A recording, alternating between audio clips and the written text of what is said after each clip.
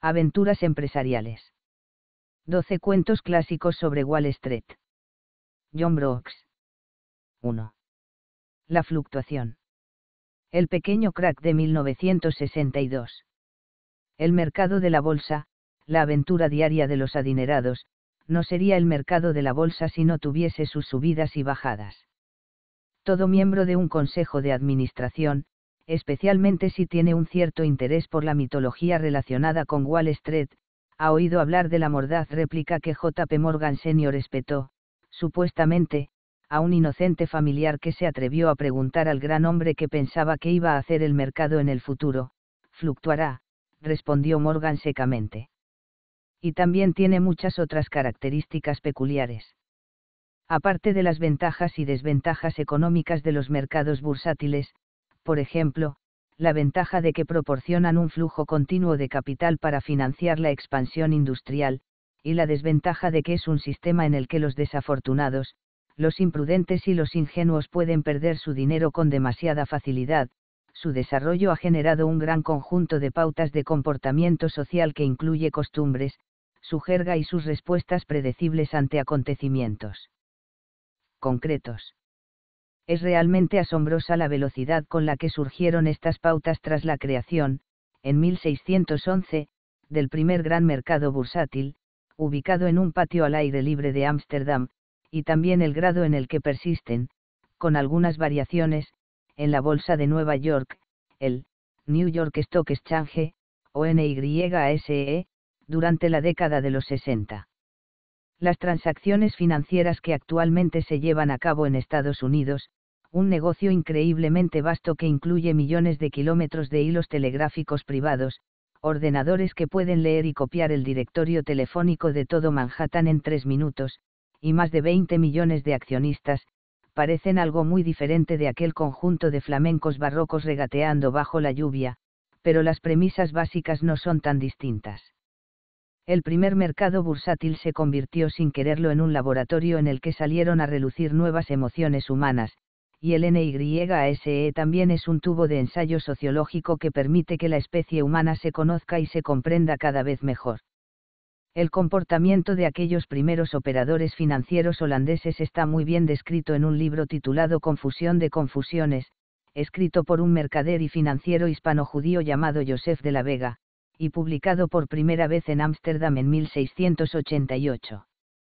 En cuanto al comportamiento de los actuales inversores y operadores financieros estadounidenses, cuya idiosincrasia, como la de todos los financieros, se ve exacerbada en tiempos de crisis, un ejemplo característico podrían ser las actividades de la última semana de mayo de 1962, cuando el mercado bursátil fluctuó de manera espectacular. El lunes 28 de aquel mes, el índice Dow Jones de las 30 empresas industriales más importantes, que llevaba calculándose ininterrumpidamente desde 1897, cayó 34,95 puntos, es decir, más que cualquier otro día excepto el 28 de octubre de 1929, jornada en que las pérdidas alcanzaron los 38,33 puntos. El volumen de transacciones de aquel 28 de mayo estuvo en torno a 9.350.000 acciones, o lo que es lo mismo, el séptimo volumen más grande en toda la historia del NYSE. Al día siguiente, martes, 29 de mayo, tras una alarmante mañana en la que la mayoría de las acciones se hundieron mucho más que la tarde anterior, el mercado cambió de sentido súbitamente, remontando con asombroso vigor, y acabó el día con una ganancia de 27,03 puntos, que si bien no era ningún récord, sí podía considerarse elevada. En lo que sí se estuvo a punto de batir un récord fue en el volumen de transacciones, los 14.750.000 movimientos de acciones realizados ese día únicamente han sido superados por los 16 millones del 29 de octubre de 1929. En los años siguientes de la década de los 60, los días en los que se operaba con 10, 12 grados 14 millones de acciones pasaron a ser algo mucho más normal, el máximo de 1929 fue finalmente superado el 1 de abril de 1968, y durante los meses subsiguientes se rompió una y otra vez el récord anterior. Finalmente, el jueves, 31 de mayo, tras un miércoles sin operaciones por ser el Memorial Day, día en memoria de los caídos en guerra, se completó el ciclo, con un volumen operativo de 10.710.000 acciones, el quinto más alto de la historia hasta ese momento, el índice ganó 9,40 puntos, por lo que se quedó un poco por encima del nivel en el que había estado antes de comenzar a caer unos días antes. La crisis pasó en tres días, pero no hace falta decir que las consecuencias duraron mucho más.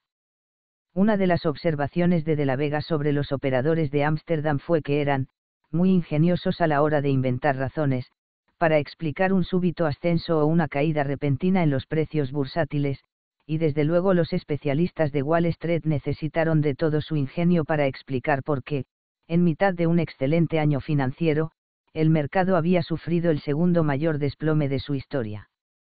Más allá de las posibles explicaciones, entre las que destacaba el plan de aumento de los precios de la industria siderúrgica del presidente Kennedy, era inevitable que se comparase con frecuencia aquel mayo de 1962 con el octubre de 1929. Por sí solas, las cifras de movimientos de precios y de volumen de transacciones ya sugerían un paralelismo, pero es que además los peores días de pánico en ambos meses, el 28 y el 29, también coincidieron de manera bastante misteriosa, y, en opinión de algunos, incluso inquietante. Sin embargo, en general, se llegó a la conclusión de que las diferencias eran más importantes que las similitudes. Entre 1929 y 1962 se promulgaron nuevas normativas sobre prácticas operativas y se establecieron limitaciones al volumen de crédito que se podía conceder a los clientes para la compra de acciones, lo que había dificultado, o imposibilitado, que una persona perdiese todo su dinero en la bolsa. El resultado es que el epíteto empleado por De la Vega para el mercado bursátil holandés en el siglo XVII, lo llamó, el infierno de las apuestas, aunque claramente le gustaba, se había vuelto mucho menos aplicable al mercado bursátil neoyorquino 33 años transcurridos después del primer crack. Hubo ciertas señales de alarma que advirtieron de la inminencia del desplome de 1962, aunque muy pocos observadores supieron interpretarlas correctamente. Poco después del comienzo de ese año, las acciones habían empezado a caer a una tasa constante, y el ritmo se había ido acelerando hasta el punto de que la semana previa, del 21 al 25 de mayo, había sido la peor desde junio de 1950. En la mañana del lunes 28, por tanto, los operadores financieros tenían razones para sentirse intranquilos. Se había llegado ya al punto más bajo, o ese punto aún estaba por llegar. Visto con retrospectiva, parece ser que las opiniones estaban divididas. El servicio de noticias del Dow Jones, que enviaba y sigue enviando a sus suscriptores información actualizada mediante teletipos, mostró una cierta inquietud entre el momento que comenzó sus transmisiones, a las 9 de la mañana, y el momento de la apertura de la bolsa, a las 10. A lo largo de esa hora, la banda ancha, como se le suele llamar a este servicio de información por imprimirse en vertical en papel continuo de unos 15 centímetros de ancho, para distinguirlo de la información sobre precios del propio NYSE, que se imprime en horizontal en un papel continuo de apenas 2 centímetros de alto, informó que durante el fin de semana muchos operadores habían solicitado garantías adicionales a aquellos clientes cuyos activos financieros estaban perdiendo valor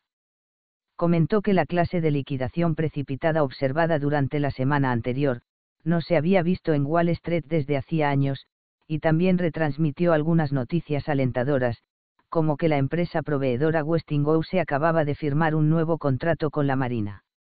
Sin embargo, tal y como señaló el propio de la Vega, a menudo las noticias, en sí mismas, tienen poco valor, a corto plazo, lo que importa es el estado de ánimo de los inversores. Este estado de ánimo se manifestó en cuestión de minutos tras la apertura de la bolsa.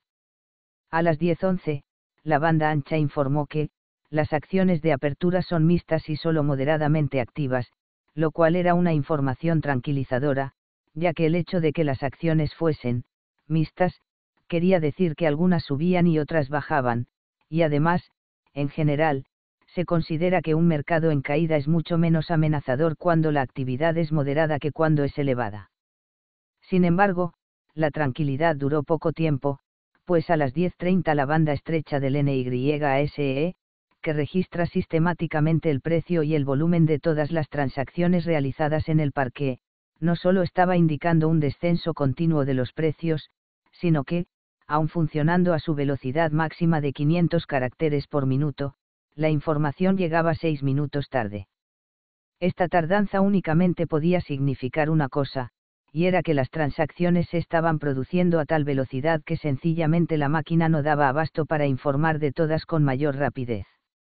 Según el procedimiento habitual, cuando se lleva a cabo una transacción en el NYSE, ubicado en el número 11 de Wall Street, un empleado transcribe los detalles en hojas de papel y las envía por medio de un recipiente neumático hasta el quinto piso del edificio, donde un equipo de mecanógrafas introduce los datos en la máquina para su transmisión. Por tanto, un lapso de dos o tres minutos entre el cierre de una transacción y su aparición en la banda se considera normal y no, retraso, en la jerga bursátil, esta palabra se utiliza únicamente para describir cualquier lapso adicional transcurrido entre la llegada de la información al quinto piso y el momento en el que la abrumada máquina es capaz de acomodarla. Los términos empleados en la bolsa no se escogen con el debido cuidado, se quejaba de la Vega. Pequeños retrasos de pocos minutos suelen ocurrir en días con un gran volumen de transacciones,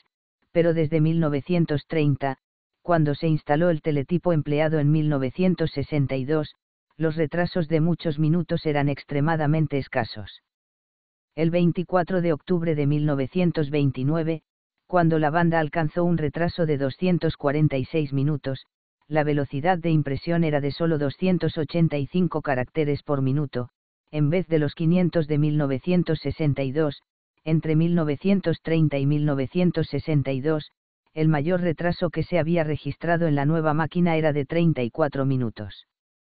Sin lugar a dudas, los precios estaban cayendo y la actividad se estaba incrementando a ojos vista, pero la situación aún no era desesperada, a las 11 horas, todo cuanto se podía decir era que el declive de la semana anterior estaba continuando a un ritmo ligeramente acelerado. Sin embargo, con el aumento del volumen de operaciones también aumentó sin pausa el retraso de la banda, a las 10.55 horas era de 13 minutos, a las 11.14 horas, de 20 minutos, a las 11.35 horas, de 28 minutos, a las 11.58 horas, de 38 minutos, y a las 12.14 horas, de 43 minutos. Con el fin de que la banda pudiese ofrecer al menos algo de información actualizada, cuando ésta tenía un retraso de más de 5 minutos, la bolsa interrumpía periódicamente su actividad normal para insertar, flashes, o precios reales de algunas acciones importantes. Por supuesto, el tiempo empleado para hacer esto incrementaba aún más el retraso. A mediodía, el índice industrial Dow Jones mostraba una pérdida provisional de 9,86 puntos. Durante la hora de la comida empezaron a aparecer las primeras señales de histeria colectiva. Una de esas señales fue que entre las 12 y las 2, cuando lo habitual es que el mercado esté bastante inactivo, los precios siguieron cayendo y la actividad continuó creciendo, con el consiguiente efecto en el teletipo, justo antes de las 2 de la tarde el retraso ya había ascendido hasta los 52 minutos. La evidencia de que mucha gente se dedique a vender acciones cuando debería estar disfrutando de la comida es siempre un signo preocupante de que algo muy serio está ocurriendo otro presagio de una gran agitación futura, tal vez igual de convincente que el anterior, fue detectado en la sede de Times Square, 1451 de Broadway, de Merrill Lynch, Pierce, Fenner y Smith, el gargantúa indiscutible de las operaciones financieras. Esta sede tenía un problema bastante peculiar, dada su ubicación en pleno centro de Manhattan, cada día a la hora de comer se encontraba con un volumen inusualmente elevado de lo que en los círculos financieros se conoce como, gente de paso, personas a las que les interesa poco o nada invertir en títulos financieros, pero que encuentran muy entretenida la atmósfera de un parque bursátil y los cambiantes precios de su panel informativo, especialmente durante una crisis financiera. Es fácil distinguir a aquellos que juegan a este juego tan solo por diversión de aquellos que lo hacen movidos por la codicia, comenta de la Vega. Gracias a su dilatada experiencia, el gerente de la sede, un sosegado georgiano llamado Samuel Motner, se había dado cuenta de la estrecha relación existente entre el grado de preocupación general por el mercado y el número de personas de paso que venían a su oficina, y a mediodía del 28 de mayo de 1962 la multitud era tan densa que su entrenada intuición le decía que sin lugar a dudas el desastre era inminente. Las tribulaciones de Motner, al igual que las de todos los operadores y comerciales financieros desde San Diego a Bangor, no se limitaban ni mucho menos a turbadoras señales y presagios, ya que en todas partes se estaba produciendo una liquidación desenfrenada de acciones, en la sede de Motner, el volumen de órdenes de los clientes estaba unas cinco o seis veces por encima de la media, y casi todas eran órdenes de venta.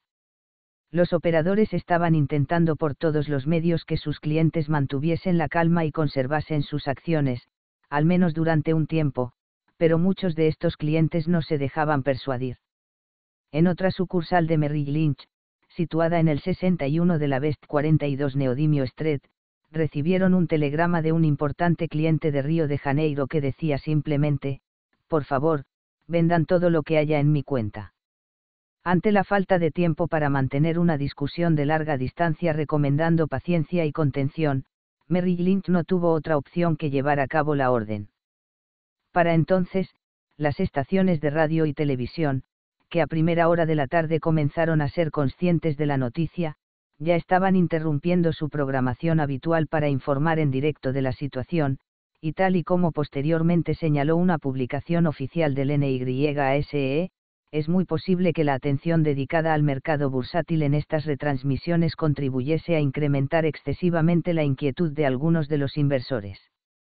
Y el problema al que se enfrentaban los operadores financieros a la hora de ejecutar la avalancha de órdenes de venta se veía agravado por factores técnicos, el retraso en el teletipo, que a las 14.26 horas ya era de más de 55 minutos, implicaba que la mayor parte de los precios conocidos eran de hacía casi una hora, lo que en la mayoría de los casos podía suponer una diferencia de entre 1 y 10 dólares. Por ello, los operadores se las veían y se las deseaban para poder informar con precisión a sus clientes de los precios a los que finalmente acabarían vendiendo sus acciones.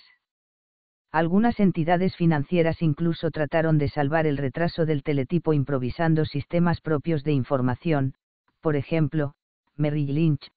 cuyos operadores, si se acordaban y tenían tiempo, simplemente gritaban sus resultados en un teléfono conectado directamente a un altavoz ubicado en la sede central, en el número 70 de Pine Street. Obviamente, estos caóticos métodos eran propensos a muchos errores de transcripción final. En el propio parque del NYSE, la cosa no repuntaba, era un claro caso de pérdida de valor rápida y continua de un enorme volumen de acciones. Tal y como hubiese descrito la escena de La Vega, y de hecho describió de manera bastante extravagante en otro caso muy similar, los osos, esto es, los vendedores, están completamente dominados por el miedo, la inquietud y el nerviosismo. Los conejos se convierten en elefantes, las reyertas de taberna se convierten en rebeliones, la más mínima sombra es considerada como un signo del caos.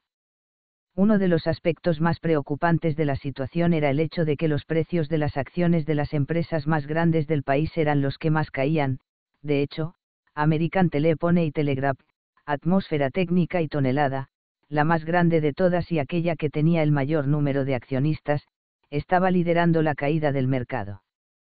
Con un volumen de acciones mucho mayor que cualquiera de las otras 1.500 empresas financieras presentes en el NYSE, la mayoría de ellas con un precio por acción que apenas alcanza una fracción mínima del precio de las del líder indiscutible, atmósfera técnica y tonelada había sido golpeada por oleada tras oleada de ventas urgentes a lo largo del día, hasta que a las 2 de la tarde su precio llegó a los 104 y 3 cuartos, una caída de 6 y un octavo puntos, y seguía en caída libre.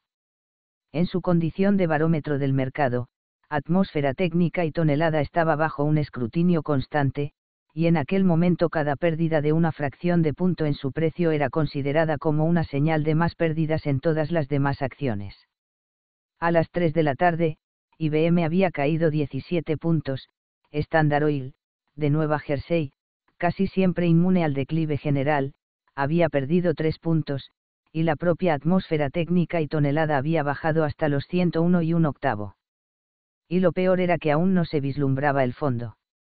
Según algunas personas que se encontraban aquel día en el parque, la atmósfera aún no era de histerismo, o al menos la histeria que pudiese haber estaba bien controlada. Aunque a muchos de los operadores les costaba un gran esfuerzo acatar la regla del NYASE que prohibía correr dentro del edificio, y más de uno llevaba en su cara una expresión que un directivo de la bolsa describió más tarde como, concentrada, aún seguían escuchándose las habituales bromas, chistes e insultos sarcásticos entre colegas. Los chistes son la principal atracción de este negocio, a Punta de la Vega. Sin embargo, había en el aire algo diferente. Lo que más recuerdo de ese día es la sensación de agotamiento físico, dijo tiempo después un operador. En un día de crisis, es muy probable que acabes caminando unos 15 o 16 kilómetros, se ha medido con podómetros, pero en realidad no es solo la distancia lo que te acaba agotando, sino también el contacto físico, tienes que abrirte paso continuamente y sentir cómo te empujan y te pisan. Y además, está el ruido, un tenso zumbido de voces que se escucha siempre que el mercado está en caída, y que aumenta de volumen si la caída se acelera. En un mercado en alza, el sonido es totalmente diferente, de hecho, una vez que te acostumbras a la diferencia, se puede incluso saber cómo se está comportando el mercado con los ojos cerrados. Por supuesto, los chistes y las bromas no cesaron, aunque es posible que algunas sonasen más forzadas de lo normal. Todo el mundo comentó que cuando sonó la campana, a las 15.30 horas, se escucharon sonoros vítores, no nos alegrábamos de que el mercado estuviese cayendo en picado, sino de que, al menos ese día, ya no iba a caer más. Pero realmente se había acabado la crisis. Esta cuestión trajo de cabeza a todo Wall Street y a la comunidad nacional de inversores durante el resto de la tarde y buena parte de la noche. Tras el cierre, el rezagado teletipo siguió transcribiendo solemnemente las transacciones y los precios ya obsoletos. En el momento del cierre ya acumulaba un retraso de una hora y nueve minutos, y no completó las transacciones del día hasta las 17.58 horas muchos operadores se quedaron en el parque del NYASE hasta más allá de las 5 de la tarde, revisando y corrigiendo los detalles de las transacciones, y después se dirigieron a sus oficinas para trabajar con sus cuentas. Lo que mostraba la banda de precios, una vez que pudo mostrarlo todo, era un panorama bastante triste, atmósfera técnica y tonelada había cerrado a 100 y 5 octavos, tras caer 11 puntos a lo largo del día, Philip Morris había cerrado a 71 y un medio, cayendo 8 y un cuarto, Campbell Soup a 81, cayendo 10 y 3 cuartos, IBM a 361, cayendo 37 y un medio, etc. En todas las entidades financieras, los empleados trabajaron a destajo, muchos de ellos durante casi toda la noche, en tareas especiales diversas, entre las que sin duda destacaban las llamadas de margen. Una llamada de margen, margin call, consiste en solicitar mayores garantías de devolución a un cliente que ha pedido prestado un dinero a su operador para comprar acciones, y que debido a un descenso en el valor de sus acciones éstas apenas cubren el importe del préstamo. Si un cliente no está dispuesto a, o no tiene recursos para, responder a esa llamada de margen con más garantías, su operador se ocupará de vender las acciones amenazadas a la mayor brevedad posible, estas ventas pueden arrastrar a la baja a otras acciones, lo que provoca más llamadas de margen y esto a su vez conduce a más ventas de acciones, y el círculo vicioso va hundiendo a todos cada vez más en el abismo. En 1929, este abismo resultó no tener fondo porque entonces no existían restricciones federales para la obtención de crédito bursátil. Por ello, en los años posteriores al crack del 29 se implantaron restricciones que trataron de ponerle un fondo al abismo, pero aún así en mayo de 1962 los requisitos para obtener un crédito no impedían que un cliente pudiese recibir en cualquier momento una llamada de margen porque las acciones que había adquirido con su préstamo se habían devaluado entre un 50 y un 60%. Y, al cierre de las operaciones del 28 de mayo, casi una de cada cuatro acciones había caído ese porcentaje con respecto a su precio máximo de 1961. Tras la crisis, el NYSE estimó que entre el 25 y el 31 de mayo se enviaron cerca de 91.700 llamadas de margen, principalmente por telegrama, y sin duda se puede suponer que la parte del león de esa cantidad tuvo lugar durante la tarde del 28 y casi toda la madrugada del 29. Más de un inversor se enteró de la existencia de la crisis, o al menos de su inquietante intensidad, al recibir una llamada de margen antes del amanecer del martes. Si bien el peligro de las repercusiones sobre el mercado bursátil de las ventas de acciones derivadas de las llamadas de margen fue mucho menor en 1962 que en 1929, el peligro procedente de otro sector, la venta de participaciones de fondos mutuos, era muchísimo más elevado. De hecho, desde entonces, muchos profesionales de Wall Street han comentado que, en el cenit de la agitación de aquel mes de mayo, solo pensar en la situación de los fondos mutuos bastaba para producirles escalofríos. Como saben muy bien los millones de estadounidenses que han adquirido participaciones de fondos mutuos durante las últimas dos décadas, estos fondos ofrecen a los pequeños inversores la posibilidad de poner sus ahorros en manos de gestores expertos. El pequeño inversor puede comprar participaciones de un fondo, y este fondo utiliza el dinero para comprar acciones y títulos financieros, sabiendo que en todo momento tiene que estar preparado para reembolsar al inversor el valor nominal de sus activos si así lo solicita. El razonamiento sería el siguiente, si se produce una gran caída del mercado bursátil, los pequeños inversores desearán sacar su dinero del mercado, y por tanto solicitarán el reembolso de sus participaciones, para obtener el dinero efectivo necesario para hacer frente a estas peticiones de reembolso, los fondos deben vender parte de sus títulos financieros, estas ventas provocan un mayor declive del mercado, incitando a más propietarios de participaciones de fondos mutuos a solicitar el reembolso, y nuevamente se entraría en un círculo vicioso que conduciría a una versión actualizada del abismo sin fondo. El escalofrío colectivo de la comunidad de inversores ante esta posibilidad se vio intensificado por el hecho de que nunca se había puesto a prueba seriamente la capacidad de los fondos mutuos para agravar una crisis bursátil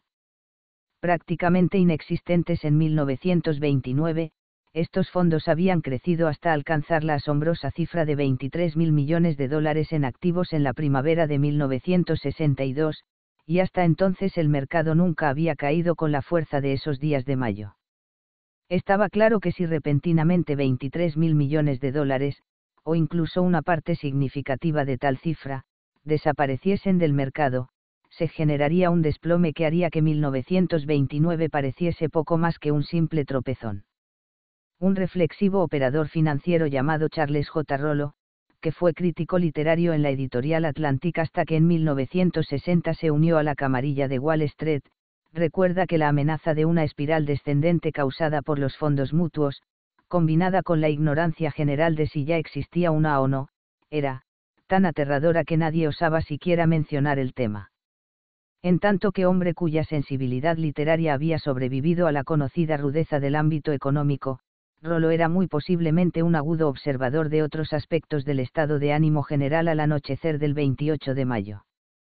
Había una cierta sensación de irrealidad en el aire, comentó. Nadie que yo conociese tenía la menor idea de en qué momento tocaríamos fondo.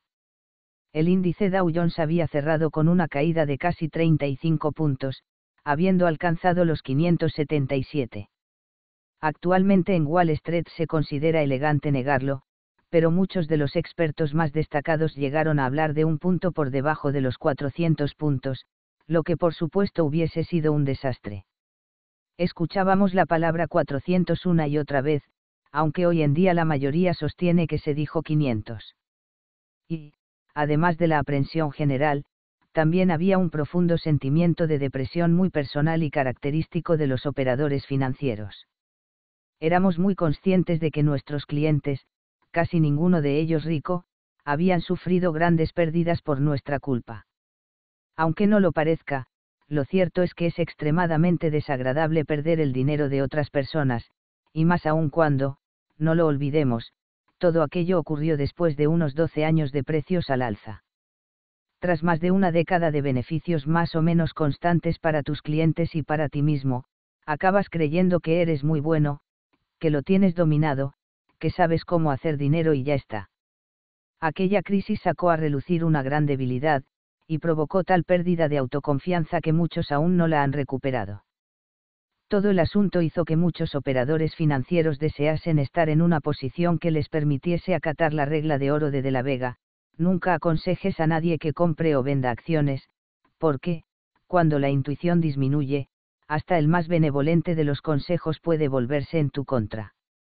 La mañana del martes 29 puso de manifiesto las dimensiones de la debacle del día anterior, pues para entonces ya se había calculado sobre el papel que la pérdida de valor de todos los títulos financieros presentes en el NYSE ascendía a 20.800 millones de dólares, lo cual era un récord absoluto. El 28 de octubre de 1929, las pérdidas habían sido de, solo, 9.600 millones de dólares, si bien es verdad que en ese año el número de títulos financieros incluidos en la bolsa era mucho menor que el existente 33 años más tarde. Este nuevo récord representaba una parte no desdeñable de la riqueza nacional, para ser exactos, casi un 4%, lo que en la práctica suponía que Estados Unidos había perdido en un día el valor de unas dos semanas de salarios y de producción de bienes y servicios. Y, como era de esperar, el crack tuvo repercusiones claras fuera del país. En Europa, cuya reacción a Wall Street se suele producir un día después por la diferencia horaria, el martes fue el día de la crisis. A las 9 de la mañana en Nueva York, cuando en Europa ya estaban a punto de cerrar su día comercial, casi todas las bolsas europeas estaban enfrentándose a un flujo de ventas desmesurado, y la única razón aparente era el desplome de Wall Street de unas horas antes, las pérdidas en Milán fueron las peores en 18 meses, las de Bruselas, las peores desde 1946, cuando la bolsa reinició su actividad tras la guerra, las de Londres, las peores de los últimos 27 años, en Zurich se había vendido con un asombroso descuento del 30% a comienzos del día, pero algunas de estas pérdidas se habían mitigado por la aparición en el mercado de cazadores de gangas. Y por si fuera poco, las consecuencias también se hicieron sentir, menos directas, pero sin duda más serias en términos humanos, en algunos de los países más pobres del mundo. Por ejemplo, el precio del cobre de la remesa de julio cayó en el mercado de materias primas de Nueva York 0,44 centavos de dólar por libra, aproximadamente 0,45 kilogramos, de material. Puede que tal pérdida parezca insignificante, pero, para un país pobre cuya economía dependa en gran medida de sus exportaciones de cobre, era una diferencia muy seria. Por ponerlo en perspectiva, en su reciente libro The Great Ascent, Robert L. Eilbroner incluye una estimación según la cual por cada centavo que baje el precio del cobre en la bolsa de Nueva York, el Departamento del Tesoro de Chile perdía 4 millones de dólares,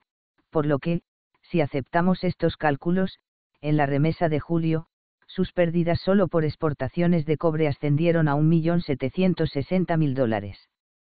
No obstante, lo peor no era el conocimiento de lo que había pasado, sino el miedo de lo que podía pasar en el futuro inmediato.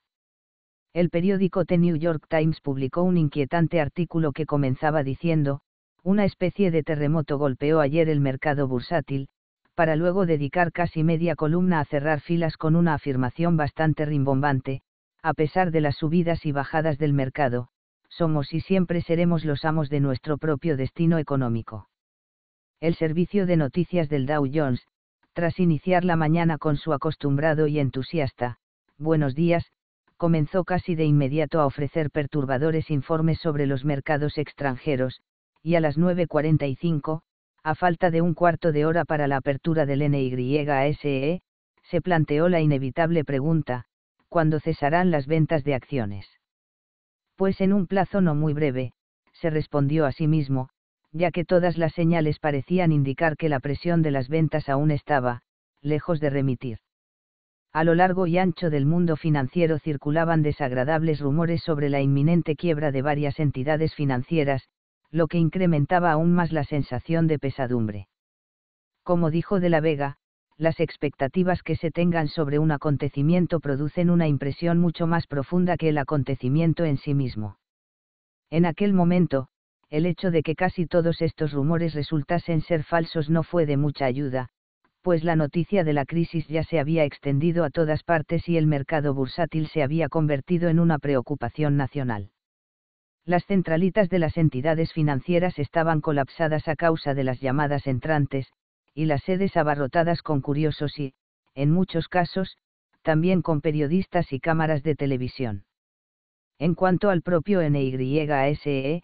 todos sus empleados habían llegado pronto al trabajo para intentar cerrar todas las escotillas en previsión de la inminente tormenta, y se había contratado personal extra para el quinto piso del edificio, con el fin de agilizar la tramitación de las montañas de órdenes. La galería de visitantes estaba tan abarrotada que las habituales visitas guiadas fueron suspendidas durante todo el día. Uno de los grupos que logró entrar en la galería aquella mañana fue una clase de octavo de primaria de la escuela parroquial Corpus Christi, de la West 121 St. Street. Su profesora, la hermana Akin, explicó a un reportero que los niños habían preparado su visita durante las dos semanas previas realizando inversiones hipotéticas en bolsa con 10 mil dólares imaginarios cada uno. Todos hubieran perdido todo el dinero, concluyó Akin. La apertura del mercado dio el pistoletazo de salida a los 90 minutos más oscuros en la memoria de muchos operadores veteranos, entre ellos algunos supervivientes de 1929. Durante los primeros minutos se produjeron comparativamente pocas transacciones, aunque esta supuesta calma no se debía a que hubiese un ambiente de tranquila deliberación. Por el contrario, lo que reflejaba era que la presión de las ventas era tan alta que había logrado paralizar temporalmente la actividad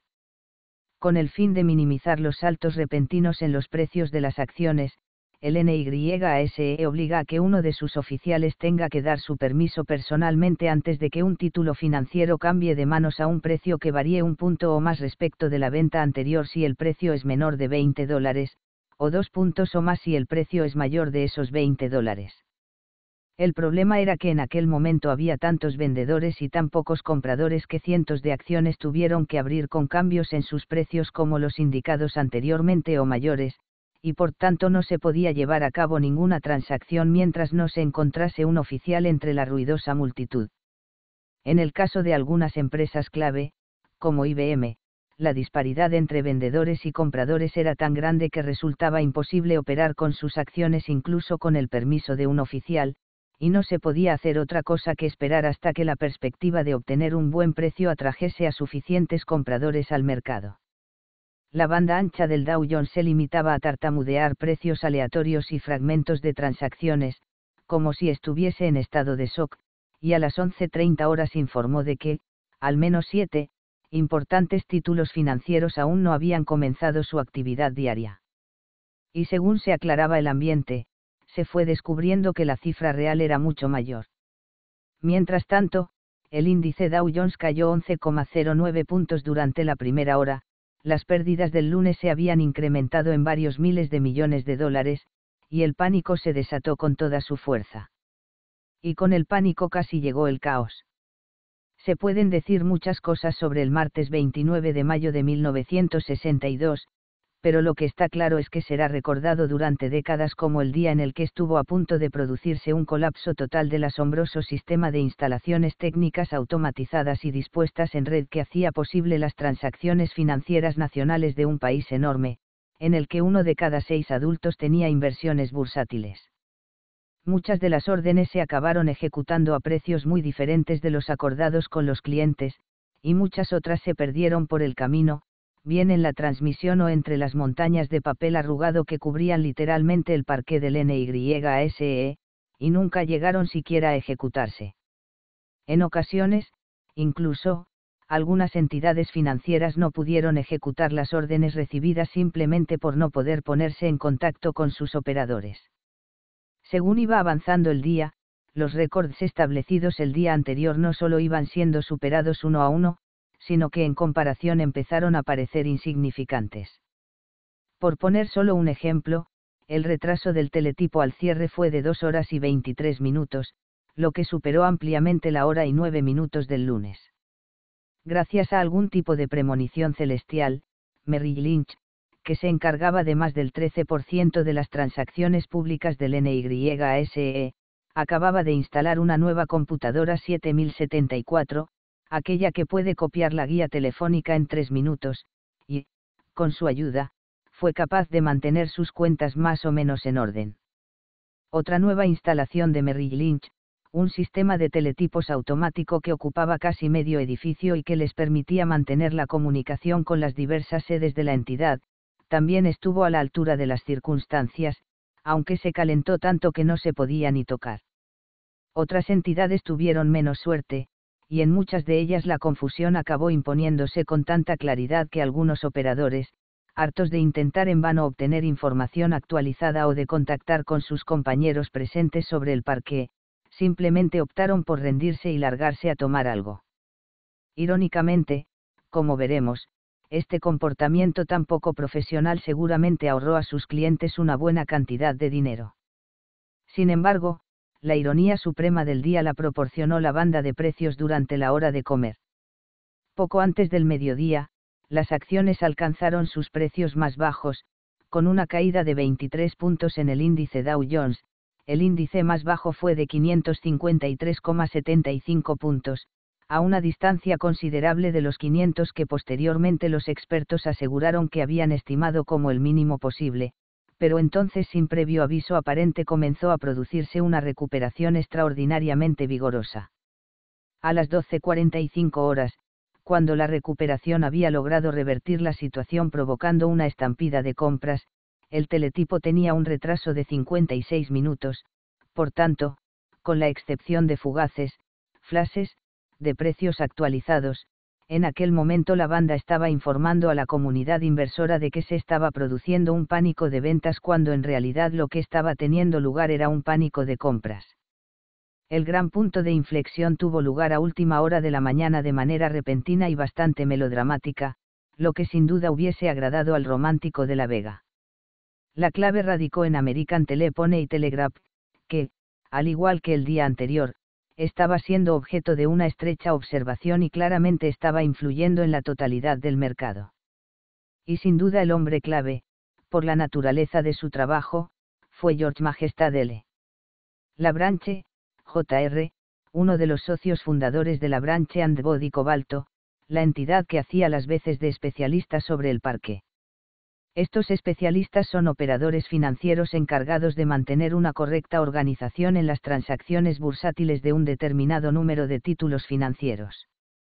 Para cumplir con sus responsabilidades, con frecuencia tienen el curioso deber de asumir riesgos con su propio dinero, aun en contra de su propio criterio. Con el fin de reducir el factor de la falibilidad humana, últimamente algunas autoridades han intentado encontrar la forma de reemplazar a estos especialistas por máquinas, pero hasta el momento no han tenido éxito. Uno de los principales problemas es el siguiente, si los especialistas pierden hasta la camisa, ¿quién paga sus pérdidas? A sus 64 años, Labranche era un hombre de corta estatura y de facciones angulosas, pulcro y muy enérgico, al que le gustaba lucir en la solapa su insignia pibeta capa, distinción concedida por el NYSE a muy pocos de sus trabajadores, en su caso como reconocimiento a su larga trayectoria. Había sido especialista desde 1924, y su sociedad había colaborado con Atmósfera Técnica y Tonelada desde finales de 1929. Su hábitat característico, o más bien el sitio exacto donde había pasado cinco horas y media prácticamente todos los días laborables de su carrera profesional, estaba justo enfrente del puesto 15, en una parte de la bolsa que no es visible desde la galería de visitantes, y que se suele conocer como el garaje. Allí, con los pies separados y bien plantados sobre el parqué para aguantar con firmeza las oleadas de posibles compradores y vendedores, acostumbraba a estar con un lápiz en una mano y un discreto librito de cuentas en la otra, listo para llevar un registro minucioso de las órdenes de compra y venta más destacadas de las acciones de atmósfera técnica y tonelada a diversos precios, no por casualidad aquel librito era conocido como, listín telefónico. Como es lógico, la branche había sido el centro de atención todo el día anterior, cuando atmósfera técnica y tonelada estaba arrastrando a la baja a todo el mercado, y como buen especialista había encajado todos los golpes como un boxeador experimentado, por utilizar su propia metáfora, flotando como un trozo de corcho en las olas del océano. Atmósfera técnica y tonelada es como el mar, comentó tiempo después. Normalmente está tranquilo y apacible, pero cuando menos te lo esperas aparece un vendaval que provoca una marejada que nos zarandea y nos empapa a todos, pero que siempre acaba amainando. Lo que hay que hacer, por tanto, es dejar que te zarandee y te empape, y esperar a que escampe. No debes nunca luchar contra ella, porque no podrás ganar. No se puede luchar contra las olas, como descubrió a sus expensas el rey Canuto. La mañana del martes, la tempestad que el día anterior le había calado hasta los huesos con una caída de 11 puntos aún seguía azotando. La ingente tarea administrativa de clasificar y emparejar las órdenes que habían llegado durante la noche, por no hablar de buscar un oficial de la bolsa y obtener su permiso para cada una, se alargó tanto que la primera transacción de atmósfera técnica y tonelada ese día no se produjo hasta una hora después de la apertura de las operaciones, y cuando lo hizo, un minuto antes de las 11 de la mañana, su precio era de 98, es decir, dos y un octavo puntos menos que al cierre del lunes. Durante los siguientes tres cuartos de hora, más o menos, mientras los ojos del mundo financiero estaban fijos en la entidad, como estarían los de un capitán de barco en su barómetro durante una tormenta, atmósfera técnica y tonelada fluctuó entre el mencionado 98, que resultó ser su precio más bajo, y 99. La cifra más baja se alcanzó en tres ocasiones distintas, con ligeros repuntes intermedios, hecho del que la branche habló después como si fuese algo de importancia mágica o mística. Y es posible que así fuera. En cualquier caso, tras la tercera ocasión empezaron a aparecer compradores de atmósfera técnica y tonelada ante el puesto 15, primero escasos y tímidos, pero en poco tiempo más numerosos y agresivos, a las 11.45 horas, las acciones se vendían a 98, unos minutos después, a 99, a las 11.50 horas, a 99 y 3 octavos, y finalmente, a las 11.55 horas, alcanzó por fin los 100. Muchos comentaristas han expresado la opinión de que esa primera venta de atmósfera técnica y tonelada a 100 fue el instante exacto en el que se revirtió la evolución de todo el mercado dado que Atmósfera Técnica y Tonelada era una de las entidades cuyas acciones aparecían periódicamente en los destellos de actualización del teletipo, la comunidad financiera se enteró de la transacción casi al instante, y en un momento en el que prácticamente todo lo que se leía o escuchaba eran noticias malas o muy malas. La teoría más extendida es que la recuperación de atmósfera técnica y tonelada de casi dos puntos, unida a la circunstancia puramente fortuita de que se alcanzase una cifra tan redonda como 100, fue lo que inclinó de golpe la balanza hacia el otro lado. La Branche, por su parte, aunque admitió que el ascenso de su entidad contribuyó en gran medida a la recuperación general, no tuvo tan claro cuál fue la transacción crucial. En su opinión, la primera venta a 100 fue una prueba insuficiente de recuperación definitiva, porque tan solo afectaba a un número reducido de acciones, apenas un centenar, si no recordaba mal. Él sabía muy bien que en su librito tenía anotadas unas ventas de casi 20.000 acciones a 100, y si la demanda de acciones a ese precio se agotaba antes de que se agotase a su vez su oferta de 2 millones de dólares, el precio volvería a caer, posiblemente otra vez hasta los 98 y un octavo, y un hombre como Labranche, muy dado a pensar en términos náuticos, sin duda estaba convencido de que, si se hundían una cuarta vez, ya no saldrían más a la superficie. No sucedió así. Se realizaron una serie de pequeñas operaciones a cien muy seguidas unas de otras, y a continuación unas cuantas más de mayor volumen.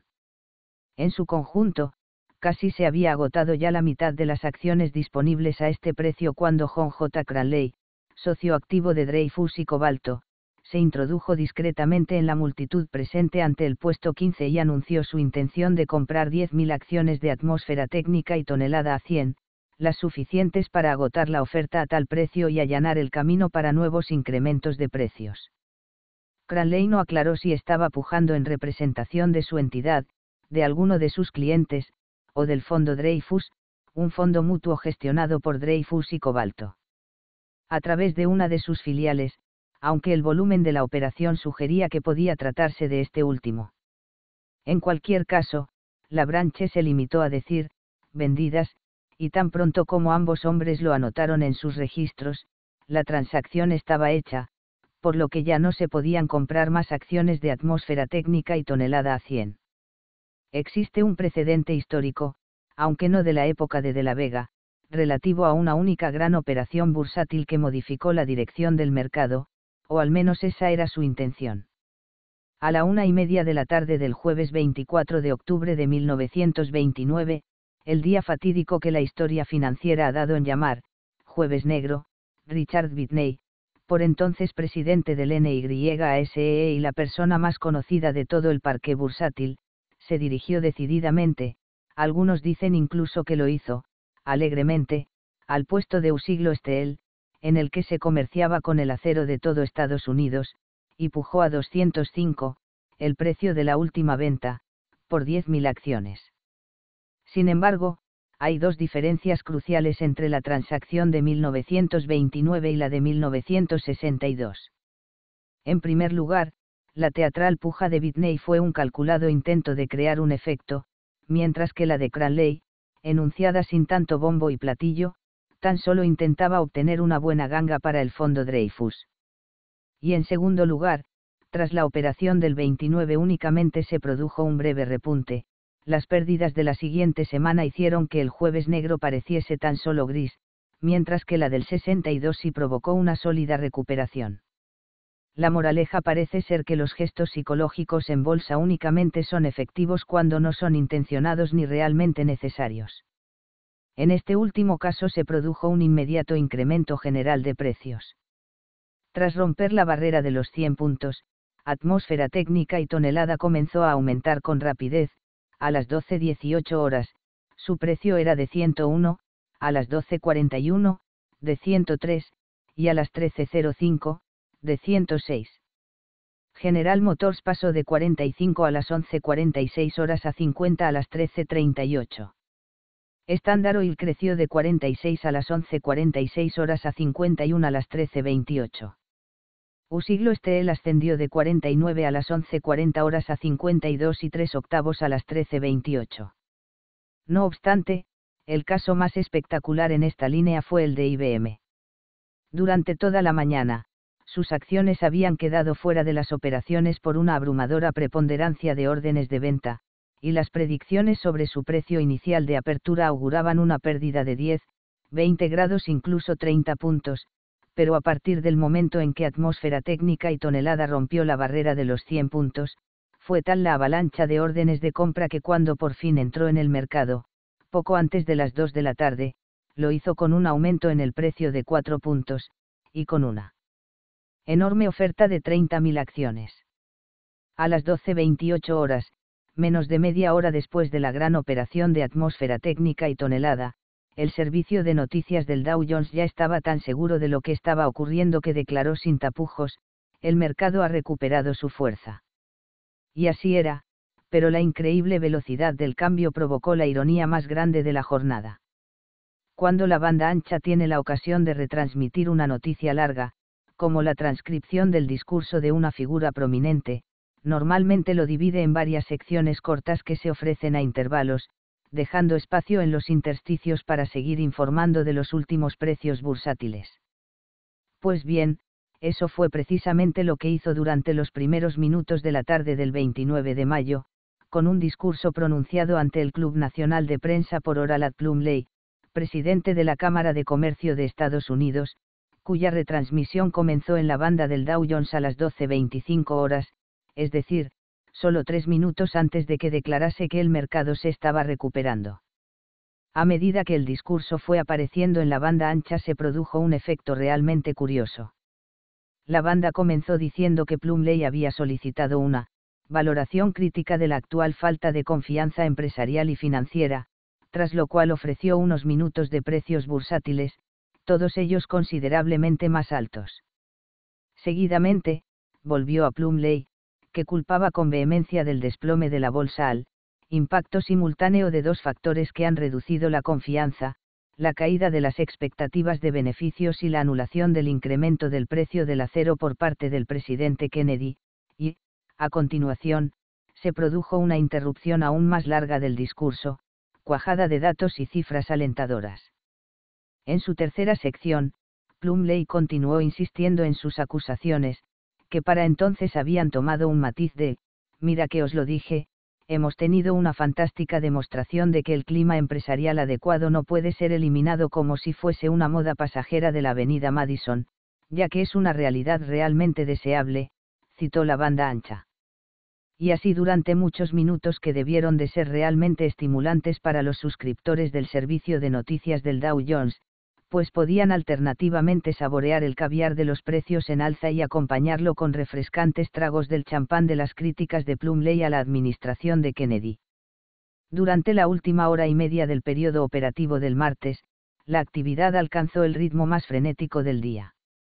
El recuento oficial del NYASE desde las 3 de la tarde hasta el cierre, esto es, la media hora final, registró un intercambio de algo más de 7 millones de acciones, lo que para los estándares de 1962 era una cifra inaudita incluso para un día entero.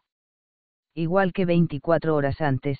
cuando sonó la campana se escucharon vítores sobre el parque, pero en este caso mucho más sonoros y sentidos, ya que el incremento de 27,03 puntos en el Dow Jones significaba que se habían logrado recuperar casi las tres cuartas partes de las pérdidas del lunes, si el día anterior se habían esfumado 20.800 millones de dólares, aquel día habían vuelto a aparecer 13.500.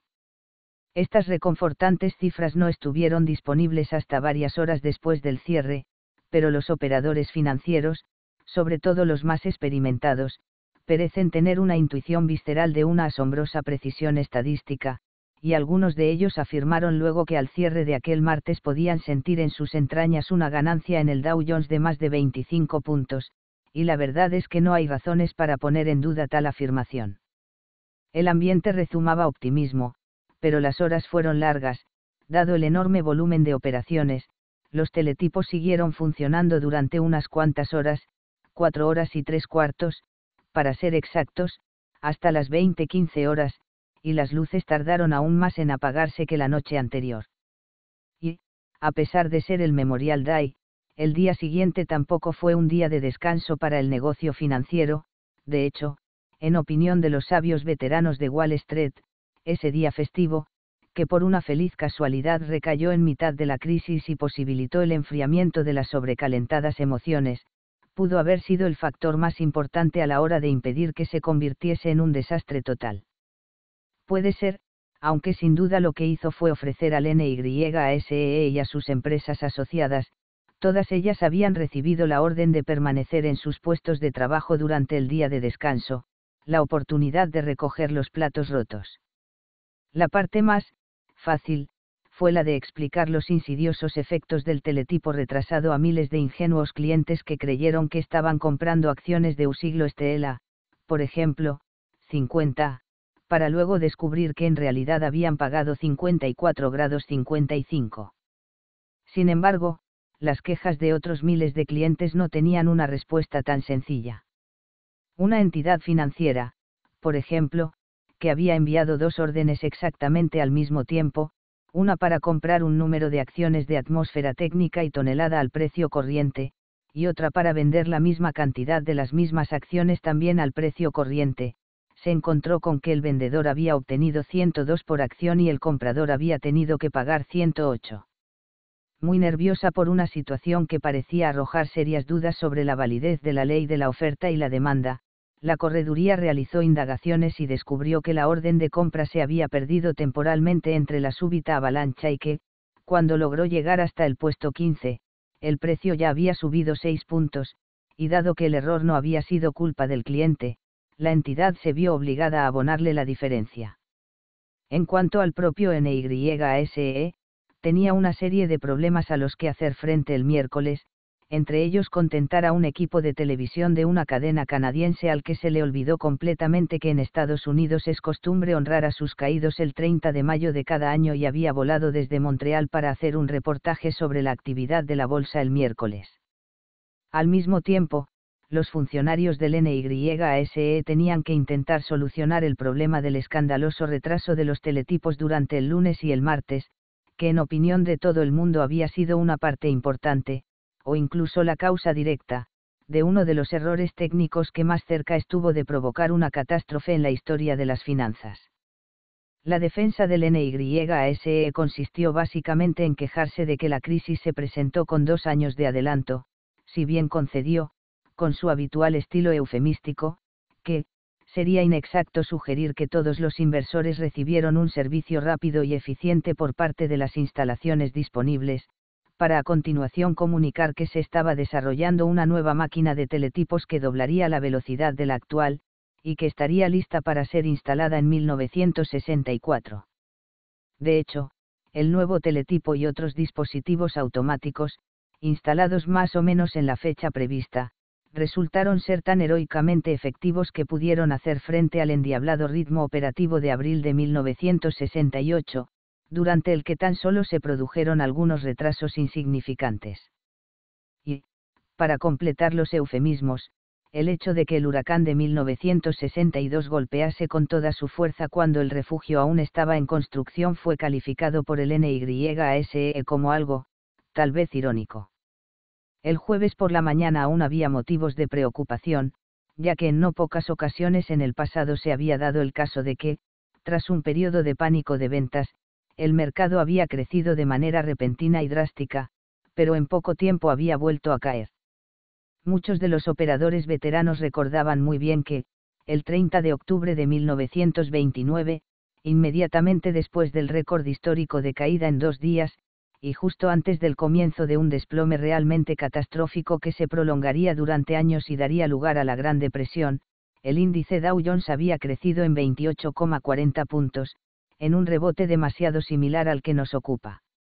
En otras palabras, en ocasiones el mercado sufre de lo que de la Vega denominó con el término médico, antiperistasis, es decir, la tendencia a revertirse, y seguidamente a revertir la reversión, y así sucesivamente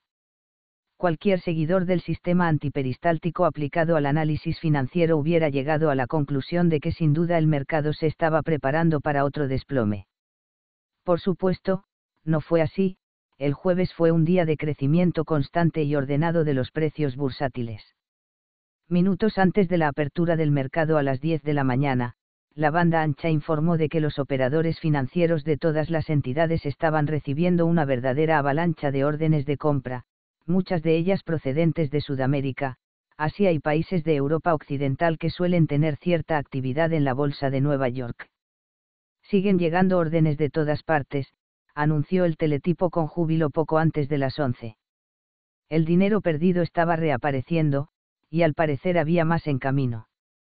Unos minutos antes de las 2, la banda del Dow Jones, tras haber pasado en pocas horas de la euforia a la indiferencia, se permitió incluso interrumpir por un momento sus informes sobre el mercado para publicitar el combate entre los conocidos boxeadores Floyd Patterson y Sonny Liston, para el que aún faltaban casi cuatro meses. Los mercados europeos, que como se ha dicho solían reaccionar en la misma dirección que Wall Street, pero un día después, habían crecido el miércoles de forma igual de impresionante que el NYSE el martes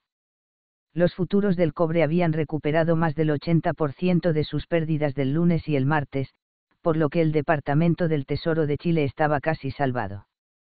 Y en cuanto al índice Dow Jones, al cierre del jueves había alcanzado los 613,36 puntos, lo que significaba que las pérdidas de la semana se habían recuperado por completo, e incluso lograba una pequeña ganancia respecto al lunes a primera hora, antes de los primeros indicios de desplome la crisis había terminado. En términos de JP Morgan, el mercado había fluctuado, y en términos de De la Vega, la antiperístasis había quedado demostrada.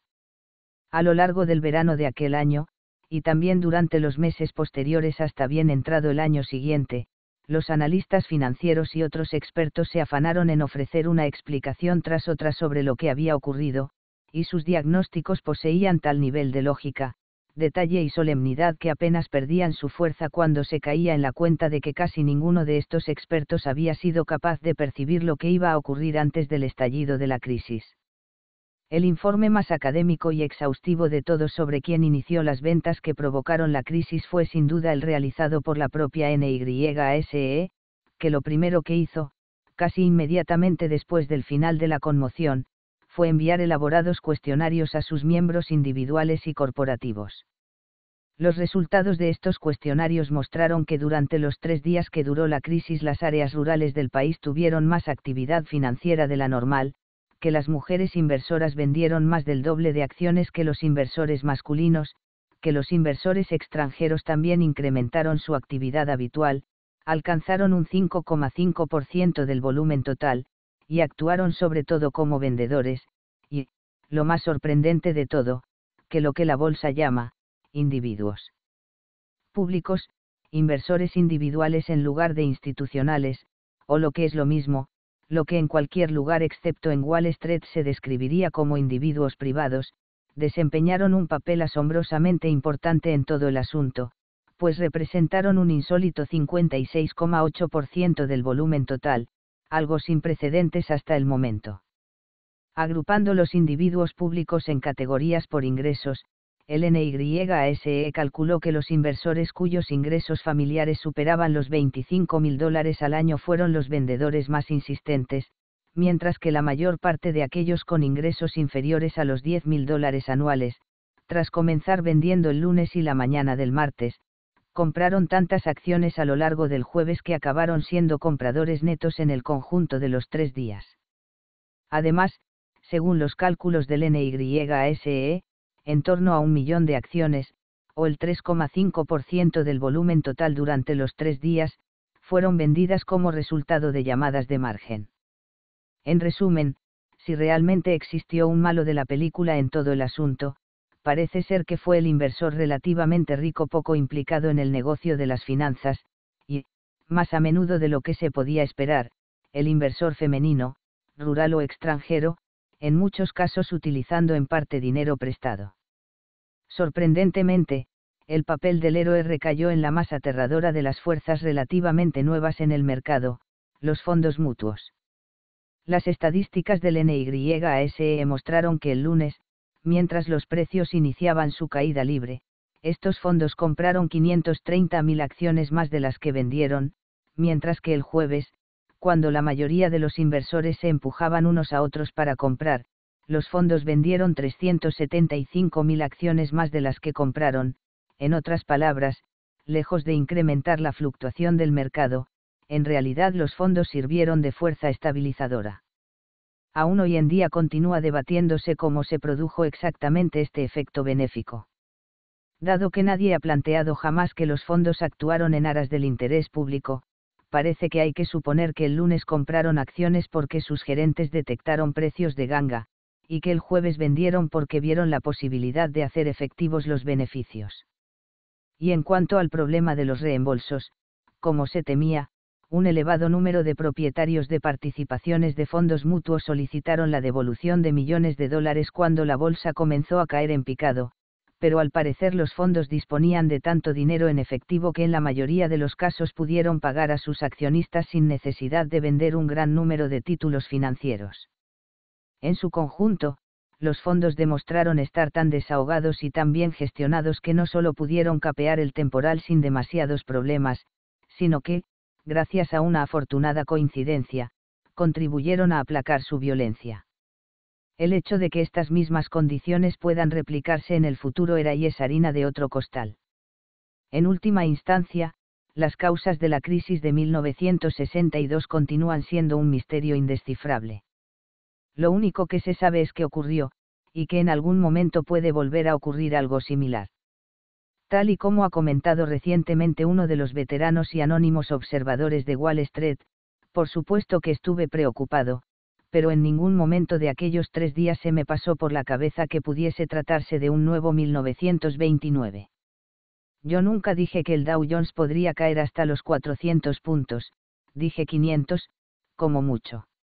Lo más importante es que, a diferencia del 29, ahora el gobierno, sea republicano o demócrata, es consciente de que debe prestar mucha atención a las necesidades de las empresas ya nunca más habrá vendedores de manzanas en Wall Street. Y en cuanto a si lo que pasó aquel mes de mayo puede suceder de nuevo, mi respuesta es que sí, por supuesto que puede. Es muy posible que la gente sea cuidadosa durante unos cuantos años más, pero después volverá a crecer la especulación hasta que se produzca un nuevo crack. Y así sucederá hasta que Dios empiece a hacernos menos codiciosos. O, como dijo de la Vega, hay que ser muy ingenuo para creer que serás capaz de renunciar voluntariamente al mundo de la bolsa una vez que has saboreado su dulce miel. 2. El destino del Edsel. Una historia de advertencia. Inicio y florecimiento. En el calendario de la vida económica de Estados Unidos, 1955 fue el año del automóvil. Ese año, las ventas de los fabricantes estadounidenses de automóviles superaron los 7 millones de coches de uso privado, más de un millón más de los que habían vendido en cualquier año anterior. Ese año, General Motors logró vender un enorme volumen de nuevas acciones por un valor total de 325 millones de dólares, e, impulsado por el sector de la automoción, el mercado bursátil creció tan rápidamente que hasta el Congreso solicitó una investigación sobre el fenómeno. Y también ese año, Ford Motor Company decidió crear un nuevo modelo de automóvil de gama media, con un precio de entre 2.400 y 4.000 dólares, diseñándolo conforme a los gustos de la época, esto es, largo, ancho, bajo, profusamente decorado con adornos cromados, con infinidad de accesorios y comodidades, y con una potencia de motor que no andaba muy lejos de poder poner al coche en órbita. Dos años más tarde, en septiembre de 1957, la conocida empresa sacó al mercado su flamante Ford Edsel, desplegando para la ocasión más fanfarria que con cualquier otro tipo de coche desde la aparición, 30 años antes, del modelo A de la propia empresa. La cantidad total gastada en el nuevo modelo antes de que el primer ejemplar se pusiese a la venta fue de un cuarto de millón de dólares, su lanzamiento, según declaró tiempo después la revista Business Week, sin que nadie se molestase en desmentir el dato, fue en aquel momento el más costoso en la historia de los productos de consumo. Para empezar a recuperar semejante inversión, Ford contaba con vender al menos 200.000 Edsel el primer año. Es posible que exista algún indígena de alguna selva remota que aún no sepa que las cosas no funcionaron como estaba previsto. Para ser exactos, dos años, dos meses y quince días después del lanzamiento a bombo y platillo, Ford tan solo había logrado vender 109.466 Edsel, y había pocas dudas de que varios cientos o incluso miles de ellos habían sido adquiridos por ejecutivos, vendedores, publicistas, trabajadores y demás personas que tenían un interés personal en que el coche tuviese éxito. Esos 109.466 ejemplares suponían bastante menos del 1% de los automóviles vendidos en Estados Unidos durante ese periodo, por lo que el 19 de noviembre de 1959, tras haber perdido, según algunas fuentes externas, cerca de 350 millones de dólares en el Edsel, la Ford Company decidió abandonar definitivamente su producción. ¿Cómo pudo ocurrir tal cosa? ¿Cómo era posible que una empresa tan bien provista de dinero, experiencia y, presumiblemente, inteligencia pudiera cometer un error tan garrafal? Antes incluso de que se dejase de fabricar el modelo, algunos de los miembros más elocuentes de la comunidad automovilística ya había dado una posible respuesta, una respuesta tan simple y tan aparentemente razonable que, aunque no fue la única ofrecida, inmediatamente fue aceptada como la verdadera. En opinión de estas personas, el problema fue que el Edsel había sido diseñado, bautizado, fabricado y promocionado ateniéndose demasiado estrictamente a los resultados de las encuestas de opinión pública y a los de su prima pequeña, la investigación motivacional, y llegaron a la conclusión de que, cuando la gente siente que está siendo cortejada de forma tan calculadora y deliberada, en la mayoría de los casos tiende a dar la espalda al pretendiente excesivamente solícito en favor de otro. Menos atento, pero más espontáneo. Hace unos años, en vista de la comprensible reticencia mostrada por la propia Ford Motor Company, que al igual que la mayoría de nosotros no es muy propensa a profundizar demasiado en sus meteduras de pata, me propuse averiguar todo lo que pudiese sobre la debacle del Edsel, y mis investigaciones me han llevado a pensar que en este asunto aún no se conoce toda la verdad. Aunque está claro que el Edsel debía ser anunciado y promocionado siguiendo las preferencias expresadas en las encuestas, en el proceso se introdujeron subrepticiamente algunos métodos tradicionales de venta intuitivos y poco científicos que se asemejaban demasiado a los de los antiguos charlatanes vendedores de medicinas milagrosas. Aunque tenía que llamarse de alguna manera, lo cierto es que a última hora se descartó la ciencia y se optó por el nombre del padre del presidente de la empresa, como si se tratase de una marca decimonónica de jarabe para la tos o de grasa para la silla de montar. Y en cuanto al diseño, se planteó sin la más mínima intención de tener en cuenta las encuestas, utilizando el método estándar tradicional para diseñar los nuevos modelos de automóvil, recabar las intuiciones de diversos comités de empresa. Así pues, si se examina de cerca, la explicación más aceptada resulta ser poco menos que un mito, en el sentido más coloquial del término, aunque es posible que los verdaderos hechos del caso puedan llegar a convertirse en un mito simbólico, una moderna historia de fracaso estadounidense. Los orígenes del Edsel se remontan al otoño de 1948, siete años antes del año de la decisión de fabricarlo. Henry Ford II, que había sido el presidente y jefe indiscutible de la compañía desde que un año antes falleciera su abuelo, el Henry Ford original, propuso al Consejo de Administración de la empresa, que incluía al vicepresidente ejecutivo Ernest Reverendo Brecht, que se llevasen a cabo estudios sobre la conveniencia de poner en el mercado un modelo de coche nuevo y totalmente distinto de los diseñados tradicionalmente por la empresa, destinado a los consumidores de clase media. Y dado que parecía haber buenas razones para pensar que el proyecto podía ser viable, los estudios se llevaron efectivamente a cabo. En aquel momento era muy habitual que los trabajadores de bajos ingresos, propietarios de Ford, Pimaus y Chevrolet de gama baja, se deshiciesen rápidamente de sus símbolos de baja condición social tan pronto como sus ingresos superasen los 5.000 dólares anuales aproximadamente, ascendiendo, así en el escalafón gracias a un coche de precio medio. Desde el punto de vista de Ford, esta costumbre no plantearía ningún problema si no fuese porque, por alguna razón, los propietarios de coches Ford baratos casi nunca optaban por adquirir un Mercury, el único modelo de precio medio de la empresa, sino que se decantaban por automóviles de gama media de alguno de sus grandes rivales, Oldsmobile, Buick y Pontiac, de General Motors, y, en menor medida, Dodge y de Soto, de Chrysler. Louis Don Crusoe, por entonces vicepresidente de la Ford Motor Company, no exageraba mucho al comentar que habían estado, cultivando clientes para que los cosechase General Motors. El estallido de la Guerra de Corea en 1950 tuvo como consecuencia que, al menos durante un tiempo, Ford no tuviese más opción que seguir cultivando clientes para sus competidores, ya que introducir un modelo nuevo en tales circunstancias era impensable. Por tanto, el comité ejecutivo se vio obligado a archivar temporalmente los estudios encargados por el presidente Ford, y el asunto se dejó estar durante dos años. A finales de 1952, sin embargo, el fin de la guerra parecía lo bastante cercano como para que la empresa pudiese retomar el proyecto donde lo había dejado, el recién creado Comité de Planificación de Productos Futuros llevó a cabo nuevos estudios, y se encargó de informar de sus resultados a Richard Craftsby, pronunciado, Crafty, director adjunto de la división Lincoln Mercury. Craftsby, por entonces en la cuarentena, era un hombre taciturno y con una permanente expresión de perplejidad en el rostro, pero muy enérgico cuando debía serlo. Hijo del encargado de la imprenta de una modesta revista de Minnesota dedicada al sector agropecuario, había sido vendedor y consultor empresarial antes de entrar a trabajar en Ford en 1947, y, aunque por entonces no tenía forma de saberlo, acabaría teniendo una buena razón para estar perplejo, al ser la persona directamente responsable del Edsel y sus ventas, disfrutando de su breve gloria y ocupándose de él en su lecho de muerte, puede decirse que tenía una cita con el destino.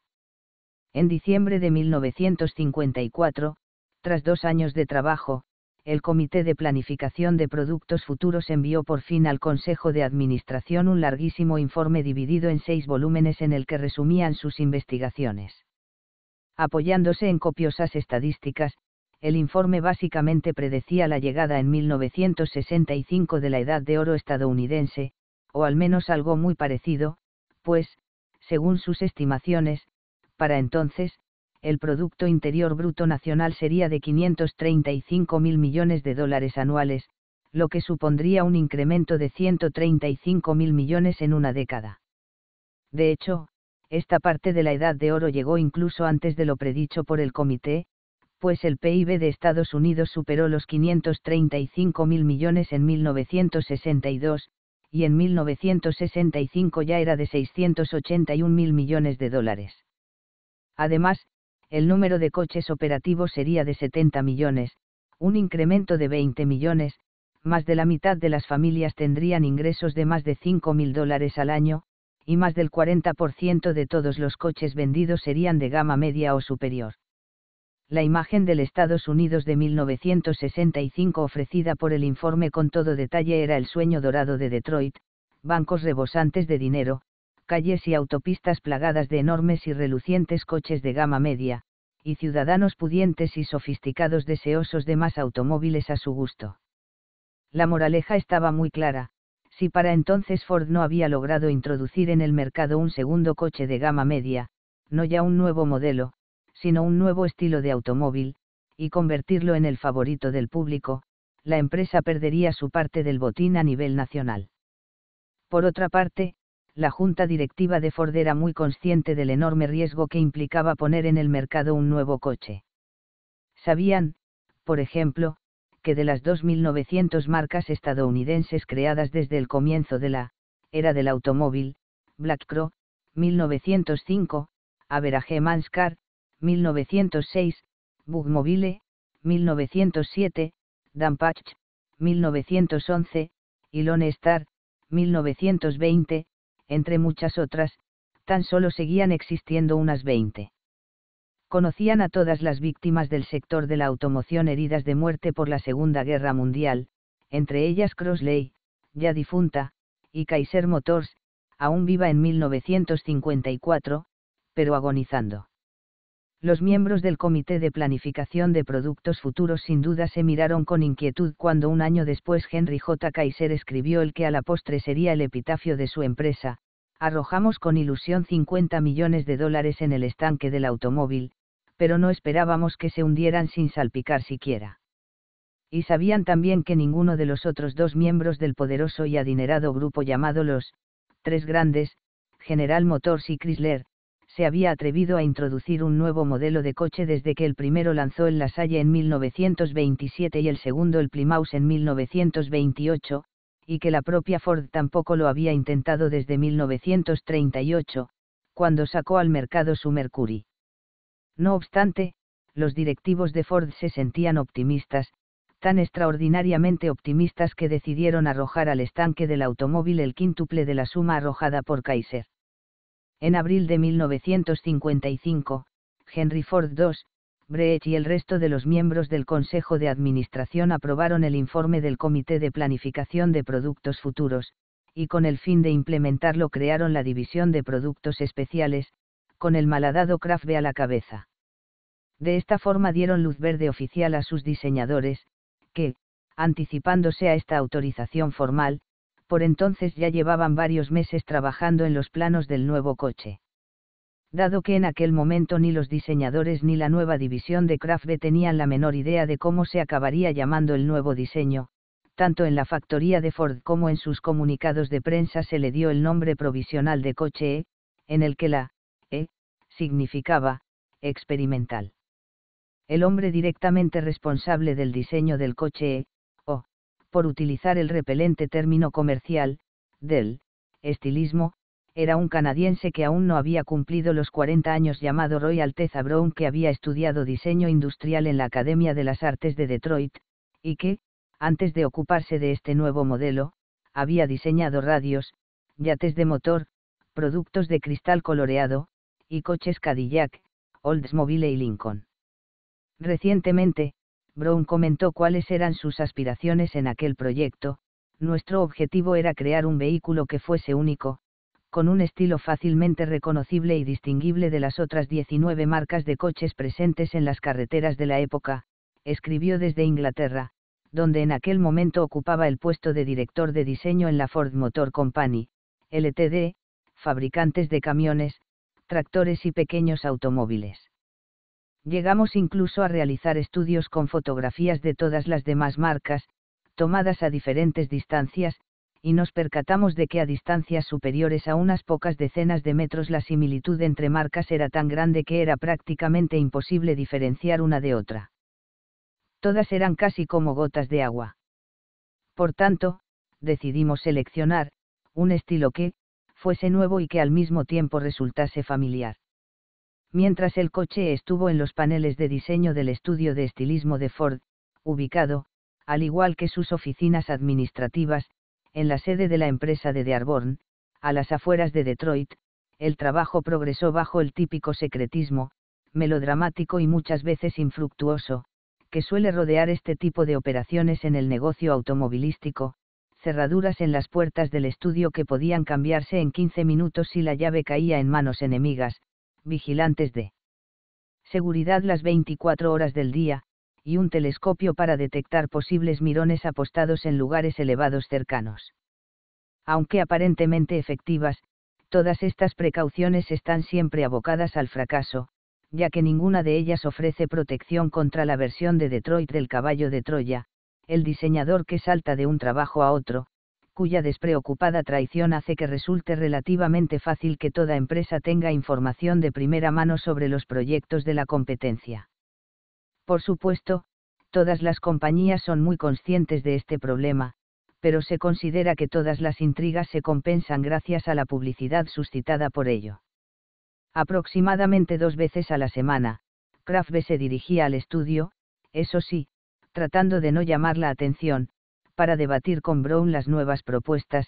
comprobar la buena marcha del trabajo y ofrecer consejos y ánimo a los miembros del equipo.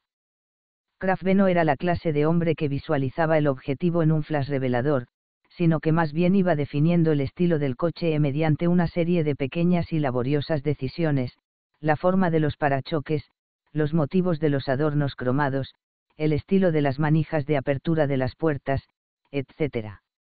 No se sabrá nunca si Miguel Ángel llegó a contar el número de decisiones que tuvo que tomar a la hora de esculpir su famoso David, pero lo cierto es que Kraftbe, un hombre extremadamente organizado en una época de organizados sistemas de computación, calculó posteriormente que, durante el proceso de diseño del coche E, sus asociados y él tuvieron que tomar al menos 4.000 pequeñas decisiones. Su razonamiento era que si lograban llegar a la correcta elección del tipo, sí o no, en todas y cada una de estas ocasiones, entonces sin duda acabarían creando el coche perfecto a nivel estilístico, o al menos un coche que fuese a la vez único y familiar. Sin embargo, actualmente Kraftwerk reconoce que le resultó realmente difícil adaptar el proceso creativo al yugo de este sistema, sobre todo porque de las 4.000 decisiones que tomó muchas de ellas no eran definitivas, cuando decides un tema general, comienzas a profundizar en los detalles, y ello te lleva casi siempre a modificar tus decisiones iniciales, y luego a modificar tus modificaciones, hasta que al final tienes que decidirte por algo, porque se te acaba el tiempo. Si no fuese por las fechas límite, estarías modificando hasta el día del juicio final. Salvo por algunas pequeñas modificaciones de los cambios realizados a última hora, el diseño del coche estuvo listo a mediados del verano de 1955. El aspecto más llamativo, tal y como descubriría el mundo dos años después, era la novedosa rejilla de ventilación en forma de collera de caballo, dispuesta verticalmente en el centro de un convencional frontal bajo y ancho, una mezcla de tradición y novedad que llamaba poderosamente la atención, aunque como se demostraría más tarde no provocó una admiración excesiva. En dos aspectos, no obstante, Brown, Kraftbe, o ambos, pasaron totalmente por alto el tema familiar, al diseñar una parte trasera nunca vista hasta el momento, en la que destacaban dos llamativos alerones horizontales radicalmente diferentes de los enormes alerones verticales que por entonces hacían furor en el mercado, y un abigarrado grupo de botones de transmisión dispuesto en el centro del volante.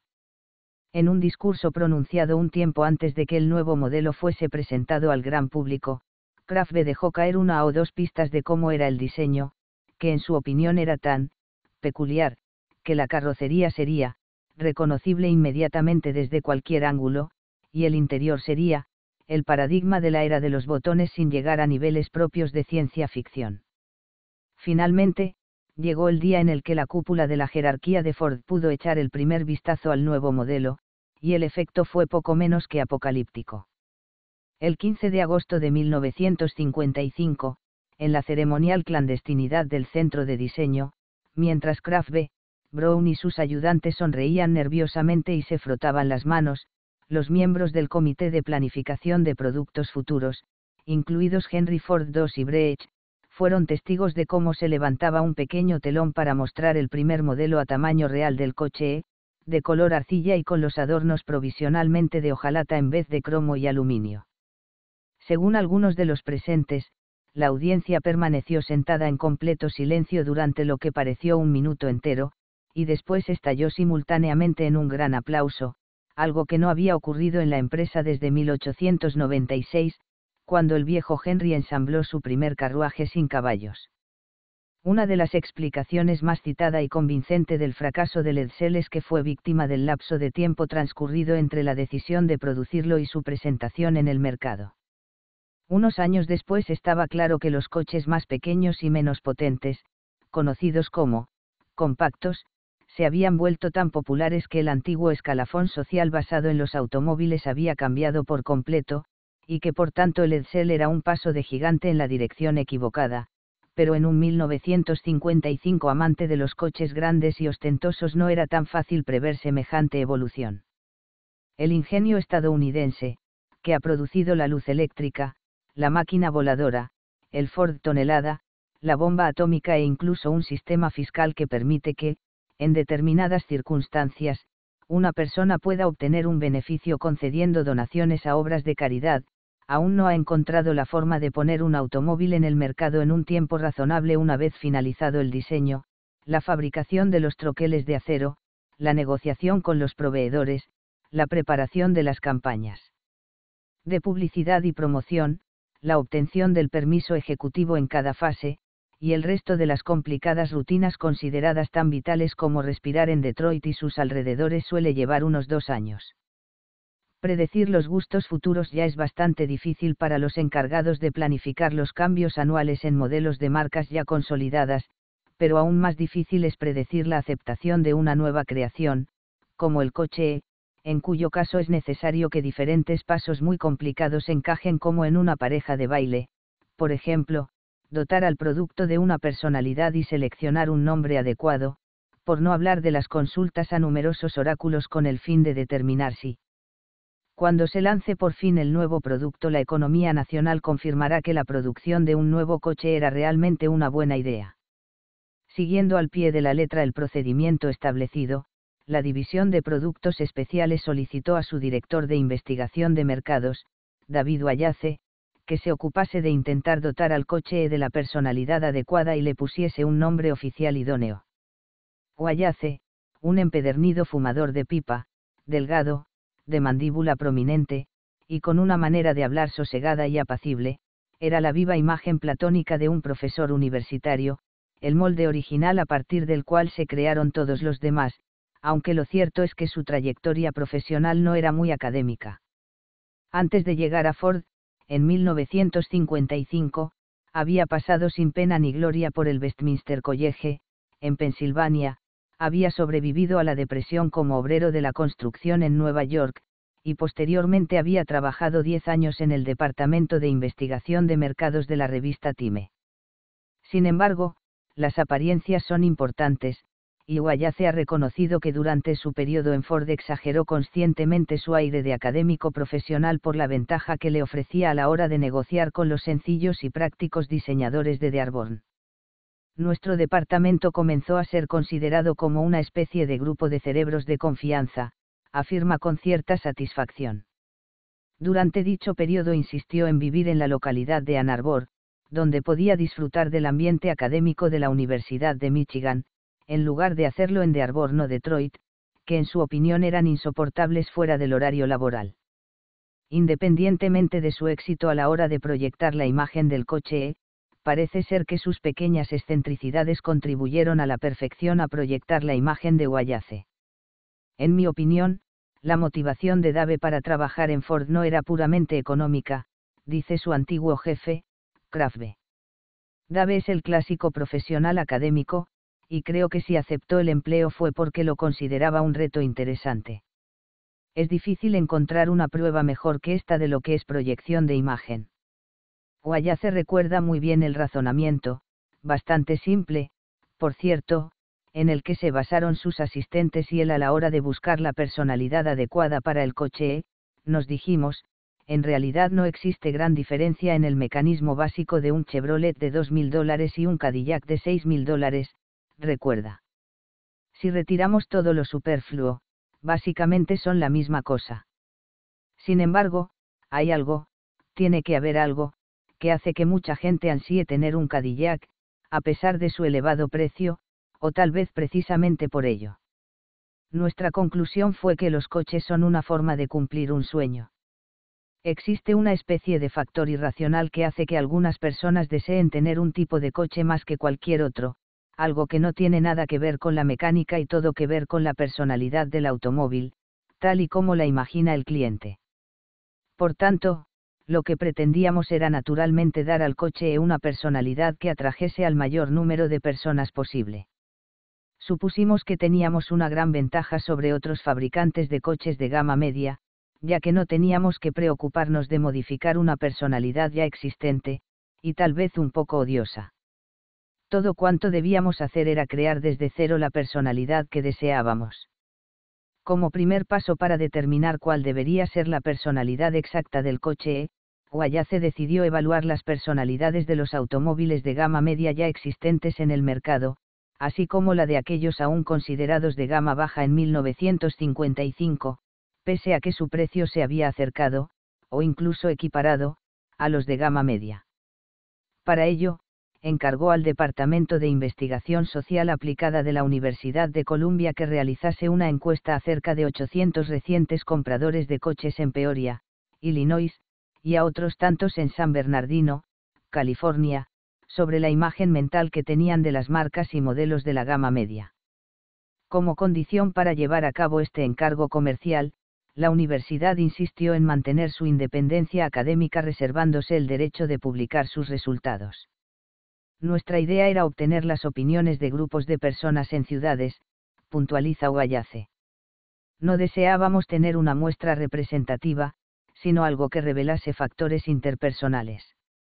Escogimos Peoria como un estereotipo del medio oeste sin influencia de factores externos, como por ejemplo una planta de vidrio de General Motors, y escogimos San Bernardino porque la costa oeste es muy importante para el negocio de la automoción, y también porque el mercado de allí es peculiar, pues la gente tiende a comprar coches más ostentosos y llamativos de lo habitual. Los cuestionarios diseñados por los investigadores de Columbia para ambas localidades incluían prácticamente todo lo relacionado con los automóviles excepto cosas como el precio, la seguridad y el funcionamiento. En particular, Guayace deseaba conocer las impresiones de los encuestados sobre todas y cada una de las marcas existentes, quién se compraría un Chevrolet, o un Buick, o cualquier otro. Gente de qué edad. De qué sexo ¿De qué estatus social? Basándose en las respuestas obtenidas, Guayace no tuvo dificultades para elaborar un retrato de la personalidad de cada marca. La imagen que se obtuvo de Ford, por ejemplo, fue la de un coche rápido y claramente masculino, sin pretensiones sociales concretas, conducido típicamente por un granjero o un mecánico de coches.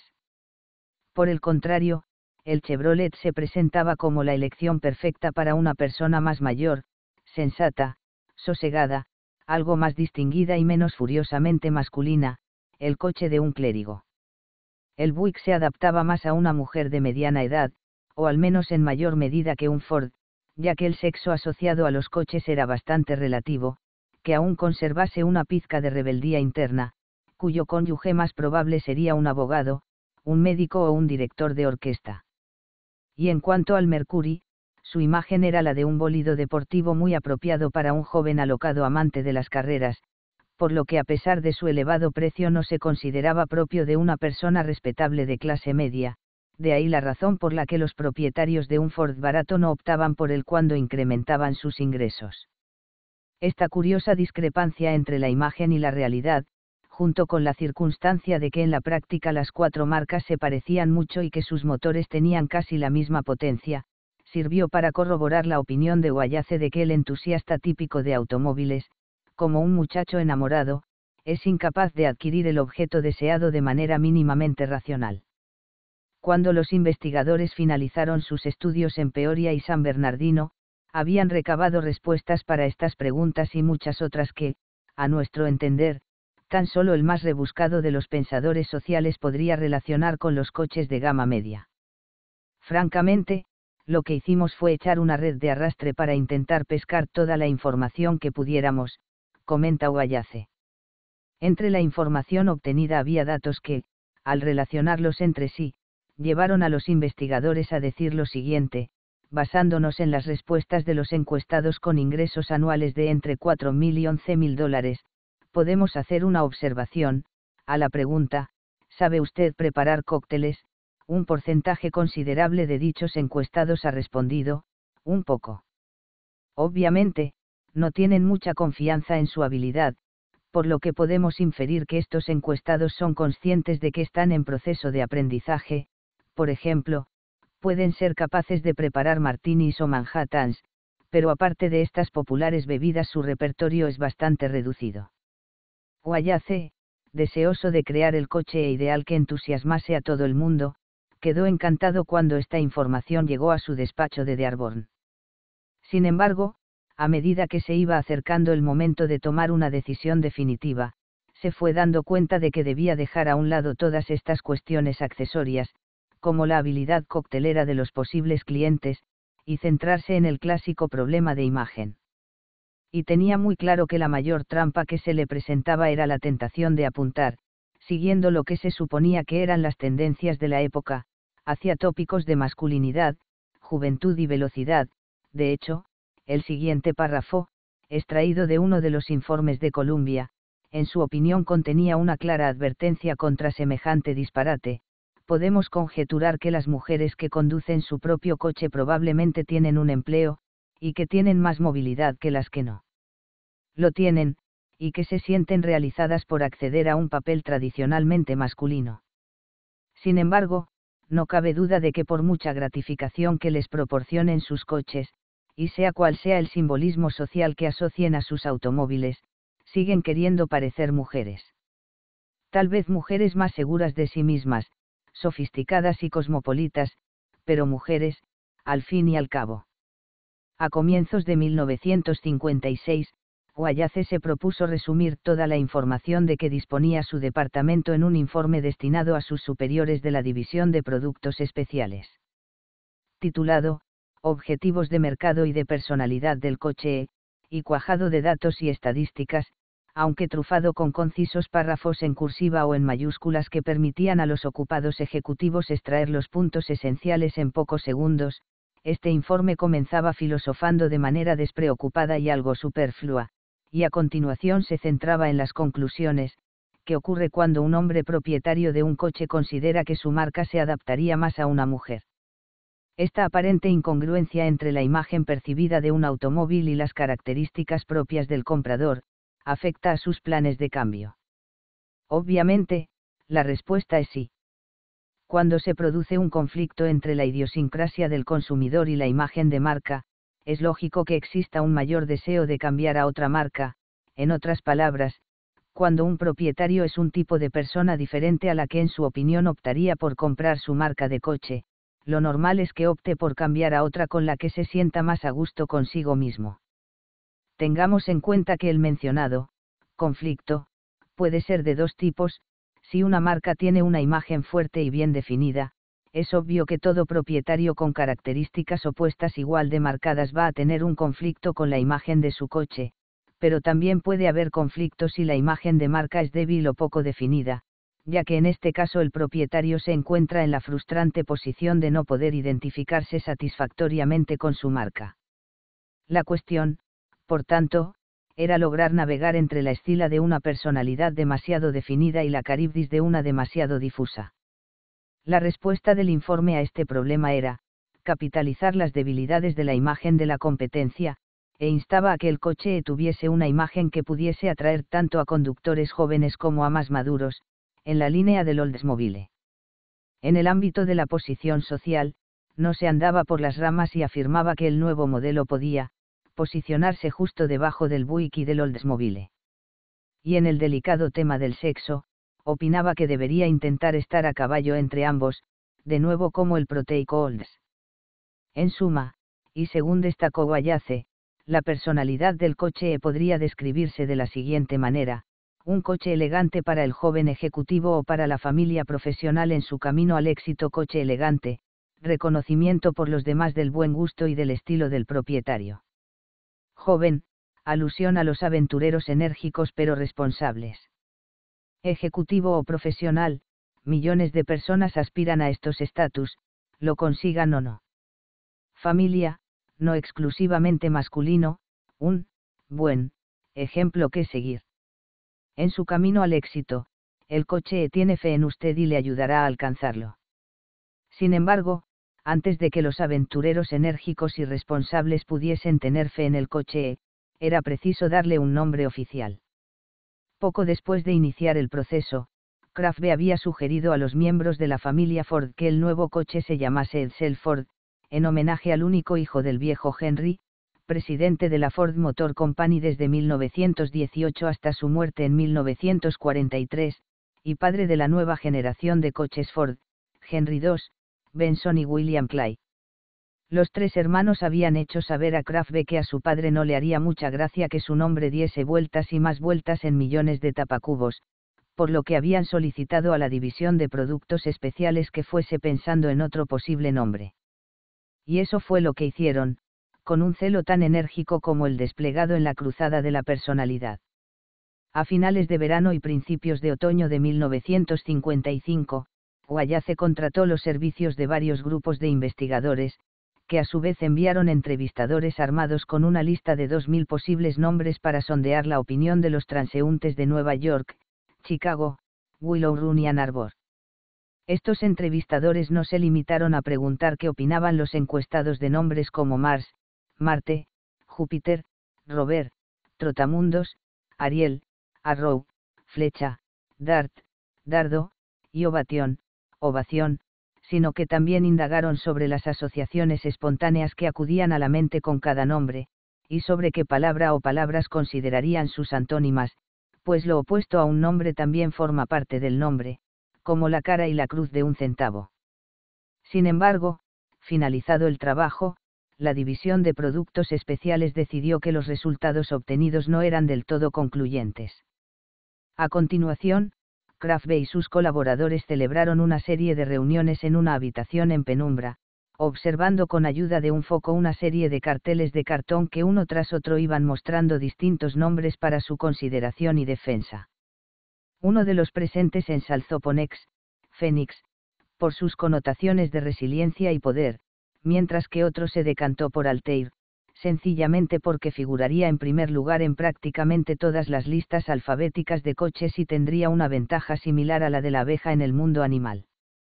En un momento determinado de una de las tediosas sesiones, alguien paró el proceso y preguntó con incredulidad, ¿no hemos visto ya el nombre de Buick hace cuatro o cinco carteles?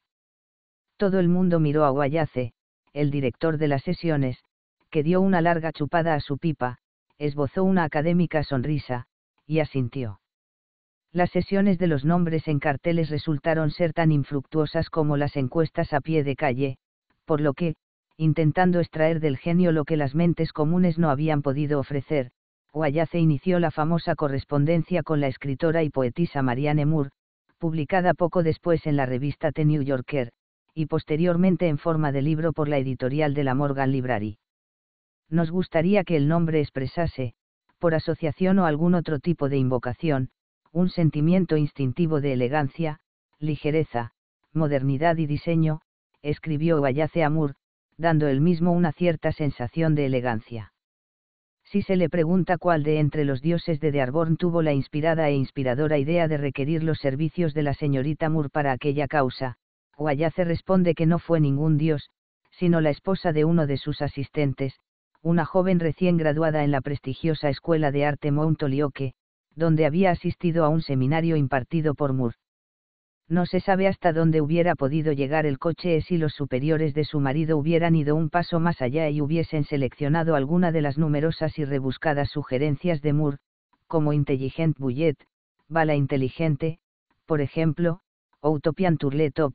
Caparazón de Tortuga Utópico, o Bullet Cloisonne, algo así como, bala esmaltada, o pastelogram, o mongose civique, mangosta cívica, o andante con moto, en relación con este último, Moore lo propuso como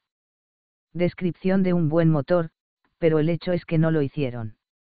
Descontentos con las propuestas de la poetisa y con las suyas propias, los ejecutivos de la División de Productos Especiales contactaron a continuación con Fote, con Eibeldin, la agencia de publicidad contratada para encargarse de la promoción del coche. Con el característico vigor de los profesionales de la Madison Avenue, Fote, con Eibeldin organizaron una competición entre los empleados de sus sedes de Nueva York, Londres y Chicago, ofreciendo nada menos que un ejemplar del nuevo automóvil a quien diese con un nombre del agrado de todos. En poco tiempo, Fote, con Eibeldin se encontró con una avalancha de 18.000 propuestas, entre ellas Zoom, Zip, Benson, Henry y Droff. Si tiene dudas sobre la supuesta originalidad de estos nombres, lea este último al revés. Sospechando que en la división de productos especiales encontraría esta cifra algo excesiva, la agencia realizó una criba, redujo las propuestas a un tercio, y presentó las 6.000 seleccionadas en una sesión informativa. Aquí tienen. exclamó triunfalmente un representante de la agencia, dejando caer un pesado bloque de folios sobre la mesa. 6.000 posibles nombres, ordenados alfabéticamente y con referencias cruzadas. A Kraft se le escapó un grito apenas ahogado. Pero sí, no queremos 6.000 nombres. Se quejó. Nos basta con uno.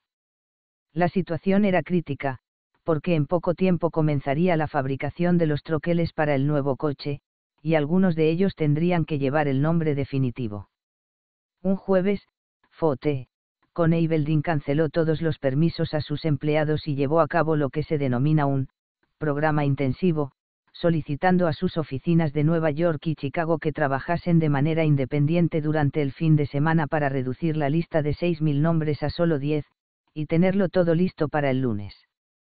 El día señalado, la sede central presentó puntualmente las dos listas de 10 propuestas finales a la División de Productos Especiales, por una coincidencia casi increíble, todos los implicados juran y perjuran que efectivamente fue una coincidencia, cuatro de los diez nombres de cada lista eran idénticos, Corsair, Corsario, Citation, Citación, Pacer, Caminante, y Ranger, explorador, habían sobrevivido milagrosamente al escrutinio dual. Corsair parecía el claro favorito, dice Guayace.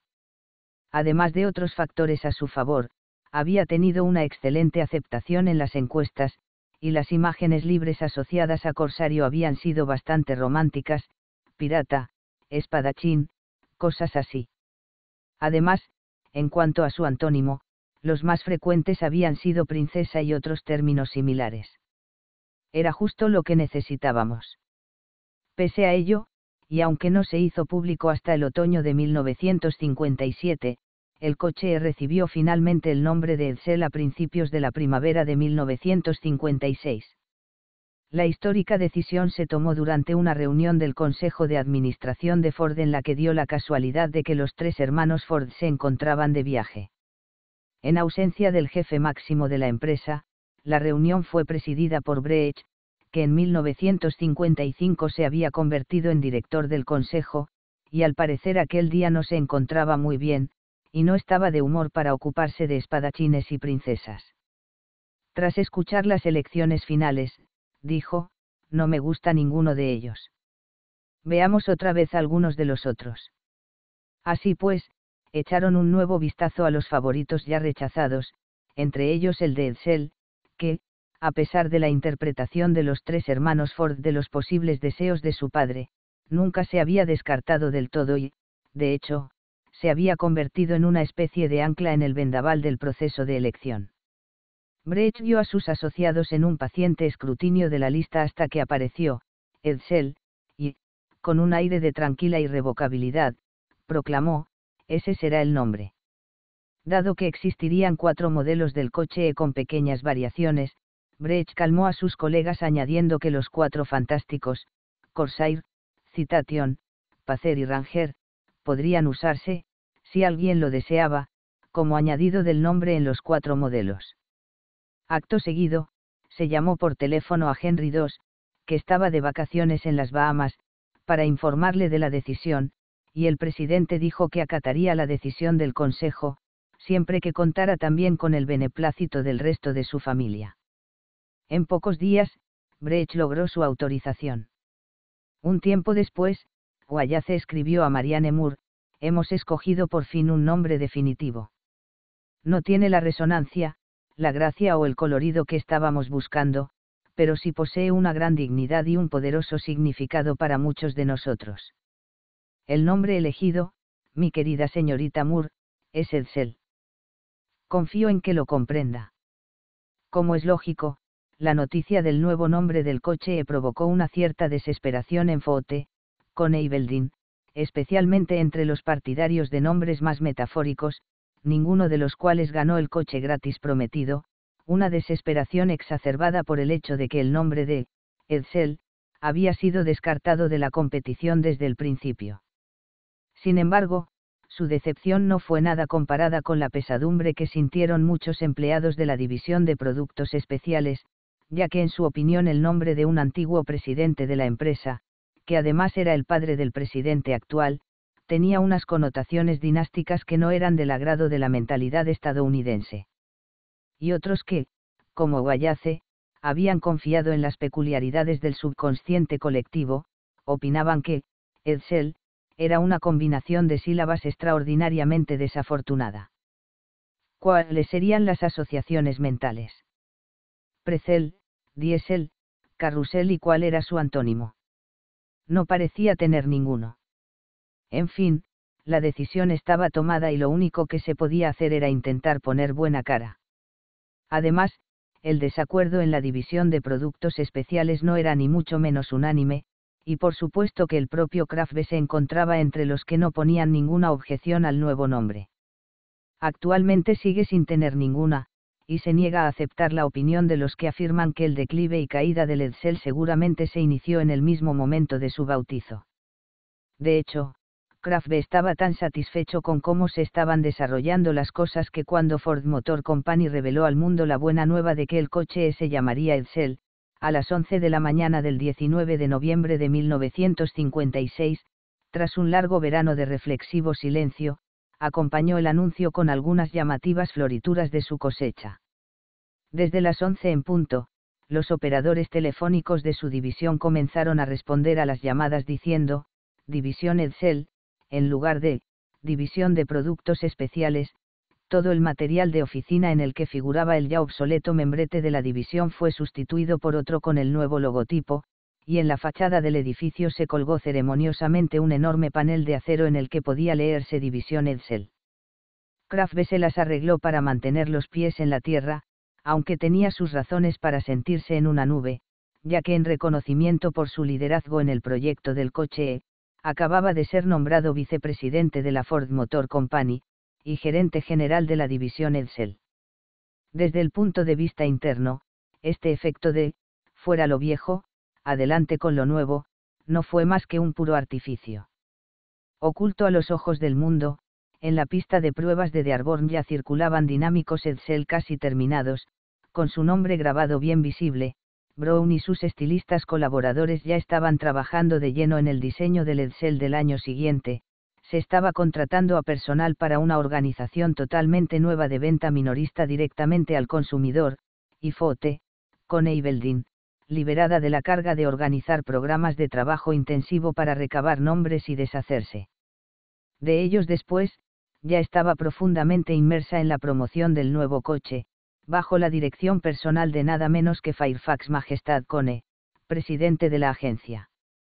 A la hora de planificar su campaña, Cone se apoyó claramente en lo que se ha dado en llamar, prescripción o hallace, esto es, la formulación de la personalidad del Edsel establecida por Wayace antes de la gran reunión de bautismo, un coche elegante para el joven ejecutivo o para la familia profesional en su camino al éxito. Cone estaba tan entusiasmado con esta fórmula que la aceptó con una única revisión, la sustitución de, joven ejecutivo, por, familia de ingresos medios, pues una corazonada le decía que había más familias con ingresos medios que jóvenes ejecutivos, incluyendo personas que creían ser jóvenes ejecutivos. De un humor excelente, sin duda provocado por el hecho de haber conseguido un contrato de colaboración que podía proporcionar más de 10 millones de dólares anuales a su empresa, Cone describió a los periodistas en varias ruedas de prensa la clase de campaña que estaba planeando para el Edsel, dando una imagen de calma y seguridad en sí mismo, y evitando en lo posible el uso del adjetivo nuevo, pues, a pesar de ser obviamente aplicable al producto, lo consideraba poco distinguido. Ante todo, la campaña pretendía ser clásica y serena. En nuestra opinión, lo peor que podría pasar sería que la publicidad compitiese con el coche, explicó Cone a la prensa. Esperamos que nadie diga nunca, oye, has visto el anuncio del Edsel en tal periódico barra revista barra televisión, sino que lo que digan una y otra vez sea, EH, has visto el Edsel, o tal vez has visto ya el nuevo coche. Esta es la diferencia entre hacer publicidad y vender. Era obvio que Cone tenía mucha confianza en el éxito de su campaña y del Edsel, igual que un campeón de ajedrez que no tiene ninguna duda de su victoria se permitía explicar con detalles la brillantez de sus movimientos según iba haciéndolos. Los entusiastas del automóvil aún siguen hablando hoy en día del esfuerzo realizado por la división Edsel para reunir en torno a ella a los comerciantes minoristas, en parte con admiración por el virtuosismo demostrado, y en parte con escalofríos por el resultado final. Lo habitual es que un fabricante ya consolidado lance un nuevo coche a través de distribuidores que ya se han encargado de otras marcas y modelos suyos, y que al principio se considere como un negocio secundario.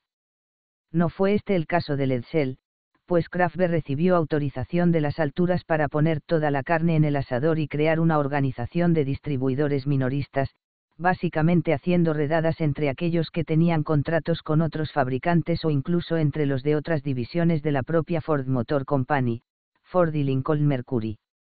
Aunque los distribuidores acorralados no estaban obligados a rescindir sus antiguos contratos, se puso mucho énfasis en firmar contratos con los que se dedicasen en exclusiva a vender los Edsel. El objetivo establecido para el día del lanzamiento, que, tras mucha deliberación, se fijó para el 4 de septiembre de 1957, fue contar con unos 1.200 puntos de distribución repartidos de costa a costa. Y no valía cualquier distribuidor, Kraftbe había dejado muy claro que su división estaba interesada en firmar contratos únicamente con distribuidores cuyo historial mostrase una clara capacidad para vender coches sin recurrir a las presiones de dudosa legalidad que durante los meses previos habían estado dando mala fama al sector del automóvil. Simplemente, tenemos que disponer de distribuidores de calidad con instalaciones y servicios de calidad, dijo Kraftbe. Un cliente que recibe un mal servicio con una marca establecida suele echar la culpa al distribuidor, en el caso de los nuevos Edsel, culpará al propio coche. El objetivo de 1.200 puntos de venta era elevado, pues ningún distribuidor, de calidad o no, puede permitirse cambiar de marca a la ligera. El distribuidor promedio suele tener un mínimo de 100.000 dólares comprometidos en su negocio, y en las grandes ciudades la inversión es mucho mayor, debe contratar vendedores, mecánicos y personal administrativo, comprar sus propias herramientas, manuales técnicos y letreros publicitarios, cuya instalación puede costar hasta 5.000 dólares, y pagar al fabricante al contado y en efectivo al recibir los coches listos para la venta. El hombre encargado de movilizar el ejército de ventas del Edsel conforme a estas condiciones era J. Calle, Larry, Doyle, que como gerente de ventas y marketing de la división tan solo respondía ante el propio Kraftbe. Un veterano con 40 años como empleado de Ford, que había empezado como chico de los recados en Kansas City y que había desarrollado casi toda su carrera profesional como vendedor, Doyle era un inconformista en su trabajo, por un lado, tenía un aire de amabilidad y respetabilidad que lo convertía en la antítesis absoluta del típico vendedor atrevido y con mucha labia, presente en miles de concesionarios por todo el país, por otro, no se molestaba en ocultar el escepticismo propio de los vendedores de la vieja escuela sobre el análisis del sexo y el estatus de los automóviles, empeño del que se solía mofar diciendo, cuando juego al billar, procuro mantener al menos un pie bien apoyado en el suelo. No obstante, sabía bien cómo vender coches, y eso era todo cuanto necesitaba la división Edsel Recientemente, recordando cómo él y sus ayudantes lograron llevar a cabo la ímproba tarea de persuadir a importantes y reputados hombres de negocios, que habían logrado triunfar en uno de los sectores económicos más difíciles, para que desmantelasen sus productivas franquicias e iniciasen un nuevo y arriesgado negocio, Doyle comentó, tan pronto como llegaron los primeros Edsel, a principios de 1957, enviamos un par de ellos a cada una de nuestras oficinas regionales de ventas. No es preciso decir que mantuvimos estas oficinas cerradas a cal y canto, y con todas las persianas bajadas. Los distribuidores de todas las marcas en varios kilómetros a la redonda estaban deseando ver el coche, aunque solo fuese por curiosidad, y eso nos proporcionó el poder de negociación que necesitábamos. Hicimos saber que únicamente mostraríamos el coche a aquellos distribuidores realmente interesados en trabajar con nosotros, y a continuación enviamos nuestros agentes de campo regionales a las localidades circundantes para ofrecer al distribuidor más importante la posibilidad de ver el coche. Si no lográbamos tentar al primero, probábamos con el segundo más importante. El asunto era que nadie podía poner sus ojos en el coche sin asistir antes a una charla de una hora sobre todo el proceso, impartida por un miembro de nuestro ejército de ventas. La estrategia funcionó muy bien funcionó tan bien que a mediados del verano de 1957 estaba claro que el Edsel iba a disponer de muchos distribuidores de calidad listos para el día del lanzamiento. De hecho, se quedó tan solo a un par de decenas del objetivo de 1200. Al parecer, algunos distribuidores de otras marcas estaban tan seguros del futuro éxito del Edsel, o tan aturdidos por las charlas organizadas por Doyle, que estaban más que dispuestos a firmar con solo echar un rápido vistazo al coche. A pesar de que los miembros del equipo de Doyle les instaban a estudiarlo de cerca, recitando sin pausa toda una letanía de sus virtudes, los potenciales distribuidores rechazaban tales explicaciones y solicitaban sin más el contrato. En retrospectiva, parece que Doyle podía haberle dado lecciones de encantamiento de masas hasta al propio flautista de Hamelin. Ahora que el Edsel ya no era un asunto exclusivo de Dearborn, la Ford estaba irrevocablemente comprometida a seguir adelante. Hasta que Doyle entró en acción, todo el programa se podría haber suspendido discretamente en cualquier momento con una simple orden de la junta directiva, pero una vez que los distribuidores firmaron sus contratos, ya no había vuelta atrás, pues existía una obligación legal de entregar el nuevo coche, explica Kraftbe el asunto se desarrolló con la mayor celeridad. A principios de junio de 1957, la empresa anunció que se asignaba un presupuesto de 250 millones de dólares para sufragar los gastos del Edsel, 150 millones para instalaciones básicas, como la adaptación de varias plantas de Ford y Mercury a las necesidades de producción del nuevo coche, 50 millones para la adquisición o fabricación de las herramientas especiales necesarias, y 50 millones para la campaña inicial de publicidad y promoción. También en el mes de junio se envió en secreto a Hollywood un ejemplar oculto en un camión de transporte, para ser la estrella de un anuncio de televisión filmado en un plató cerrado y vigilado por guardias de seguridad, con actores escogidos a los que se les obligó a jurar que no dirían una sola palabra sobre el coche hasta el día del lanzamiento. Para esta delicada operación cinematográfica, la división Edsel, con buen criterio, contrató los servicios de la productora Cascade Pictures, que también trabajaba para la Comisión de Energía Atómica, CEA, y que hasta el momento nunca había sufrido filtraciones de información no deseadas. Tomamos exactamente las mismas precauciones que hemos tomado siempre para las filmaciones de la CEA, dijo posteriormente un adusto representante de Cascade. En pocas semanas, la división Edsel ya tenía a su disposición a 1.800 empleados directos, y estaba cubriendo con rapidez los 15.000 puestos de obreros necesarios para las nuevas plantas de fabricación en serie. El 15 de julio, los primeros Edsel comenzaron a circular por las cadenas de montaje de las localidades de Somerville, Massachusetts, Magua, Nueva Jersey, Louisville, Kentucky, y San José, California. Ese mismo día, Doyle logró dar su golpe maestro al procurarse la colaboración de Charles Chrysler, un distribuidor de Manhattan considerado en el sector como uno de los mejores del país, que fue representante del Oldsmobile, uno de los autoproclamados rivales del Edsel, hasta que escuchó los cantos de sirena procedentes de Dearborn. El 22 de julio apareció el primer anuncio impreso del Edsel, en la revista Life, a doble página, en impecable blanco y negro, clásico y sereno, mostraba un coche rodando por una solitaria carretera a tal velocidad que no era más que una mancha borrosa e indistinguible. El texto que lo acompañaba decía, últimamente, se han visto algunos misteriosos automóviles circulando por ahí, añadía que la mancha no era otra cosa que un Edsel en pruebas, y terminaba asegurando, el Edsel está en camino. Dos semanas después apareció un segundo anuncio en Life, que, en esta ocasión, mostraba un coche cubierto por una lona blanca estacionado ante la entrada del centro de diseño de Ford, acompañado de un texto que decía, alguien de su ciudad ha tomado una decisión que cambiará totalmente su vida, la decisión, según se explicaba, era convertirse en distribuidor del Edsel. Lo más irónico es que quien quiera que escribiese aquel eslogan seguramente ni se imaginaba hasta qué punto se cumpliría su predicción.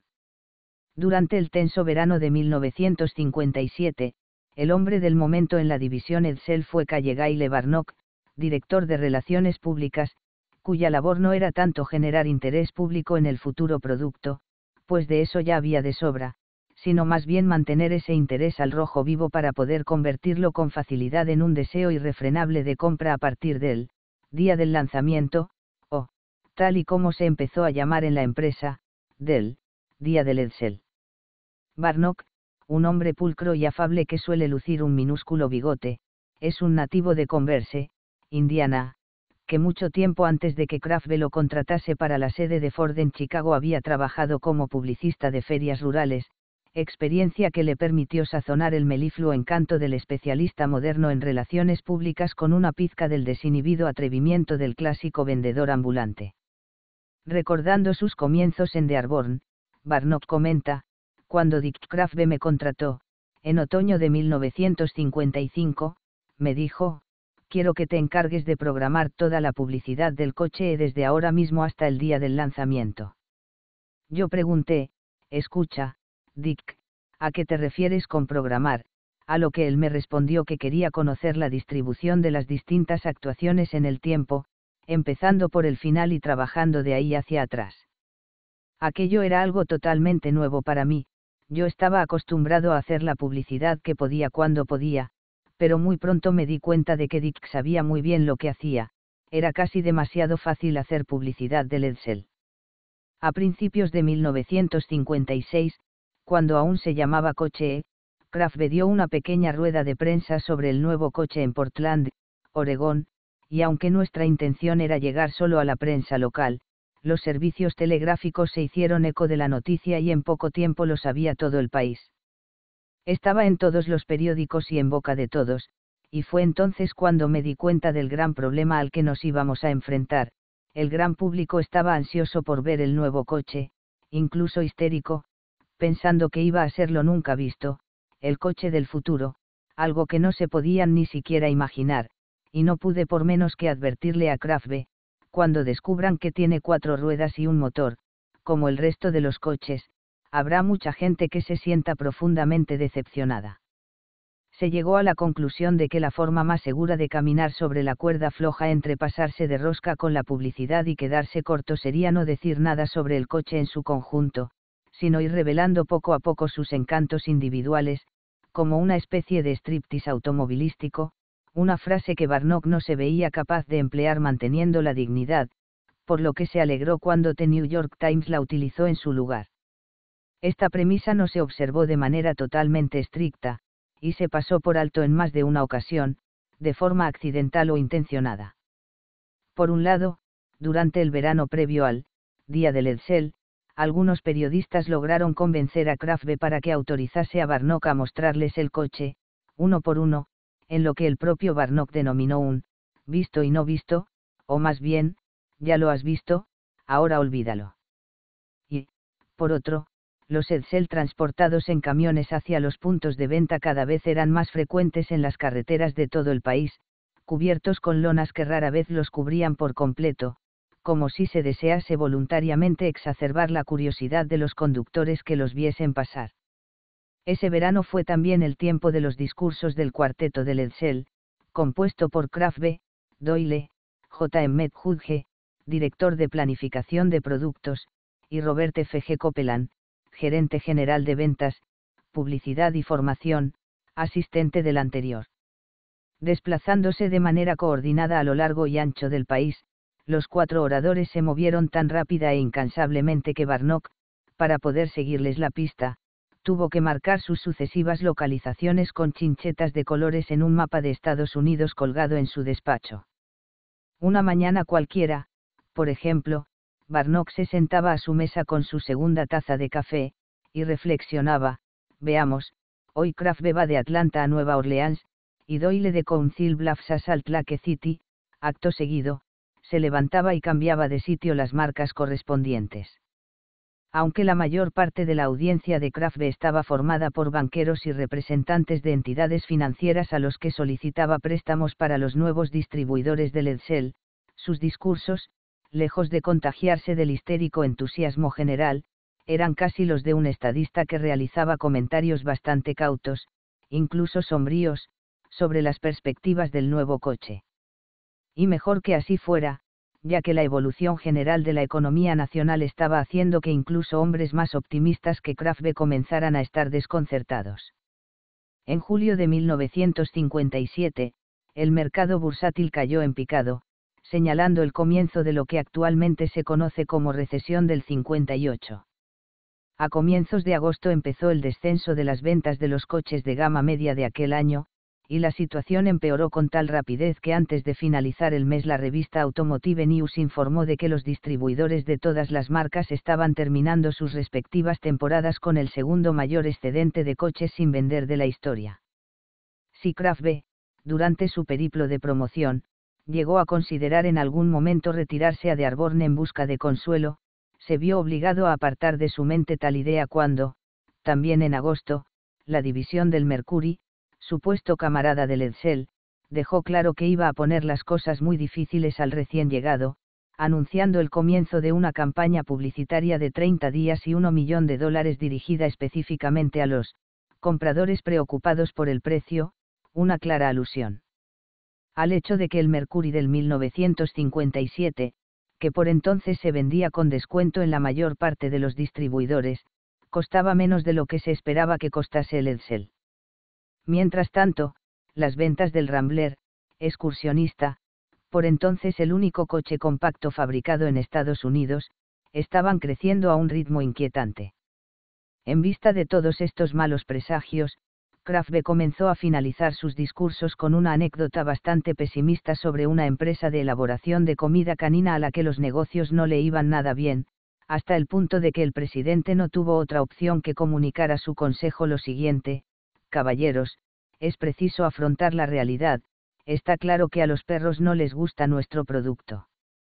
En lo que a nosotros respecta, añadió Kraft en al menos una ocasión, dejando admirablemente clara la moraleja, todo dependerá de si a la gente le gusta nuestro coche o no. Buena parte del resto de los empleados de la división Edsel expresó su disconformidad con las dudas emitidas en público por Kraftbe, y seguramente el más descontento con ellas fue Judge, que durante su labor como portavoz itinerante se especializó en comunidades y grupos cívicos. Sin desanimarse por las limitaciones de la política de striptease, Judge amenizaba sus charlas mostrando tal sucesión de gráficos confusos, dibujos animados, tablas y fotografías de partes del Edsel, todo ello proyectado en una pantalla de cinemascope, que la mayoría de sus oyentes no se percataban de que no habían visto el coche entero hasta que ya iban de camino a sus casas. También solía caminar sin pausa de un lado a otro del auditorio mientras hablaba, cambiando a voluntad las caleidoscópicas imágenes con la ayuda de un sistema de cambio a distancia, un truco hecho posible gracias a que un enorme equipo de electricistas instalaba antes de cada charla un laberinto de cables que conectaban el proyector con varias decenas de interruptores dispuestos en el suelo y diseminados por todo el local, de manera que Judge pudiera activar un cambio de imagen con solo pisar ligeramente cualquiera de ellos. La división Edsel tuvo que pagar 5.000 dólares por cada uno de los espectáculos de Judge, nombre con el que se llegaron a conocer estas actuaciones, suma que incluía el salario y los gastos del equipo técnico, que normalmente tenía que llegar al menos un día antes para tener tiempo de llevar a cabo toda la instalación. Poco antes de la hora fijada, Judge llegaba en avión a la localidad, se dirigía rápidamente al auditorio y llevaba a cabo su melodramático acto. Sin duda uno de los aspectos más interesantes del programa de Edsel es la filosofía y la mercadotecnia que respaldan el producto, solía comenzar Judge, activando las proyecciones. Todos los que hemos tomado parte en el proceso estamos muy orgullosos de este trasfondo, y esperamos ansiosamente poder ver sus frutos cuando el coche llegue al mercado en otoño. Es probable que nunca más nos veamos inmersos en algo tan gigantesco y lleno de significado como este programa. He aquí un pequeño detalle del coche que estará disponible para el público estadounidense a partir del 4 de septiembre. En este momento Judge mostraba una provocativa foto de un tapacubos o de una sección del parachoques. Es un coche diferente en todos sus aspectos, y aún así se las arregla para ofrecer una imagen clásica que le proporciona un enorme atractivo. La singularidad de su diseño frontal se integra a la perfección con los delicados adornos de los laterales.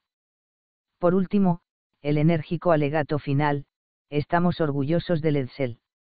Exclamaba, pisando interruptores a diestro y siniestro. Este otoño tomará por asalto las calles, las carreteras y las autopistas de Estados Unidos, y traerá gloria y grandeza para la Ford Motor Company. Esta es la historia del Edsel. El momento culminante del striptease tuvo lugar los días 26, 27 y 28 de agosto al permitir por fin que la prensa viese el coche completo, desde el robusto frontal hasta el resplandeciente trasero.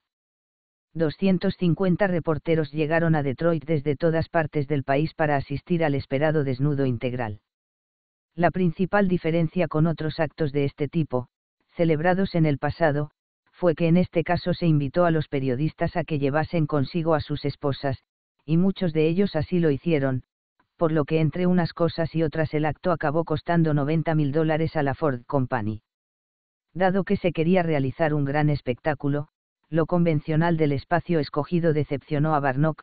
que había propuesto otros tres emplazamientos que en su opinión hubiesen ofrecido un ambiente más original, aunque los tres fueron rechazados por diversas razones, un barco de vapor en el río Detroit, simbolismo inadecuado, la localidad de Edsel, en Kentucky, inaccesible por carretera, o la isla de Haití, absolutamente no. Sin muchas opciones, cuando los reporteros y sus esposas se presentaron en Detroit la tarde del domingo 25 de agosto, Barnock no pudo hacer otra cosa que alojarlos en un hotel llamado, irónicamente, Seraton, Cadillac Hotel, y organizar una tarde del lunes de lectura exhaustiva de los esperados detalles de toda la cosecha del coche Edsel, disponible en 18 modelos, agrupados en cuatro líneas principales, Corsair, Citation, Pacer y Ranger, que se diferenciaban fundamentalmente por tamaño, potencia y prestaciones. A la mañana siguiente, se expusieron varios ejemplares de los distintos modelos en el patio central del centro de diseño, y Henry II pronunció algunas palabras en memoria de su padre. Las esposas no pudieron asistir en la primera vista oficial, recuerda un empleado de Fote, con Eibelding que participó en todo el proceso. La ocasión era demasiado solemne y formal. Todo salió bastante bien. Incluso los periodistas más veteranos y curtidos a duras penas podían contener la emoción. En su momento, los artículos redactados por los emocionados reporteros informaron de que el Edsel parecía ser un buen coche, pero no tan radical como se había dado a entender. Por la tarde se llevó a todos los asistentes a la pista de pruebas para ver a un equipo de expertos conductores llevar al límite a unos cuantos Edsel en un espectáculo diseñado para entretener y cautivar, aunque para algunos de los presentes resultó bastante espeluznante. Tras recibir instrucciones de no hablar demasiado de velocidad y potencia, pues unos pocos meses atrás la industria automovilística había decidido prudentemente volver a fabricar coches en lugar de cohetes, Barnock había decidido mostrar la vivacidad del Edsel mediante hechos en vez de palabras, y para ello había contratado a un grupo de pilotos especialistas, que mostraron sus habilidades al volante conduciendo sobre dos ruedas, saltando rampas, realizando trayectorias entrecruzadas rozándose. Unos a otros a más de 100 km por hora, y haciendo vistosos y ruidosos derrapes, aunque para quitarle algo de hierro a la situación otro piloto disfrazado de payaso parodiaba torpemente las temerarias acciones. Mientras tanto, a través de un altavoz, se podía oír la voz de Neil L. Blume, jefe de ingenieros del Edsel, que comentaba con pasión, las capacidades, la seguridad, la robustez, la maniobrabilidad y el rendimiento de los nuevos coches, evitando los términos velocidad y potencia tan delicadamente como una vez zancuda elude una ola. En un momento dado, cuando un Edsel que había saltado por una rampa estuvo a punto de volcar, Kraftbe se quedó tan pálido que parecía un cadáver, más tarde reconoció que no le habían comunicado que la demostración iba a ser tan extrema, y que había llegado a temer por el buen nombre del Edsel y por la vida de los pilotos. Barnock, percatándose de la angustia de su jefe, se acercó a preguntarle si estaba disfrutando del espectáculo, a lo que el aludido respondió secamente que le respondería cuando todo hubiese acabado y todo el mundo estuviese sano y salvo. Sin embargo, lo cierto es que todos los demás parecían estar pasándoselo en grande. Otro representante de Fote, con Eibeldin afirmó con entusiasmo, allí estaban esos gloriosos Edsel, sobre una verde colina de Michigan, moviéndose como si fuesen uno solo. Parecían las Rockets. Fue algo fantástico y muy emocionante. El ánimo estaba por las nubes. El buen humor de Barnock le había llevado incluso a extremos alocados de extravagancia. La demostración de pilotaje, al igual que la inauguración oficial, estaba vetada a las esposas, pero el ingenioso Barnock había preparado para ellas una especie de desfile de moda, confiando en que fuese de su agrado, y efectivamente así fue. La estrella del espectáculo, presentada por el diseñador del Edsel, Roy Brown, como una guapa y talentosa couturier parisina, resultó ser al final un hombre travestido, hecho que Barnock había optado por ocultar a Brown para maximizar la verosimilitud y la sorpresa. La relación entre ambos nunca volvió a ser la misma, pero las mujeres pudieron ofrecer a sus maridos un párrafo o dos adicionales para sus artículos. Esa noche se invitó a todos los asistentes a una gran gala. Para la ocasión, el centro de diseño se reconvirtió temporalmente en una especie de club nocturno, con una gran fuente en el centro que funcionaba al ritmo de la música de la banda de Rain Kinley, cuyo emblema, las letras, GM, su fundador original había sido el ya fallecido Glenn Miller, estaba grabado en el escenario y en todos los instrumentos de los músicos, lo cual casi le arruina la noche a Barnock. A la mañana siguiente, en una rueda de prensa de despedida organizada por los directivos de Ford, Brecht declaró, refiriéndose al Edsel, es un chaval inteligente y fuerte, y como a todos los padres orgullosos de sus retoños se nos cae la baba con él. A continuación, 71 de los reporteros se sentaron al volante de otros tantos Edsel y se marcharon con ellos, aunque no para aparcarlos en los garajes de sus casas, sino para llevarlos a las salas de exposición de los distribuidores de sus localidades. Así describió Barnock los hechos más destacados de este último golpe de efecto, se produjeron algunos desgraciados incidentes. Uno de los reporteros simplemente calculó mal las distancias y estrelló su coche contra un muro, lo cual no es culpa del Edsel. A otro de los coches se le agujereó el depósito de aceite y el motor se gripó, algo que puede ocurrir hasta con el mejor de los automóviles. Por suerte, justo en ese momento el conductor estaba circulando por una localidad con un nombre bonito, Paradise, Paraíso, Kansas aquello dio un toque más positivo a la noticia. El distribuidor más cercano entregó al reportero un nuevo coche, y retomó el camino a casa a través de Piques Peak. Otro coche rompió una barrera de peaje porque le fallaron los frenos, y eso no estuvo nada bien. Es curioso, lo que más nos preocupaba, la posibilidad de que otros conductores estuviesen tan ansiosos de ver de cerca un Edsel que acercasen sus coches demasiado y acabasen provocando un accidente, tan solo sucedió una vez, uno de los reporteros iba conduciendo sin problemas por la carretera 76, llamada Pennsylvania Turnpike, cuando el conductor de un Plymouth se puso a su lado para curiosear, y se pegó tanto que se rozaron los laterales de ambos coches, aunque únicamente se produjeron unos pocos arañazos. A finales de 1959, justo después del deceso de Edsel, la revista Business Week hizo público que, durante la presentación a la prensa del nuevo coche, un ejecutivo de Ford había comentado a un reportero, si la empresa no estuviese tan metida en este asunto, jamás habríamos presentado un coche nuevo en una situación como la actual. Sin embargo, dado que Business Week no publicó unas declaraciones tan claramente sensacionales hasta dos años después, y dado que hasta el día de hoy todos los exaltos cargos de la división Edsel, Kraft incluido, a pesar de su preocupación por la infortunada empresa de comida para perros, afirman sin dudar lo que hasta el día del Edsel, e incluso durante un tiempo después, estaban convencidos de que el nuevo coche iba a ser un éxito, es muy posible que la cita deba ser considerada como un hallazgo arqueológico sumamente sospechoso de ser un fraude. De hecho, durante los días transcurridos entre el preestreno ante la prensa y el estreno general, parece ser que el estado de ánimo de todas las personas relacionadas con el proyecto era de loco optimismo. Adiós, Oldsmobile,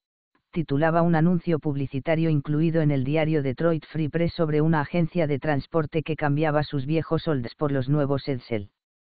Un distribuidor de Portland, Oregón, informó de que ya había apalabrado la venta de dos ejemplares antes incluso de recibirlos. Ibarnok contactó con una empresa japonesa especialista en artículos de pirotecnia que estaría dispuesta a enviarle unos cohetes especiales, al precio de 9 dólares cada uno, cuya peculiaridad consistía en que al explotar liberarían modelos a escala de Edsel hechos de papel de arroz que se inflarían y descenderían suavemente con pequeños paracaídas. Exaltado ante la idea de llenar los cielos estadounidenses de pequeños Edsel, además de las carreteras, Barnock estaba a punto de encargar un gran pedido de 5.000 unidades cuando Kraftbe, aún más perplejo que de costumbre, le denegó el permiso. El 3 de septiembre, a falta de un día para él, gran día, se anunciaron los precios definitivos de los diversos modelos, los que se vendiesen en Nueva York, por ejemplo, costarían entre algo menos de 2.800 dólares y un poco más de 4.100 dólares. El 4 de septiembre, el Edsel se puso por fin oficialmente a la venta, en Cambridge, una banda de música encabezó un resplandeciente desfile de coches nuevos a lo largo de la Massachusetts Avenue, despegando desde Richmond, California, un helicóptero contratado por uno de los entusiastas distribuidores capturados por el certero lazo de Doyle sobrevoló la bahía de San Francisco con un enorme cartel publicitario del flamante nuevo coche, y en todo el país, desde los pantanosos, Bayous, de Luisiana. Hasta el Parque Nacional del Monte Rainier, pasando por los grandes bosques de Men, tan solo se necesitaba una radio o un equipo de televisión para darse cuenta de que, a pesar del revés sufrido por Barnock con el asunto de los cohetes, el aire estaba cargado con la energía del Edsel. El tono del huracán de publicidad desatado desde ese mismo día lo estableció un anuncio publicado en periódicos de tirada nacional, en el que el compartía el foco de atención con el presidente Ford y el vicepresidente Brecht. En ese anuncio, Ford parecía un joven y orgulloso padre, Brecht parecía un digno caballero jugando al póker que se sabe ganador por tener un póker frente a un trío, y el Edsel, pura y simplemente, parecía el Edsel. El texto del anuncio decía que la decisión de crear el coche se había basado, en lo que sabemos, intuimos, sentimos, creemos, imaginamos y sospechamos sobre usted, y añadía, usted es la razón del Edsel. El tono era sereno y seguro de sí mismo, y no parecían existir muchas dudas sobre la realidad de aquella baza ganadora. Al anochecer, se estimó que 2.850.000 personas habían podido ver el nuevo coche en los escaparates de los distribuidores. Tres días después, un ejemplar fue robado en Filadelfia, crimen que probablemente marcó el punto álgido de popularidad del Edsel. Unos meses después, tan solo el menos exigente de los ladrones de coches se hubiese molestado en robarlo declive y caída la característica más llamativa de la imagen del Edsel era, por supuesto, su rejilla de ventilación frontal, estrecha y vertical, muy diferente de las rejillas anchas y horizontales de las otras 19 marcas de coches fabricados entonces en Estados Unidos. De acero cromado y de forma más o menos ovalada, estaba situada en la mitad de la parte frontal del coche, y tenía las letras Edsel grabadas a lo largo de su perímetro. La intención era recordar el frontal que tenían casi todos los coches 20 o 30 años antes, así como la mayoría de los coches europeos contemporáneos, ofreciendo un aspecto a la vez tradicional y sofisticado. El problema era que mientras en los coches antiguos y europeos los frontales eran en sí mismos altos y estrechos, de hecho, su frontal era poco más que la propia rejilla, el frontal del Edsel era bajo y ancho, igual que los de todos sus competidores estadounidenses, por lo que el resto del área frontal había que rellenarlo con algo. Y así se hizo, se cubrió con dos convencionales paneles de barras verticales de cromo.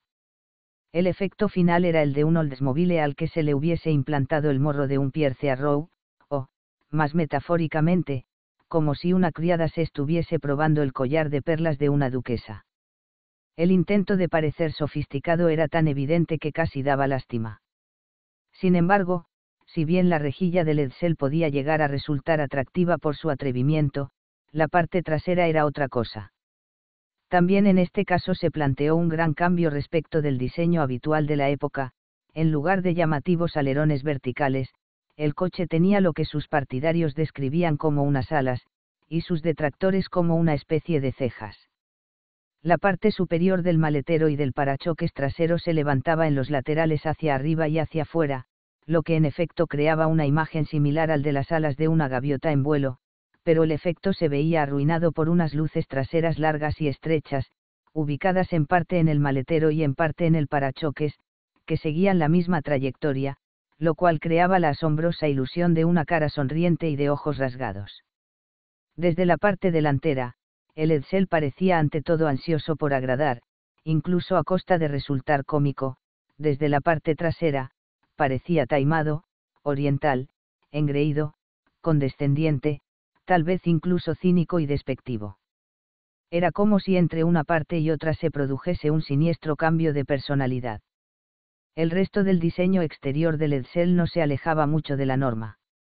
Los laterales estaban decorados con la habitual cantidad de adornos cromados, o tal vez incluso un poco menos, y destacaban dos prominentes muescas longitudinales que se extendían desde el parachoques trasero hasta casi la mitad de la carrocería y en las que figuraban las letras Edsel en cromo.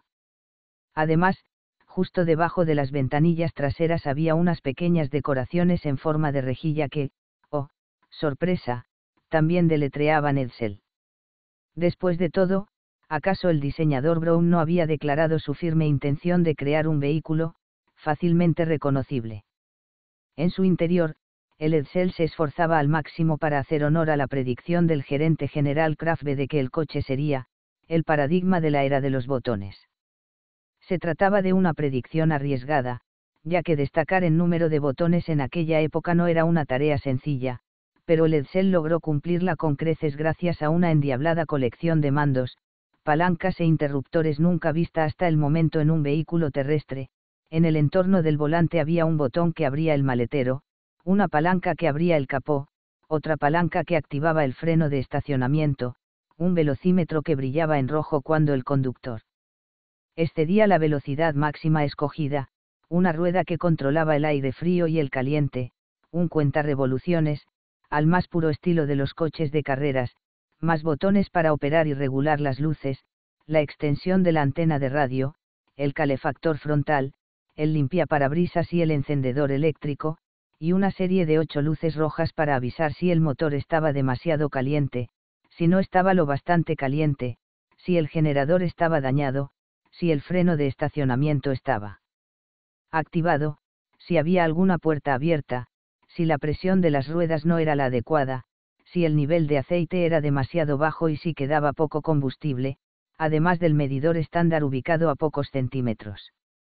Y para rizar el rizo, el sistema de control de la transmisión automática, ubicado en el centro del volante, era un conjunto de cinco botones tan sensibles al tacto que, tal y como los diseñadores del Edsel demostraban encantados, podían presionarse con un simple mondadientes. De los cuatro modelos de Edsel, los dos más grandes y caros, el Corsair y el Citation, medían exactamente 5 metros y 55 centímetros de largo, es decir, eran 5 centímetros más largos que el más grande de los Oldsmobile. Ambos tenían más de 2 metros de ancho, rozando el límite legal de anchura permitida a los coches de pasajeros, y la altura de ambos era de solo un metro y 45 centímetros, igual que la mayoría de los coches de gama media. El Pacer y el Ranger, los modelos más pequeños del Edsel, eran 15 centímetros más cortos, 3 centímetros más estrechos, y 3 centímetros más bajos que sus hermanos mayores. El Corsair y el Citation venían equipados con motores de 345 caballos, lo que los convertía en los coches de fabricación estadounidense más potentes del mercado, al menos en el momento de su lanzamiento, y el Pacer y el Ranger tenían 303 caballos, muy cerca del máximo de su clase. Al meter la directa, pulsando el botón con un palillo, un Corsair o un Citation Sedan, más de dos toneladas de coche en ambos casos, se ponía en movimiento con tal aceleración que podían alcanzar los 100 km por hora en 11 segundos, y recorrer 500 metros en 17 segundos y medio.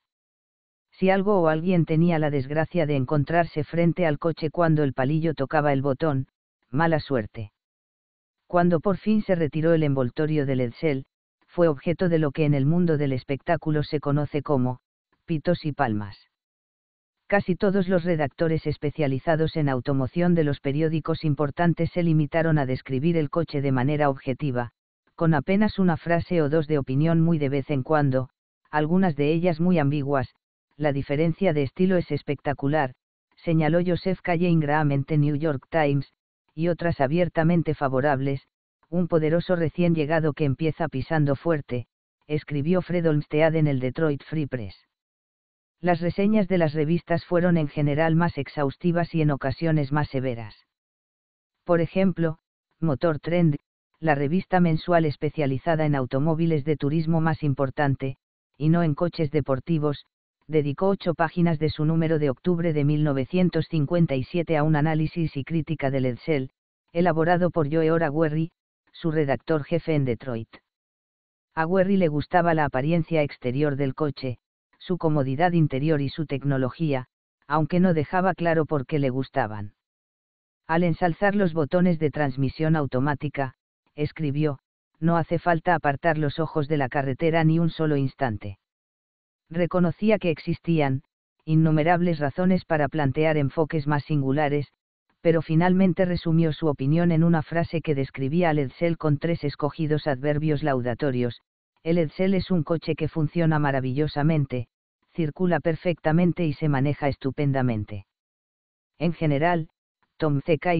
de la revista Mechanics Illustrated, admiraba bastante el saco de tuercas, como solía llamar cariñosamente al Edsel, pero tenía algunas reservas que, dicho sea de paso, arrojaban algo de luz sobre el funcionamiento del coche, hice una prueba sobre cemento estriado, decía, y cada vez que pisaba a fondo el acelerador las ruedas se ponían a girar como el tambor de una lavadora desquiciada. A altas velocidades encontré que la suspensión era algo trotona, especialmente en curvas cerradas no puedo por menos que preguntarme qué podría llegar a hacer esta salchicha si tuviese la suficiente adherencia al suelo. De lejos, la crítica más demoledora, y sin duda la más dañina, que recibió el Edsel durante sus primeros meses en el mercado apareció en el número de enero de 1958 de la publicación mensual de la Unión de Consumidores, Consumer Reports, entre cuyos 800.000 suscriptores probablemente se encontraban muchos más compradores potenciales del Edsel de los que leían la Motor Trend y la Mechanics Illustrated juntas. Tras poner a prueba un ejemplar del Corsair en una serie de test de carretera, Consumer Report escribió lo siguiente, el Edsel no ofrece ninguna ventaja básica importante respecto de otras marcas. Su estructura es completamente convencional la trepidación en la carrocería del Corsair en carreteras de firme rugoso, que en un momento dado incluso se hizo oír en forma de chirridos y traqueteos, fue mucho más allá de lo que se consideraría un nivel aceptable.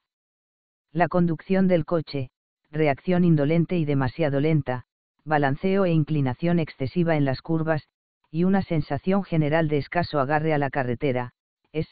por decirlo suavemente, poco destacable, lo que combinado con la tendencia del coche a temblar como un flan hace que la maniobrabilidad suponga un paso atrás en lugar de un progreso. Al acelerar a fondo tras el arranque, o al adelantar a otro vehículo, o simplemente para sentir la agradable sensación de potencia, los enormes cilindros consumen una cantidad ingente de combustible. Para mirar los botones del Edsel es preciso apartar completamente los ojos de la carretera, opinión totalmente opuesta a la del señor Werry, por cierto.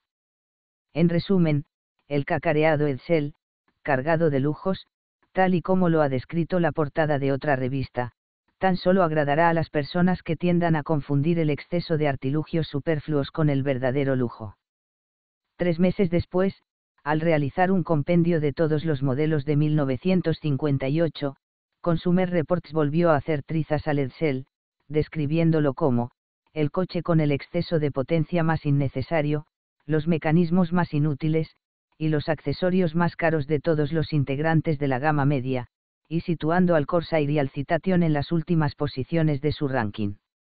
Al igual que Kraft B, Cromo consideraba el Edsel como un verdadero paradigma, pero a diferencia de Kraft la revista opinaba que el coche parecía ser, la viva imagen de los muchos excesos, con los que los fabricantes de Detroit estaban, ahuyentando cada vez más a sus posibles compradores. Y sin embargo, en algunos aspectos el Edsel no estaba tan mal. Por ejemplo, había logrado captar buena parte del espíritu del momento, o al menos del momento en el que fue diseñado, era poderoso, sí, pero sin gracia y algo cohibido, y aunque tenía buenas intenciones, apenas podía ocultar su torpeza, una especie de mujer del pintor Willem de Koning. Muy poca gente, aparte de los empleados de Fote, con Eibeldin, que cobraban por hacerlo, alabó lo bastante su capacidad para inducir una sensación de bienestar en su agobiado dueño. Además, años después, los diseñadores de varias marcas rivales, entre ellas, Chevrolet, Buick, y la propia Ford, compañera de fábrica del Edsel, acabaron rindiendo homenaje al diseño de Brown imitando una de las características más denostadas del coche, las líneas curvadas de la parte trasera. Está claro que el Edsel estaba condenado al fracaso desde el principio, pero sería un error afirmar que lo estaba solo por el diseño, al igual que lo sería afirmar que lo estaba solo por el exceso de investigación motivacional. El hecho es que, durante su corta y desgraciada vida, hubo otros factores que contribuyeron a su fracaso comercial. Uno de ellos fue que muchos de los primeros ejemplares puestos a la venta, aquellos que como era lógico se sometieron al escrutinio público más exhaustivo, resultaron ser espectacularmente imperfectos.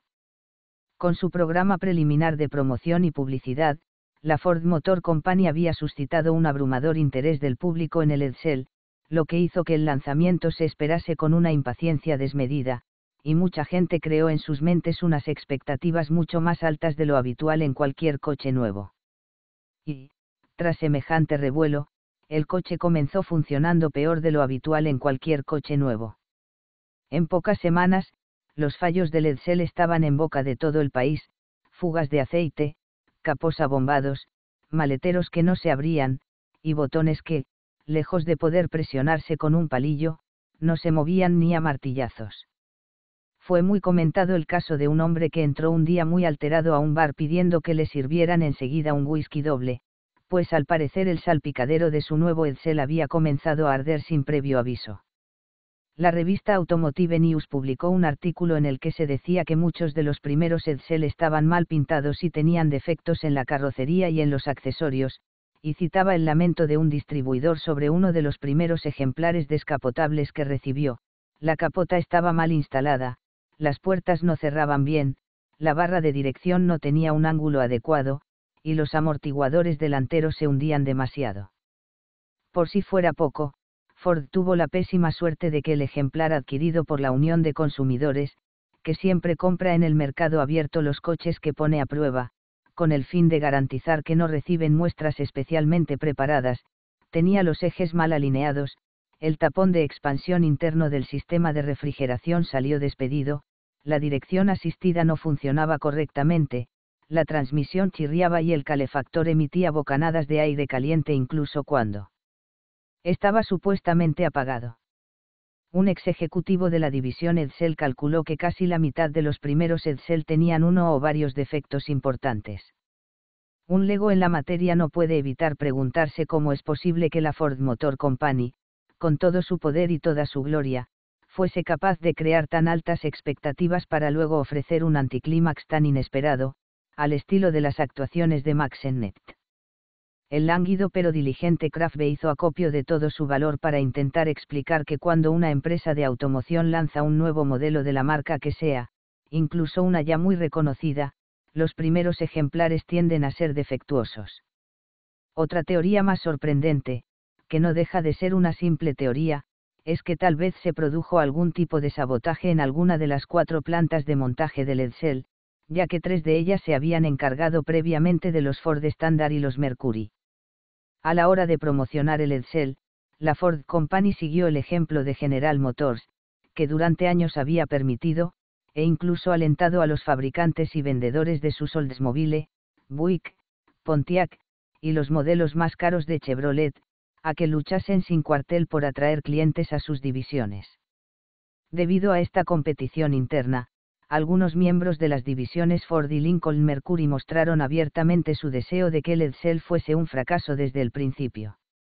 Kraft B., consciente de lo que podía ocurrir, había solicitado que el nuevo coche fuese ensamblado en su propia planta, pero sus superiores denegaron la petición. Doyle, sin embargo, hablando con la autoridad de un veterano en el negocio del automóvil y como el segundo de a bordo de Kraft B., descarta categóricamente la posibilidad de que el Edsel fuese víctima de juego sucio en las plantas de montaje, por supuesto que a las otras divisiones no les hacía mucha gracia que apareciese otro coche de la propia empresa que les pudiese quitar clientes, dice, pero hasta donde yo sé todo cuanto se hizo a nivel ejecutivo y en las plantas fue competencia. Perfectamente honesta. Por otra parte, en lo que a distribución se refiere, es cierto que existieron pequeñas luchas internas en forma de rumores y propaganda, pero no les culpo, si yo hubiese formado parte de otra división, probablemente habría hecho lo mismo. Ningún orgulloso general derrotado de la vieja escuela habló nunca con tanta nobleza. Hay que decir, como tributo al buen hacer de los hombres que se encargaron de la promoción del Edsel, que aunque las cadenas de montaje seguían produciendo coches con tendencia a traquetear, calarse o incluso caerse a pedazos, al principio las ventas no fueron nada mal, Doyle sostiene que en el día del Edsel, más de 6.500 personas encargaron o directamente compraron un ejemplar. La tónica general del día fue muy buena, aunque hubo algunos signos aislados de resistencia. Por ejemplo, un distribuidor de Nueva Inglaterra que tenía ejemplares de Edsel en una sala y de Buick en otra declaró que dos posibles clientes entraron en la sala de exposición del Edsel, echaron un vistazo al coche, y sin pensárselo dos veces encargaron sendos Buick. Durante los días siguientes, las ventas cayeron drásticamente, pero en principio se trataba del descenso habitual tras el día de floración. Los envíos a los distribuidores, uno de los indicadores más importantes del negocio, se suelen medir en periodos de 10 días, y durante los primeros 10 días de septiembre, de los que el Edsel solo estuvo a la venta los seis últimos, se vendieron 4.095 unidades, era una cifra menor de la aventurada por Doyle, ya que muchas de las compras iniciales fueron de modelos y combinaciones de colores aún no disponibles que debían encargarse y terminar de montarse en fábrica. La entrega de los siguientes 10 días se redujo ligeramente, en el tercer periodo ya había caído a 3.600, y en el primer periodo de octubre, en el que hubo nueve días laborables, tan solo se encargaron 2.751 unidades, cifra que arrojaba un promedio de poco más de 300 coches diarios. Para poder vender los 200.000 automóviles al año que necesitaban para obtener beneficios, la Ford Company debería alcanzar un ritmo de entre 600 y 700 coches cada día, más del doble del promedio real. La noche del domingo, 13 de octubre, Ford puso en antena un mastodóntico espectáculo de promoción del Edsel, que incluso le acabó robando algo de tiempo al programa de Ed Sullivan. Sin embargo, aunque el espectáculo costó 400 mil dólares y fue presentado por nada menos que Bing Crosby y Frank Sinatra, no logró provocar un incremento perceptible en las ventas para entonces ya era más que obvio que las cosas no estaban funcionando nada bien. Los antiguos ejecutivos de la división Edsel no se ponen de acuerdo en cuanto al momento exacto en el que los malos augurios se hicieron realidad. Kraft opina que ese momento llegó a finales de octubre. Guayace, en su papel de fumador de pipa semimiembro del grupo de cerebros de confianza, va un paso más allá y sitúa el comienzo del desastre en un día concreto, el 4 de octubre, fecha en la que la Unión Soviética puso en órbita el Sputnik 1, quebrando el mito de la supremacía técnica estadounidense y provocando una enorme oleada de críticas contra las adornadas baratijas de Detroit. El director de Relaciones Públicas, Barnock, sostiene que su sensibilidad barométrica a la opinión pública le permitió predecir el cambio de tendencia a mediados de septiembre. Doyle, por el contrario, reconoce que mantuvo su optimismo hasta mediados de noviembre, cuando ya era casi el único miembro de la división que no había aceptado que haría falta un milagro para salvar al Edsel. En noviembre se produjo el pánico y su efecto asociado, la rebelión de las masas, afirma Guayace, el sociólogo. La rebelión se tradujo en una repulsa generalizada hacia el diseño del coche por considerarlo el único culpable de toda la debacle, algunos empleados que previamente solo prodigaban alabanzas a la peculiar rejilla de ventilación ahora murmuraban entre dientes que hasta un tonto se daría cuenta de que era absurda. El culpable más obvio era Roy Brown, cuya reputación se había disparado tras el elogiado debut de su diseño, en agosto de 1955.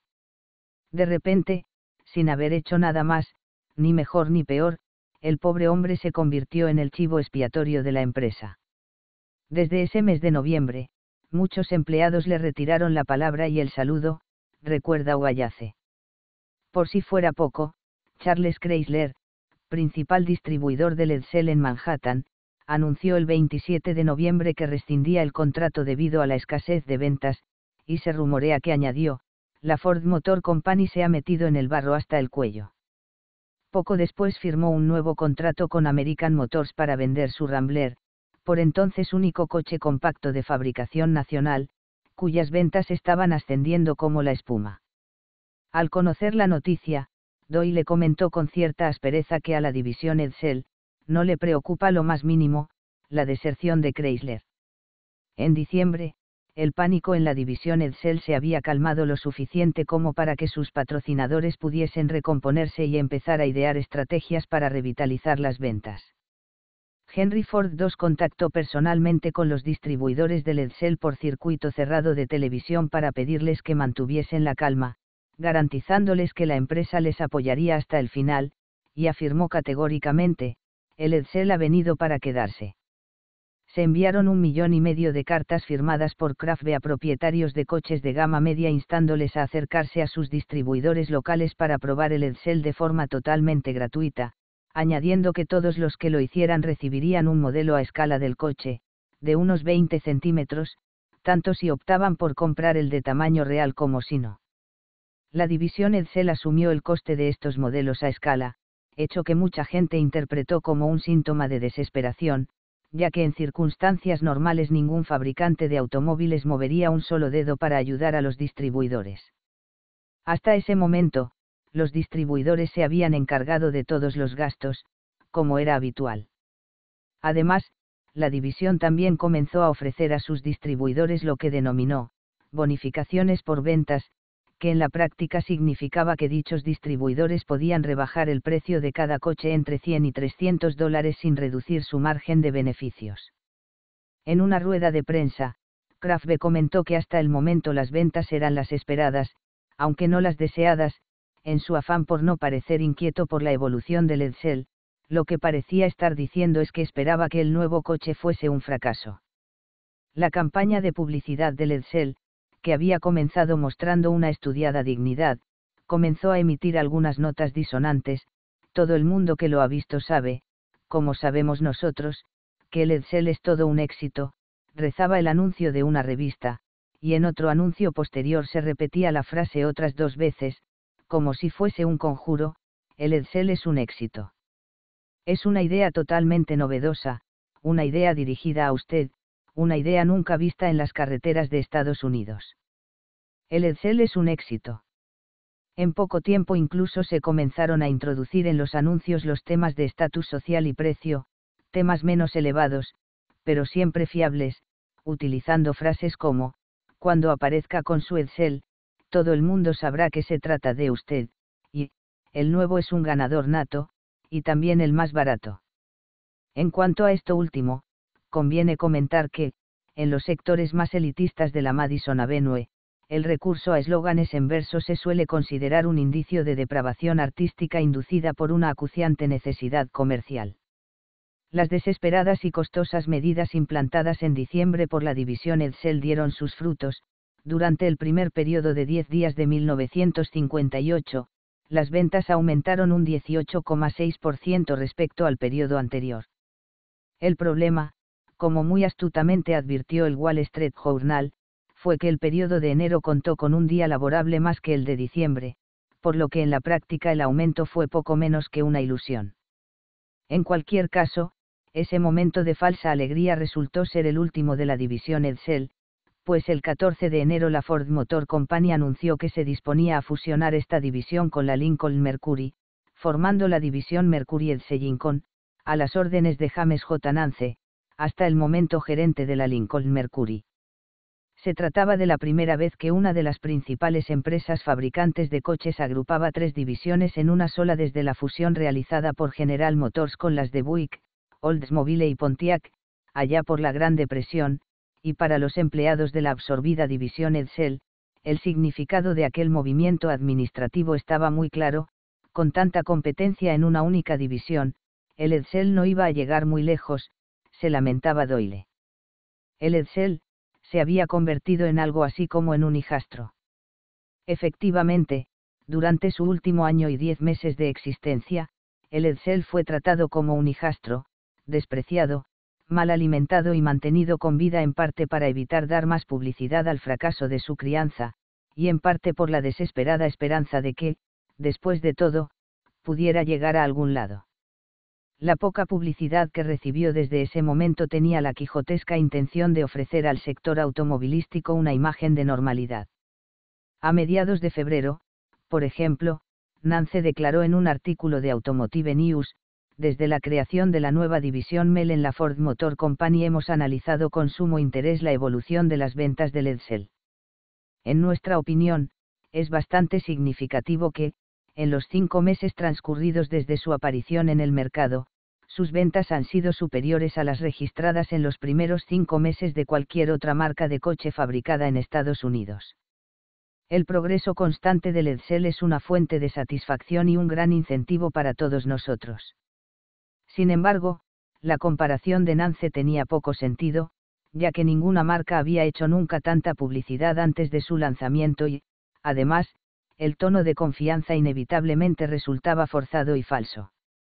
Es muy posible que Nance no conociese la existencia de un artículo del lingüista siglo I Ayacaba publicado en 1958 en etc., a Grados Fahrenheit General Semantics, una revista trimestral, con el título, WHY Edsel Laidaneg, porque el Edsel metió la pata.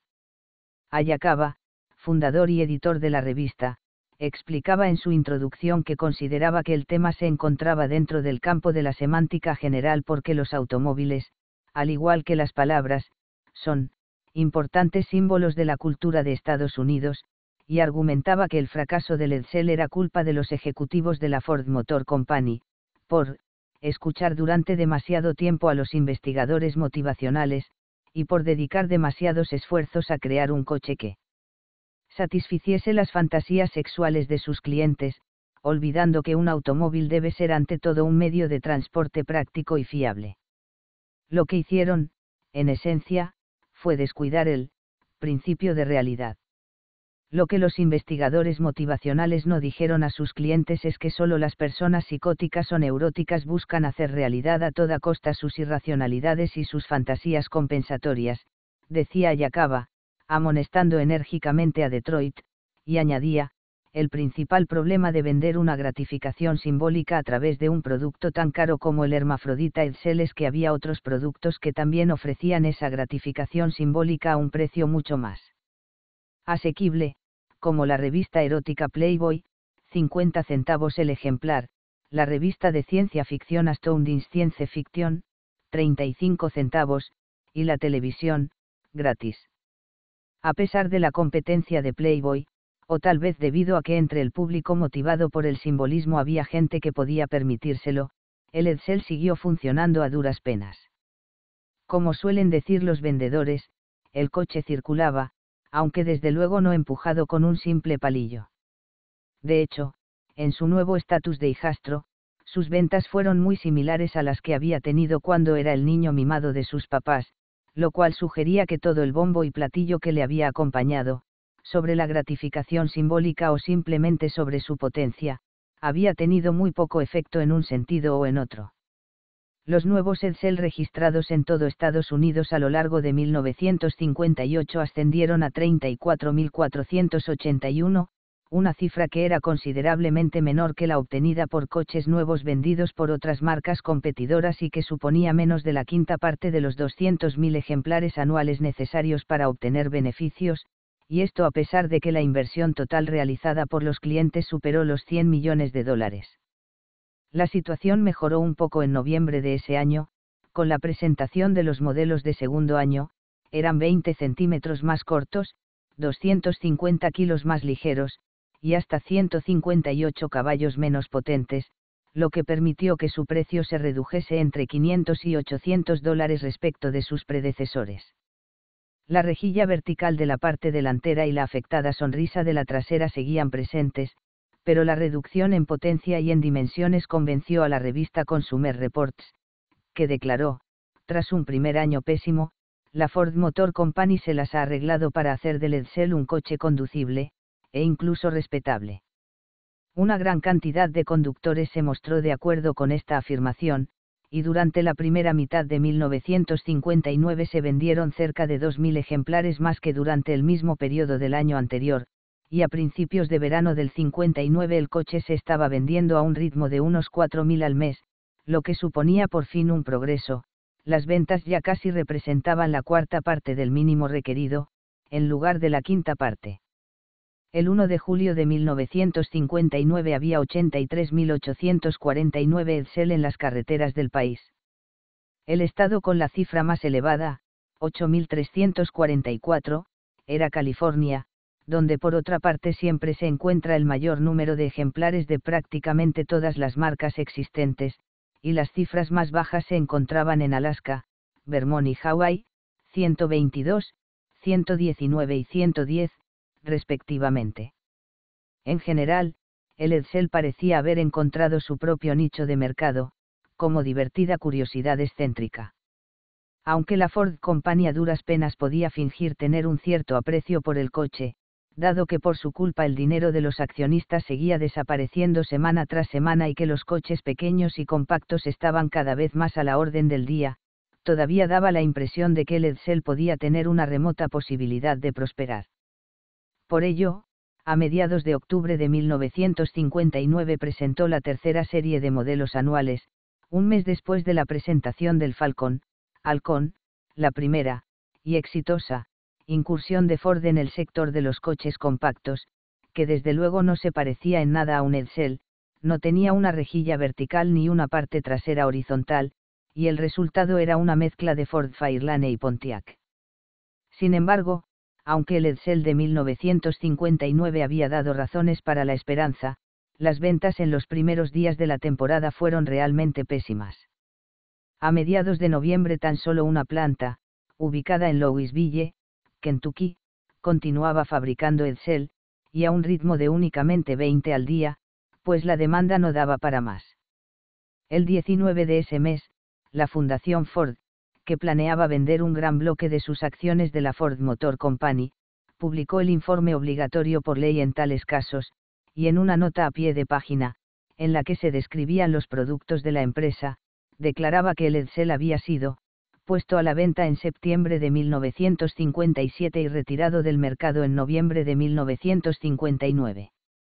Ese mismo día, esta declaración soterrada fue confirmada y amplificada por un portavoz de la Ford Company, quien también murmuró entre dientes, si supiésemos la razón por la que la gente no está comprando el Edsel, probablemente ya hubiésemos hecho algo al respecto.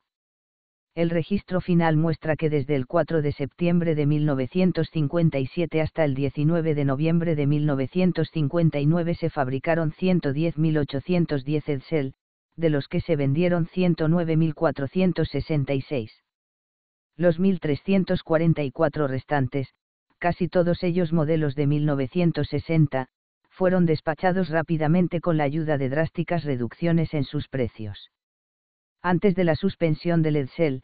se fabricaron 2.846 ejemplares del modelo de 1960, lo que posiblemente los convierta en objetos muy apreciados para algunos coleccionistas. Desde luego, pasarán generaciones antes que el Edsel de 1960 sea tan escaso como el Bugatti Type 41 Royale, del que tan solo se fabricaron 11 unidades a finales de los años 20 destinadas exclusivamente a la realeza, y las razones de la escasez del Edsel del 60 no son tan bien vistas, ni socialmente ni comercialmente, como las del Bugatti, pero es muy posible que en el futuro se acabe fundando un club de propietarios del Edsel modelo 1960. El balance financiero final del fiasco del Edsel es algo que probablemente no se sepa nunca, ya que los informes públicos de la Ford Motor nunca incluyen un desglose de ganancias y pérdidas de cada una de las distintas divisiones. No obstante, las estimaciones más aceptadas sostienen que la empresa perdió cerca de 200 millones de dólares desde la aparición del coche hasta su retirada, si a esto se suma el gasto reconocido de 250 millones en investigación, desarrollo y publicidad hasta su puesta a la venta, y se restan unos 100 millones invertidos en plantas y equipos que podrían dedicarse a otros usos, se obtiene que las pérdidas netas ascendieron a nada menos que 350 millones de dólares. Asumiendo que estas estimaciones son correctas, cada unidad de Edsel fabricada supuso una pérdida de 3.200 dólares, es decir, más o menos el precio de venta de cada ejemplar. En otras y más duras palabras, la empresa hubiese ahorrado dinero si en 1955 hubiese decidido no introducir el Edsel y además regalar 110.810 ejemplares de su otro automóvil de precio similar, el Mercury el fin del Edsel desencadenó una verdadera orgía de análisis retrospectivos en la prensa. La revista Time declaró, por ejemplo, que, el Edsel era un caso de libro de coche equivocado para el mercado equivocado en el momento equivocado, así como un ejemplo perfecto de las limitaciones de la investigación de mercados, con toda su pedante jerga relativa a entrevistas en profundidad e investigación motivacional. Otra conocida revista, Business Week, que poco antes del deceso del Edsel lo había reseñado con mucha solemnidad y aparente aprobación, ahora lo describía como, una pesadilla, y añadía unos cuantos comentarios críticos sobre la investigación de Guayace, que se estaba convirtiendo con rapidez en un chivo expiatorio al nivel del diseño de Brown. La crítica de la llamada investigación motivacional tal vez era necesaria, pero desde luego la afirmación de que dictó o incluso influyó en el diseño del Edsel es totalmente falsa, ya que esta investigación no se llevó a cabo hasta que el diseño final de Brown estuvo terminado, y tan solo aspiraba a recabar temas destinados a la publicidad y la promoción. Por su parte, el obituario del Edsel publicado por el Wall Street Journal ofrecía una argumentación más sólida y sensata, y desde luego más original, con frecuencia, a las grandes empresas se las acusa de manipular el mercado en su beneficio, de controlar los precios, y en general de dictar al consumidor lo que debe consumir. Sin embargo, ayer mismo la Ford Motor Company anunció que su experimento de dos años con un nuevo coche de gama media, el Edsel, ha llegado a su fin por falta de compradores. Y ello a pesar de ser capaz de manipular el mercado y de obligar a los consumidores a comprar exactamente lo que la empresa quiere que compren.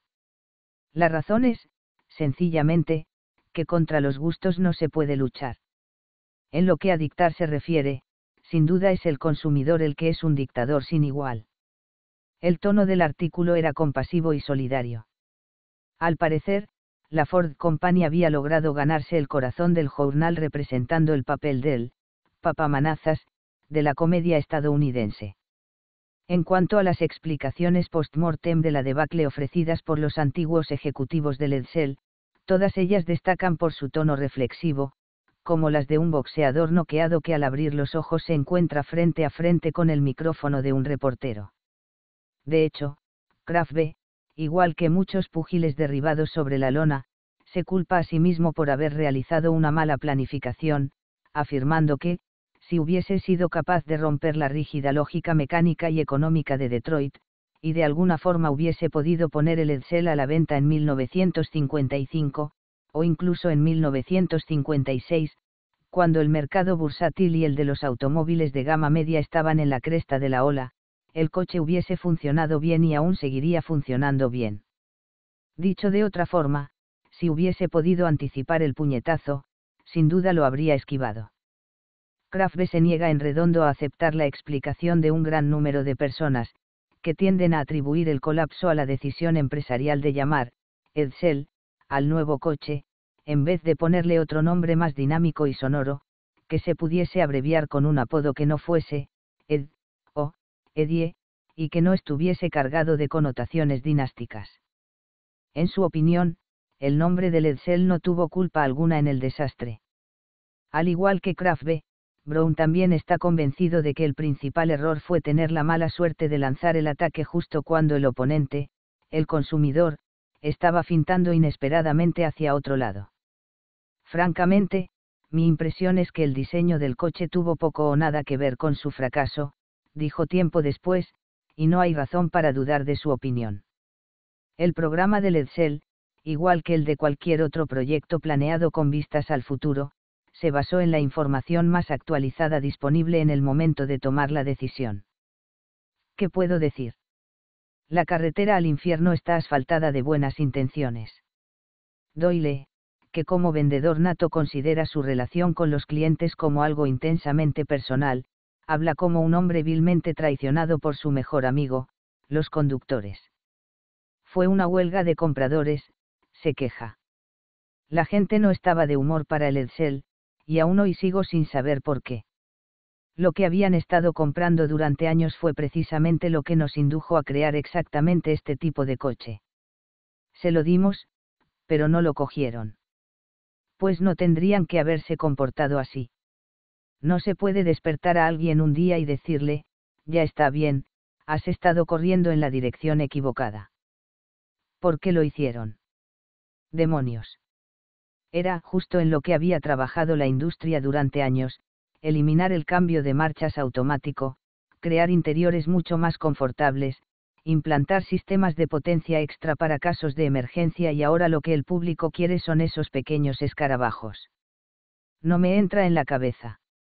La teoría del Sputnik de Guayace justifica en cierto modo por qué no estaban de humor, y es lo bastante universal como para que encaje bien con un semimiembro del grupo de cerebros de confianza. Además, permite a Guayace defender libremente la validez de sus estudios de investigación motivacional en el momento en el que se llevaron a cabo. No creo que seamos aún conscientes del verdadero alcance del efecto psicológico que tuvo sobre nosotros aquella primera puesta en órbita, afirma. Alguien nos había ganado la partida en un importante avance tecnológico, y casi de inmediato mucha gente comenzó a escribir artículos sobre lo mediocres que eran los productos de Detroit, en especial los excesivamente ornamentados y socialmente simbólicos coches de gama media. En 1958, cuando el único coche compacto existente era el Rambler, Chevrolet acaparó casi todo el mercado porque tenía el coche más sencillo de todos. De ello parece deducirse que el pueblo de Estados Unidos se sometió a sí mismo a un programa de austeridad y penitencia, y no comprar el Edsel fue algo así como su cilicio. A las reliquias de la industria decimonónica de Estados Unidos, para las que la consigna era, nadar o hundirse, sin duda les hubiera extrañado que Guayace fuese capaz de analizar el holocausto del Edsel con tanta serenidad, fumando su pipa y sin alterarse lo más mínimo. Muchos opinan que lo más llamativo de todo el asunto fue la clara derrota de un gigante de la automoción, derribado de manera inesperada, pero en realidad lo más sorprendente fue que dicho gigante se sobrepusiese a la caída sin consecuencias importantes, al igual que la mayoría de la gente que cayó con él. Gracias sobre todo al gran éxito de cuatro de sus otros modelos, primero el Thunderbird, posteriormente el Falcon y el Comet, y más adelante el Mustang, la Ford Motor Company sobrevivió en toda su gloria. Es cierto que pasó por dificultades en 1958, cuando, en parte a causa del fracaso del Edsel, sus ingresos netos por acción cayeron de 5,40 a 2,12 dólares, los dividendos por acción de 2,40 a 2,00 dólares, y su precio de mercado en bolsa desde 60 dólares en 1957 a menos de 40 en 1958. Sin embargo, todas estas pérdidas se recuperaron con creces en 1959, cuando estas cifras ascendieron respectivamente hasta 8,24 2,80, y un máximo histórico de 90 dólares, y en 1960 y 1961 la situación mejoró aún más. Así pues, los 280.000 accionistas registrados en los libros de Ford en 1957 tuvieron poco de lo que quejarse, a menos que tomasen la precipitada decisión de vender durante el pánico del Edsel. Por otro lado, la consolidación Mercury Edsellin contuvo como resultado el despido de 6.000 oficinistas y administrativos, la cifra media de empleados de Ford cayó desde 191.759 en 1957 a 142.076 al año siguiente, y aunque en 1959 volvió a ascender lo hizo solo hasta 159.541. Y, por supuesto, es poco probable que aquellos distribuidores que renunciaron a franquicias muy rentables de otras marcas y se arruinaron intentando venderlos Edsel quedasen muy contentos con la experiencia. De acuerdo con los términos de la fusión de las divisiones Lincoln Mercury y Edsel, la mayoría de los distribuidores que habían estado trabajando con los tres modelos siguieron haciéndolo. El problema fue que algunos de los del Edsel se quedaron fuera, y a aquellos que se declararon en bancarrota no les reconfortó saber que, cuando la Ford Company decidió retirarlo del mercado, accedió a pagar la mitad del coste original de los carteles de publicidad a aquellos colegas que habían logrado capear la crisis, y que además les ofreció sustanciosos reembolsos por los ejemplares que estuviesen ya inventariados en el momento de la suspensión. No obstante lo dicho, hay que señalar que los distribuidores de automóviles, algunos de los cuales operan con márgenes de crédito tan exiguos como los de los operadores hoteleros de Miami, en ocasiones llegan a quebrar incluso con los coches más populares. Y muchos de los que se ganan la vida en el agresivo sector de la venta de automóviles, que generalmente no tienden a sentir mucho afecto por Detroit, reconocen que la Ford Company hizo todo cuanto estaba en su mano para apoyar y compensar a los distribuidores que habían comprometido todo por el Edsel. Un portavoz de la Asociación Nacional de Distribuidores de Automóviles declaró recientemente que, hasta donde sabemos, los distribuidores del Edsel quedaron bastante satisfechos con el trato recibido. Fote, con Eibeldin también acabó perdiendo dinero con el Edsel, ya que las comisiones por publicidad no compensaron el extraordinario gasto realizado al abrir una nueva y lujosa sede en Detroit y contratar a 60 nuevos empleados para gestionarla. Sin embargo, las pérdidas no fueron irreparables, pues, desde el mismo momento en el que dejó de haber ejemplares de Edsel que promocionar, fue contratada para encargarse de los Lincoln, y aunque esa nueva colaboración no duró mucho, felizmente la empresa logró sobrevivir para poder cantar las alabanzas de otros clientes como General Foods, Lever Brothers y Transworld Airbase. Una conmovedora señal de la lealtad de los empleados de la empresa hacia su antiguo cliente es que después de 1959, durante varios años, los días laborables, en el aparcamiento privado de la sede de Chicago se podían ver varios modelos de Edsel. Estos fieles conductores no se sienten solos, si bien los propietarios de un Edsel no encontraron la forma definitiva de hacer realidad sus sueños, e incluso algunos de ellos tuvieron que soportar durante un tiempo graves averías mecánicas, más de una década después muchos siguen conservando y apreciando sus Edsel como si fueran billetes de la Confederación, y en las ferias de coches usados, el Edsel es hoy por hoy un objeto muy codiciado por su escasez. En líneas generales, los antiguos ejecutivos del Edsel no solo no se hicieron daño al caer, sino que al hacerlo se encontraron un trébol de cuatro hojas. Desde luego, nadie puede acusar a la Ford Company de calmar su frustración a la vieja usanza, haciendo rodar unas cuantas cabezas. Kraft B., por ejemplo, pasó a trabajar durante dos meses como asistente de Robert San McNamara, por entonces vicepresidente de la división Ford, y más tarde secretario de Defensa de Estados Unidos con JF Kennedy y Lyndon Johnson, y aún más tarde presidente del Banco Mundial, y después un año como jefe de personal en la sede central de la empresa. Tras dejar Ford, pasó a ser el vicepresidente, y más tarde el presidente, de la Raytheon Company, de Waltham, Massachusetts, una empresa puntera especializada en tecnología electrónica y a mediados de los años 60 se trasladó a la costa oeste para trabajar como consultor financiero con un elevado sueldo. Doyle, por su parte, recibió también una oferta para continuar trabajando en Ford, pero después de tomarse unas vacaciones para reflexionar decidió jubilarse. Fue una cuestión de respeto hacia mis distribuidores, explica. Dado que yo les había garantizado que la empresa siempre iba a apoyar totalmente al Edsel, no me pareció apropiado que fuese yo quien de repente les dijera que ya no iba a ser así. Tras su jubilación, siguió estando tan ocupado como siempre, supervisando varios negocios de amigos y familiares, y dirigiendo su propia empresa de consultoría en Detroit.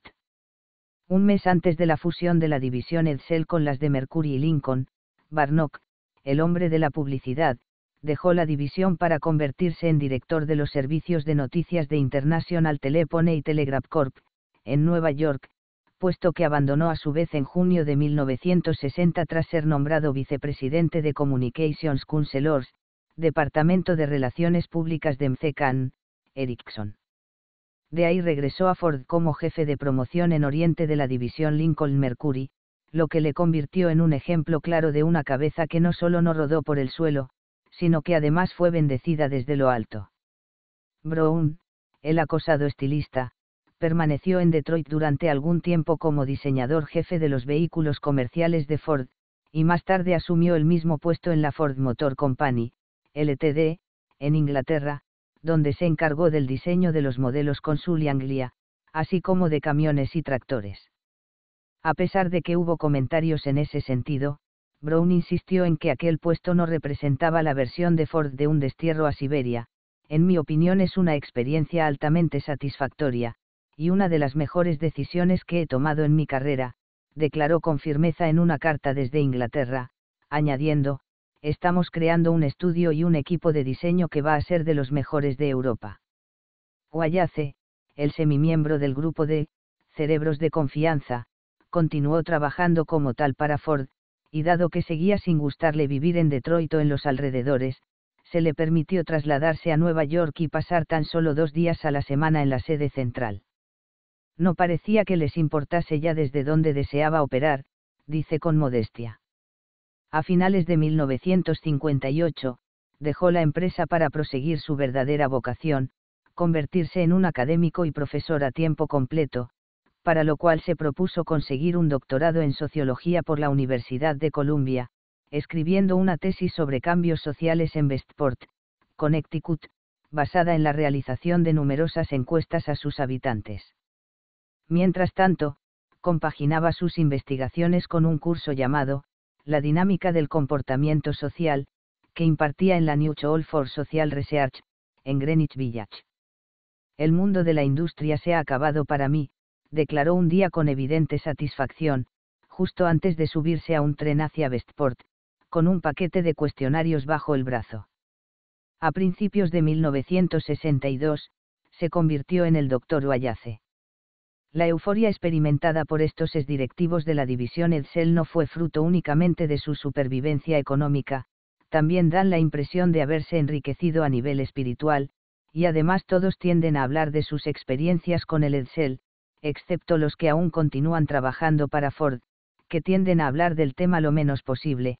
con el entusiasmo y la locuacidad de viejos veteranos de guerra recordando su campaña más emocionante. Doyle es posiblemente el más apasionado del grupo, lo recuerdo como lo más estimulante que he vivido en mi vida, tanto antes como después, afirmó en una entrevista en 1960. Supongo que ello se debe a que nunca he trabajado tanto en toda mi carrera. Todos lo hicimos. Éramos un grupo estupendo, todos sabíamos que con el Edsel estábamos asumiendo un gran riesgo, y a mí me encanta la gente que se atreve a asumir riesgos. Sí, fue una experiencia maravillosa, a pesar del desafortunado final, y aún hoy sigo opinando que nuestra idea era buena. Cuando viajé por Europa justo antes de jubilarme, ¿seis cuál era la situación allí? Tenían coches compactos por todas partes, pero seguían teniendo atascos, problemas de aparcamiento y accidentes. Me resultaba difícil imaginar cómo se podía entrar o salir de esos taxis tan bajos sin abrirse la cabeza, o evitar que te atropellasen al intentar llegar al arco del triunfo. Esta moda de los coches pequeños no durará para siempre, y no creo que los conductores de Estados Unidos aguanten mucho tiempo esos cambios de marchas manuales y unas potencias tan limitadas. Sin duda, el péndulo volverá a oscilar. Barnock, igual que muchas otras relaciones públicas antes que él, afirma que su trabajo le provocó una úlcera, la segunda de su vida. Pero ya la superé, dice. El equipo del Edsel era genial. Me hubiera gustado ver qué podríamos haber logrado si hubiésemos tenido el producto adecuado en el momento adecuado. Habríamos ganado millones. Fueron dos años de mi vida que nunca olvidaré. Estábamos haciendo historia. ¿Acaso existe un mejor ejemplo de Estados Unidos de los años 50, altas expectativas y satisfacción incompleta? Kraft B., el líder del infortunado gran equipo, afirma sin dudarlo que las entusiastas palabras de sus antiguos subordinados no son meros recuerdos nostálgicos de antiguos camaradas. Era un grupo increíble con el que daba gusto trabajar, dijo recientemente. Todos pusieron toda su alma y su corazón en sus respectivos trabajos. Siempre me ha gustado que mi equipo esté fuertemente motivado, y desde luego este lo estaba. Cuando las cosas comenzaron a torcerse, es posible que alguno se lamentase por haber renunciado a estupendas oportunidades para sumarse a nuestro grupo, pero si así fuese lo guardaron para sí mismos, pues yo nunca recibí queja alguna en ese sentido. No me sorprende que la mayoría haya superado el trance sin muchos problemas. En el mundo de la industria se puede sufrir un bache de vez en cuando, pero siempre se sale adelante si te niegas a sentirte derrotado por dentro. Cada cierto tiempo me gusta quedar con alguno de mis antiguos compañeros, Gayle Barnock y los demás, para recordar las situaciones divertidas, los incidentes trágicos. Independientemente de que la nostalgia de los chicos del Edsel se decante más hacia lo divertido o hacia lo trágico, el mero hecho de que exista esta nostalgia es un fenómeno que da mucho que pensar. Tal vez este sentimiento de añoranza implique que echan de menos aquella atención que primero disfrutaron y después rehuyeron, o tal vez que estamos en un momento en el que, como sucedía en el teatro isabelino, pero nunca hasta ahora en el mundo empresarial de Estados Unidos, se considera que el fracaso tiene una cierta grandeza que el éxito no tendrá jamás. 3. El impuesto federal sobre la renta su historia y sus peculiaridades. 1. Sin duda, durante los últimos años, muchos estadounidenses prósperos y claramente inteligentes han hecho cosas que un observador ingenuo o inexperto encontraría extrañas y extravagantes, cuando no directamente descabelladas. Muchos herederos de grandes fortunas, la mayoría muy dados a quejarse de la acción del gobierno en todas sus formas y manifestaciones, han demostrado tener un desmedido interés en la financiación de los gobiernos estatales y municipales, contribuyendo con enormes sumas de dinero. La probabilidad de que se celebre una boda entre una persona con altos ingresos y otra con ingresos más reducidos es mucho más alta a finales de diciembre que a principios de enero. Los asesores financieros de algunos profesionales de excepcional éxito, especialmente en el ámbito de las artes, han aconsejado a sus clientes que no realicen bajo ninguna circunstancia ningún trabajo remunerado más en lo que queda de año, y estos han seguido su consejo, a pesar de recibirlo en fechas tan tempranas como mayo o junio. Algunos actores y otras personas de elevados ingresos han insistido en convertirse en propietarios de empresas de la construcción, boleras o servicios telefónicos, sin duda inyectando un renovado vigor a estos aburridos negocios. Muchos cineastas, como si siguiesen un estricto calendario de renuncia y reconciliación, han abjurado de su suelo natal en favor de otros países durante periodos de 18 meses, y lo han vuelto a abrazar en el decimonoveno. Los inversores en petróleo han acribillado el territorio de Texas con prospecciones especulativas, asumiendo riesgos muy superiores a los que dictaría un juicio empresarial sensato. Muchos hombres de negocios, cada vez que han viajado en avión, han tomado un taxi o han cenado en un restaurante, han realizado compulsivas anotaciones en sus cuadernillos de mano, comunicando a los curiosos que se trataba de un diario. Sin embargo, lejos de tratarse de unos descendientes espirituales de Samuel Pepys o de Filipone, lo que hacían en realidad era registrar todos y cada uno de los gastos realizados. Y propietarios o accionistas de ciertas empresas han compartido su propiedad con menores de edad, fuera cual fuese dicha edad, de hecho, en al menos una ocasión el acuerdo de asociación tuvo que posponerse hasta el nacimiento de uno de los socios. Como ya se habrán imaginado, Todos estos extraños comportamientos se deben a una o varias de las cláusulas de la Ley Federal del Impuesto sobre la Renta. Dado que la mayoría de estas cláusulas contienen especificaciones sobre nacimientos, matrimonios, puestos de trabajo, estilos de vida y lugares de residencia, es fácil hacerse una idea del alcance de los efectos sociales de esta ley, pero dado que dichas cláusulas afectan exclusivamente a los asuntos de los más pudientes y adinerados, en realidad no ofrecen ningún dato significativo acerca de la amplitud de su impacto económico. Teniendo en cuenta que en uno de los últimos años, 1964, se registraron casi 63 millones de declaraciones individuales, no es sorprendente que esta ley esté considerada como la que afecta a un mayor número de individuos en todo el país, y teniendo en cuenta que la recaudación de estos impuestos suele proporcionar casi las tres cuartas partes de los ingresos fiscales del gobierno, es comprensible que se considere también como la medida fiscal más importante de Estados Unidos. La recaudación del año fiscal que finalizó el 30 de junio de 1964 ascendió a un total de 112 mil millones de dólares, de los cuales cerca de 54.500 millones procedían del impuesto sobre la renta individual, y 23.300 millones de los impuestos aplicados a las empresas. En la mente de la mayoría de la gente, este es, el impuesto, declaran los profesores de economía William J. Sultzica y Elovela Riz en su libro American Public Finance, Finanzas Públicas Estadounidenses, y el escritor David Tonelada Bacelon opina que la repercusión económica del impuesto es tan amplia que ha acabado creando dos tipos distintos de divisa estadounidense, dinero antes de impuestos y dinero después de impuestos. En cualquier caso, está claro que en general ya no se crea ninguna empresa, ni se gestiona ni un día una ya creada, sin una cuidadosa consideración del impuesto sobre la renta, y aquellos que no lo han hecho así han perdido su fortuna, su reputación, o ambas cosas. Se han llegado a dar casos tan extremos como el ocurrido hace unos años en Venecia, cuando un visitante estadounidense insistió en clavar una placa de latón con las palabras, deducible a efectos del impuesto sobre la renta de Estados Unidos, en el depósito de contribuciones para el Fondo de Mantenimiento de la Basílica de San Marcos.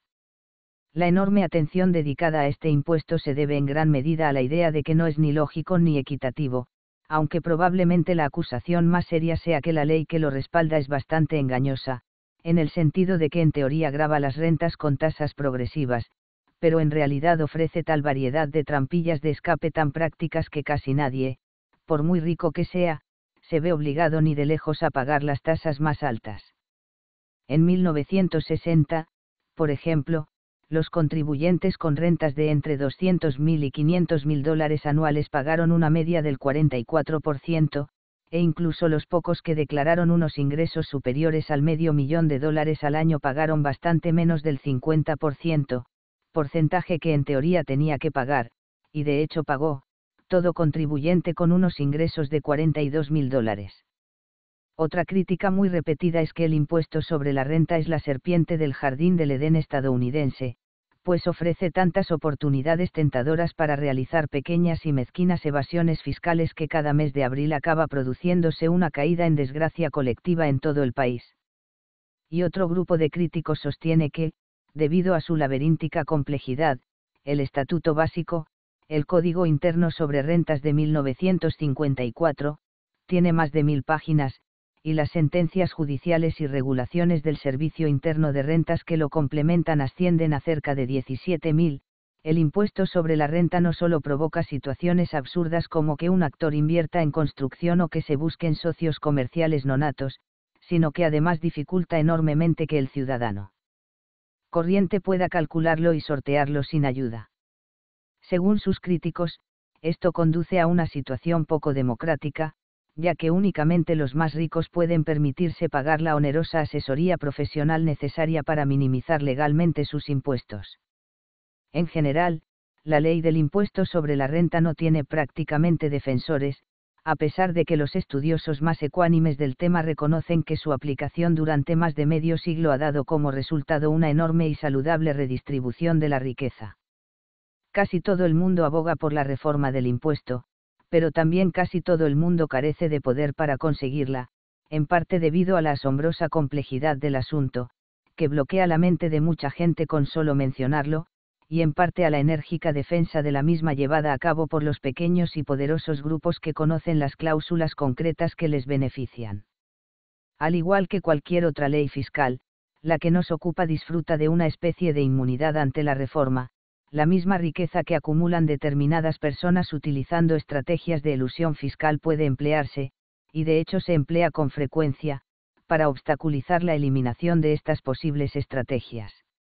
Dichas influencias, combinadas con las demandas de dinero al Departamento del Tesoro para gastos de defensa y otros crecientes gastos gubernamentales, incluso sin contar guerras candentes como la de Vietnam, han generado dos tendencias tan marcadas que han llegado a considerarse como una ley política natural, en Estados Unidos resulta comparativamente fácil elevar los impuestos e introducir estrategias de elusión fiscal, y comparativamente difícil reducir los impuestos y eliminar tales estrategias. O así era hasta 1964, cuando la segunda mitad de esta ley natural fue desafiada por una nueva legislación, originalmente propuesta por el presidente Kennedy y finalmente implantada por el presidente Johnson, que reducía los tipos impositivos básicos en dos niveles, por un lado, el individual más reducido bajaba del 20 al 14%, y el más elevado bajaba del 91 al 70%, y por otro, el impuesto máximo para las empresas bajaba del 52 al 48%. En su conjunto, se trataba del mayor recorte fiscal de la historia de Estados Unidos. El problema es que la otra parte de la supuesta ley natural continúa inmaculada, pues, aunque los cambios fiscales propuestos por Kennedy incluían un programa de reformas que apuntaban a eliminar las estrategias de elusión fiscal, el clamor en contra fue tan ruidoso que el propio Kennedy abandonó muchas de ellas, y prácticamente ninguna fue implantada finalmente, más bien al contrario, la nueva ley completó o amplió el alcance de algunas de las estrategias ya vigentes. Cletus, hemos de asumir que vivimos en la era de los impuestos. Mires a dónde mires, te encontrarás con uno, comenta un abogado a otro en el libro de relatos cortos de Louis Auchincloss titulado Powers Grados Fahrenheit Attorney, Poderes Notariales, y el otro, un conservador, apenas puede plantear una débil objeción. Sin embargo, dada la omnipresencia del impuesto sobre la renta en la vida de los habitantes de Estados Unidos, resulta extraña la patente ausencia de referencias a él en la ficción estadounidense. Es probable que esta omisión sea fruto de la falta de elegancia literaria del tema, pero también puede deberse al desasosiego que provoca en casi todos los habitantes del país, una sensación que se ha implantado en sus mentes y que resulta imposible de eliminar, una presencia ni totalmente buena ni totalmente mala, pero tan inmensa, extravagante y moralmente ambigua que ni siquiera puede ser abarcada con la imaginación. Y uno no puede por menos que preguntarse, ¿cómo demonios sucedió tal cosa? Un impuesto sobre la renta solo puede ser realmente efectivo en un país industrializado en el que existan muchos empleados asalariados, y los ejemplos de implantación de este tipo de impuestos a lo largo de la historia son relativamente escasos y simples. Con carácter general, los impuestos de la antigüedad, como el que llevó a María y a José a Belén justo antes del nacimiento de Jesús, eran siempre impuestos por cabeza, según los cuales cada persona debía pagar una cantidad fija, y no un impuesto variable sobre la renta. Hasta el siglo XIX únicamente se llevaron a cabo dos intentos de implantación de impuestos sobre la renta, uno en Florencia durante el siglo XV, y otro en Francia durante el XVIII, y en términos generales ambos fueron meros intentos de codiciosos gobernantes de esquilmar a sus súbditos. El caso francés, en palabras de esa misma autoridad, pronto se vio plagado de abusos, y acabó siendo, una imposición injusta y completamente arbitraria sobre las clases menos pudientes, lo que sin duda tuvo su influencia en el fervor homicida que años después dominaría la Revolución Francesa. El tipo de este impuesto del ancien régimen, instaurado por Luis XIV en 1710, era del 10%, cifra que posteriormente se redujo a la mitad, aunque no lo hizo a tiempo, el régimen revolucionario eliminó sumariamente el impuesto, así como también a sus perpetradores. A pesar de este ejemplo admonitorio, el Reino Unido implantó en 1798 el considerado por muchos como el primer impuesto moderno sobre la renta de la historia, irónicamente para facilitar su participación en las guerras revolucionarias francesas. Dos aspectos destacaban en este impuesto, por un lado, era progresivo, pues iba desde un 0% para las rentas anuales de menos de 60 libras hasta un 10% para las de 200 libras o más, y, por otro, era bastante complejo, pues contenía 124 secciones que ocupaban 52 páginas. Su impopularidad fue general e instantánea, y muy pronto surgió un aluvión de panfletos de denuncia. Uno de estos panfletos, supuestamente recordando las antiguas barbaridades de la antigüedad, tachaba a los recaudadores de impuestos sobre la renta de mercenarios despiadados, y bestias con toda la rudeza y grosería que pueden provocar la insolencia y la vanidosa ignorancia. Después de recaudar tan solo 6 millones de libras al año durante tres años, en parte debido a una ilusión fiscal generalizada, el impuesto fue revocado en 1802, tras el Tratado de Amiens, aunque al año siguiente, cuando el Departamento del Tesoro británico se encontró necesitado de fondos, el Parlamento promulgó una nueva ley de impuestos sobre la renta.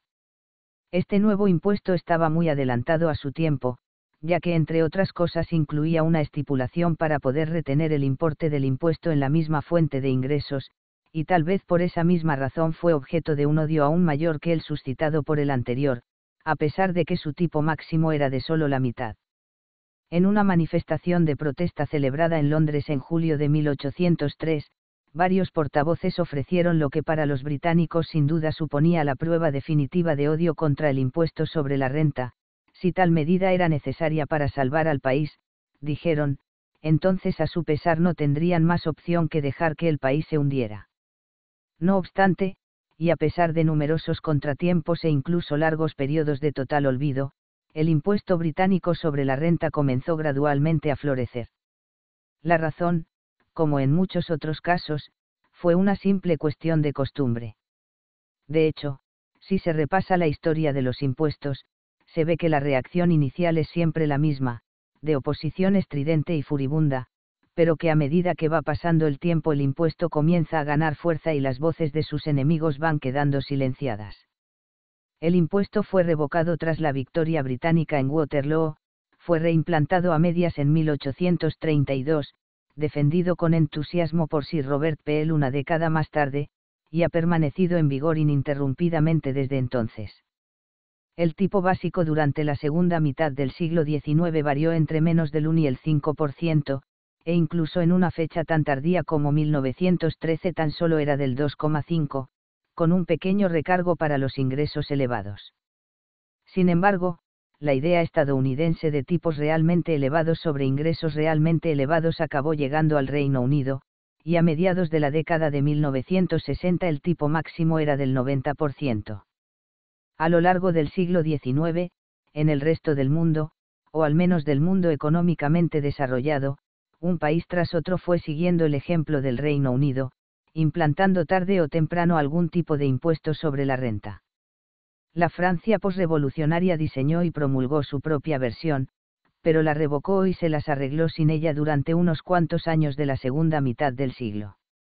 Sin embargo, la pérdida de ingresos se hizo intolerable, por lo que el impuesto volvió a entrar en vigor, y pasó definitivamente a ser parte imprescindible de la economía francesa. Un impuesto sobre la renta fue uno de los primeros frutos, aunque no de los más dulces, de la unidad de Italia, mientras que algunos de los estados que se fusionaron en la Confederación Germana ya tenían sus propios impuestos sobre la renta antes de realizarse la unión. En 1911, este tipo de impuesto ya existía también en Austria, España, Bélgica, Suecia, Noruega, Dinamarca, Suiza, Países Bajos, Grecia, Luxemburgo, Finlandia, Australia, Nueva Zelanda, Japón y la India. En cuanto a Estados Unidos, cuyo enorme volumen de recaudación y la aparente docilidad de sus contribuyentes son hoy en día la envidia de muchos gobiernos, se lo tomó con calma a la hora de implantar definitivamente un impuesto sobre la renta nacional, y durante años lo promulgó y revocó varias veces. Es cierto que durante la época colonial existieron varios sistemas de ingresos que se asemejaban ligeramente a un impuesto sobre la renta, en Rhode Island, por ejemplo, hubo un tiempo en el que cada ciudadano debía intentar estimar el estatus financiero de 10 de sus vecinos, tanto en ingresos como en propiedades, con el fin de ofrecer una base para estimaciones fiscales, pero tal sistema duró poco, ya que era muy ineficiente y se prestaba a obvias oportunidades de abuso. La primera persona que propuso un impuesto federal sobre la renta fue el secretario del Departamento del Tesoro del presidente Madison, Alexander J. Dallas. El problema fue que lo hizo en 1814, y dado que pocos meses después terminó la guerra de 1812, aligerando las necesidades de ingresos gubernamentales, la propuesta se rechazó con tanta vehemencia que no fue reconsiderada hasta la guerra civil, cuando ambos contendientes, los bandos de la Unión y de la Confederación, promulgaron sus propios impuestos. Antes de 1900, muy pocos impuestos sobre la renta fueron implantados sin el estímulo de una guerra, ya que hasta ese momento se consideraba que estos impuestos a nivel nacional no eran más que medidas excepcionales para gastos militares y de defensa. En junio de 1862, espoleado por la inquietud general sobre una deuda pública que estaba aumentando a razón de 2 millones de dólares al día, el Congreso accedió a regañadientes a aprobar una propuesta de creación de un impuesto sobre la renta con tipos progresivos hasta un máximo del 10%, y el 1 de julio el presidente Lincoln la convirtió en ley, junto con otra que penalizaba la práctica de la poligamia.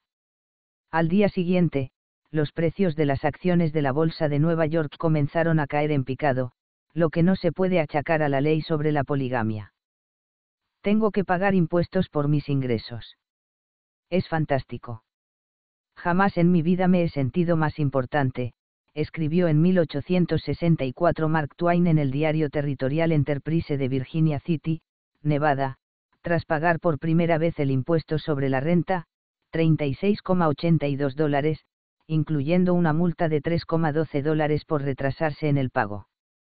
a pesar de que muy pocos del resto de los contribuyentes se mostraron tan entusiastas, la ley, aunque sometida a una serie de reducciones y enmiendas, permaneció en vigor hasta 1872.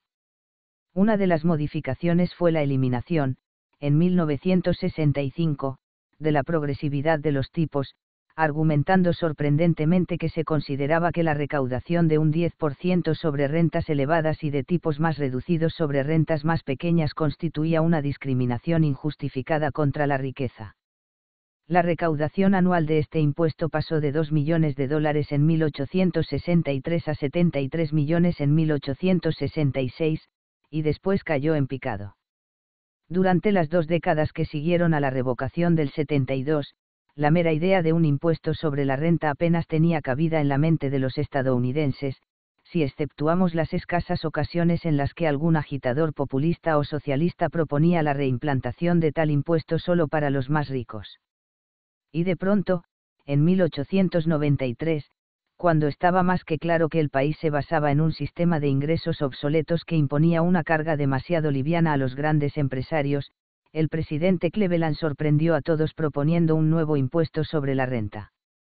Las protestas fueron ruidosas y airadas, el senador John Sherman, de Ohio, principal impulsor de la ley Sherman contra el monopolio, acusó a la propuesta de, socialista, comunista y satanista, otro senador habló amenazadoramente de, los profesores con sus libros, los socialistas con sus conspiraciones y los anarquistas con sus bombas, durante una sesión en la Cámara de Representantes, un congresista de Pensilvania puso sus cartas sobre la mesa en los siguientes términos. 1. Impuesto sobre la renta. Un impuesto tan odioso que ninguna administración se ha atrevido jamás a imponerlo excepto en tiempos de guerra. Es algo tan increíblemente repugnante a nivel moral y material que no tiene cabida en un país libre. Es una legislación clasista. ¿Acaso desea ofrecer una recompensa a la deshonestidad y alentar el perjurio?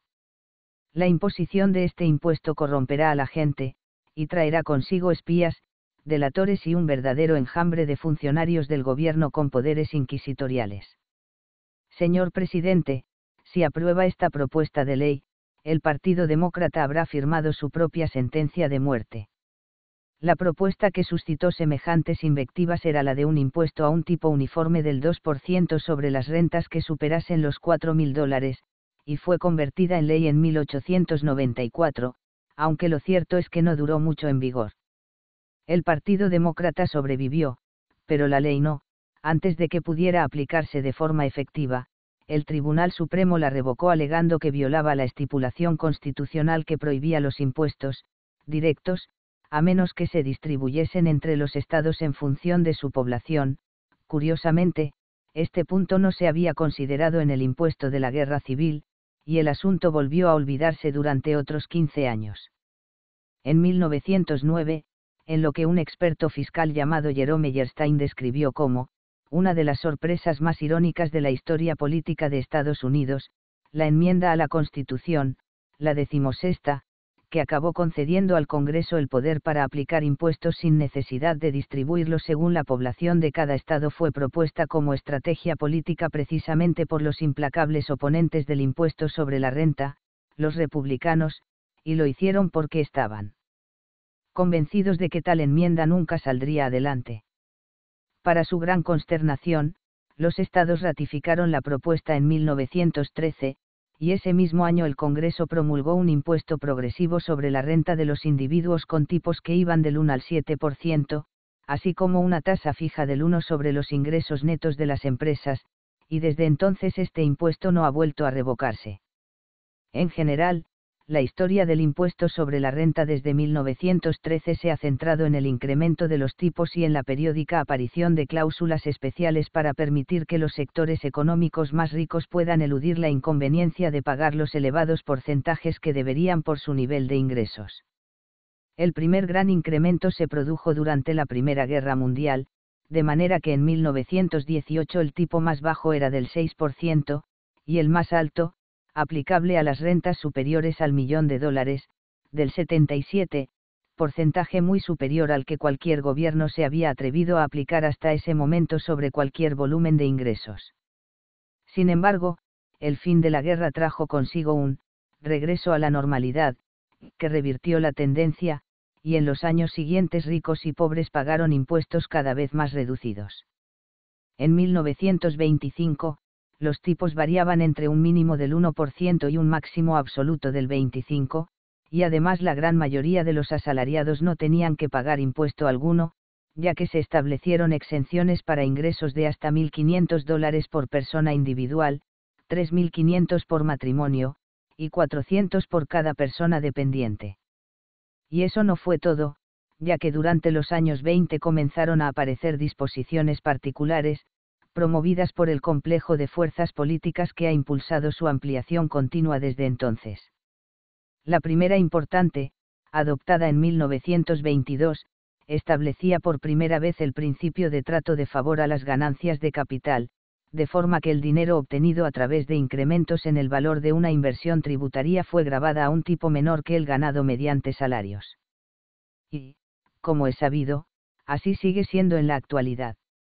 Poco después, en 1926, apareció el que probablemente es el resquicio legal que más rechinar de dientes ha provocado entre aquellos que no están en posición de beneficiarse de él, la reducción del porcentaje que pagar sobre ingresos del petróleo, que permite al propietario de una prospección deducirse cada año hasta un 27% de sus ingresos brutos anuales procedentes del petróleo, aunque ya haya recuperado con creces la inversión inicial en el pozo de extracción puede ser que los felices años 20 lo fueran para el pueblo estadounidense en general, pero sin duda fueron pero que muy felices para el contribuyente adinerado.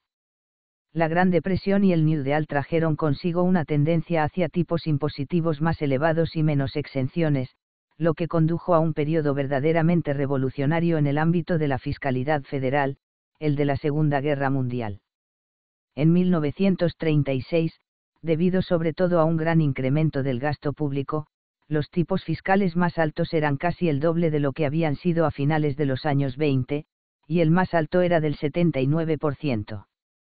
En los estratos más bajos, las exenciones personales se habían reducido hasta el punto de que todo individuo debía contribuir con una pequeña cantidad incluso aunque su renta fuese de únicamente 1.200 dólares.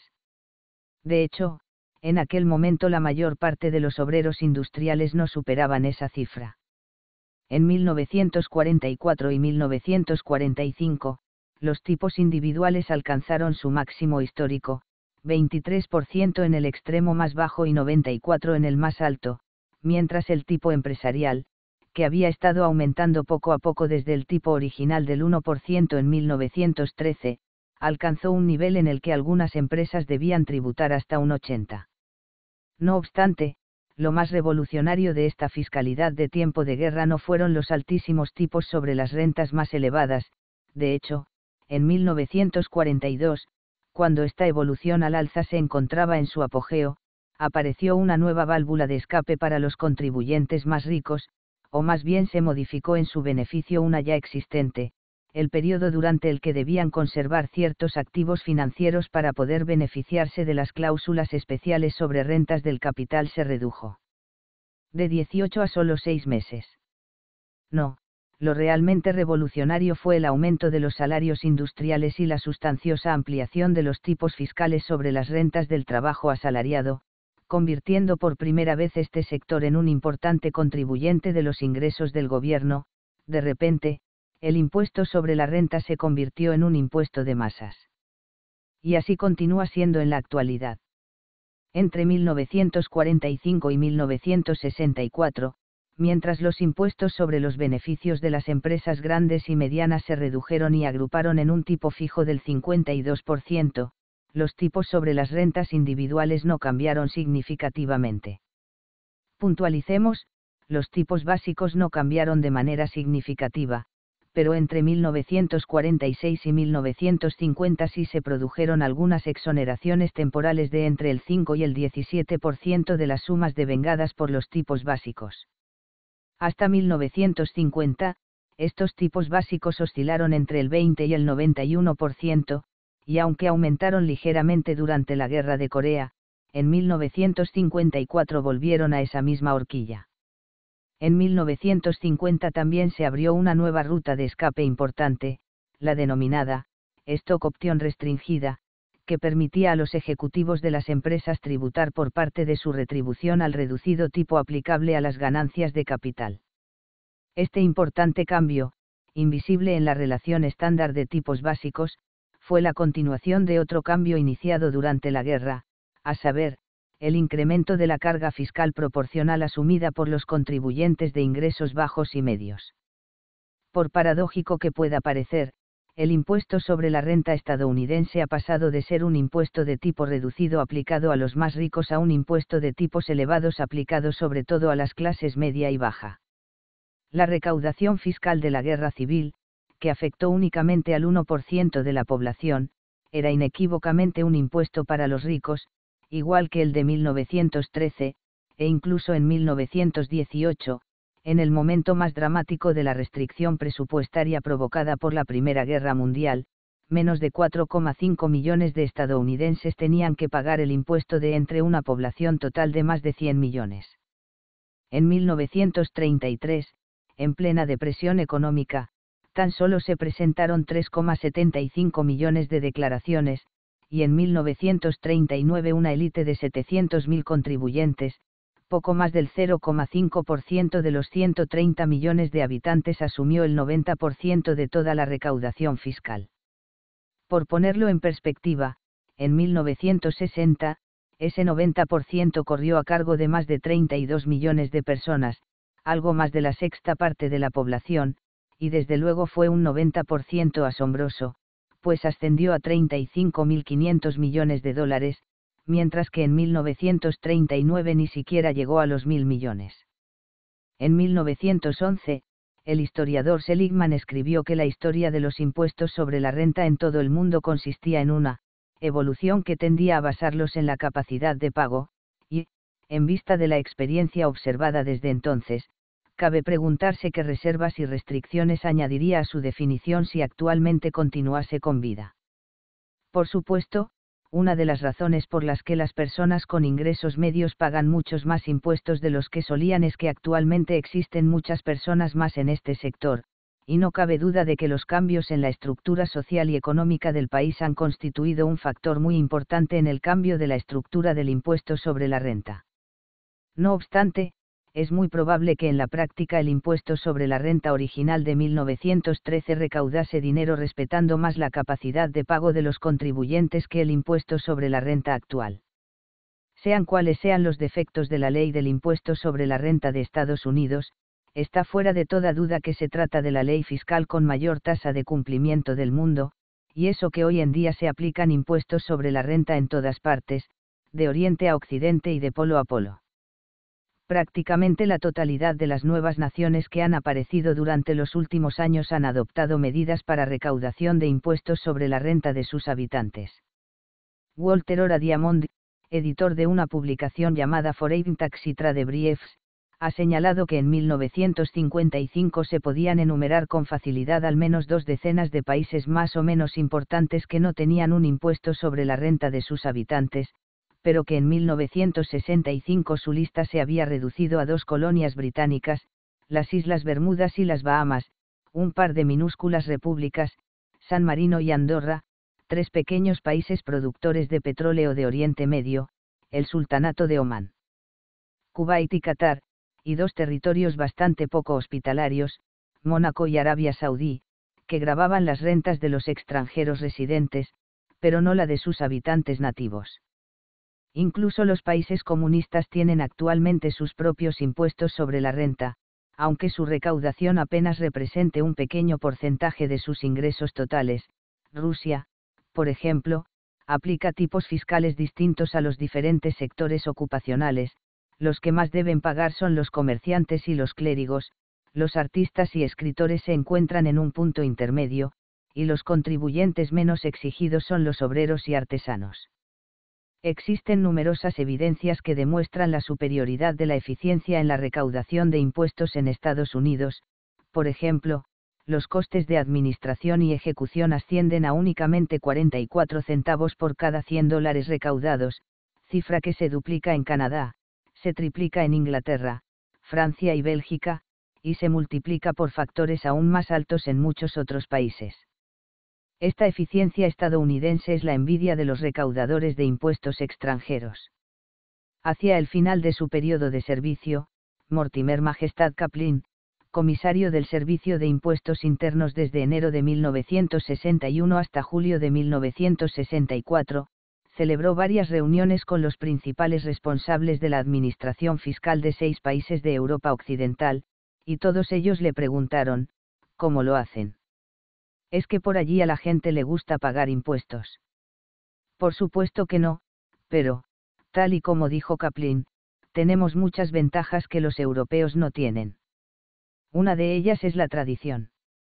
Los impuestos sobre la renta estadounidenses no se originaron y desarrollaron por los esfuerzos de ciertos monarcas para llenar sus arcas a expensas de sus súbditos, sino como resultado de los esfuerzos de un gobierno electo para servir al interés general. Recientemente, un consultor fiscal con mucho mundo comentó, en la mayoría de los países, resulta imposible iniciar un debate interesante sobre impuestos sobre la renta, porque en general no se toman en serio. En Estados Unidos sí se toman muy en serio, y una de las principales razones es la extraordinaria capacidad y alcance de la autoridad encargada de la recaudación, el mencionado Servicio de Impuestos Internos, el IRS, por sus siglas en inglés. Sin duda, el enjambre de funcionarios, que temía el congresista de Pensilvania en 1894 ya es una realidad, y más de uno juraría que estos funcionarios están en posesión de los también temidos, poderes inquisitoriales. A principios de 1965, el Servicio de Impuestos Internos contaba con unos 60.000 empleados, entre ellos cerca de 6.000 expertos en fiscalidad y tributación y más de 12.000 recaudadores, y estos 18.000 empleados tenían y tienen respaldo legal para investigar la procedencia de hasta el último centavo de los ingresos y para indagar en las actividades económicas de cualquier contribuyente, y están armados con la amenaza de severos castigos a los defraudadores, por lo que efectivamente tienen poderes. Que razonablemente se podrían considerar inquisitoriales.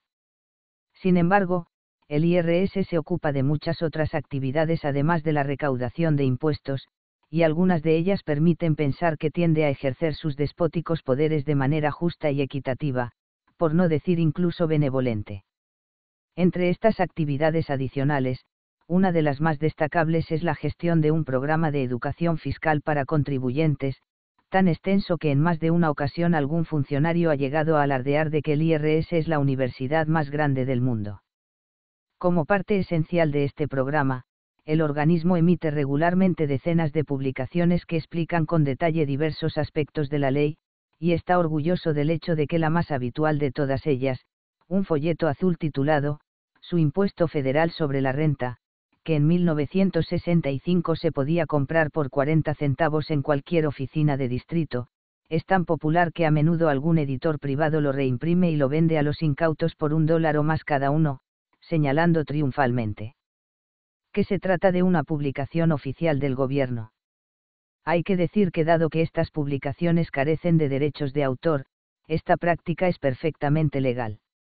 El IRS también elabora y publica listas de respuestas a preguntas técnicas frecuentes cada mes de diciembre para informar al extenso cuerpo de profesionales fiscales, contables y abogados, de que en breve tendrán que ocuparse de preparar y revisar las declaraciones de individuos y empresas. Además, dispone de manuales básicos sobre fiscalidad, diseñados específicamente para ser distribuidos en cualquier centro de educación secundaria que lo solicite, y, según un alto funcionario, en torno al 85% de los institutos y escuelas de secundaria de todo el país lo hizo recientemente. La cuestión de si los escolares deberían dedicar tiempo a estudiar las leyes fiscales o no es algo que el IRS considera fuera de su competencia. Y, por si fuera poco, justo antes del vencimiento del periodo anual de declaración, el IRS suele emitir anuncios publicitarios en televisión y radio en los que ofrece consejos y recordatorios fiscales, y está orgulloso de poder decir que la gran mayoría de ellos se han elaborado con el fin de evitar que los contribuyentes paguen de más en sus declaraciones. En otoño de 1963, el IRS dio un gran paso para incrementar todavía más la eficiencia de sus métodos de recaudación, en una hazaña digna del lobo de, Caperucita Roja, se las arregló para presentar dicho paso como algo que se hacía por el bien de todos los contribuyentes, como si fuese la ayuda desinteresada de una abuela solícita. El paso consistió básicamente en elaborar una especie de fichero nacional de identidad, asignando a cada contribuyente un número de cuenta, normalmente su número de seguridad social, y su objetivo era eliminar en lo posible el problema creado por la gente que no declaraba sus ingresos por dividendos corporativos o por intereses de cuentas bancarias o bonos, una forma de evasión fiscal que según las estimaciones había estado costando al Departamento del Tesoro cientos de millones de dólares al año. Sin embargo, la imagen que se ofrecía al público era muy distinta, cuando usted ponga su número de identificación en el lugar indicado para ello y envíe la declaración, puede estar seguro de que podrá obtener un crédito inmediato por el importe de los impuestos declarados y pagados, y que cualquier reembolso debido le será abonado a la mayor brevedad posible, comentaba alegremente el comisario Kaplan en la primera página de los formularios de la Declaración de la Renta de 1964. Posteriormente, el IRS dio otro enorme paso para reducir la evasión fiscal, adoptar un nuevo sistema para automatizar una gran parte del proceso de control de los impuestos, que incluía siete ordenadores regionales que recopilaban información para enviarla a un centro de datos ubicado en la localidad de Martinsburg, Virginia Occidental. Esta nueva instalación, diseñada para llevar a cabo un cuarto de millón de comparaciones de cifras por segundo, comenzó a ser conocida como el monstruo de Martinsburg, incluso antes de estar operativa.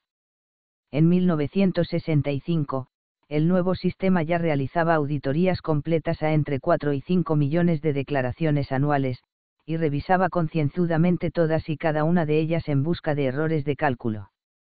Al principio, estas comprobaciones se realizaban en parte de forma manual y en parte de forma automatizada, pero a partir de 1967, cuando el sistema de computación empezó a funcionar a toda potencia, todo el trabajo matemático pasó a ser realizado exclusivamente por la electrónica, lo que dio a los empleados humanos más tiempo para auditar minuciosamente aún más declaraciones. Si la cara ofrecida por el IRS al país durante los años anteriores había mostrado una inquietante expresión de benignidad, es probable que fuese debido a que Kaplan, el hombre al mando durante ese tiempo, era una persona alegre y extrovertida y un político nato, y a que su influencia aún podía sentirse tras el hombre nombrado para sucederle como comisario en diciembre de 1964, un joven jurista de Washington llamado Sheldon San Cohen, que asumió el puesto tras un periodo de seis meses durante el que un veterano funcionario del IRS, Bertrand Majestad Jardín, hizo las veces de comisario en funciones. Cuando Kaplan presentó su renuncia como comisario, abandonó temporalmente la política y regresó a su antiguo bufete como especialista, entre otras cosas, en consultoría fiscal para empresarios. Kaplan está considerado por muchos como uno de los mejores comisarios de impuestos internos de la historia, y como mínimo hay que reconocer que fue mucho mejor que dos de sus recientes predecesores en el puesto, uno de ellos fue tiempo después juzgado y condenado a dos años de cárcel, irónicamente por evasión de impuestos, y el otro se convirtió en el principal impulsor de una campaña de oposición pública a cualquier tipo de impuesto federal sobre la renta, lo que en la práctica equivalía a que un exárbitro de béisbol fuese por todo el país echando pestes de ese mismo deporte. Entre los logros atribuidos al comisario Mortimer Kaplan, un hombre de pequeña estatura, dinámico y muy elocuente, que se crió en Nueva York y llegó a ser profesor de Derecho en la Universidad de Virginia, uno de los más destacados fue la abolición oficial de la supuesta asignación de cuotas de recaudación a los empleados encargados de llevarlas a cabo. Consiguió que los niveles más altos del escalafón del IRS tuvieran una imagen de integridad fuera de toda duda, y, lo que es tal vez más impresionante, consiguió realizar la extraña proeza de introducir en la nación una suerte de entusiasmo por los impuestos, al menos en su consideración abstracta, de manera que podía recaudarlos con un cierto estilo, como una continuación de la New Frontier, Nueva Frontera, de Kennedy, que él llamó New Direction. Esta nueva dirección puso todo su empeño en incrementar la educación de los contribuyentes con vistas a conseguir una mayor aceptación y un mayor cumplimiento voluntario de la ley fiscal, en lugar de centrarse en la búsqueda y castigo de los infractores conscientes. En un manifiesto distribuido por orden de Kaplan a todo su enjambre de funcionarios en la primavera de 1961, escribió, todos debemos ser muy conscientes de que nuestra organización no se debe limitar a llevar a cabo operaciones cuyo objetivo sea conseguir 2.000 millones de dólares en estimaciones adicionales, recaudar otros mil millones de cuentas criminales, y procesar a unos cuantos cientos de evasores. Además de eso, el IRS tiene la misión de administrar un enorme sistema de autoliquidación de impuestos que obtiene más de 90 mil millones de dólares a partir de las renuncias a reembolsos y pagos voluntarios de los contribuyentes, más otros 2.000 grados 3 mil millones por otras actividades. En resumen, no podemos olvidar que el 97% de todos nuestros ingresos procede de declaraciones voluntarias, y que tan solo el 3% restante es fruto de actuaciones sancionadoras nuestra misión principal es alentar y conseguir un mayor cumplimiento voluntario efectivo. La nueva dirección no es más que un cambio de objetivo, pero se trata de un cambio extremadamente importante. No obstante, donde seguramente se describió mejor el verdadero espíritu de la nueva dirección fue en un libro titulado The American Bay Grados Fahrenheit Taxation, el estilo fiscal estadounidense, editado por Lilian Doris y publicado en 1963 con la bendición y el prólogo de Kaplan. En la sobrecubierta de este libro se afirmaba, categóricamente, he aquí la fascinante historia del organismo de recaudación de impuestos más grande y más eficiente que ha conocido el mundo, el Servicio de Impuestos Internos de Estados Unidos. Conozca los acontecimientos más estimulantes, las amargas batallas legislativas, los entregados funcionarios que han destacado a lo largo del último siglo dejando una huella indeleble en nuestra nación. Emociónese con los enfrentamientos entre los partidarios y detractores del impuesto sobre la renta y asómbrese con los futuros planes del IRS. Descubra cómo las supercomputadoras que se están fabricando van a afectar al sistema de recaudación de impuestos y a influir en las vidas de muchos hombres y mujeres estadounidenses de una forma totalmente nueva e inusual parecía un presentador de circo anunciando a voz en grito el nuevo espectáculo de la compañía. Es discutible si la consigna de la nueva dirección, cumplimiento voluntario, podía en rigor emplearse para describir un sistema fiscal en el que las tres cuartas partes de lo recaudado a individuos se basaba en la retención directa sobre sus sueldos y salarios, un sistema en el que el IRS y el monstruo de Martinsburg acechaban al descuidado contribuyente, y en el que el castigo por evasión podía ascender hasta cinco años de cárcel por delito, además de incluir sanciones económicas extremadamente elevadas. Kaplan, sin embargo, no parecía en absoluto preocupado por esta aparente contradicción, y derrochando buen humor recorrió todo el país visitando asociaciones de empresarios, contables y abogados, alabándoles por su cumplimiento voluntario en el pasado, exhortándoles a un mayor cumplimiento en el futuro, y asegurándoles que se habían unido a una buena causa. Nos seguimos esforzando por humanizar nuestra administración fiscal, se podía leer en el encabezado de los formularios de la Declaración de 1964, firmado por el propio Kaplin, y según su propia confesión redactada en colaboración con su esposa.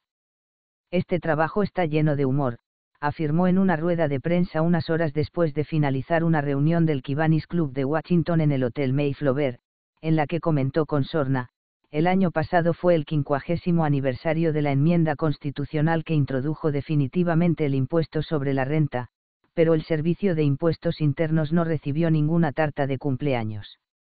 El comentario podría, en cierto modo, ser considerado como una forma de humor sarcástico, aunque se supone que no debe ser el perjudicado por la situación el que cuente el chiste. Cohen, el comisario sucesor de Kaplan, es un washingtoniano de nacimiento que en 1952 se graduó con honores, primero de su promoción, en la Facultad de Derecho de la Universidad de Washington, trabajó como asistente junior en el IRS durante los siguientes cuatro años, practicó la abogacía en Washington durante siete años como asociado del prestigioso bufete Arnold, Fortas y Porter, a comienzos de 1964 regresó al IRS como jefe de asesores, y un año más tarde, a la edad de 37 años. Se convirtió en el comisario de impuestos internos más joven de la historia. Hombre de cabello castaño y muy corto, mirada franca, y unos modales suaves que le hacen parecer aún más joven de lo que es, Cohen llegó procedente del grupo de asesores con la reputación de haber elevado su nivel tanto práctico como filosófico. Fue el responsable directo de la implantación de una organización administrativa que logró agilizar al máximo la toma de decisiones, y suscitó múltiples alabanzas por solicitar al IRS que fuese coherente en su postura legal en los juicios contra los contribuyentes, en el sentido de que, por ejemplo, no interpretase la ley de una forma en un caso en Filadelfia y de otra en otro caso en Omaha, lo que se considera todo un triunfo de los principios elevados frente a la codicia gubernamental. En general, según dijo Cohen al asumir el mando, su intención era dar continuidad a las políticas de Kaplan, incrementar el cumplimiento voluntario, fomentar una relación agradable con los contribuyentes, o al menos no desagradable, etc. Sin embargo, es una persona menos gregaria y más reflexiva que Kaplan, y esta diferencia ha tenido sus efectos sobre el conjunto el IRS, entre otras cosas, por ejemplo, en que se ha mantenido mucho más cerca de la mesa de su despacho y ha dejado las charlas informativas itinerantes a sus subordinados. Mortera estupendo para estas promociones, señaló Cohen en 1965. La opinión pública sobre el IRS es más positiva que nunca gracias a su gran impulso en ese sentido. Lo que hay que hacer ahora es intentar mantener esta opinión, pero deben encargarse otras personas más idóneas. Yo no lo haría nada bien, porque no valgo para este tipo de cosas. Una de las críticas que más a menudo se ha planteado y se sigue planteando es que el comisario y su entorno tienen demasiado poder en sus manos. Es cierto que el comisario no tiene autoridad para proponer cambios en los tipos impositivos o para plantear una nueva legislación fiscal, esta autoridad pertenece al secretario del Departamento del Tesoro, que puede o no buscar el consejo del comisario sobre el asunto que sea, y la promulgación de las nuevas leyes fiscales es, por supuesto, potestad exclusiva del Congreso y del presidente, pero dichas leyes deben cubrir un abanico tan amplio de situaciones distintas que tienen que ser redactadas en términos generales, y es el comisario el único responsable, salvo revocación judicial, de escribir los reglamentos que desarrollan las leyes. Y si estos reglamentos son en sí mismos algo confusos, como puede suceder, ¿quién mejor para aclararlos que el propio comisario? El resultado es que casi cada palabra que sale de la boca del comisario, sea en su despacho o durante alguna reunión, es inmediatamente captada y distribuida por los diversos servicios de información fiscal a contables y abogados de todo el país, que la engullen con una avidez pocas veces mostrada hacia los comentarios de un funcionario del gobierno. Por esta razón, algunas personas ven en el comisario a un tirano en potencia. Sin embargo, muchas otras, incluyendo expertos en fiscalidad teórica y práctica, no están de acuerdo con esta visión.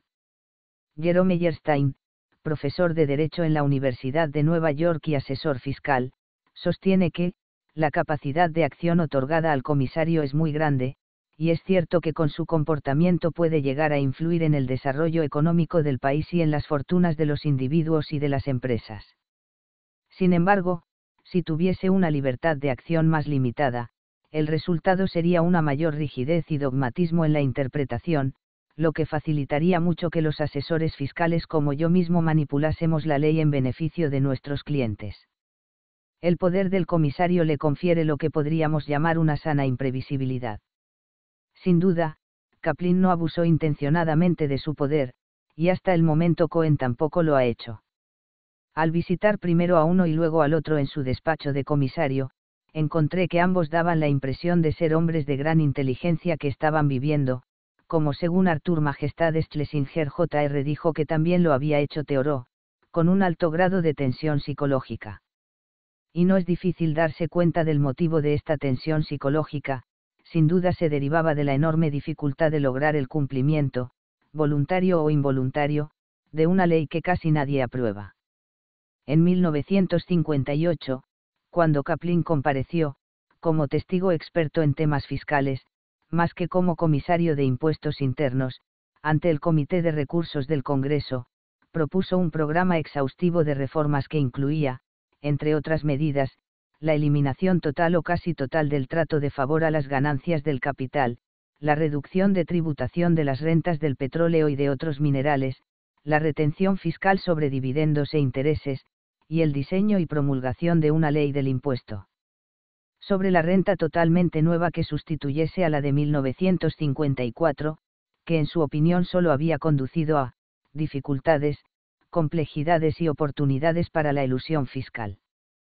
poco después de que Kaplan abandonase su puesto, explicó en detalle cómo sería su ley fiscal ideal, que comparada con la vigente sería heroicamente simple, sin resquicios legales, sin deducciones ni exenciones personales, y con unos tipos progresivos de entre el 10 y el 50%. En el caso de Kaplan, la eliminación de la tensión psicológica, si es que consiguió eliminarla, no fue el resultado de un análisis racional exclusivamente. Algunos críticos tienen una visión absolutamente cínica del impuesto sobre la renta, comentó un día durante su mandato como comisario. Se limitan a decir, es un desastre, y no se puede hacer nada al respecto.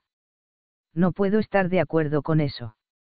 Cierto que hacen falta muchas mejoras, y seguirán haciendo falta, pero me niego en redondo a aceptar esa actitud tan derrotista. Nuestro sistema fiscal posee una cualidad mágica, y es que,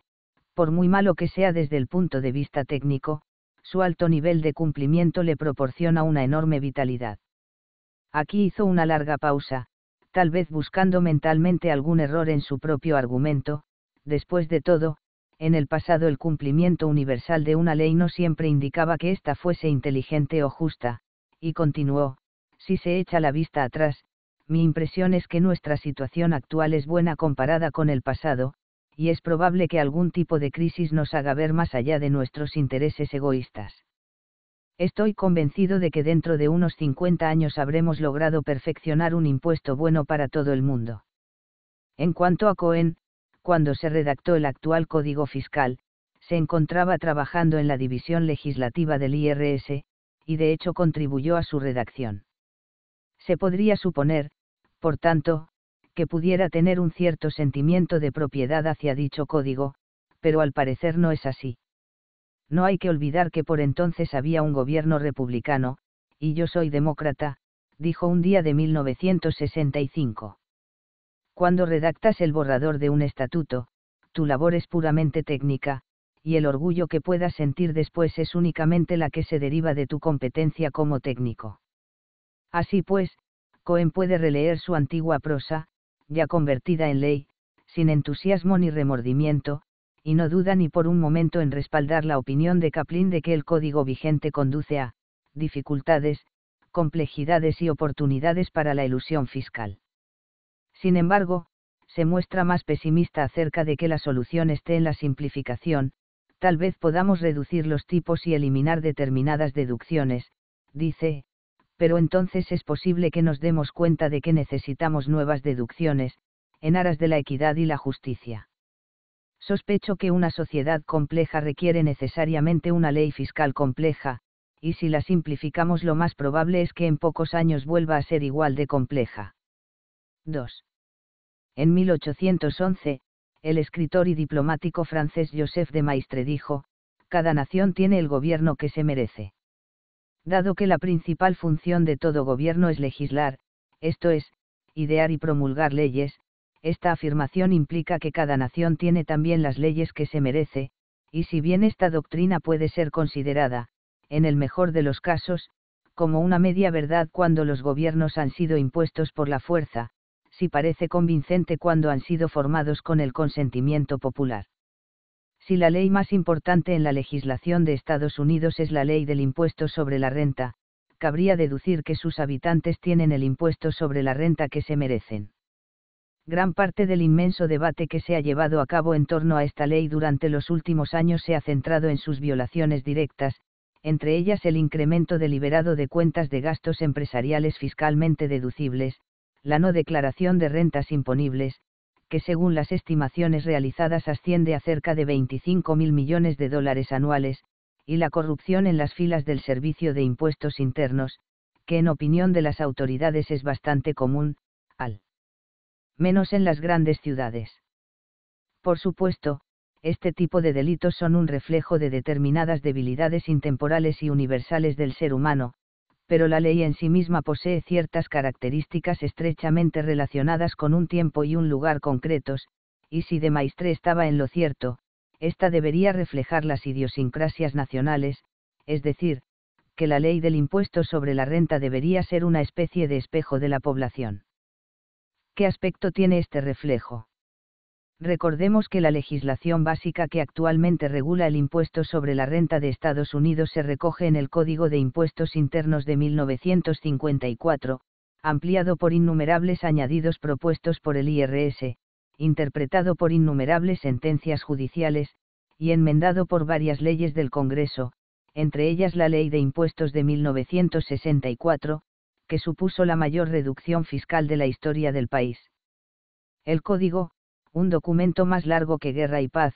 está redactado, tal vez inevitablemente, con ese estilo jurídico que aturde la mente e intimida al espíritu, por ejemplo, una frase bastante típica, en la que se define la palabra empleo, comienza al final de la página 564, incluye más de mil palabras, 19 puntos y coma, 42 paréntesis simples, 3 paréntesis entre paréntesis, e incluso un inexplicable punto y seguido, y llega casi sin aliento a su punto final al principio. De la página 567. Es necesario llegar a la parte del código que trata de los impuestos de exportación e importación, que están dentro de su competencia, junto con los impuestos estatales y varios otros impuestos federales, para encontrar frases comprensibles y curiosas como la siguiente, toda persona física o jurídica que exporte margarina deberá marcar cada bote, barra o recipiente en general con la palabra margarina en letras romanas simples de un tamaño mínimo de un centímetro cuadrado cada una. Aún así, hay que decir que en la página 2 del código se puede encontrar una cláusula, que no una frase, que no podría ser más clara y directa. En ella se presentan en orden ascendente los tipos impositivos aplicables a cada grupo de renta, 20% para rentas inferiores a 2.000 dólares anuales, 22% para rentas de entre 2.000 y 4.000 dólares, y así sucesivamente hasta alcanzar el tipo más alto del 91% para rentas superiores a los 200.000 dólares al año. Como hemos visto, en 1964 se redujo el tipo máximo hasta el 70%. Así pues, el código lleva a cabo nada más empezar una declaración de principios, y a juzgar por la tabla de tipos progresivos es implacablemente igualitario, pues graba relativamente poco a los pobres, moderadamente a los desahogados, y a los ricos a un nivel tan elevado que casi podría llamarse confiscación. No obstante lo dicho, y recalcando una vez más un tema de sobra conocido, el código no está a la altura de sus propios principios, y para encontrar pruebas de ello no hace falta buscar muy lejos, basta con mirar algunos de los recientes informes sobre el impuesto sobre la renta, un conjunto de volúmenes titulados, Estadísticas de rentas, publicados anualmente por el IRS. En 1960, los individuos con ingresos brutos situados entre 4.000 y 5.000 dólares anuales, una vez aplicadas todas las deducciones y exenciones personales a que tienen derecho, y acogerse a la estipulación que permite que matrimonios y cabezas de familia tributen a tipos impositivos generalmente más bajos que los de personas solteras, acabaron pagando, en promedio, en torno a la décima parte de sus bases imponibles, mientras que los situados en la horquilla de 10.000 menos 15.000 dólares pagaron la séptima parte, los de 25.000 menos 50.000 dólares algo menos de la cuarta parte, y los de 50.000 menos 100.000 dólares aproximadamente la tercera parte. Hasta aquí se percibe una clara progresión según capacidad de pago, tal y como establece la tabla de tipos, pero al llegar a los niveles más altos esta progresión se interrumpe bruscamente, pese a que es en ellos precisamente donde debería ser más pronunciada. También en 1960, los grupos de 15.0000-200000, 20.0000-50.0000, 50.0000-100000 y más de un millón de dólares pagaron de media menos del 50% de sus rentas declarables, y si además se tiene en cuenta que, cuanto más rico es un contribuyente, mayor es la probabilidad de que ni siquiera tenga que declarar una enorme proporción de sus ingresos, por ejemplo, los rendimientos de bonos bursátiles, y la mitad de todas las ganancias de capital a largo plazo, resulta obvio que en lo más alto de la escala de rentas los tipos impositivos reales se reducen en vez de aumentar. Las estadísticas de rentas de 1961, que analizan cifras de pagos por grupo impositivo, confirman este patrón de comportamiento y muestran, por ejemplo, que aunque 7.487 contribuyentes declararon ingresos brutos iguales o superiores a 200.000 dólares anuales, menos de 500 calcularon bases imponibles que les situaron en el escalón más alto del 91%. Durante todo el tiempo que estuvo en vigor, el tipo impositivo del 91% funcionó como una especie de tranquilizante público, ya que hacía que todos los contribuyentes de los niveles inferiores se sintiesen afortunados de no ser ricos y por tanto no importunasen demasiado a las clases altas.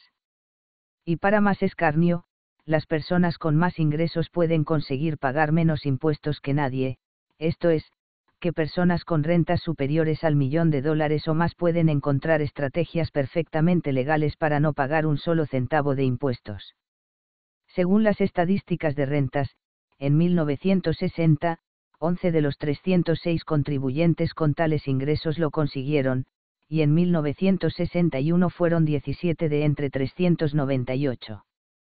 Como se puede apreciar, el impuesto progresivo sobre la renta no es progresivo en absoluto. La explicación de esta disparidad entre teoría y realidad, tan descomunal que mucha gente acusa al código de flagrante hipocresía, se encuentra en las detalladas excepciones a los tipos básicos que se ocultan en sus profundidades, excepciones habitualmente llamadas disposiciones de interés especial, o, más claramente, trampas legales. La expresión, trampa legal, tal y como todos los contribuyentes justos del mundo están seguramente dispuestos a reconocer, es una denominación un tanto subjetiva, ya que lo que para un contribuyente constituye en un momento dado una trampa para otro supone la salvación, e incluso puede suponer la salvación para el primero en otro momento. En la ley del impuesto sobre la renta original de 1913, estos resquicios legales brillaban por su ausencia. Cómo llegaron a hacerse un hueco en la ley y por qué siguen en ella hoy en día son cuestiones políticas y tal vez metafísicas, pero su funcionamiento actual es relativamente simple y su estudio es bastante esclarecedor. Con diferencia, el método más sencillo para eludir el impuesto sobre la renta, al menos para aquellos que tienen una gran cantidad de capital a su disposición, es invertir en bonos del Estado, de municipios, de autoridades portuarias y de carreteras de peaje, ya que los rendimientos de todos estos bonos están siempre exentos de impuestos dado que durante los últimos años los rendimientos de estos bonos oscilaron entre el 3 y el 5%, todo aquel que invierta 10 millones de dólares en ellos puede obtener entre 300.000 y 500.000 dólares al año totalmente libres de impuestos sin el más mínimo problema para sí mismo o para su abogado. Si hubiese cometido la torpeza de dedicar el dinero a inversiones ordinarias con rendimientos del 5%, debería tributar por esos 500.000 dólares, y a los tipos de 1964, asumiendo que fuese soltero, no tuviese ningún otro ingreso y no se acogiese a ninguno de los demás resquicios legales, tendría que pagar casi 367 mil dólares en impuestos. La exención de los rendimientos provenientes de los bonos estatales y municipales ha formado parte de la ley del impuesto sobre la renta de Estados Unidos desde sus comienzos, originalmente se defendía apelando a la Constitución, y actualmente alegando que los estados y localidades necesitan el dinero la mayoría de los secretarios del Departamento del Tesoro han desaprobado esta exención, pero hasta ahora ninguno de ellos ha sido capaz de lograr su revocación. Sin duda, la disposición de interés especial más importante del código es la que atañe a las ganancias de capital, pues tal y como señaló el Comité Económico del Congreso en un informe publicado en 1961, el tratamiento de las ganancias de capital se ha convertido en uno de los resquicios legales más asombrosos de la estructura impositiva federal. En esencia, lo que dice esta disposición es que si un contribuyente realiza una inversión de capital, en inmuebles, empresas, acciones, etc., la mantiene durante un mínimo de seis meses y luego la liquida con beneficio, tiene derecho a tributar por tal beneficio a un tipo mucho menor que el aplicable a los ingresos ordinarios, concretamente, a la mitad del tipo que le correspondería por nivel de renta o al 25%, el que sea menor. La implicación de esta posibilidad legal es obvia,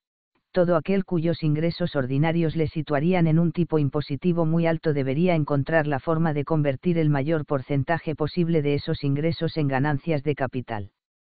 Por tanto, el juego de encontrar maneras de convertir ingresos ordinarios en ganancias de capital ha sido uno de los más populares de las últimas décadas, y además se trata de un juego que se gana sin demasiado esfuerzo.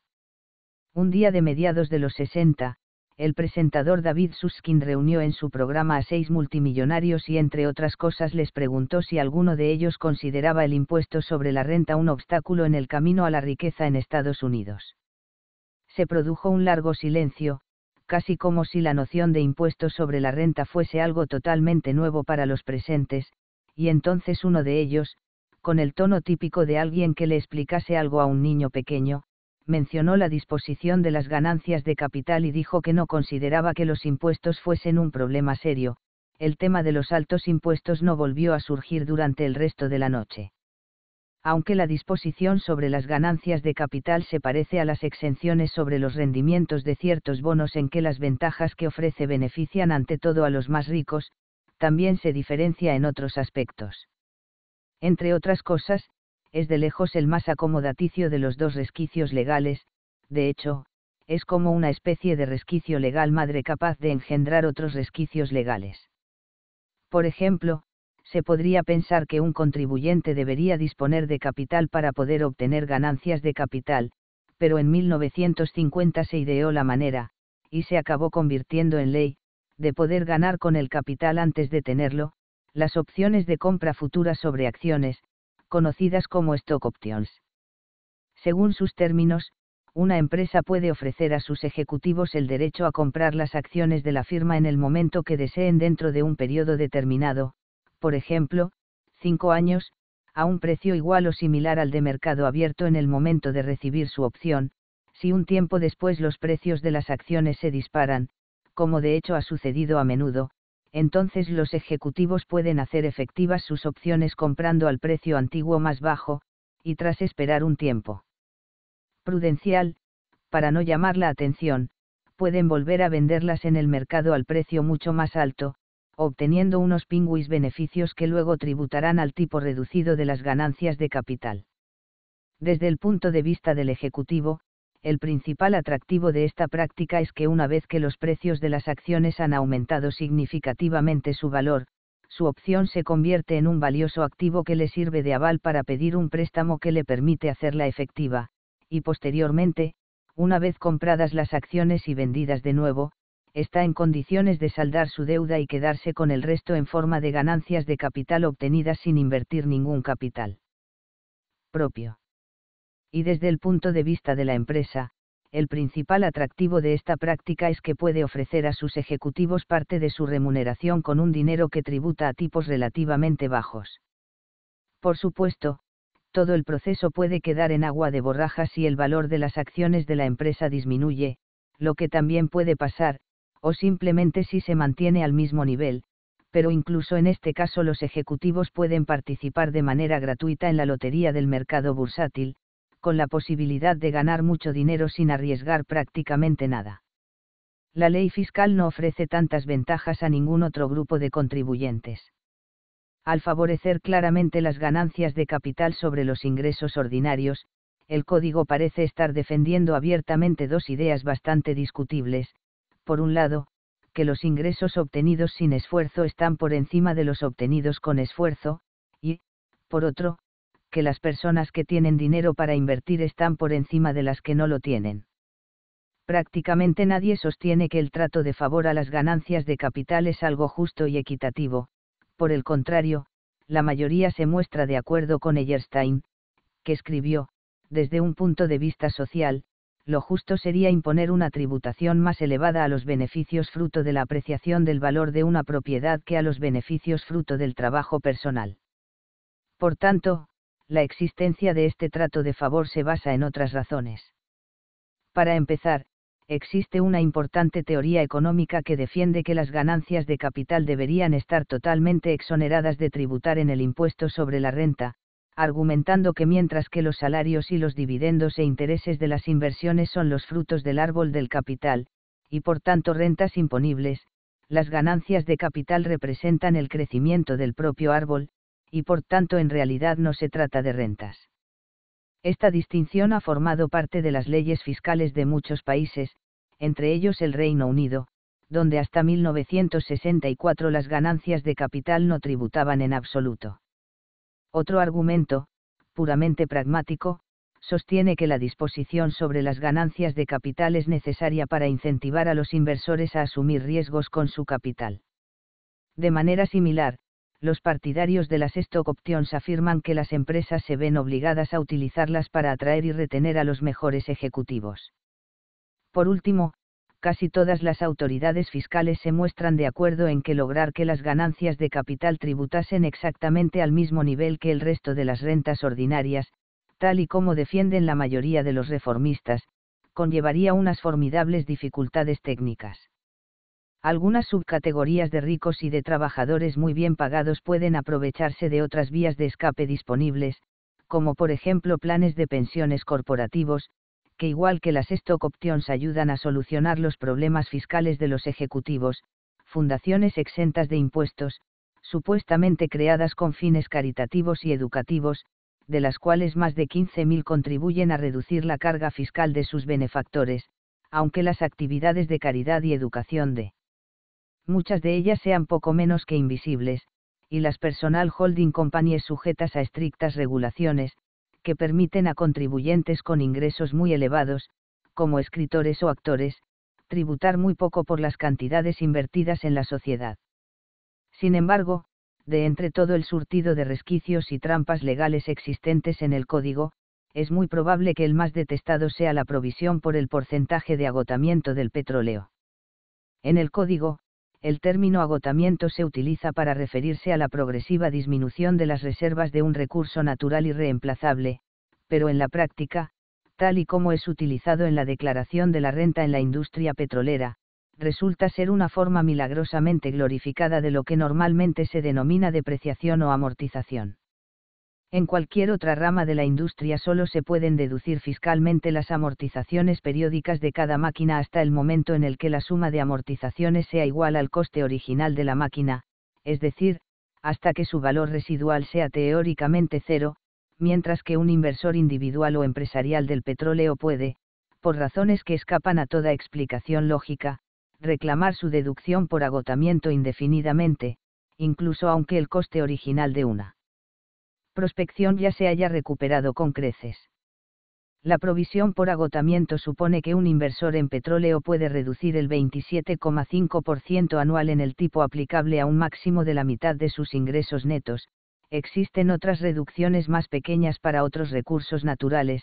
como el 23% para el uranio, el 10% para el carbón y el 5% para las valvas de ostras y almejas, y la repercusión que esto produce sobre la base imponible de los inversores petroleros, especialmente si se combina con otras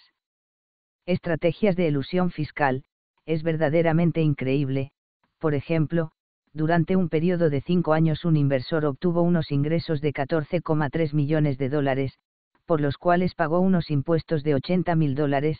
es decir, menos del 0,6%. No es sorprendente, por tanto, que la provisión por el porcentaje de agotamiento sea blanco de las más feroces críticas, pero tampoco lo es que sus partidarios la defiendan con la ferocidad de un tigre. De hecho, tal suele ser su ferocidad que ni siquiera el presidente Kennedy, en las propuestas de revisión fiscal de 1961 y 1963, que en su conjunto están consideradas como el programa de reforma fiscal más ambicioso de un presidente de Estados Unidos, se atrevió siquiera a sugerir su revocación. El argumento defensor habitual es que la provisión es necesaria para compensar a la industria del petróleo por los riesgos inherentes a las prospecciones, garantizando así una oferta suficiente para el consumo nacional, pero mucha gente piensa que tal argumento se traduce en algo así como, la provisión por agotamiento es un subsidio federal encubierto a la industria petrolera que es necesario y deseable, y desde luego la concesión de subsidios encubiertos no es una tarea que pueda considerarse competencia de un impuesto sobre la renta. La ley de impuestos de 1964 no hizo prácticamente nada para eliminar los resquicios legales, pero sí consiguió hacerlos menos útiles, pues la drástica reducción de los tipos impositivos básicos más elevados probablemente ha tenido como consecuencia que algunos de los contribuyentes de los niveles superiores dejasen de tomarse la molestia de llevar a cabo las prácticas de elusión fiscal menos eficientes y menos efectivas dado que la nueva ley reduce la disparidad existente entre las promesas del código y su desempeño real, puede decirse que en cierto modo constituye una reforma inesperada. La única manera de eliminar por completo toda la ilusión fiscal asociada al impuesto sobre la renta sería eliminar el propio impuesto sobre la renta.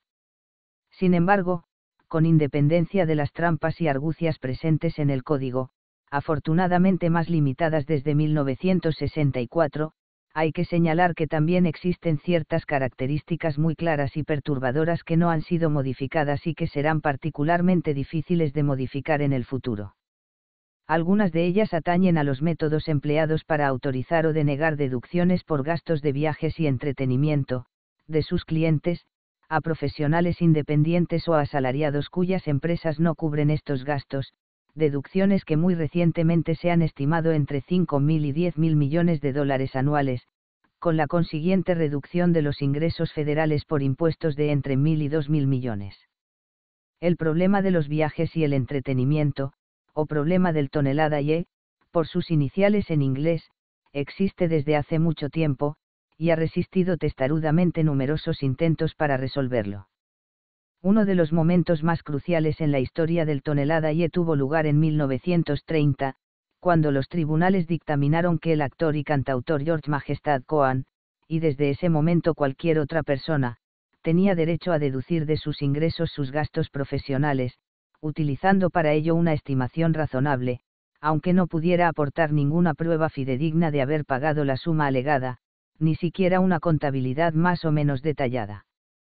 La regla Cohen, como pasó a conocerse desde entonces, estuvo en vigor durante más de tres décadas, invocada cada primavera por miles de empresarios en una práctica tan estricta e invariable como el posicionamiento en dirección hacia la Meca en los rezos de los musulmanes.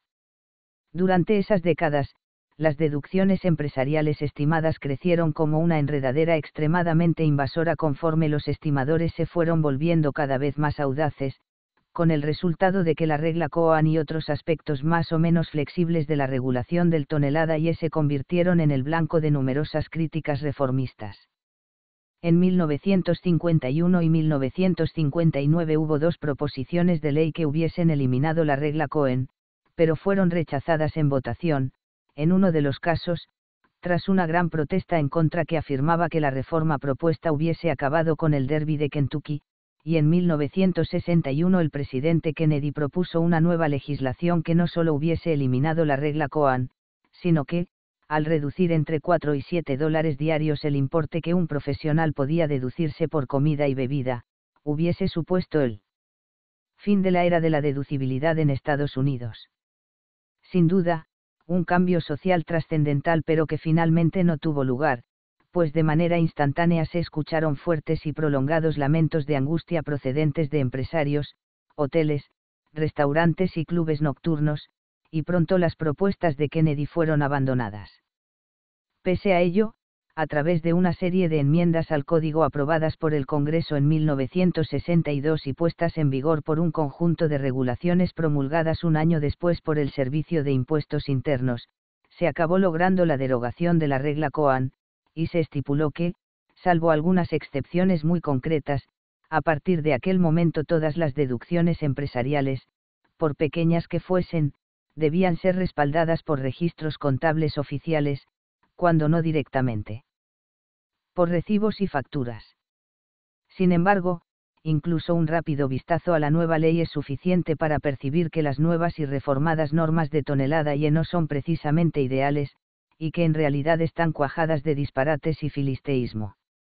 Por poner un único ejemplo, para que un viaje sea deducible debe realizarse exclusivamente por motivos laborales y no por placer, y debe llevar al contribuyente, lejos de su lugar de residencia, es decir, que no se trate de un desplazamiento breve hacia o desde un puesto de trabajo en la misma localidad o alrededores. Ahora bien, la estipulación de, lejos de su residencia, suscita la cuestión de que no siempre está claro dónde está la residencia del declarante, y conduce al concepto de, residencia fiscal, aquel lugar del que uno debe alejarse para poder obtener deducciones por viajes, la residencia fiscal de un empresario, independientemente de cuántas casas en el campo, cabañas de caza o sucursales tenga, es un área general, esto es, no solo el edificio concreto, de su lugar principal de empleo. El resultado de esto es que pueden darse casos como el de un matrimonio en el que cada miembro de la pareja debe desplazarse por trabajo a localidades distintas, y que por tanto tengan dos residencias fiscales diferentes. Afortunadamente, el Código de 1954 continúa reconociendo su unión a la hora de concederles las mismas ventajas fiscales que al resto de los matrimonios. Aunque siempre han existido matrimonios de conveniencia a efectos fiscales, los divorcios de conveniencia a los mismos efectos aún son cosa del futuro. En cuanto al ocio y entretenimiento, ahora que ya no existe la trascendental regla Coan, los redactores de las regulaciones del IRS se ven obligados a realizar distinciones de una sutileza casi teológica, y el resultado de estas distinciones es que se tiende a incentivar el hábito de hablar de negocios a todas horas del día y de la noche, y con cualquier persona, algo que según muchos ya era algo común, en cualquier caso. Por ejemplo, las deducciones por el entretenimiento de socios comerciales en clubes nocturnos, teatros o conciertos únicamente se conceden si se mantiene, una verdadera negociación profesional, antes, durante, o después del espectáculo. No resulta agradable imaginar lo que sucedería si muchos empresarios decidieran negociar posibles contratos en plena representación de una obra de teatro o de una ópera. Por otra parte, un empresario que se esfuerza por agasajar a otro en un entorno tranquilo, como un restaurante, puede reclamar una deducción incluso aunque no se produzca ninguna negociación comercial, siempre que el encuentro tenga la finalidad de establecer buenas relaciones profesionales.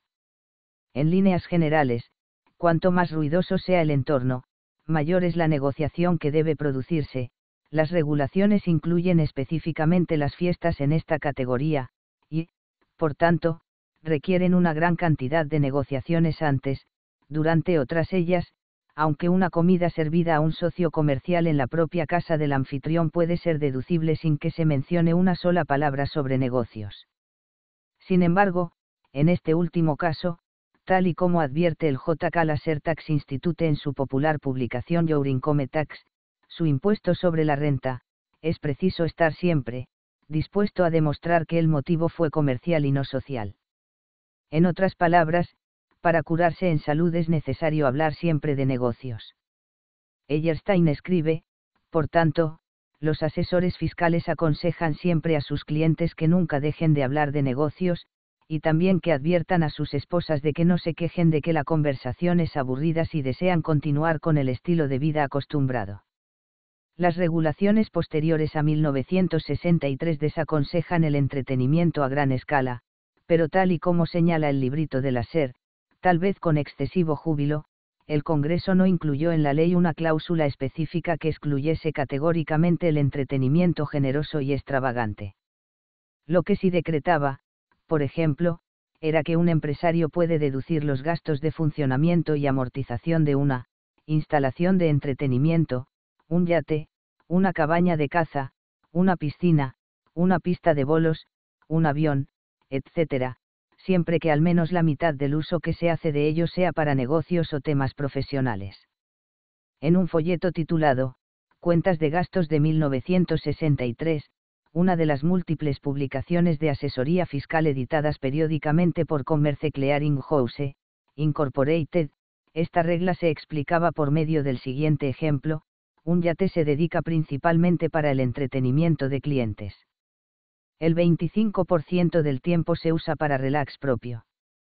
Dado que el 75% del tiempo se utiliza para fines profesionales, se considera que su función principal es la promoción de los negocios del contribuyente, y por tanto el 75% de los gastos de su mantenimiento son gastos de entretenimiento deducibles.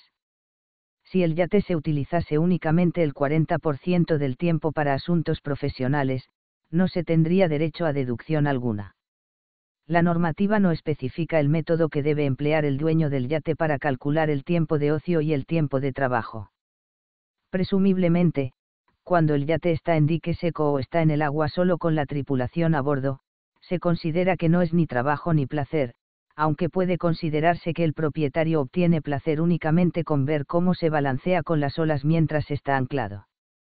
El tiempo que hay que contabilizar, por tanto, sería aquel en el que el propietario se encuentra a bordo con invitados, y tal vez el método más eficaz de cumplir la ley fuese instalar dos cronómetros, uno a babor y otro a estribor, de manera que uno cronometrase el tiempo transcurrido durante un crucero de negocios y el otro el transcurrido durante un crucero de placer.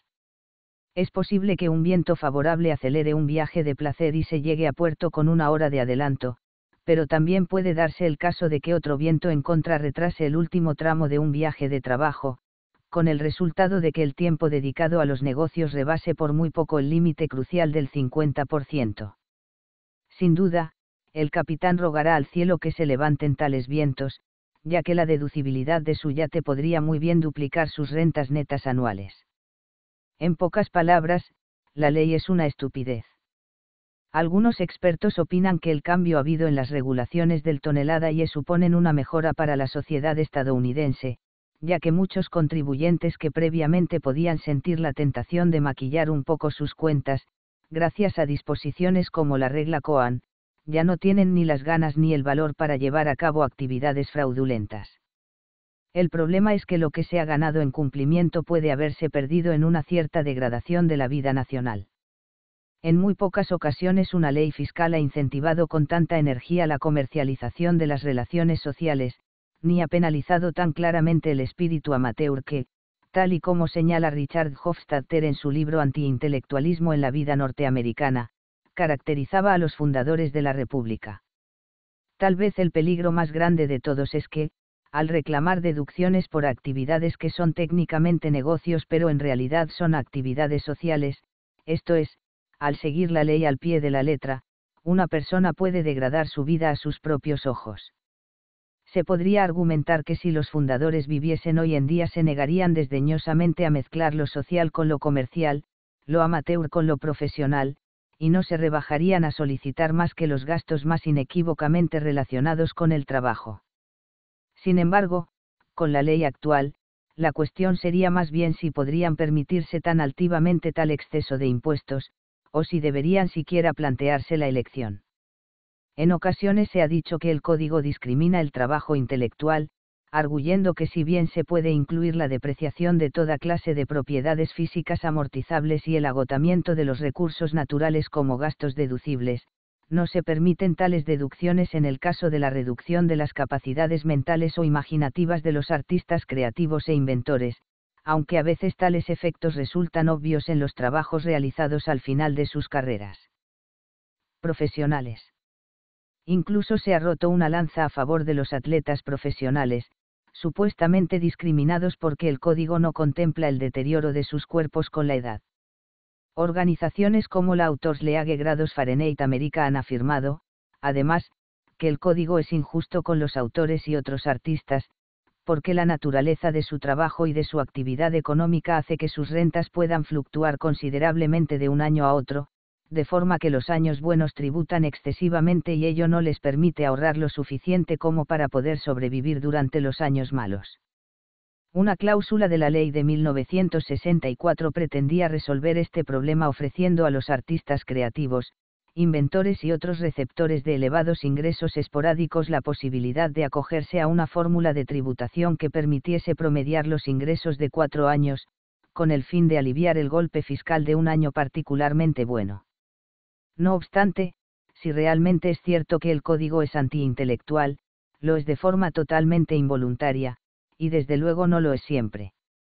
Al ofrecer exenciones fiscales a las fundaciones sin ánimo de lucro facilita la concesión de millones de dólares al año, que de otro modo acabarían inactivos en las arcas del gobierno, para cubrir los gastos de desplazamiento y manutención de académicos itinerantes mientras llevan a cabo toda clase de proyectos de investigación.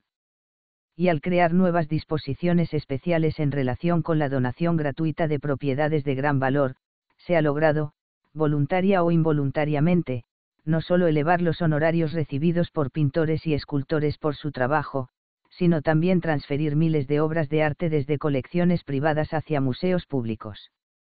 Actualmente, la mecánica de este proceso es tan conocida que basta con esbozarla, un coleccionista que dona una obra de arte a un museo puede deducir de la base imponible de su impuesto sobre la renta el valor estimado de la obra en el momento de la donación, y no está obligado a pagar impuestos por las ganancias de capital fruto del incremento del valor de la obra desde el momento en que la adquirió. Si este incremento de valor ha sido muy grande y el tipo aplicable al coleccionista es muy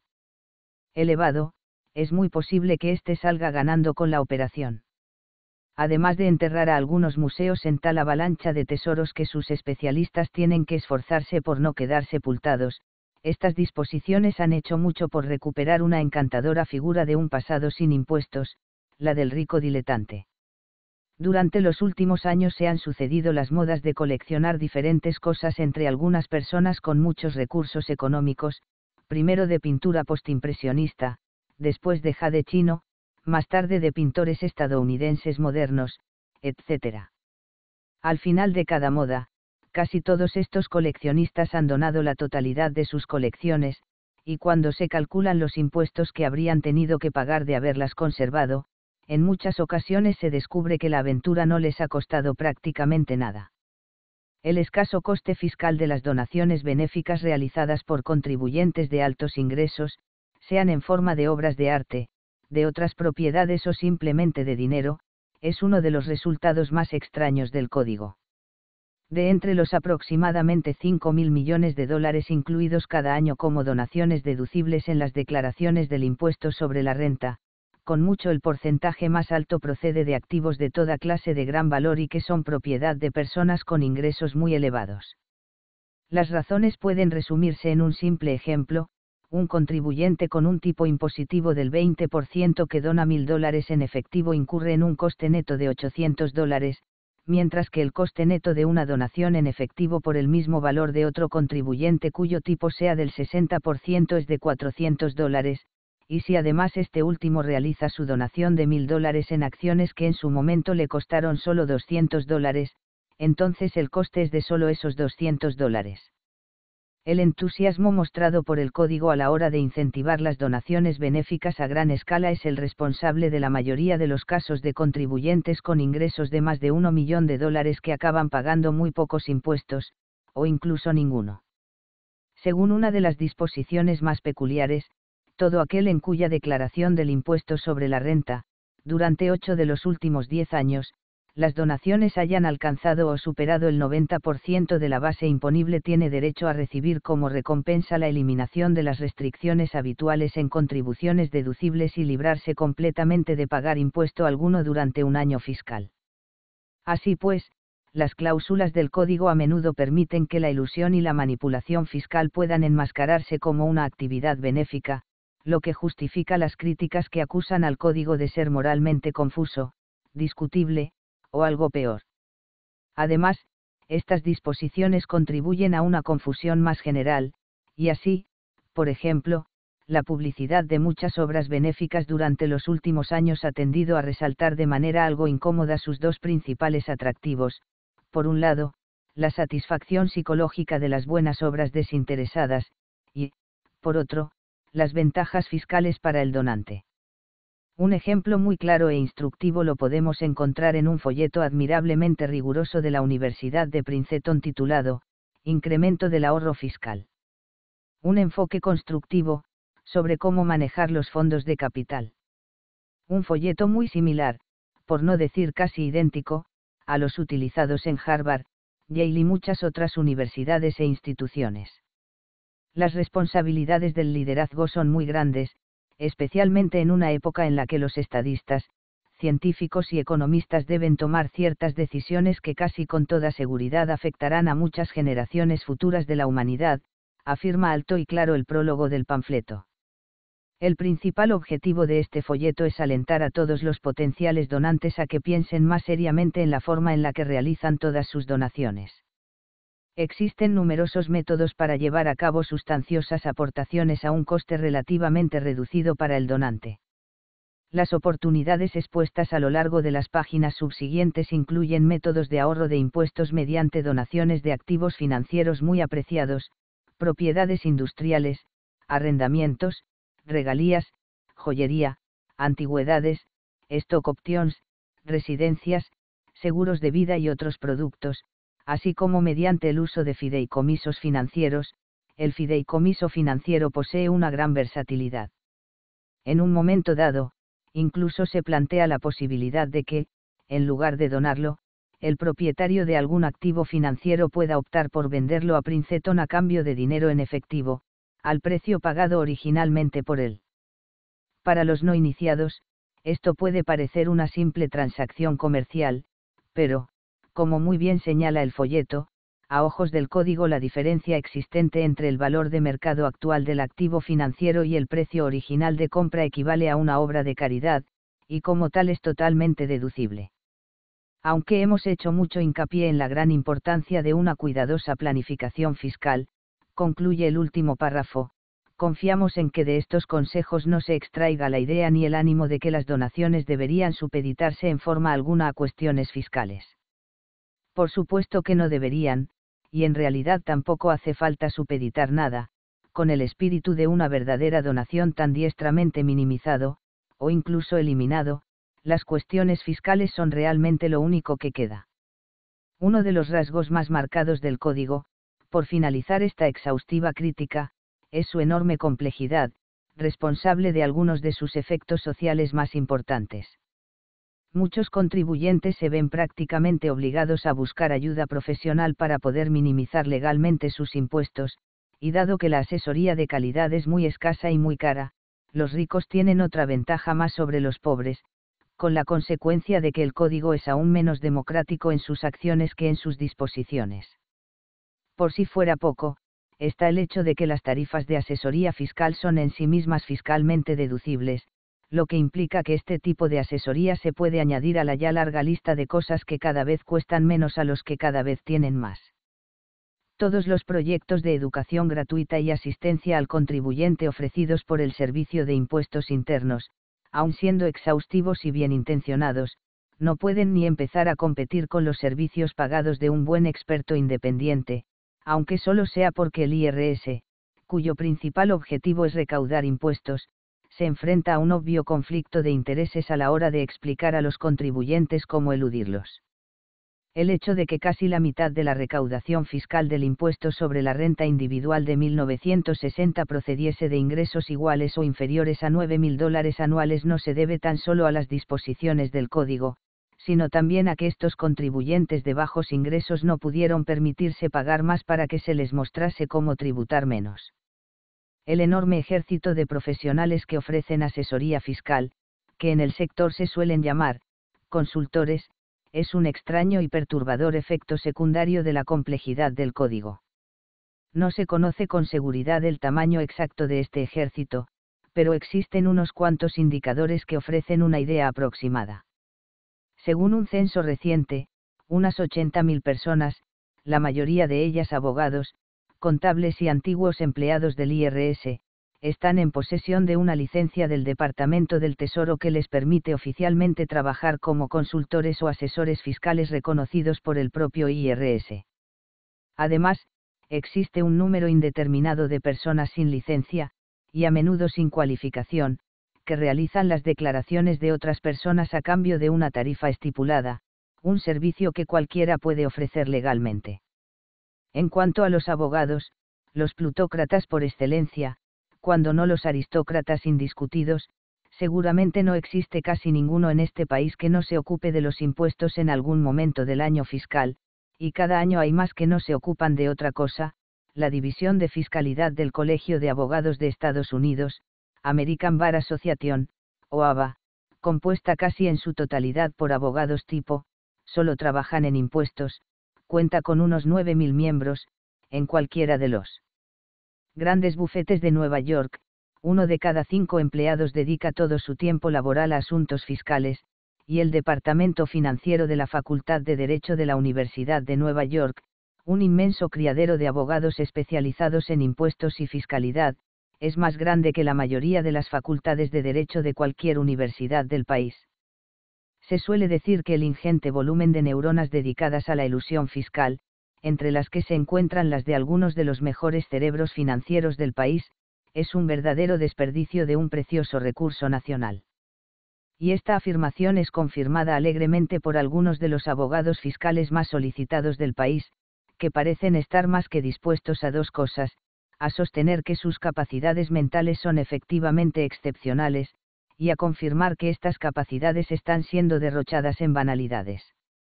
Está claro que las leyes tienen sus ciclos, explicó recientemente uno de ellos. En Estados Unidos, la moda hasta 1890 fueron las leyes sobre la propiedad, después vino un periodo dedicado a las leyes sobre las sociedades, y actualmente existen varias especialidades, entre las que sin duda la más importante es la de los impuestos. Estoy más que dispuesto a reconocer que mi trabajo tiene un valor social limitado. Después de todo, de qué estamos hablando al referirnos a las leyes fiscales. En el mejor de los casos, únicamente de la cuestión de qué individuo o empresa debería pagar en apoyo del gobierno, y cuánto. Entonces, ¿por qué me dedico a la asesoría fiscal? Primero, porque es un ejercicio intelectual fascinante, junto con las demandas, se trata con toda probabilidad de la rama legal más exigente intelectualmente que existe hoy en día. Segundo, aunque parece algo muy especializado, en realidad engloba casi todos los campos de la ley, un día puedes estar asesorando a un productor de Hollywood, al día siguiente a un especulador inmobiliario, y al otro a un ejecutivo de una gran empresa. Y tercero, es un negocio extremadamente lucrativo. Hipócritamente igualitario en apariencia y de forma sistemática oligárquico justo bajo la superficie, desmesuradamente complicado, discriminatorio, de manera caprichosa, engañoso en su razonamiento, pedante en su lenguaje, desalentador de la beneficencia, enemigo del diálogo, promotor del interés, despilfarrador de talento, sólida roca de apoyo para el propietario pero pesada obligación para el asalariado mal pagado, amigo inconstante del artista y el académico. Todas estas descripciones forman parte de la imagen nacional del código, pero es hora de señalar que también tiene sus puntos positivos. Desde luego, ninguna ley de un impuesto sobre la renta puede agradar a todo el mundo, y es muy probable que ninguna, por justa y equitativa que sea, pueda satisfacer a nadie completamente. Como señala Louis Eisenstein en su libro Las ideologías de la imposición, los impuestos son un producto cambiante fruto de los sinceros esfuerzos para conseguir que sean otros quienes los paguen. Si exceptuamos las disposiciones de intereses especiales más flagrantes, el código parece ser un documento redactado con verdadera buena fe, en el peor de los casos, involuntariamente desacertado, cuyo objetivo es recaudar un volumen de dinero sin precedentes en una sociedad con una complejidad sin precedentes de la manera más justa posible, impulsar la economía nacional y promover proyectos útiles y valiosos. Cuando se administra concienzudamente y con la debida inteligencia, atención y diligencia, como se ha hecho durante los últimos años, la Ley Nacional del Impuesto sobre la Renta de Estados Unidos es muy posiblemente una de las más equitativas del mundo. Sin embargo, promulgar una ley insatisfactoria y luego intentar compensar sus defectos mediante una buena gestión es a todas luces un procedimiento absurdo. Una posible solución sería la propuesta por algunos miembros de la derecha radical, que no es otra que derogar por completo el impuesto sobre la renta, ya que en su opinión todo impuesto sobre la renta es una medida socialista o comunista, y el gobierno federal debería simplemente dejar de gastar dinero. Incluso algunos economistas defienden su derogación, aunque como ideal teórico más que como posibilidad práctica, pues todavía no se ha encontrado un método alternativo que permita recaudar una fracción significativa de las sumas obtenidas por el impuesto sobre la renta. Una posibilidad sería implantar un impuesto sobre el valor añadido, que obligaría a los fabricantes y a los vendedores al por mayor y al por menor a tributar por la diferencia entre el valor de compra y el valor de venta de sus productos, entre las ventajas que se le atribuyen está que la carga fiscal estaría mejor repartida entre los contribuyentes y que el gobierno obtendría su recaudación con mayor rapidez. Varios países, entre ellos Francia y Alemania, tienen en vigor impuestos sobre el valor añadido, aunque como suplementos del impuesto sobre la renta más que como sustitutos, y en Estados Unidos no da la impresión de que sea mucho más que una posibilidad remota. Otro sistema para aligerar la carga del impuesto sobre la renta sería incrementar el número de productos a la venta sometidos a impuestos indirectos, aplicando una tasa uniforme a todos ellos, creando lo que en la práctica sería un impuesto federal sobre las ventas, incrementar las tasas que pagan los usuarios de distintos servicios, como peajes en puentes públicos e instalaciones recreativas, y promulgar una ley que autorice un sistema de lotería federal, como las que existieron desde los tiempos coloniales hasta 1895, que entre otras cosas ayudaron a financiar la creación de la Universidad de Harvard, la Guerra de la Independencia de Estados Unidos y la construcción de numerosas escuelas, puentes, canales y carreteras. La desventaja más obvia de todas estas opciones es que la recaudación prestaría relativamente poca atención a la capacidad de pago de cada contribuyente, y por esta y por otras razones ninguna de ellas parece tener la más mínima posibilidad de ser promulgada en un futuro próximo. Una propuesta muy del gusto de los teóricos, aunque de casi nadie más, es el llamado impuesto sobre gastos, esto es, un impuesto aplicado al total de gastos anuales de los contribuyentes, en lugar de a su total de ingresos. Los defensores de esta clase de impuesto, partidarios acérrimos de la economía de la escasez, argumentan que tendría la virtud de la simplicidad, que tendría un efecto muy positivo sobre el ahorro, que sería más justo que el impuesto sobre la renta, ya que grabaría lo que la gente extrae de la economía, en lugar de grabar lo que introduce, y que pondría en manos del gobierno una útil herramienta de control de la equidad de la economía nacional. Sus detractores, por su parte, sostienen que en realidad no sería simple en absoluto, y que sería ridículamente fácil de eludir, que haría que los ricos se hicieran aún más ricos, y probablemente también más avaros, y, por último, que implantar una penalización sobre el gasto acabaría provocando una depresión económica. En cualquier caso, ambas partes reconocen que en la actualidad la promulgación de tal ley no es políticamente realizable en Estados Unidos. Hasta el momento en dos ocasiones se puso sobre la mesa una propuesta seria de un impuesto sobre el gasto, una en 1942 por el entonces secretario del Departamento del Tesoro estadounidense Henry Morgenthau Jr., y otra en 1951 por un economista de Cambridge, y posteriormente asesor del Departamento del Tesoro británico, llamado Nicholas Caldor, aunque ninguno de ellos incluyó en su propuesta la eliminación del impuesto sobre la renta, en ambos casos, la propuesta fue rechazada por unanimidad. El impuesto sobre el gasto es algo bonito de contemplar, dijo recientemente uno de sus admiradores. Resolvería casi todos los problemas del impuesto sobre la renta. Sin embargo, hoy por hoy no es más que un sueño. Y así es, al menos en el mundo occidental, pues actualmente solo hay dos países que han logrado implantarlo con éxito, India y Ceilán. Así pues, dado que no hay ningún sustituto factible a la vista, parece ser que el impuesto sobre la renta ha llegado para quedarse, y toda esperanza de un sistema fiscal más justo y equitativo reside en la reforma del ya existente. Y puesto que uno de los principales defectos del código es su gran complejidad, parece lógico comenzar la reforma precisamente por este aspecto. Se han venido realizando esfuerzos para simplificarlo desde 1943, año en el que el secretario Morgento creó un comité especial para estudiar el tema, y en ocasiones se han logrado pequeños éxitos, como los dos obtenidos durante la administración Kennedy, la elaboración de instrucciones más sencillas y la creación de un método abreviado para contribuyentes con actividades poco complicadas que desean detallar sus deducciones.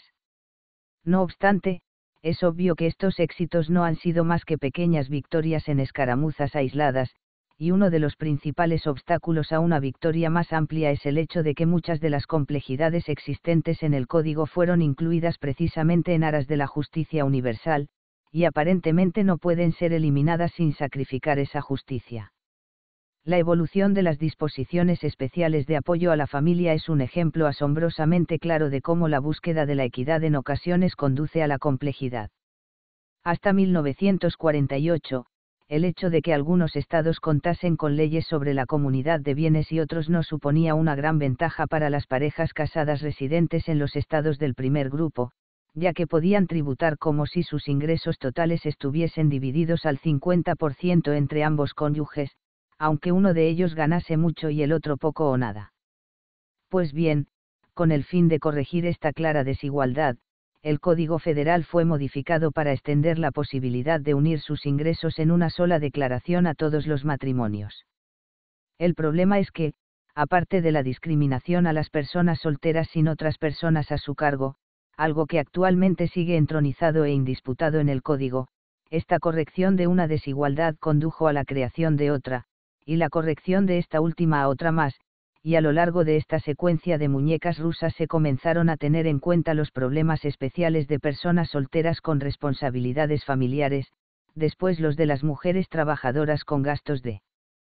cuidado infantil durante sus horas de trabajo, y más tarde los de las viudas y los viudos.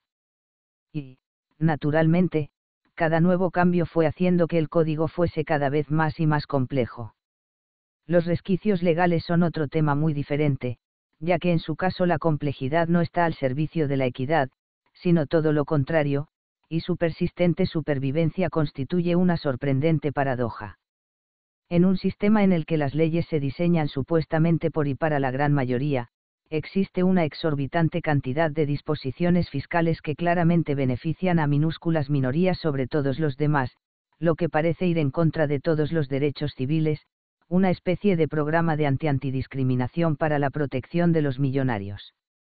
El proceso de creación de una nueva ley fiscal, propuesta del Departamento del Tesoro o de alguna otra fuente, aprobación sucesiva como propuesta de ley por parte del Comité de Recursos del Congreso, del propio Congreso, del Comité Financiero del Senado y del propio Senado, compromiso Congreso-Senado mediante un comité conjunto, aprobación de la nueva ley por el Congreso y el Senado, finalmente, firma del presidente de Estados Unidos, es realmente muy complicado y tortuoso, y en cada fase. La propuesta corre el riesgo de ser rechazada o archivada. Sin embargo, aunque los contribuyentes disponen de muchas oportunidades para protestar contra las cláusulas de interés especial, es más probable que la presión pública sea más a favor que en contra. En su libro sobre fiscalidad y resquicios legales titulado The Great Treasury Raid, el asalto al gran tesoro, Philip Majestad Stern señala las diversas fuerzas que en su opinión parecen obstaculizar la creación de medidas de reforma fiscal, entre ellas la habilidad, el poder y la organización de los grupos de presión antirreforma, la dispersión y la impotencia política de las fuerzas pro reforma, y la indiferencia general del gran público, que no suele expresar mucho entusiasmo a la hora de alentar las reformas fiscales, sea a través de cartas de petición a congresistas o por cualquier otro medio, en parte muy posiblemente porque la incomprensión del alucinante tecnicismo de todo el asunto le intimida y le reduce al silencio. En este sentido, la complejidad del código es una muralla casi inexpugnable. Por tanto, el Departamento del Tesoro de Estados Unidos, que en tanto que organismo a cargo de la recaudación de los impuestos federales tiene un interés natural en llevar a cabo reformas fiscales, a menudo se queda, junto con unos pocos legisladores pro reformas como Paulora Douglas, de Illinois, Albert Gore, de Tennessee, y Eugene J. McCarthy, de Minnesota, en una posición aislada e indefendible. Los más optimistas piensan que, alguna crisis, logrará por fin que los grupos más favorecidos miren más allá de sus propios intereses egoístas y que el resto del país se sobreponga a su pasividad, de forma que el impuesto sobre la renta pueda llegar a ofrecer una imagen del país más halagüeña que la actual, aunque no especifican cuándo sucederá tal cosa, si es que realmente llega a ocurrir. No obstante, lo que sí se sabe es cuáles son las líneas generales que tienen en la cabeza aquellos que más se preocupan por la reforma del impuesto, el ideal futuro se caracterizaría por un código breve y conciso, con tipos comparativamente bajos y con el mínimo número posible de excepciones, de acuerdo con estas características estructurales, este impuesto ideal sería muy similar al impuesto sobre la renta de 1913, el primero en ser promulgado en Estados Unidos durante un tiempo de paz. Así pues, si las en apariencia inalcanzables visiones actuales se llegasen a materializar algún día, el impuesto sobre la renta volvería básicamente al punto de partida. 4. Un lapso de tiempo razonable. Infiltrados en Texas Gulf Sulphur Company. La información privilegiada, sea sobre acontecimientos públicos lejanos, evoluciones empresariales inminentes o incluso sobre el estado de salud de figuras políticas, siempre ha sido algo muy valioso a ojos de los operadores financieros, tan valioso que algunos especialistas han llegado a afirmar que en las bolsas se comercia con este tipo de información tanto o más que con acciones y bonos. Con frecuencia, el valor monetario asignado por el mercado a esta información se puede medir con precisión utilizando para ello el cambio de los precios bursátiles que provoca, y se puede cambiar por dinero en efectivo con casi la misma facilidad que cualquier otro producto financiero, de hecho, dado que se puede utilizar para negociar una transacción, en realidad es una especie de dinero. Además, hasta hace relativamente poco tiempo, el uso de información interna para enriquecimiento propio por parte de aquellos lo bastante afortunados para poseerla apenas se consideraba como algo cuestionable o injusto. El juicioso uso del avance de la noticia de la victoria de Wellington en Waterloo por parte de Nathan Rothschild, por ejemplo, fue la base de la creación de la fortuna de la famosa familia de banqueros en Inglaterra, y ninguna comisión real o turba furiosa se alzó para protestar por ello. De manera similar y casi simultánea, al otro lado del Atlántico, John Jacob Astor ganó un dineral al enterarse antes que nadie de la firma del Tratado de Gante, que ponía fin a la guerra anglo-estadounidense de 1812. Tras la Guerra Civil de Estados Unidos, la mayoría de los inversores públicos y privados aún aceptaban dócilmente el derecho a aprovecharse de una información privilegiada, y se contentaban con las migajas que pudiesen quedar. Daniel Drew, uno de estos inversores con acceso a datos privados, llegó incluso a denegar cruelmente este consuelo dejando caer migajas envenenadas en forma de información falsa sobre sus planes de inversión, que fue diseminando cuidadosamente en escogidos lugares públicos. La mayor parte de las fortunas de Estados Unidos se fundaron o expandieron gracias a la información privilegiada, y resulta realmente fascinante, aunque inútil, especular hasta qué punto sería diferente el orden social y económico actual si esta práctica de entonces se hubiese prohibido de manera efectiva. Hasta el año 1910, nadie cuestionó públicamente la moralidad de que los presidentes, ejecutivos y empleados pudiesen comerciar con las acciones de su propia empresa. A comienzos de los años 20, empezó a considerarse indignante que tales personas pudiesen participar en el juego del mercado con tantas cartas marcadas, y en 1934 el Congreso aprobó una ley dirigida a restaurar la equidad en este sentido. Dicha ley, llamada Ley del Mercado de Valores, obliga a los inversores con información privilegiada a ceder a sus empresas cualquier beneficio que puedan obtener por transacciones a corto plazo con las acciones de dichas empresas, y, según una enmienda llamada Regla 10 bytes 5, implementada en 1942, ningún inversor financiero puede emplear ninguna argucia para defraudar ni, servirse de una declaración falsa sobre un hecho material u omitir conscientemente un hecho material. Aunque no prohíbe explícitamente que los miembros de una empresa compren acciones de la misma y puedan quedarse con los beneficios obtenidos siempre que conserven las acciones un mínimo de seis meses, esta ley parecía eliminar las cartas marcadas del juego del mercado, dado que omitir la declaración de hechos materiales es la esencia misma del uso de información privilegiada. Sin embargo, en la práctica, hasta hace muy poco esta regla de 1942 era como si no existiera, y únicamente era invocada por la Comisión del Mercado de Valores, en inglés, la SEC, el organismo creado por la ley para velar por su cumplimiento, en casos tan flagrantes que probablemente entrarían de todas formas en el ámbito de la competencia de la justicia ordinaria. Y, según parece, había razones para esta laxitud. Para empezar, se ha argumentado hasta la saciedad que el privilegio de aprovecharse de los secretos empresariales es un incentivo necesario para lograr que los ejecutivos se esfuercen al máximo en su trabajo, y algunas autoridades financieras sostienen sin alterarse que, por muy ofensiva que pueda resultar al espíritu del juego limpio, la presencia de inversores con información privilegiada en el mercado es esencial a la hora de conseguir un flujo comercial regular y ordenado. Además, es sabido que, aunque no formen parte de ninguna empresa, la mayoría de los inversores acaba teniendo y ocultando en algún momento información privilegiada de un tipo u otro, o al menos eso creen y desean, y por tanto la aplicación rigurosa de la regla 10 bytes menos 5 hasta podría acabar provocando el caos en todo Wall Street. Así pues, al dejar esta regla vegetando en las páginas de la ley durante 20 años, la SEC parecía evitar golpear conscientemente a Wall Street en uno de sus puntos más vulnerables. Sin embargo, tras un par de golpes de tanteo, se decidió por fin a atacar con toda su fuerza, y el primer gran directo a la mandíbula fue durante una querella civil contra la Texas Gulf Sulphur Company y contra 13 personas que fueron directores, ejecutivos o empleados de esta. El juicio se desarrolló sin jurado en el Tribunal de Distrito de Estados Unidos de Foley Square, Manhattan, desde el 9 de mayo hasta el 21 de junio de 1966, y, tal y como comentó suavemente el juez instructor, Dudley J. Bonsal, supongo que todos somos conscientes de que en cierto modo estamos arando un terreno completamente nuevo. Arando, y posiblemente sembrando también. En un reciente libro titulado Insider Trading and the Stock Market, Información privilegiada y el mercado de valores, Henry Geman señala que este caso muestra todo el problema de la información privilegiada en sus términos más clásicos, y opina que la sentencia, puede determinar la legislación de este sector durante muchos años.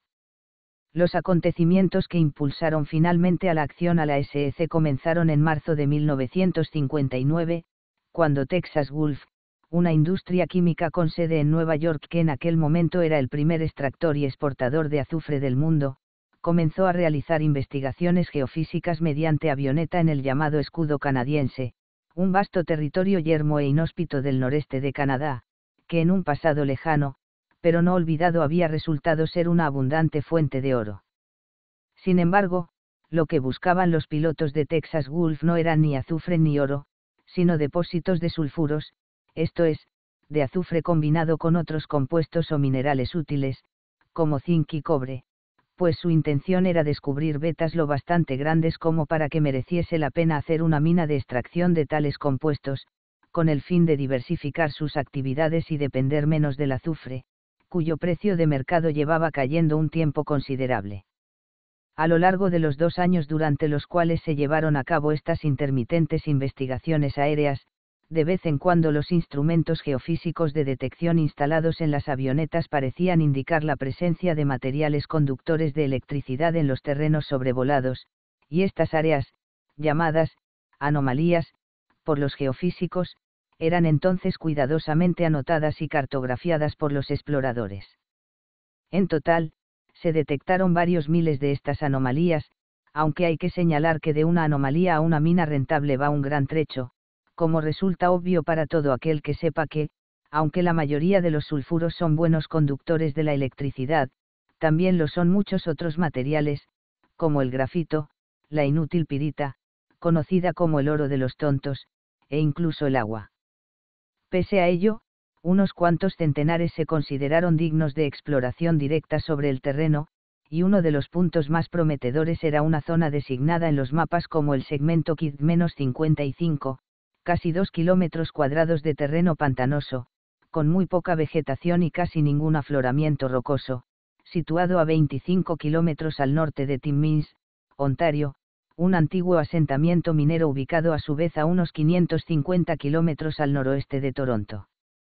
Dado que KID-55 era propiedad privada, el primer problema de la empresa fue adquirir todo el terreno sin llamar la atención, o al menos el suficiente para llevar a cabo las prospecciones, ya que el hecho de que una gran empresa química se interese repentinamente por un terreno en una zona conocida por su pasado minero sin duda puede levantar no pocas suspicacias. Así pues, Texas Gulf tuvo que esperar hasta junio de 1963 para poder hacerse discretamente con el cuadrante noreste de KID-55. Los días 29 y 30 de octubre de aquel año, Richard Dora Clayton, uno de los ingenieros de la empresa, llevó a cabo prospecciones electromagnéticas sobre el terreno y quedó muy satisfecho con lo que encontró, por lo que unos días más tarde se trasladó a la zona una taladradora industrial, y el 8 de noviembre comenzó la primera excavación. Los siguientes días en KID-55 fueron incómodos pero emocionantes. El jefe del equipo era un joven geólogo llamado Kenneth Darke, un fumador empedernido con brillo travieso en los ojos, cuyo aspecto se asemejaba más a la imagen clásica de un buscador de oro que al del hombre de empresa que era. La excavación duró tres días, durante los cuales se extrajo una muestra cilíndrica de material de unos 3 centímetros de diámetro, que permitió a los presentes hacerse una idea de qué tipo de minerales se hallaban bajo la superficie del KID-55. Darke examinó minuciosamente la muestra, centímetro a centímetro, sin utilizar otro instrumento que sus ojos y sus conocimientos sobre el aspecto natural de los depósitos minerales. La tarde del domingo 10 de noviembre, cuando el taladro había alcanzado una profundidad de unos 50 metros, Darke llamó, desde Timmins, ya que en el KID-55 no disponían de teléfono, a su superior inmediato, Walter Olick, geólogo jefe de Texas Gulf, a su casa de Stanford, Connecticut, para informarle de sus hallazgos. Según revelaría Olick más adelante, Darke estaba, excitado y entusiasmado, y al parecer el propio Olik también se entusiasmó mucho al oír lo que Darke le decía, ya que se apresuró a organizar una enorme conmoción corporativa, especialmente tratándose de un domingo por la tarde. Esa misma noche, Olik contactó con su propio superior inmediato, Richard Don Mollison, uno de los vicepresidentes de Texas Gulf,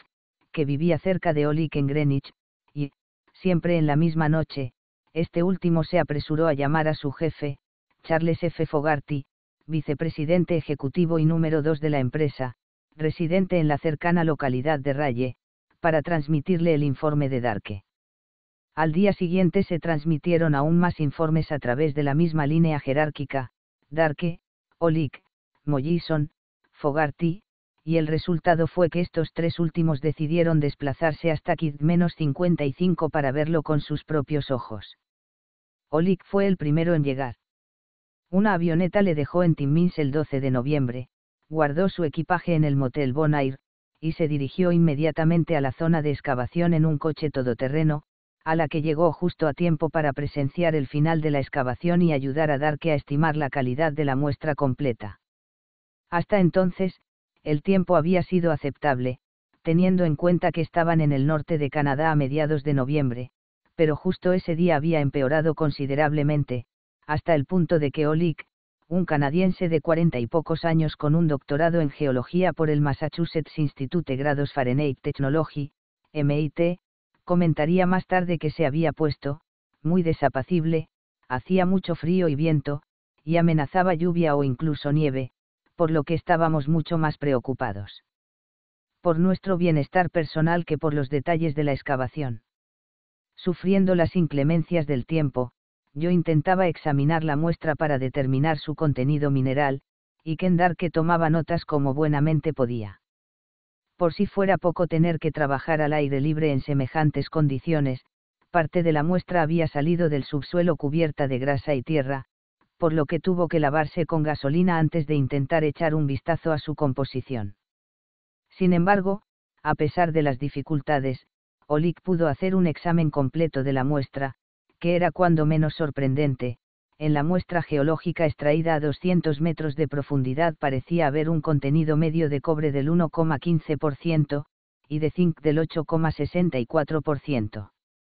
Tiempo después, un inversor financiero canadiense experto en la industria minera dijo sin dudarlo que una muestra tan profunda y con semejante contenido era algo que sobrepasaba sus sueños más increíbles. Texas Gulf aún no estaba segura de tener una mina rentable entre manos, pues existía la posibilidad, aunque remota, de que la beta encontrada fuese demasiado estrecha como para ser comercialmente explotable, y que por una increíble casualidad el taladro hubiese cortado la estrecha veta justo por el centro, como una espada entrando en su vaina. Por tanto, era preciso realizar más excavaciones en diversos puntos del terreno y en varios ángulos respecto de la superficie para establecer la forma y los límites del depósito mineral, y tal cosa no sería factible hasta que la empresa pudiese adquirir los otros tres cuadrantes de KID-55. Y esto llevaría tiempo, si es que realmente podía lograrse, pero antes había cosas que la empresa podía hacer, y de hecho hizo, primero, alejó el taladro de la zona excavada y tapó el agujero con vegetación, con el fin de recuperar todo lo posible la apariencia natural del entorno, segundo, llevó a cabo una nueva excavación de la forma más ostentosa posible a una cierta distancia de la primera, en un punto en el que no se esperaba encontrar nada, como efectivamente así fue, y tercero, todas.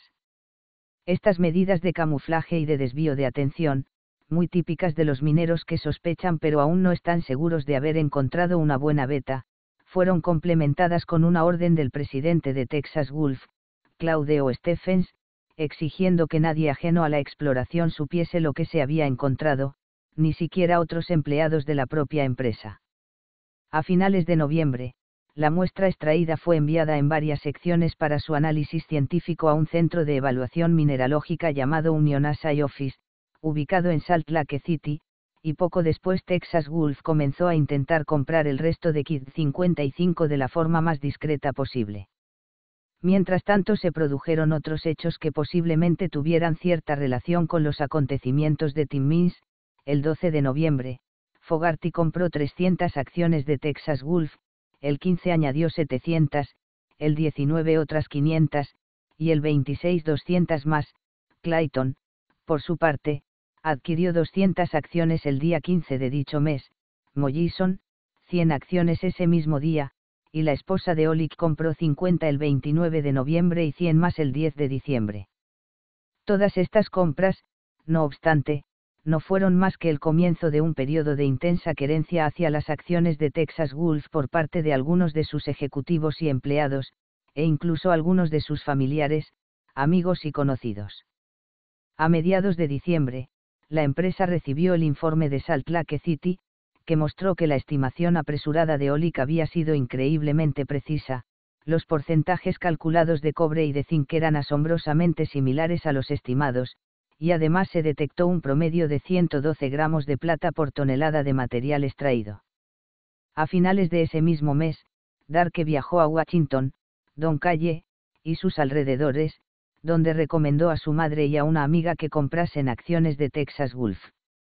Estas dos mujeres, que durante el juicio fueron conocidas como las aconsejadas, pasaron a su vez la recomendación a otras dos personas que, lógicamente, fueron llamadas las subaconsejadas. Entre el 30 de diciembre y el siguiente 17 de febrero, los aconsejados y subaconsejados por Darke adquirieron un total de 2.100 acciones de Texas Gulf, además de 1.500 opciones de compra, que es como se conoce en el argot financiero a la posibilidad contractual de comprar en el futuro un determinado tipo de acciones a un precio fijado en el propio contrato, generalmente, el vigente en el mercado en el momento de la firma, durante un tiempo también determinado. Existen opciones de compra sobre la mayoría de las acciones disponibles en el mercado de valores, y de su venta se encarga un broker especializado en ellas, el comprador paga una suma normalmente bastante moderada por su opción, y si durante el periodo establecido el precio de las acciones aumenta, el incremento es casi todo beneficio para él, mientras que si el precio se mantiene estable o baja, basta con tirar a la basura la opción, igual que haría un apostante con un boleto no premiado, con lo que únicamente se pierde el coste inicial. Así pues, las opciones de compra constituyen el método más barato de apostar en el mercado de valores, y el más conveniente para convertir en efectivo una información privilegiada. Establecido provisionalmente en Timmins, Darke dejó a un lado por un tiempo su trabajo como geólogo a causa de la llegada del invierno y el problema de la propiedad de Kid-55, y se las arregló para aprovechar bien el tiempo. En enero se asoció con un residente de la localidad que no era empleado de Texas Gulf y ambos comenzaron a delimitar y reclamar tierras de la corona para su propio beneficio. Y en febrero informó a Olik de una conversación que había escuchado en un bar durante una gélida tarde de invierno, en la que un conocido dejó caer que había oído rumores sobre un posible hallazgo de Texas Gulf en los alrededores y por tanto él mismo iba a llevar a cabo algunas reclamaciones de terreno. Aterrado, Olik ordenó a Darke que cambiase de estrategia de inmediato, y que en lugar de huir del área KID-55 como de la peste, tal y como había hecho hasta ahora para despistar, se dirigiese cuanto antes a la zona y reclamase todo el terreno que pudiese, además de desviar la atención de tal conocido, llévale en helicóptero en dirección opuesta, si es necesario, pero que no se acerque por allí, dijo, y Darke se afanó en obedecer. Durante los tres primeros meses de 1964, Darke continuó con su adquisición de activos financieros de Texas Gulf comprando 300 acciones y 3.000 opciones de compra, además de añadir más allegados, su hermano entre ellos, a su creciente lista de aconsejados. Durante el mismo periodo, Olick y Clayton se mostraron algo menos activos financieramente, pero también aumentaron sus participaciones en Texas Gulf. En el caso de Olick y su esposa, especialmente mediante opciones de compra, un método del que nunca antes habían oído hablar, pero que estaba empezando a causar verdadero furor en los círculos de la empresa. Finalmente fueron llegando las primeras señales de la primavera, y con ellas la conclusión triunfal del programa de adquisición de tierras de la empresa. El 27 de marzo, Texas Gulf ya tenía casi todo lo que necesitaba, esto es, o bien la propiedad o bien la totalidad de los derechos de extracción de minerales de los otros tres cuadrantes de KID-55, excepto una concesión del 10% en los beneficios de dos de estos segmentos, una de ellas en favor del gigante editorial Curtis Publishing Company. Tras una última oleada de compras por parte de Darke, sus aconsejados y subaconsejados, que se produjo los días 30 y 31 de marzo, entre ellas, 600 acciones y más de 5.000 opciones de compra, se reanudaron las excavaciones en la zona, en esta ocasión con Olik y Darke supervisando el proceso indio situ. El nuevo agujero, el tercero en total y el segundo realmente operativo, ya que como se ha dicho uno de los practicados en noviembre se hizo únicamente para desviar la atención, se realizó el 1 de abril a cierta distancia del primero y en un ángulo oblicuo, con el fin de acelerar el proceso de exploración. Mientras observaba y registraba las muestras extraídas, Olik se percató de que apenas podía manejar su lápiz de notas debido al intenso frío que aún reinaba en el lugar, pero sin duda sintió una cálida sensación interna al comprobar que la promesa de abundancia de minerales se iba cumpliendo durante las primeras decenas de metros, hasta el punto de que esa misma noche informó telefónicamente de las buenas noticias a Fogarty. Desde ese día se impuso una extenuante rutina diaria tanto en Timmins como en Kidd. 55, el equipo de excavación se quedaría permanentemente en la zona, mientras que los geólogos tendrían que hacer frecuentes desplazamientos a Timmins para informar con regularidad a sus superiores, y teniendo en cuenta la nieve que aún cubría casi la totalidad de los 25 kilómetros de camino, a menudo tardaban entre tres horas y media y cuatro horas en recorrerlo. Uno tras otro, nuevos agujeros comenzaron a aparecer en diversos puntos de la anomalía, excavados en diferentes ángulos, aunque al principio tan solo se podía utilizar un taladro cada vez debido a la escasez de agua, imprescindible para el proceso, el terreno aún estaba totalmente congelado y cubierto por una espesa capa de nieve, por lo que el agua debía bombearse trabajosamente desde un acuífero ubicado bajo el hielo a casi un kilómetro de Kid-55. El 7 de abril se terminó de excavar el tercer agujero, e inmediatamente se inició el cuarto con el mismo taladro. Al día siguiente la escasez de agua se alivió un poco, por lo que pudo iniciarse un quinto agujero con un segundo taladro, y dos días después se puso en marcha un tercer taladro para comenzar el sexto agujero. En resumen, durante los primeros días de abril, todos los implicados en el asunto estuvieron extremadamente ocupados, de hecho, durante ese periodo la compra de acciones y opciones de Texas Gulf prácticamente se detuvo en seco. Poco a poco, las excavaciones fueron revelando indicios de una enorme veta de minerales, el tercer agujero reveló que lo descubierto por el primero no era un pequeño depósito, tal y como se había temido, el cuarto, que la veta era satisfactoriamente profunda, y así sucesivamente. En algún momento, el momento exacto se convirtió en un tema controvertido, Texas Gulf pudo concluir definitivamente que disponía del suficiente mineral como para posibilitar la apertura de una mina muy rentable, y a medida que fue acercándose este momento fue produciéndose un cambio del foco de atención desde los operarios excavadores y geólogos hacia empresarios y financieros, que posteriormente fueron el principal objeto de desaprobación de la SS. Durante todo el día 8 y parte del 9 de abril, cayó en Timmins tal nevada que los geólogos no pudieron llegar a la zona de excavación, pero cuando por fin lo lograron la tarde del 9, tras un espeluznante trayecto, lo hicieron acompañados de nada menos que el vicepresidente Mollison, que había llegado a Timmins el día anterior.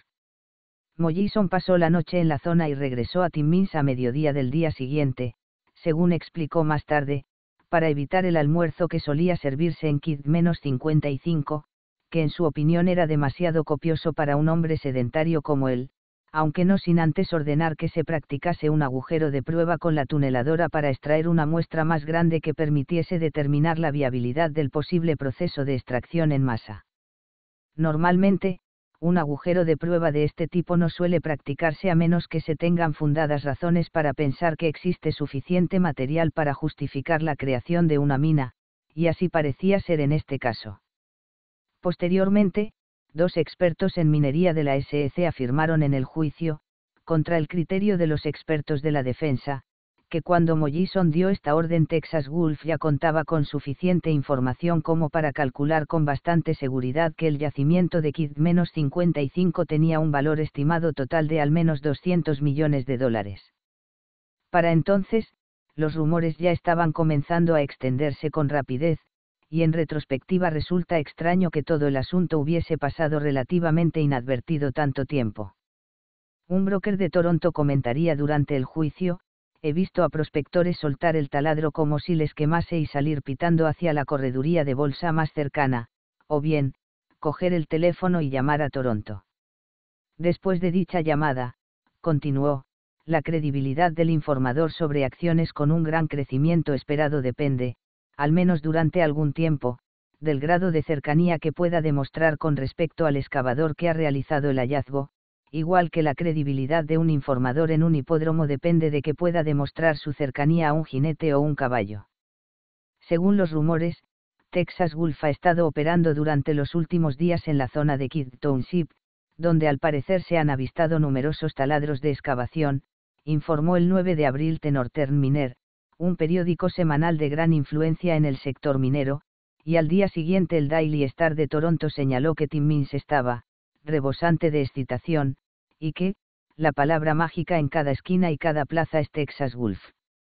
Los teléfonos de la sede central de la empresa en Nueva York no paraban de sonar porque los accionistas llamaban una y otra vez para solicitar frenéticamente confirmación de los rumores, pero los operadores se negaban fríamente a decir nada. El día 10, el presidente Stephens quiso intentar atajar los rumores y buscó el consejo de uno de sus socios más leales y de confianza, Thomas Lamont, miembro senior del Consejo de Administración de Texas Gulf, antiguo socio de segunda generación de JP Morgan, donde había ocupado varios puestos relevantes, especialmente en su filial Morgan Guaranty Trust Company, y cuyo nombre llevaba mucho tiempo muy ligado a Wall Street. Stephens confesó a Lamont lo que había estado ocurriendo al norte de Timmins, primera noticia del asunto para Lamont, dejó claro que en su opinión aún no había suficientes evidencias como para justificar tanta emoción, y le preguntó qué se podía hacer ante tanta información exagerada. Mientras las noticias no salgan de los periódicos canadienses, no habrá ningún problema, respondió Lamont, aunque añadió que, si se filtraba la noticia a los periódicos de Estados Unidos, lo mejor sería llevar a cabo un comunicado de prensa para aclarar las cosas, sobre todo con el fin de evitar fluctuaciones injustificadas en el mercado de valores. Pues bien, al día siguiente, sábado 11 de abril, los informes llegaron a la prensa estadounidense, y lo hicieron a lo grande. Dos de los periódicos más importantes del país, The Times y The Herald Tribune, publicaron sendos artículos sobre el descubrimiento de Texas Gulf, y este último en su portada, afirmando que se trataba del hallazgo minero más importante desde la aparición de oro en Canadá hace ya más de 60 años. Tras leer tales artículos, probablemente con ojos desorbitados, Stephens notificó a Fogarty que tenían que enviar un comunicado a la prensa a tiempo para ser publicado en los diarios del lunes, por lo que a lo largo del resto del fin de semana Fogarty y un equipo de empleados de la empresa se afanaron en redactar uno a toda prisa. Mientras tanto, la actividad no cesaba en KID-55. Por el contrario, testimonios posteriores afirmaron que durante el sábado y el domingo se siguieron extrayendo muestras con altas concentraciones de cobre y zinc, por lo que a cada hora que pasaba el valor de la posible mina se incrementaba considerablemente. Sin embargo, Fogarty no se comunicó con Timmins esos días, por lo que la declaración que él y sus colegas enviaron a la prensa no estaba totalmente actualizada con los últimos datos. Fuese por esta razón o por alguna otra, el comunicado no trasladaba la idea de que Texas Gulf había encontrado un nuevo filón de Comstock, sino que tachaba de exageradas y poco fiables a las informaciones publicadas hasta el momento, lo único que admitía era que efectivamente se habían realizado, algunas prospecciones en una propiedad cercana a Timmins, que habían llevado a determinar que se requerirían, más excavaciones para evaluar correctamente las posibilidades mineras del terreno, pues las realizadas hasta el momento no habían resultado, totalmente concluyentes. En resumen, y en cierto modo repitiéndose un poco, el comunicado terminaba diciendo, el trabajo realizado hasta la fecha no ha sido suficiente como para alcanzar conclusiones definitivas.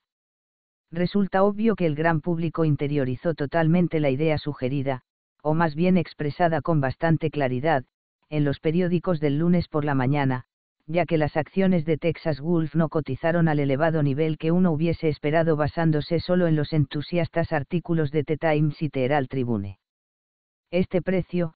que el anterior mes de noviembre había oscilado en torno a 17 grados 18 dólares por acción y había ido creciendo con los rumores hasta un poco por encima de 30,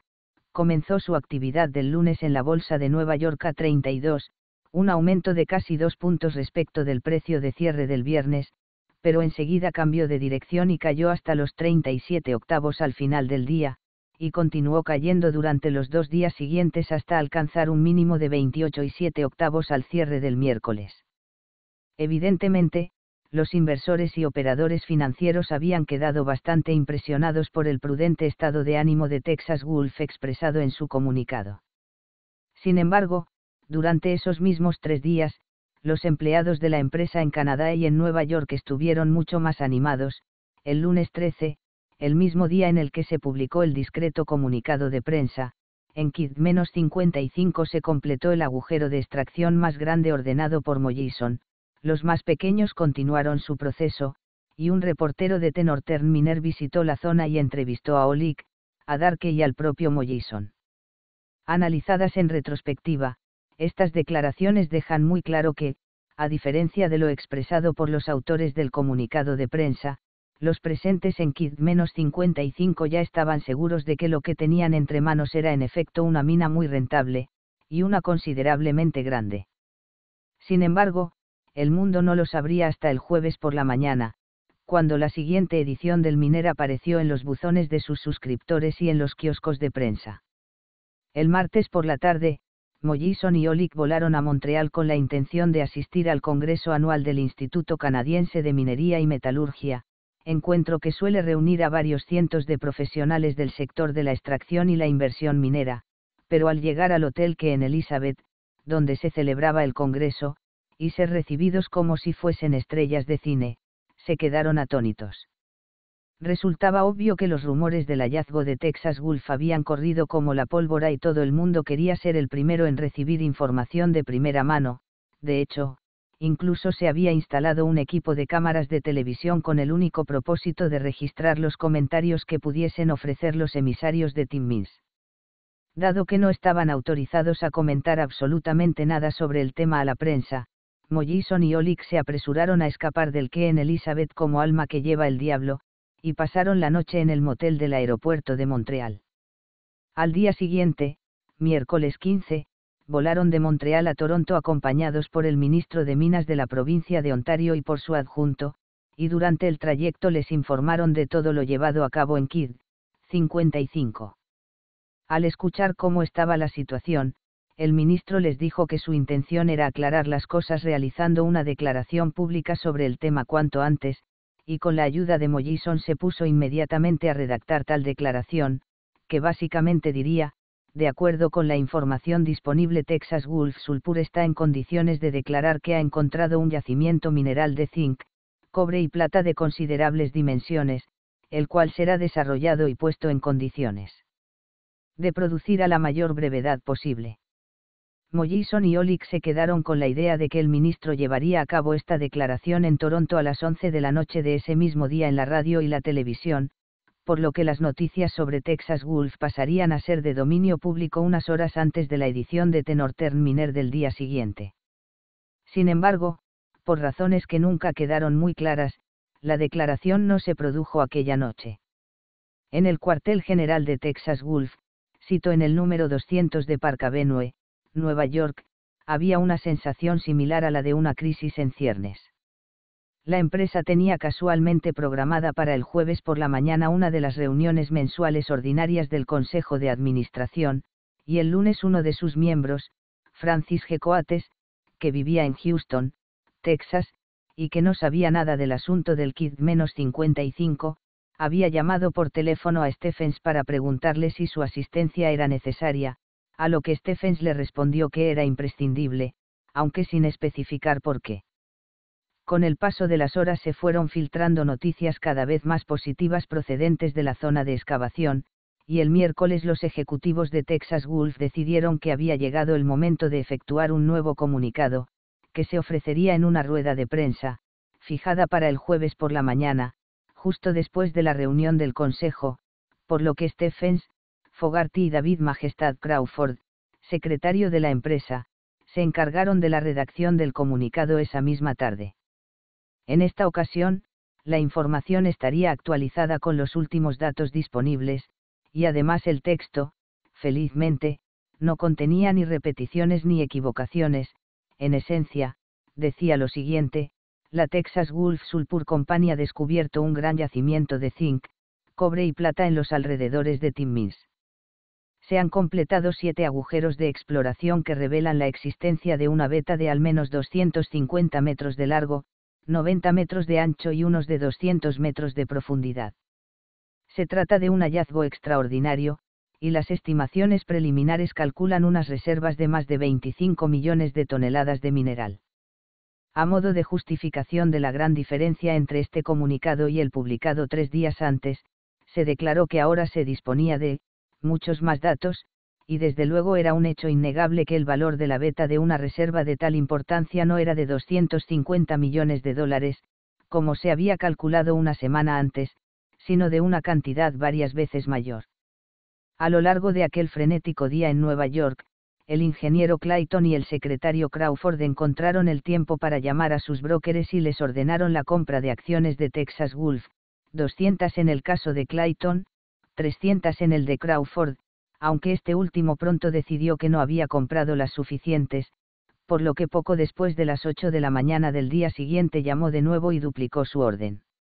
Así pues, el jueves 16 de abril de 1964 se publicó por fin la primera confirmación oficial del hallazgo de Timmins, y la noticia se propagó con rapidez por el mundo financiero de Norteamérica, aunque de manera algo errática.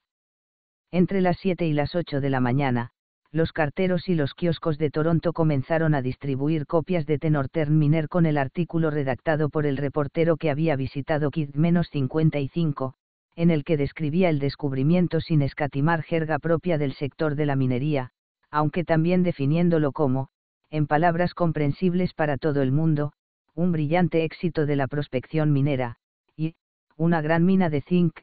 cobre y plata.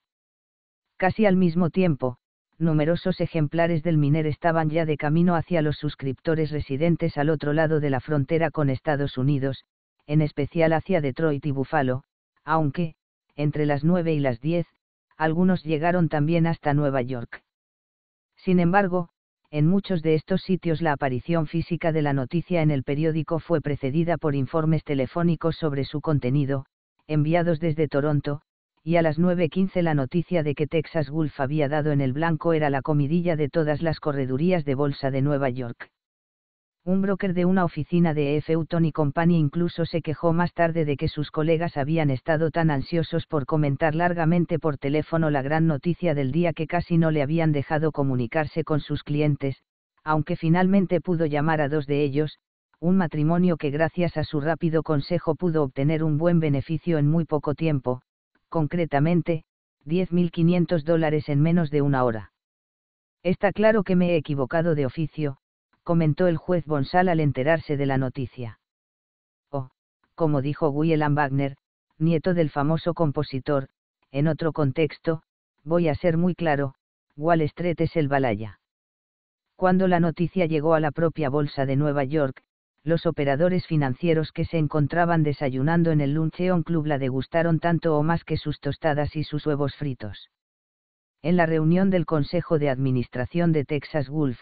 celebrada en Park Avenue 200, que comenzó a las 9 en punto, los asistentes pudieron leer el nuevo comunicado que en breve se haría llegar a los medios, y Stephens, Fogarty, Olick y Mollison, como representantes del equipo de excavación, contestaron a todas las preguntas sobre el hallazgo de Timmins que les fueron planteadas.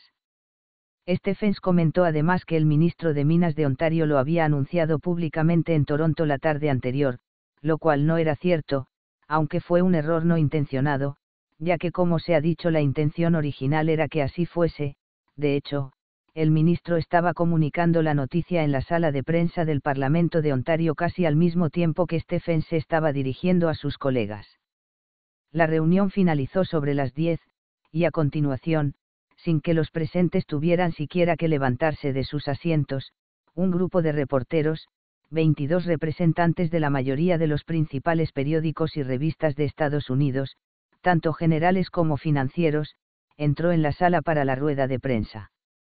Stephens repartió en persona a todos ellos una copia del comunicado y, cumpliendo con un curioso ritual que suele llevarse a cabo en esta clase de actos, lo leyó en voz alta ante los presentes. Sin embargo, mientras se encontraba ofreciendo su redundante recital, varios reporteros comenzaron a ausentarse de la sala, o, como diría más tarde Lamont, comenzaron a filtrarse por la puerta como gotas de agua, para llamar a sus publicaciones e informar cuanto antes de la sensacional noticia.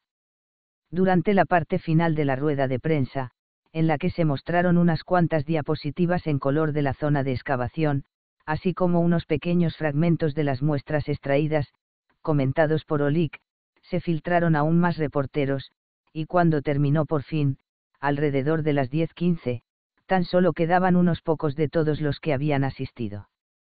Por supuesto, tal desbandada no significaba que la noticia hubiese sido un fracaso, sino más bien todo lo contrario, una rueda de prensa es uno de los pocos, espectáculos, en los que el éxito es en cierto modo directamente proporcional al número de personas que se marchan antes de que termine. Las acciones realizadas por dos de los vicepresidentes de Texas Gulf, Coates y Lamont, durante la siguiente media hora más o menos fueron las que suscitaron la parte más controvertida de la querella de la SEC, y dado que actualmente esta controversia se ha incluido en la propia legislación, es muy probable que tales acciones sean objeto de estudio por parte de los operadores financieros, durante al menos una generación, para saber qué deben hacer para salvarse, o al menos qué no deben hacer si no quieren ser condenados. La esencia de la controversia fue el tiempo, o más concretamente el tiempo empleado por Coates y Lamón en la propagación de la noticia de Texas Gulf a través del servicio de noticias del Dow Jones, el conocido sistema de transmisión inmediata utilizado por la inmensa mayoría de la comunidad inversora. En Estados Unidos existen muy pocas empresas financieras que no estén suscritas a este servicio, y su prestigio es tan grande que en muchos círculos financieros no se considera que una información es de dominio público hasta el preciso momento en que aparece en la banda ancha de dicho servicio. En aquella mañana de abril, no solo había un reportero del Dow Jones entre los asistentes a la rueda de prensa, sino que este fue uno de los primeros en salir de la sala para informar de la noticia a su sede central. Según su propio testimonio, este reportero hizo su llamada entre las 10.10 y las 10.15, y normalmente una noticia de semejante calibre no tardaría más de dos o tres minutos en empezar a imprimirse en los teletipos de todas las empresas financieras del país, sin embargo, lo cierto es que la noticia de la Texas Gulf Company no empezó a aparecer en las bandas anchas hasta las 10.54, unos inexplicables 40 minutos más tarde. El misterio de los teletipos perezosos, al igual que el misterio del anuncio del ministro de Minas, quedó sin resolver en el juicio por ser considerado irrelevante. Al parecer, un interesante aspecto de las reglas de la evidencia es su curiosa tendencia a dejar algunas cosas a la imaginación. Coates, el texano, fue el primer vicepresidente en iniciar el que en su momento difícilmente podía haber imaginado que llegaría a ser un acontecimiento históricamente significativo. Bien justo antes o bien inmediatamente después del final de la rueda de prensa, Coates se dirigió a una habitación anexa a la sala, desde donde llamó por teléfono a su yerno, Ora Freda Emiseguer, que trabajaba como broker en Houston, y, tal y como confesaría en el juicio, le reveló el descubrimiento de Texas Gulf, añadiendo que había preferido esperar hasta, después del comunicado público, porque era, demasiado viejo para tener problemas con la SS. Acto seguido, ordenó la compra de 2.000 acciones de Texas Gulf a nombre de cuatro asociaciones familiares de las que era administrador, aunque no beneficiario personal. El precio de las acciones había empezado su cotización bursátil 20 minutos antes a una fracción por encima de 30 puntos y lo había hecho con una moderada tendencia al alza, pero en aquel momento estaba subiendo a gran velocidad, sin embargo, Aemi Seguer actuó con rapidez y se las arregló para comprar todas las acciones solicitadas por Coates a un precio situado entre 31 y 31 y 5 octavos puntos, haciendo llegar la orden a su colega sobre el parque mucho antes de que las extrañamente demoradas noticias empezasen a aparecer en la banda ancha. Lamont, con un estilo más típico de Wall Street que de Texas, hizo su jugada con decisión, pero con una parsimonia elegante y casi lánguida. En lugar de salir de la sala de inmediato tras la conclusión de la rueda de prensa, se quedó en ella durante casi 20 minutos sin hacer gran cosa, fui de aquí para allá escuchando las charlas de algunos grupos que se habían formado, y dando alguna que otra palmada en la espalda, recordaría más tarde. Entonces, sobre las 10.40, se dirigió tranquilamente a un teléfono y llamó a su amigo y colega de la Morgan Guaranty Trust Company, Longstreet Hinton, vicepresidente ejecutivo de la entidad y director de su departamento de fideicomisos. En algún momento de esa misma semana, Hinton le había preguntado a Lamont si, como miembro del Consejo de Administración de Texas Gulf, podía arrojar alguna luz sobre los rumores del hallazgo de un filón mineral que estaban apareciendo en la prensa, y Lamont le había respondido que no podía. Sin embargo, como recordaría después, en esa ocasión Lamont le dijo a Hinton, que había noticias sobre Texas Gulf Sulpur que habían salido o que saldrían en breve en el teletipo que sin duda le interesarían. ¿Son buenas? preguntó Hinton, y Lamont replicó que, bastante buenas, o, muy buenas. Ninguno de los dos hombres se mostró seguro en el juicio sobre cuáles fueron las palabras exactas, pero en realidad da igual, ya que, en el lenguaje de los banqueros de Nueva York, bastante bueno, significa, muy bueno. En cualquier caso, Hinton no siguió el consejo de comprobar la banda ancha del Dow Jones, a pesar de que se encontraba a menos de 5 metros de un teletipo, sino que en vez de eso llamó inmediatamente al departamento financiero de la entidad y solicitó la cotización de mercado de Texas Gulf, y una vez la hubo obtenido ordenó la compra de 3.000 acciones en nombre del Hospital de Nassau, del que era el tesorero. Todo este proceso se produjo en apenas dos minutos desde que Lamón abandonara la rueda de prensa, la llamada de Lamón a Hinton, y la solicitud y ejecución de la orden de este último. El hospital de Nassau ya era propietario de las acciones de Texas Gulf antes de que Hinton hubiese podido ver la noticia en la banda ancha, si es que hubiese estado comprobándola. Sin embargo, no la estaba siquiera mirando, ya que se encontraba muy ocupado con otros asuntos. Tras efectuar la orden del hospital, se dirigió con toda rapidez al despacho del encargado de los fondos de pensiones y le sugirió que comprase acciones de Texas Gulf para sus fondos. En menos de media hora, la entidad había adquirido ya más de 7.000 acciones para sus diversas cuentas, 2.000 de ellas antes de que la noticia apareciera por fin en la banda ancha, y el resto mientras estaba apareciendo o durante los minutos siguientes. Algo más de una hora y media después, a las 12.33 pm, Lamont compró a su vez otras 3.000 acciones para él mismo y para varios miembros de su familia, a un precio de 34 dólares la acción, pues para entonces ya habían subido bastante, y así continuaría durante días, meses y años. Esa misma tarde cerró a 36 y 3 octavos, y tan solo un mes después alcanzó un precio de 58 y 3 octavos, y a finales de 1966, cuando comenzó la distribución comercial de los minerales hallados en Kidd-55 y se esperaba que la enorme nueva mina representase la décima parte de la extracción anual canadiense de cobre y casi la cuarta parte de la de zinc, el precio ya era de más de 100 dólares por acción. Así pues, todo aquel que había comprado acciones de Texas Gulf entre el 12 de noviembre de 1963 y la mañana, o incluso el mediodía, del 16 de abril de 1964, logró como mínimo multiplicar por tres su inversión.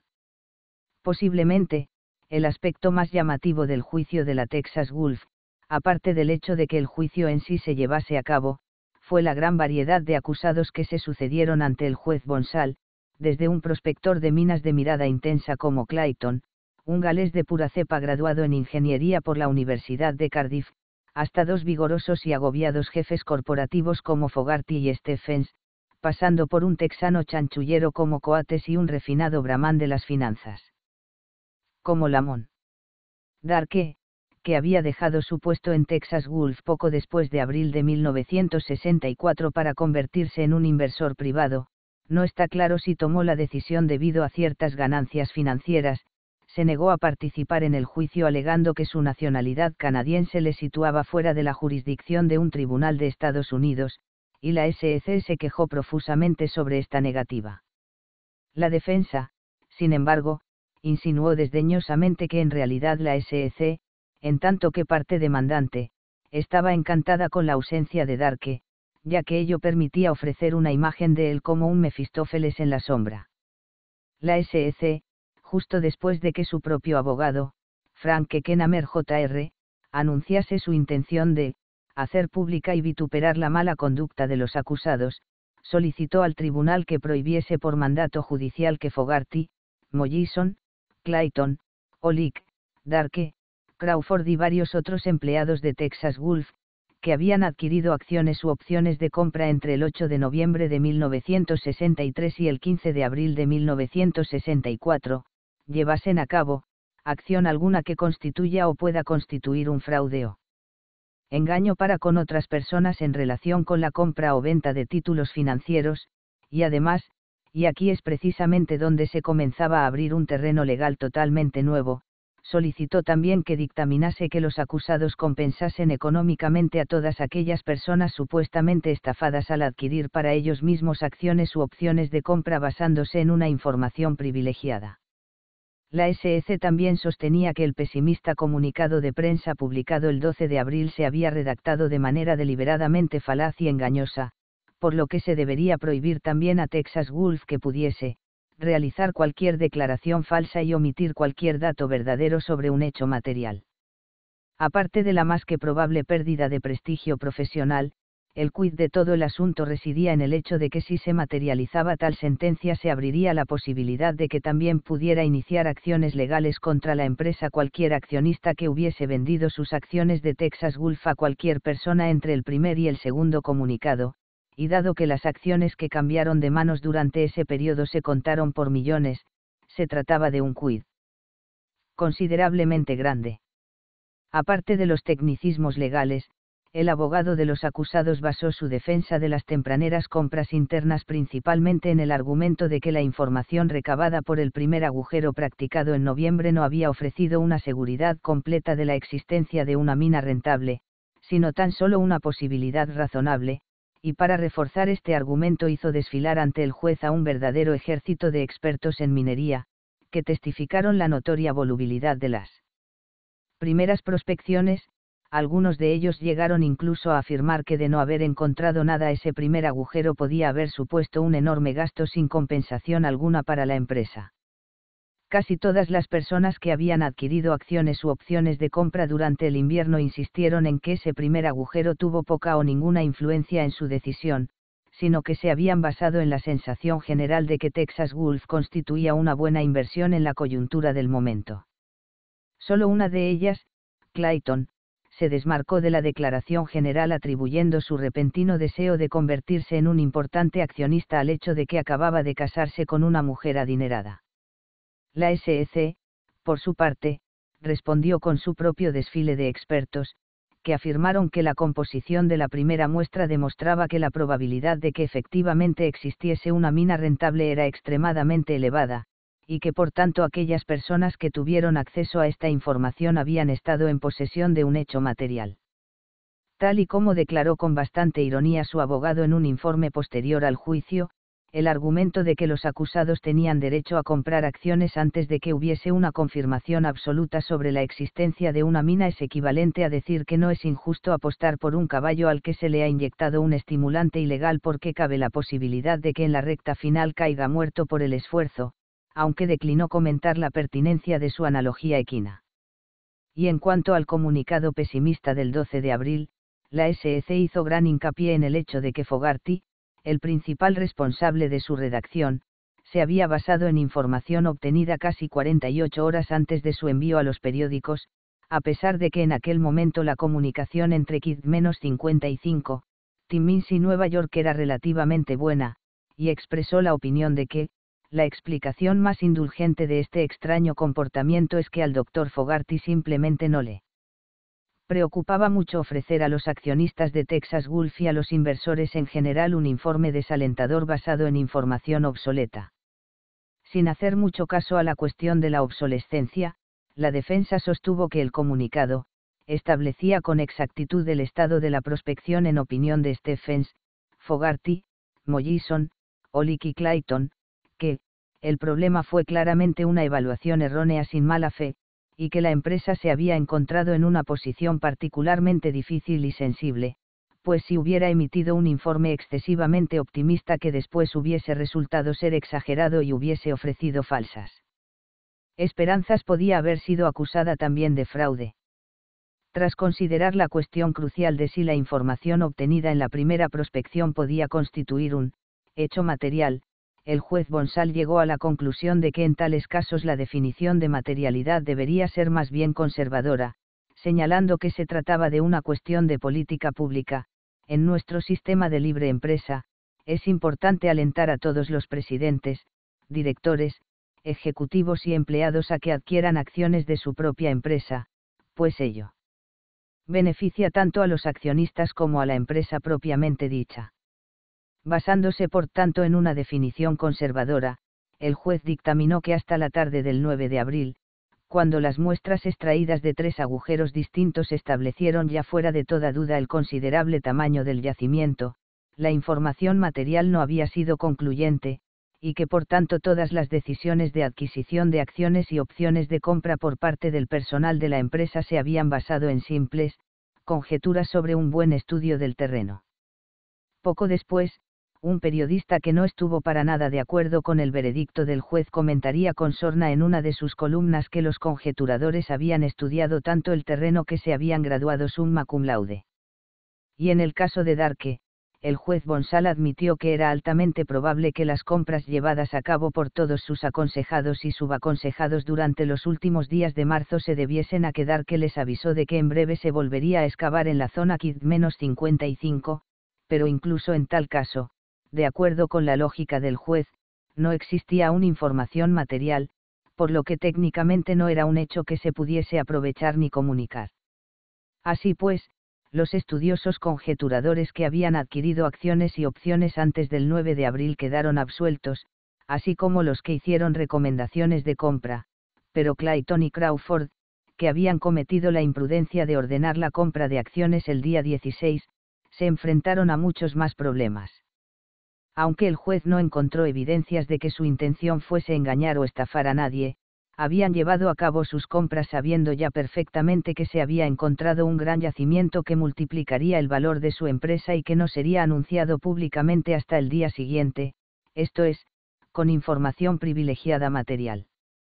Esto significaba que habían violado la regla 10 bytes menos 5, y que presumiblemente se les prohibiría oficialmente volver a hacerlo nunca más, y se les obligaría a ofrecer compensaciones económicas a aquellas personas a las que habían comprado las acciones aquel 16 de abril, suponiendo, por supuesto, que tales personas pudiesen ser identificadas y localizadas, ya que la complejidad del comercio financiero suele ser tal que no siempre resulta fácil averiguar con quién se ha llevado a cabo cada transacción.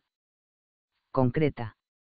La ley vigente es, y probablemente debería continuar siéndolo, y realmente humanística, a sus ojos, las empresas son personas, las bolsas financieras son mercados de barrio en los que los compradores y los vendedores regatean cara a cara los precios de las mercancías, y los ordenadores casi no existen. Por último, en lo referente al comunicado de prensa del 12 de abril, en retrospectiva el juez lo encontró, sombrío, e, incompleto, pero en su opinión había cumplido su objetivo de corregir los exagerados rumores que habían estado apareciendo durante los días previos, concluyendo que la SEC no había logrado demostrar que fuese confuso, falaz o engañoso. Por lo tanto, desestimó la queja de que Texas Gulf había intentado desviar la atención de sus accionistas y de los inversores. Hasta ese momento, la SEC tan solo había logrado ganar dos juicios de los muchos en los que había participado, y al parecer el derecho de un minero a soltar su taladro y correr a llamar a su broker continuaba siendo poco menos que sagrado, o al menos siempre que hubiese hecho un primer agujero. No obstante, aún quedaba por aclarar el asunto que sin duda más afectó a los accionistas, a los operadores financieros y a la economía nacional en general, y no solo a los miembros de grupos corporativos de la explotación minera, las actividades que Coates y Lamón llevaron a cabo el 16 de abril y su importancia residía en el hecho de que se centraba en la cuestión de cuándo exactamente una información deja de ser interna y pasa a ser de dominio público a ojos de la ley. Esta cuestión nunca había sido calibrada con tanta exactitud como ahora se pretendía, por lo que la sentencia final de este aspecto del juicio de Texas Gulf se convertiría instantáneamente en jurisprudencia legal, al menos hasta ser reemplazada por otra sentencia más refinada. En opinión de la SEC, las compras de acciones por parte de Coates y el circunspecto consejo ofrecido por la Mona Hinton durante su conversación telefónica constituían un uso ilegal de información privilegiada, ya que se llevaron a cabo antes del anuncio del hallazgo del filón en la banda ancha del Dow Jones, un anuncio que los abogados de la SEC consideraban como el verdaderamente oficial, aunque lo cierto es que ninguna autoridad, aparte de la costumbre, reconoce al servicio de noticias del Dow Jones como un servicio oficial, por mucho que a este le gustaría serlo. Sin embargo, la SEC fue aún más allá, sosteniendo que incluso si las llamadas telefónicas de ambos vicepresidentes se hubiesen realizado después del susodicho anuncio, oficial, seguirían siendo deshonestas e ilegales a menos que hubiese transcurrido un tiempo prudencial que permitiese que la noticia fuese absorbida por todos los miembros de la comunidad de inversores que no tuvieron la suerte de asistir a la rueda de prensa o de comprobar la información de la banda ancha en el momento adecuado. La defensa, por su parte, tenía una visión de los hechos bastante distinta, pues en su opinión, lejos de ser culpables independientemente de si habían actuado antes o después del anuncio del teletipo, sus clientes eran inocentes en cualquiera de los dos casos, en primer lugar, sostenían sus abogados, Coates y Lamont tenían sobradas razones para considerar que la noticia ya era pública, ya que Stephens había dicho durante la reunión del Consejo que el ministro de Minas de Ontario la había anunciado la tarde anterior, por lo que ambos actuaron de buena fe, y en segundo lugar, continuaron, el elevado volumen de rumores que circulaban por las agencias financieras y la conmoción detectada en la bolsa a primera hora de la mañana sin duda demostraban que en la práctica la noticia ya era efectivamente de dominio público, gracias a Tenor Miner y al boca a boca, bastante antes de que apareciese en el teletipo y antes de que se produjesen las cuestionadas llamadas telefónicas. Los abogados de Lamont argumentaron además que en ningún caso su cliente había aconsejado a Hinton comprar acciones de Texas Gulf, sino simplemente echar un vistazo a la banda ancha, un acto inocente en recomendación y en realización, y que lo que Hinton había hecho había sido enteramente por su propia voluntad. En suma, los letrados de ambas partes no solo tenían opiniones opuestas a la hora de establecer si se habían quebrantado las normas, sino que ni siquiera se pusieron de acuerdo en cuáles eran tales normas, de hecho, uno de los argumentos de la defensa fue precisamente que la SEC estaba solicitando al tribunal que crease de la nada nuevas normas y las aplicase de forma retroactiva, mientras que la acusación insistió en que se estaba limitando a pedir que se aplicase una regla ya antigua, la 10 bytes. 5. En una interpretación generalista, al estilo del marqués de Queensberry. Cerca del final del juicio, los abogados de Lamont crearon un pequeño revuelo en la sala al presentar una prueba documental sorpresa, un detallado mapa de Estados Unidos marcado con numerosos puntos de colores, azules, rojos, verdes, dorados, plateados. Cada uno de estos puntos, anunciaron triunfalmente, representaba un lugar donde la noticia de Texas Gulf ya era conocida antes de la llamada de su cliente o de su aparición en la banda ancha. Cuando el juez preguntó a qué empresas correspondían los puntos, la defensa reconoció que todos menos ocho de los puntos de colores representaban sedes de la correduría de bolsa propiedad de Merrill Lynch, Pierce, Fenner y Smith, que había recibido y transmitido la noticia a las 12.29.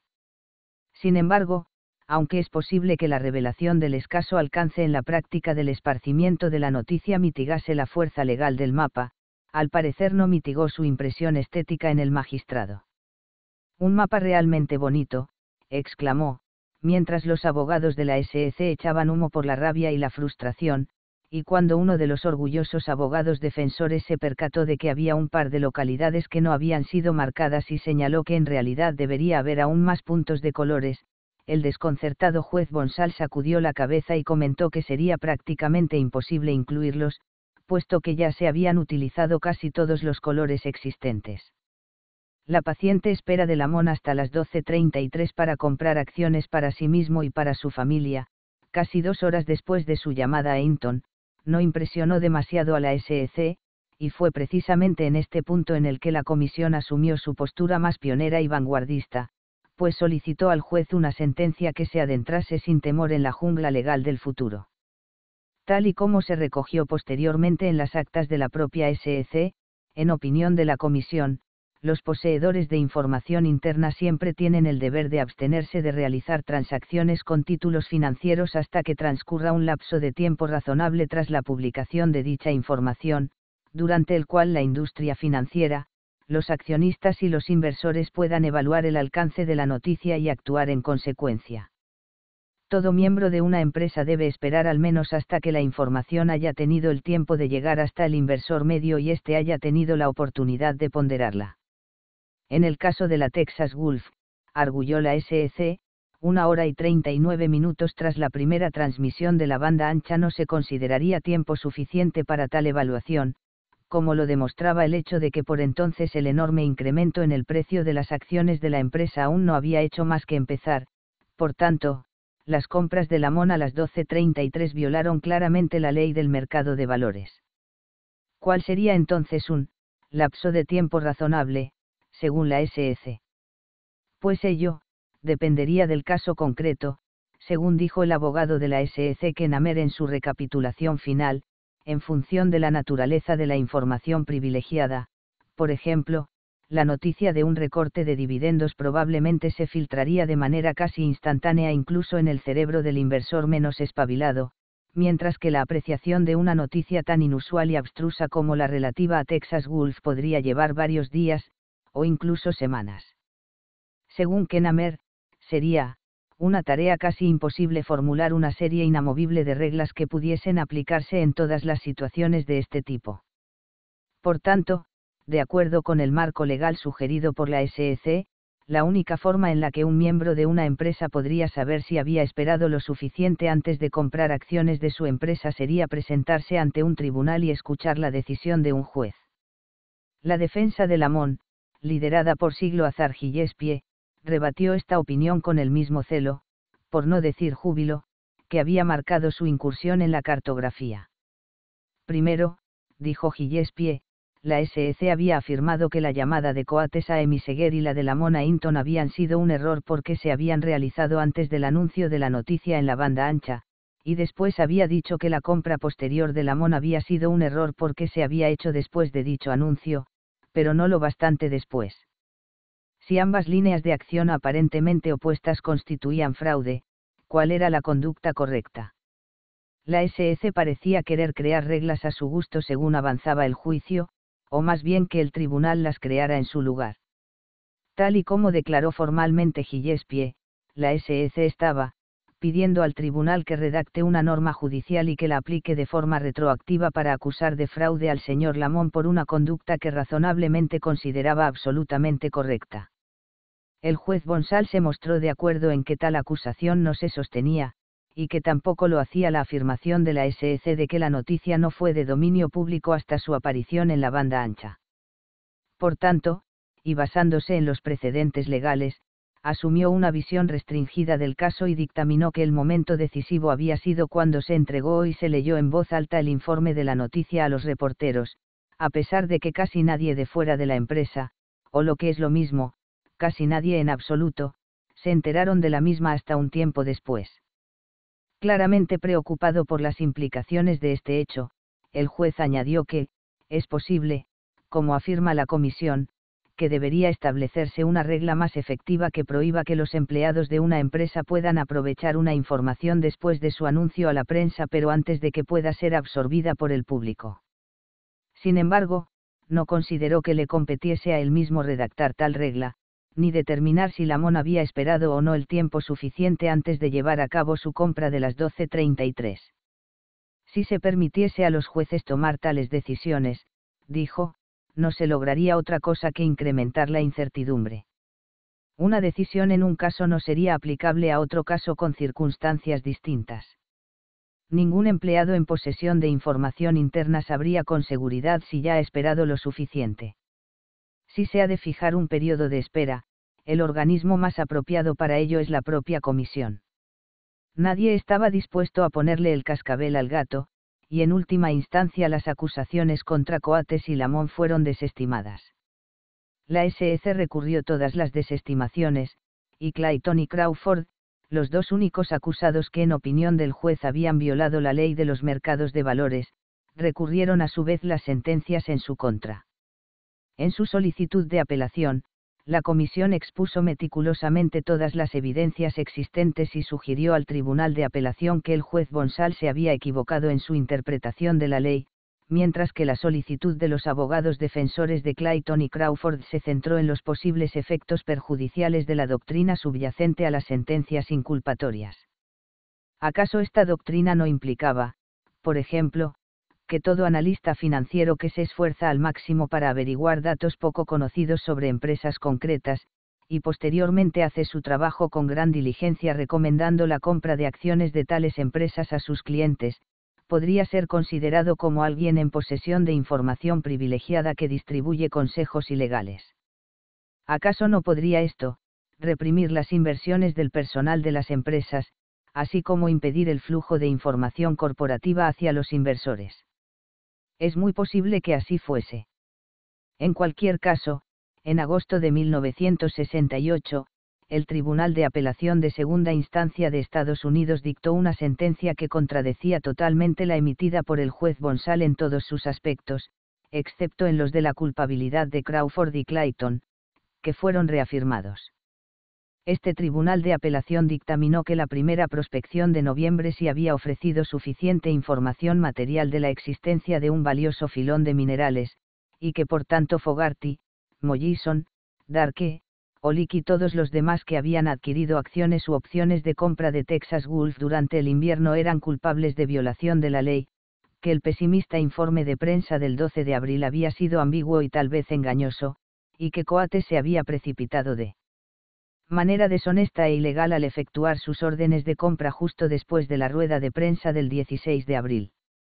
Tan solo Lamont, cuyos cargos se retiraron tras su fallecimiento, ocurrido poco después de la primera sentencia, y un gerente intermedio de Texas Gulf, John Murray, continuaron exonerados. Esta sentencia constituyó una sonora victoria para la SEC, y la primera reacción de Wall Street fue protestar asegurando que no causaría más que confusión. A pesar de nuevas apelaciones que llegaron hasta el Tribunal Supremo, todo el asunto constituyó un interesante experimento, por primera vez en la historia del mundo, Wall Street tendría que empezar a esforzarse por jugar al póker financiero sin cartas marcadas. 5. Xerox Xerox Xerox Xerox. Cuando el primer mimeógrafo, el primer reproductor mecánico de textos escritos apto para uso de oficina, se puso a la venta en 1887, gracias a la producción en masa de la Alteza Bedick Company, de Chicago, no fue lo que se dice un enorme éxito. De hecho, el señor Dick, un esleñador que se había cansado de copiar a mano sus listas de precios, había intentado diseñar él mismo una máquina reproductora, y finalmente había comprado los derechos de explotación del ya existente mimeógrafo a su inventor, Thomas Alva Edison, tuvo que hacer frente a un formidable problema. La gente no quería hacer muchas copias de documentos de oficina, dice su nieto Calle Matthews Dick, Jr., actual vicepresidente de la Alteza Bedick Company, que hoy en día se encarga de la producción y distribución de una variada gama de máquinas copiadoras y multicopiadoras, entre ellas los mimeógrafos. En general, los primeros usuarios del aparato fueron organizaciones no comerciales, como parroquias, escuelas y grupos de Boy Scouts. Con el fin de atraer a las empresas y a los profesionales, mi abuelo y sus socios tuvieron que realizar un enorme esfuerzo de publicidad resaltando las grandes ventajas que ofrecía la nueva máquina. La reproducción automática y casi instantánea era un concepto totalmente nuevo que muchos encontraban algo inquietante, pues entre otras cosas alteraba completamente los tradicionales patrones de trabajo en oficina. No hay que olvidar que en 1887 la máquina de escribir moderna llevaba en el mercado poco más de una década y su uso no estaba muy extendido, como tampoco lo estaba el del papel carbón, por lo que cuando un empresario o un abogado necesitaba cinco copias de un documento en la mayoría de los casos debía encargar a un copista profesional que las hiciese a mano. La gente solía decir a mi abuelo, para que necesitamos muchas copias de este o aquel documento. No harían más que ocupar espacio, serían una tentación para ojos curiosos, y además un desperdicio de papel. En cierto sentido, los problemas del fundador de la Alteza Vedic Company tal vez tuviesen mucho que ver con el hecho de que durante siglos la noción de hacer copias de materiales gráficos había tenido una pésima reputación, reflejada en los diversos matices atribuidos al sustantivo copia y al verbo copiar en los diccionarios de muchas lenguas.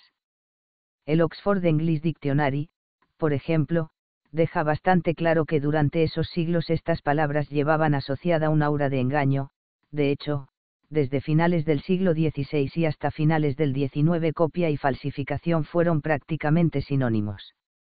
A mediados del siglo XVII, el uso medieval del sustantivo copia en el sentido latino de cantidad o abundancia se había perdido casi por completo, y únicamente su forma adjetivada había permanecido, copioso. Las únicas copias aceptables son aquellas que ponen de manifiesto los defectos de los malos originales, escribió la Rochefoucauld en sus máximas de 1665. Jamás compres la copia de un cuadro, afirmó dogmáticamente Ruskin en 1857, preocupado no tanto por el engaño sino por la devaluación. Y a menudo la copia de documentos escritos también era objeto de suspicacias, aunque la copia certificada de un documento puede ser aceptable, la copia de una copia no certificada no será admitida nunca como prueba en el ámbito de la judicatura, escribió John Locke en 1690. Más o menos al mismo tiempo, el sector de la impresión profesional contribuyó al lenguaje con la sugerente expresión, mala copia, y dos siglos después, durante la era victoriana, se puso de moda el hábito de considerar a una cosa o una persona como una pálida copia de otra. A principios del siglo XX, sin embargo, estas actitudes cambiaron completamente, sin duda debido a las necesidades prácticas producto de la creciente industrialización, por lo que la reproducción en las empresas y oficinas comenzó a crecer a un ritmo realmente vertiginoso. Puede parecer algo paradójico que este gran crecimiento coincidiese con el rápido ascenso del teléfono, pero en realidad no lo es tanto, pues a lo largo de la historia se ha demostrado una y otra vez que el aumento de la comunicación entre personas por el método que sea, lejos de limitarse a cumplir su propósito, invariablemente crea la necesidad de más y más comunicación la máquina de escribir y el papel carbón comenzaron a ser de uso común a partir de 1890, y el mimeógrafo a partir de 1900. Ninguna empresa ni oficina está completa si no cuenta con un mimeógrafo de Edison, alardeó la Dick Company en 1903. En aquel momento ya existían cerca de 150.000 dispositivos en funcionamiento, en 1910, ya eran probablemente más de 250.000, y en 1940, casi medio millón. La máquina de impresión en offset, una briosa competidora capaz de ofrecer un resultado con mucha mayor calidad que el del mimeógrafo, se adaptó con éxito al uso de oficina durante las décadas de los 30 y los 40, y actualmente es el equipo estándar en la mayoría de las grandes empresas. Sin embargo, al igual que ocurre con el mimeógrafo, en este tipo de impresión debe prepararse una página patrón de todo aquello que se quiera imprimir, un proceso relativamente caro y que consume bastante tiempo, por lo que la impresora en offset tan solo resulta rentable para realizar copias a gran escala, por tanto, en la jerga del material de oficina, tanto este tipo de impresora como el mimeógrafo no son simples, máquinas copiadoras, sino que se conocen como, multicopistas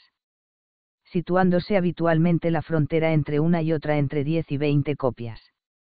El aspecto en el que la tecnología tardó más en ponerse al día fue en el desarrollo de copiadoras eficientes y económicas. Hacia 1910 comenzaron a aparecer diversos dispositivos fotográficos, entre los que destacaba, y sigue destacando, el potostat,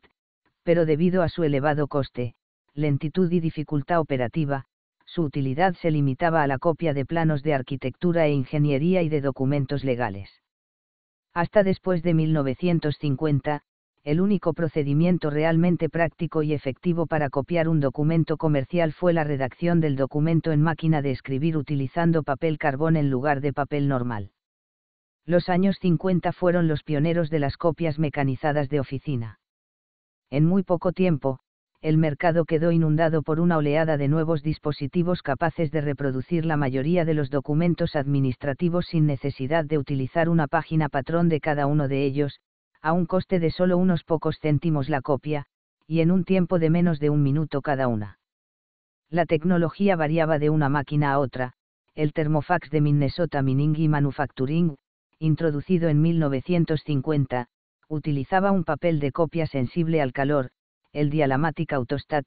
1952, de American Photocopy se basaba en el refinamiento de la fotografía estándar, el Verifax, 1953, de Stman Kodak usaba un método llamado, transferencia de pigmentos, etc., pero lo cierto es que, a diferencia del mimeógrafo del señor Dick, casi todos estos aparatos encontraron un mercado perfectamente dispuesto a recibirlos, en parte por cubrir una necesidad real, y en parte porque tanto los propios dispositivos como su función ejercían y siguen ejerciendo una poderosa fascinación en sus usuarios. En una sociedad en la que los sociólogos caracterizan como, de masas, el concepto de lograr que un producto individual pueda multiplicarse de forma sencilla y rápida tenía visos de convertirse en una verdadera compulsión.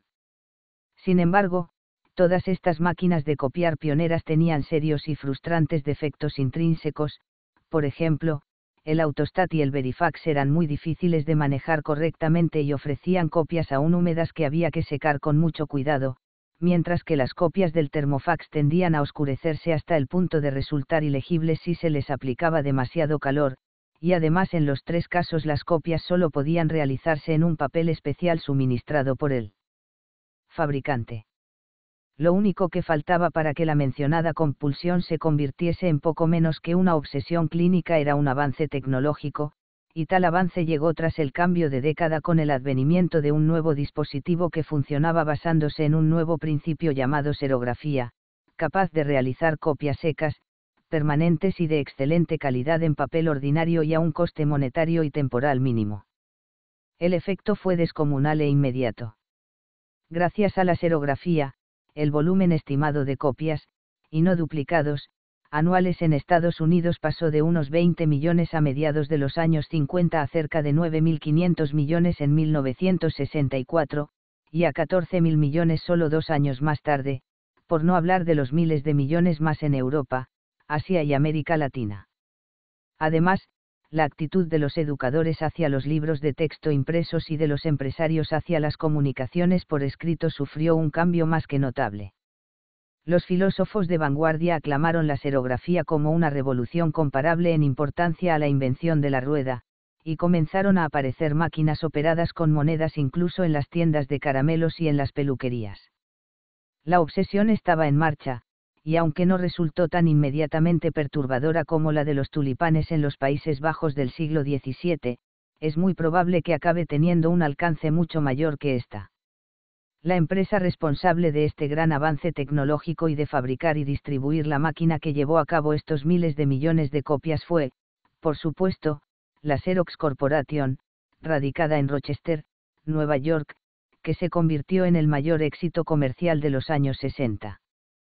En 1959, año en el que la empresa, por entonces llamada Lloyd Xerox, Incorporated, lanzó al mercado su primera copiadora automática por serografía, sus ventas fueron de 33 millones de dólares, en 1961, de 66 millones, en 1963, de 166 millones, y en 1966, de casi 500 millones.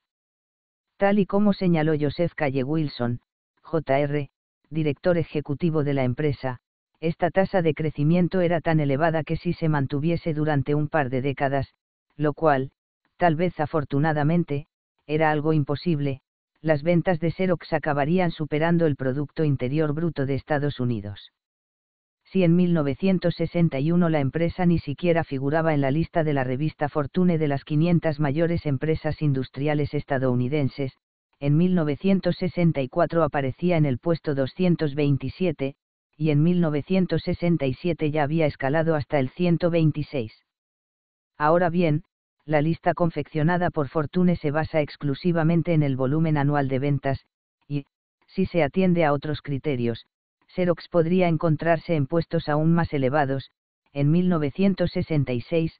por ejemplo, era ya la 36 empresa en beneficios netos, la decimoquinta en valor de mercado de sus acciones, lo que la situaba por encima de gigantes de larga experiencia como Usiglo Steel, Chrysler,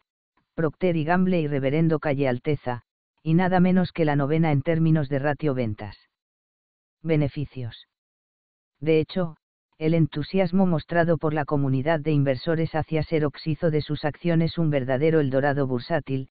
todo aquel que hubiese adquirido acciones a finales de 1959 y las hubiese conservado hasta 1967 habría visto cómo su inversión se multiplicaba por 66, y quien hubiese tenido la extraordinaria visión de futuro de comprar a Lloyd en 1955 se habría encontrado con unos asombrosos rendimientos 180 veces superiores a su inversión. No es de extrañar, por tanto, que comenzase a formarse un importante grupo de, millonarios de Xerox, que acabó contando con varios cientos de miembros, la mayoría naturales y barra o residentes en la mencionada localidad de Rochester. La Lloyd Company, fundada en Rochester en 1906, fue la antepasada de Xerox, igual que uno de sus fundadores, Joseph Calle Wilson, señor, que fuera prestamista y después alcalde de la ciudad, lo fue de su tocayo y jefe de la empresa entre 1946 y 1968. Aloyd fabricaba y comercializaba papeles de impresión fotográfica, y, al igual que todas las empresas dedicadas a la fotografía, en especial las radicadas en Rochester, operaba a la sombra del líder indiscutible del sector, Eastman Kodak, aunque pese a ello fue capaz de capear la Gran Depresión sin muchos problemas. Sin embargo, tras la Segunda Guerra Mundial, la competencia y los costes laborales aumentaron considerablemente, por lo que Aloyd tuvo que diversificar sus actividades y buscar nuevos productos. Una de las posibilidades encontradas por sus científicos fue un proceso de copiado desarrollado por el Batelle Memorial Institute, una organización sin ánimo de lucro de investigación industrial ubicada en Columbus, Ohio. La historia se remonta hasta una cocina ubicada encima de un bar en el segundo piso de un edificio de Astoria, Keynes, en la que en 1938 un inventor desconocido de 32 años llamado Chester F. Carlson había instalado un laboratorio improvisado. Hijo de un barbero inmigrante sueco y graduado en ciencias físicas por el California Institute Grados Fahrenheit Technology, Carlson trabajaba en el departamento de patentes de una empresa de Indianápolis llamada Perreverendo Mayori y Cobalto, fabricante de componentes eléctricos y electrónicos. Sin embargo, en busca de fama, fortuna e independencia, dedicaba casi todo su tiempo libre a intentar inventar una copiadora apta para el uso diario en oficinas, y para ello contaba con la ayuda de Otto Corney, un refugiado alemán que también era físico de profesión. El fruto de los experimentos llevados a cabo por los dos hombres fue un procedimiento mediante el cual, el 22 de octubre de 1938, utilizando un equipo bastante burdo y provocando una gran humareda y un hedor inaguantable, lograron transferir de una hoja de papel a otra un mensaje muy poco trascendental, 10-22-38 Astoria.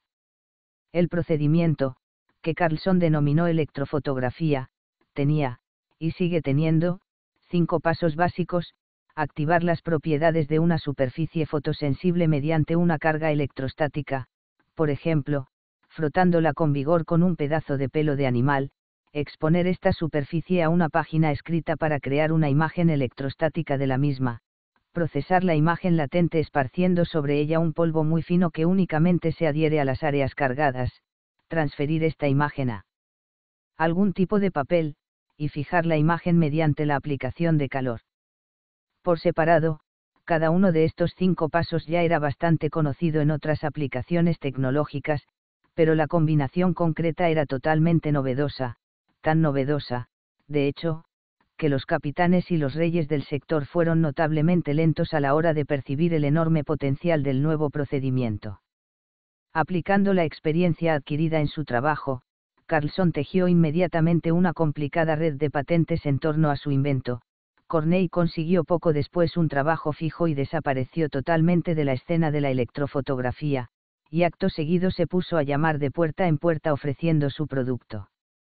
Durante los cinco años siguientes, mientras seguía trabajando para Mayori, continuó con su pseudo pluriempleo ofreciendo los derechos de uso del procedimiento a las empresas más importantes de venta de material de oficina del país, pero en todas y cada una de ellas le dieron con la puerta en las narices.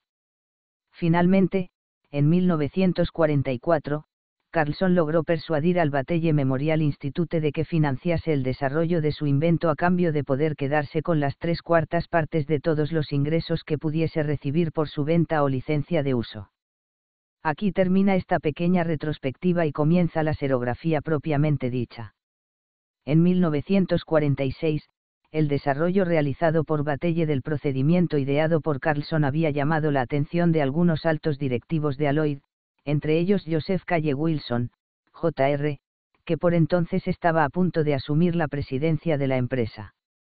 Wilson comunicó inmediatamente su interés a un amigo suyo, Sol Majestad Linovitz,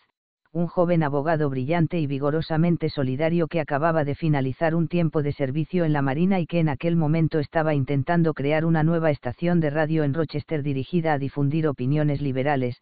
para poder contrarrestar la visión más conservadora de los periódicos propiedad de la Gannett Company. Aunque Aloyd contaba con su propio equipo de abogados, Wilson quedó tan impresionado con Linovitz que le pidió que, como trabajo, aislado, para la empresa, se encargase de investigar a Batelle. Fuimos a Columbus para ver cómo frotaban una lámina de metal con pelo de gato, comentaría después Linovitz con sorna.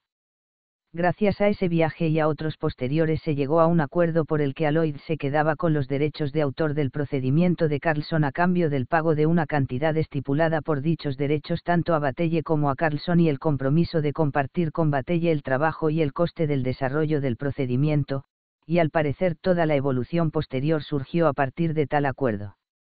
En 1948, buscando un nombre apropiado para el procedimiento de Carlson, un empleado de Batelle se reunió con un profesor de lenguas clásicas de la Ohio State University, y combinando dos palabras de griego antiguo acuñaron el término serografía, es decir, escritura seca.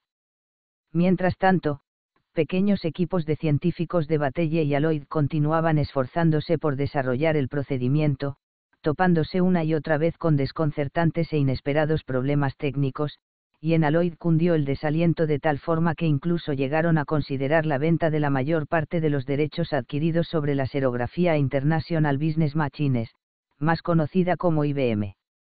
Sin embargo, en el último instante el trato se canceló, las investigaciones continuaron y las facturas y deudas se fueron acumulando hasta un punto en el que el compromiso de Aloyd fue tan elevado que ya se trataba de un asunto de todo o nada, si el procedimiento no tenía un gran éxito, la empresa quebraría sin remedio. En 1955 se llegó a un nuevo acuerdo por el que Aloyd se haría cargo del coste total del proyecto de desarrollo y pasaría a ser el beneficiario único de las patentes de Carlson, entregando como pago un gran volumen de sus propias acciones a Batelle, que a su vez entregó un porcentaje de ellas a Carlson. El coste de toda la operación fue asombroso, entre 1947 y 1960, Aloyd gastó cerca de 75 millones de dólares en la investigación de la serografía, o lo que es lo mismo, casi el doble de lo que ingresó por sus operaciones habituales durante ese mismo periodo. Semejante situación solo pudo mantenerse mediante un fuerte endeudamiento y la emisión de acciones como pago a todo aquel que fuese lo bastante generoso, temerario o clarividente como para aceptarlas. La Universidad de Rochester, en parte por el interés de ayudar a una industria local en apuros, adquirió una enorme cantidad de estas acciones para su fondo de dotación a un precio que, tras numerosos fraccionamientos, en última instancia ascendió a 50 centavos cada una. Le ruego que no se enfade con nosotros si dentro de un par de años nos vemos obligados a desprendernos de estas acciones para frenar las eventuales pérdidas, advirtió nerviosamente a Wilson un funcionario de la universidad, y Wilson prometió no enfadarse. Mientras tanto, tanto él como el resto de los ejecutivos de la empresa acordaron comenzar a recibir sus salarios en forma de acciones, y algunos de ellos incluso aportaron a la causa sus ahorros personales y sus hipotecas. Uno de los más destacados fue Linovitz, cuya asociación con Aloyd había resultado ser mucho más que un trabajo aislado, por el contrario, se había convertido en la mano derecha de Wilson, haciéndose cargo de la gestión de las patentes de la empresa, la organización y seguimiento de sus filiales internacionales, y durante un tiempo incluso de la dirección de su consejo de administración. En 1958, tras una larga y cuidadosa deliberación, se cambió el nombre de la empresa a Lloyd Xerox, aunque aún no habían introducido en el mercado ningún producto serográfico. Aloyd ya había registrado la marca, Xerox, algunos años antes, una imitación bastante descarada del Kodak, de Estman, tal y como el propio Wilson reconoció sin ambajes. La X final acabó poniéndose en minúscula cuando se dieron cuenta de que de todas formas nadie se molestaba en ponerla en mayúscula, pero el cuasipalíndromo resultó ser casi tan irresistible como el de Estman, y por tanto se empleó para el nuevo nombre empresarial. Xerox, o Xerox, marca registrada, fue adoptada aún en contra de los vehementes consejos de muchos de los consultores de la empresa, a los que no convencía en absoluto por tres razones principales, algunos temían que el gran público encontrase el término impronunciable, otros que se asociaría a algún tipo de anticongelante, y otros porque se asemejaba demasiado a una palabra tabú para los oídos financieros, cero. Entonces, en 1960, se produjo por fin la gran explosión, y todo cambió prácticamente de la noche a la mañana. En vez de preocuparse de si su nombre comercial tendría o no algún éxito, la empresa comenzó a preocuparse y mucho de que en poco tiempo estaba empezando a tener demasiado éxito, ya que el nuevo verbo serografiar se puso tan de moda en conversaciones y en imprentas que los derechos de propiedad de la empresa sobre el nombre estaban seriamente amenazados, y por ello tuvo que embarcarse en una elaborada campaña para restringir tal uso. En 1961, la empresa decidió ir a por todas y volvió a cambiar su nombre a Xerox Corporation.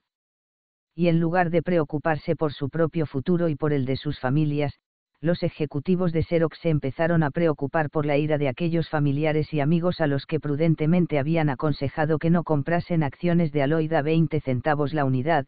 pues todos los que lo habían hecho y en grandes cantidades se habían vuelto ricos, o al menos más ricos de lo que ya eran, como los ejecutivos que se habían sacrificado por la causa, la Universidad de Rochester, el Batelle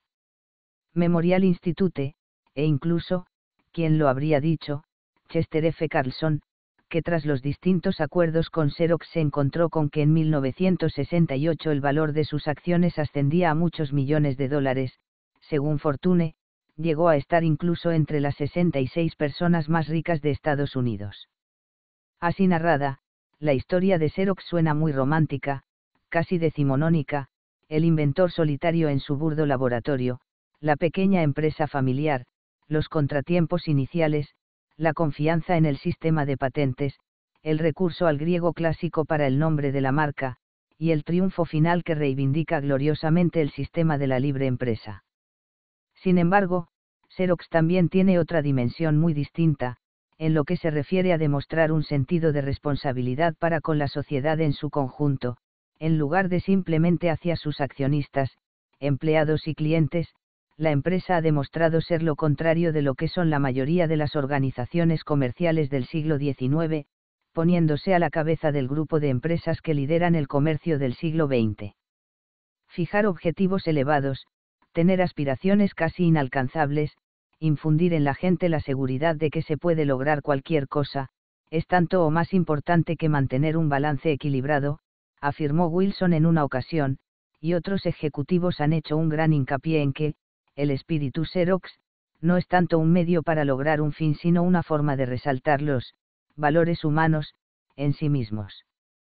Semejante retórica es, por supuesto, muy común en los círculos de las grandes empresas, y viniendo de los ejecutivos de Xerox puede llegar a suscitar escepticismo, o incluso irritación, si se tienen en cuenta los enormes beneficios de la empresa, pero en este caso existen pruebas de que Xerox se toma en serio lo que dice. En 1965, la compañía donó 1.632.548 dólares a instituciones educativas y benéficas, y, en 1966, 2.246.000 dólares. En ambos años, los principales receptores fueron la Universidad de Rochester y su fundación, y también en ambos casos la cantidad donada representaba más del 1,5% de los ingresos netos de la empresa. Estos porcentajes son bastante superiores a los donados habitualmente por la mayoría de las grandes empresas para obras benéficas, por ofrecer tan solo un par de ejemplos de las generalmente más citadas por su generosidad, la contribución de RCA en 1965 ascendió al 0,7% de sus ingresos netos anuales, y la de American Telephone y Telegraph fue también considerablemente inferior al 1%. No obstante, la prueba definitiva de que Xerox tenía toda la intención de persistir en su compromiso con el altruismo es su adhesión en 1966 al denominado, programa del 1%, a menudo llamado Plan Cleveland, un sistema implantado en esta localidad por el cual sus industrias acuerdan ofrecer el 1% de sus beneficios anuales antes de impuestos a instituciones educativas locales, con independencia del resto de sus donaciones, de forma que si los ingresos de Xerox continúan creciendo como la espuma, la Universidad de Rochester y sus instituciones anexas pueden enfrentarse al futuro con bastante seguridad. También existen otros ejemplos de situaciones en las que Xerox asumió riesgos por motivos que no tenían nada que ver con los beneficios esperados. En un discurso de 1964, Wilson afirmó que, la empresa no puede negarse a tomar una posición en asuntos públicos importantes, lo cual constituye una herejía comercial donde las haya, ya que dar una opinión clara y concreta sobre un asunto público es la manera más directa de alienar a los clientes reales o potenciales que opinan diferente, ya no digamos justo lo contrario. El principal posicionamiento de Xerox fue en favor de la Organización de las Naciones Unidas, y por extensión en contra de sus detractores. A principios de 1964, la empresa decidió donar 4 millones de dólares, cantidad equivalente al presupuesto de un año entero en publicidad, para financiar una serie de programas de televisión centrados en la labor de la ONU, programas que carecerían de anuncios publicitarios y de logotipos de Xerox durante su emisión, y que únicamente acreditarían su contribución al principio y al final de los mismos. En julio aquel año, unos tres meses después del anuncio de la decisión, la empresa comenzó a recibir una avalancha de cartas que expresaban su firme oposición a tal proyecto, y la urgían a abandonarlo cuanto antes. En total se recibieron casi 15.000 misivas, cuyos tonos variaban desde lo dulce y razonable hasta la denuncia más estridente y emocional muchas de ellas afirmaban categóricamente que la ONU no era más que un instrumento que buscaba privar a los ciudadanos de Estados Unidos de sus derechos constitucionales, que parte de sus estatutos habían sido redactados por estadounidenses comunistas, y que constantemente estaba facilitando los objetivos de los comunistas. Incluso algunas de ellas, procedentes de presidentes de otras empresas, amenazaban sin tapujos con deshacerse de todos los productos de Xerox presentes en sus oficinas a menos que los programas fuesen cancelados. Aunque solo unas pocas de las cartas mencionaban a la muy conservadora Home Society, y ninguno de los remitentes se identificaba abiertamente como miembro de la misma, algunas evidencias circunstanciales sugerían que la avalancha de cartas se debía en última instancia a una cuidadosa campaña organizada por esta sociedad. Por un lado, una reciente publicación oficial de la Home Birch había alentado a sus miembros a escribir a Xerox para protestar por los programas a favor de la ONU, recordando que otra avalancha similar había logrado persuadir a una gran compañía aérea de que retirase los logotipos de la ONU de sus aviones. Y, por otro, una investigación promovida por Xerox desveló que las 15.000 cartas habían sido enviadas por tan solo 4.000 personas, lo que sin duda reforzaba la tesis de una campaña orquestada. En cualquier caso, los directivos de Xerox se negaron rotundamente a dejarse intimidar ni persuadir, y la serie de programas sobre la ONU fueron emitidos con gran éxito de crítica y público en 1965 por la American Broadcasting Company. Tiempo después, Wilson comentó que, en última instancia, la decisión de mantener los programas, y de ignorar las protestas en contra, proporcionó a Xerox muchos más amigos que enemigos, y en todas sus declaraciones públicas sobre el tema insistió siempre en que lo que muchos observadores consideraban un extraño ataque de idealismo no era más que una sólida y meditada decisión comercial. En el otoño de 1966, Xerox comenzó a encontrarse con los primeros contratiempos desde la introducción de la serografía, principalmente porque para entonces ya existían más de 40 empresas dedicadas exclusivamente al negocio de copias de documentos de oficina, muchas de ellas fabricantes de dispositivos serográficos bajo licencia de la propia Xerox. El único componente importante de su tecnología para el que siempre se había negado a conceder licencia de uso era una bobina de selenio que permitía a sus propias máquinas realizar copias en papel ordinario, por lo que todos sus competidores aún requerían un papel especial. Hasta entonces, la gran ventaja de Xerox había sido la misma de la que suelen disfrutar las empresas pioneras en la oferta de un producto o servicio de gran éxito, la posibilidad de cobrar por él un precio elevado, aprovechando la falta de competencia. Sin embargo, tal y como informó en el mes de agosto de ese año la revista financiera Barrons, estaba claro que, como resulta inevitable que suceda con todos los avances tecnológicos, este gran invento, que hace unos años constituía una fabulosa novedad, pronto pasará a ser un producto común y corriente, al alcance de todo el mundo. Poco a poco, el sector se estaba inundando de nuevos productores baratos. Una empresa, en una carta enviada a sus accionistas en mayo, incluso preveía que en un futuro no muy lejano se llegaría a poder vender máquinas copiadoras, como juguetes, por poco más de 10 grados 20 dólares, de hecho, un modelo de 1968 se puso a la venta por 30 dólares, e incluso llegó a aventurar que algún día las copiadoras se ofrecerían gratis para promocionar las ventas de papel, de la misma forma en que ya era tradición regalar maquinillas de afeitar para promocionar la venta de cuchillas. Durante los años anteriores, consciente de que su cómodo monopolio acabaría pasando tarde o temprano a dominio público, Xerox había estado ampliando el número de sus actividades por medio de adquisiciones, absorciones y fusiones con empresas de otros sectores, principalmente publicidad y educación, por ejemplo, en 1962 había comprado University Microfilms, una empresa dedicada a la conservación de microfilmes de manuscritos no publicados, libros descatalogados, tesis doctorales, boletines, revistas y periódicos, y en 1965 se había fusionado con otras dos empresas, American Education Publications, el mayor editor del país de publicaciones periódicas para estudiantes de enseñanza primaria y secundaria, y Basic Systems, un fabricante de máquinas para la enseñanza. Sin embargo, tales acciones no lograron tranquilizar a un crítico tan dogmático como el mercado financiero, y las acciones de Xerox acabaron sufriendo una fuerte tormenta, desde principios de junio hasta finales de septiembre de 1966, el valor bursátil de la empresa se redujo a menos de la mitad, cayendo el precio de sus acciones en ese intervalo desde 267 puntos hasta 131 y 5 octavos, en la semana del lunes 3 al viernes 7 de octubre, cayeron otros 42 puntos, y el día más alarmante de todos, el 6 de octubre, las operaciones de Xerox en la Bolsa de Nueva York tuvieron que ser suspendidas durante cinco horas, pues había acciones a la venta por valor de 25 millones de dólares que absolutamente nadie deseaba comprar. En mi opinión, el análisis de cualquier empresa resulta más interesante precisamente cuando ésta atraviesa por dificultades, y dado que por entonces llevaba ya un año deseando echar un vistazo a Xerox y a sus empleados, escogí el otoño de 1966 como momento perfecto para ello.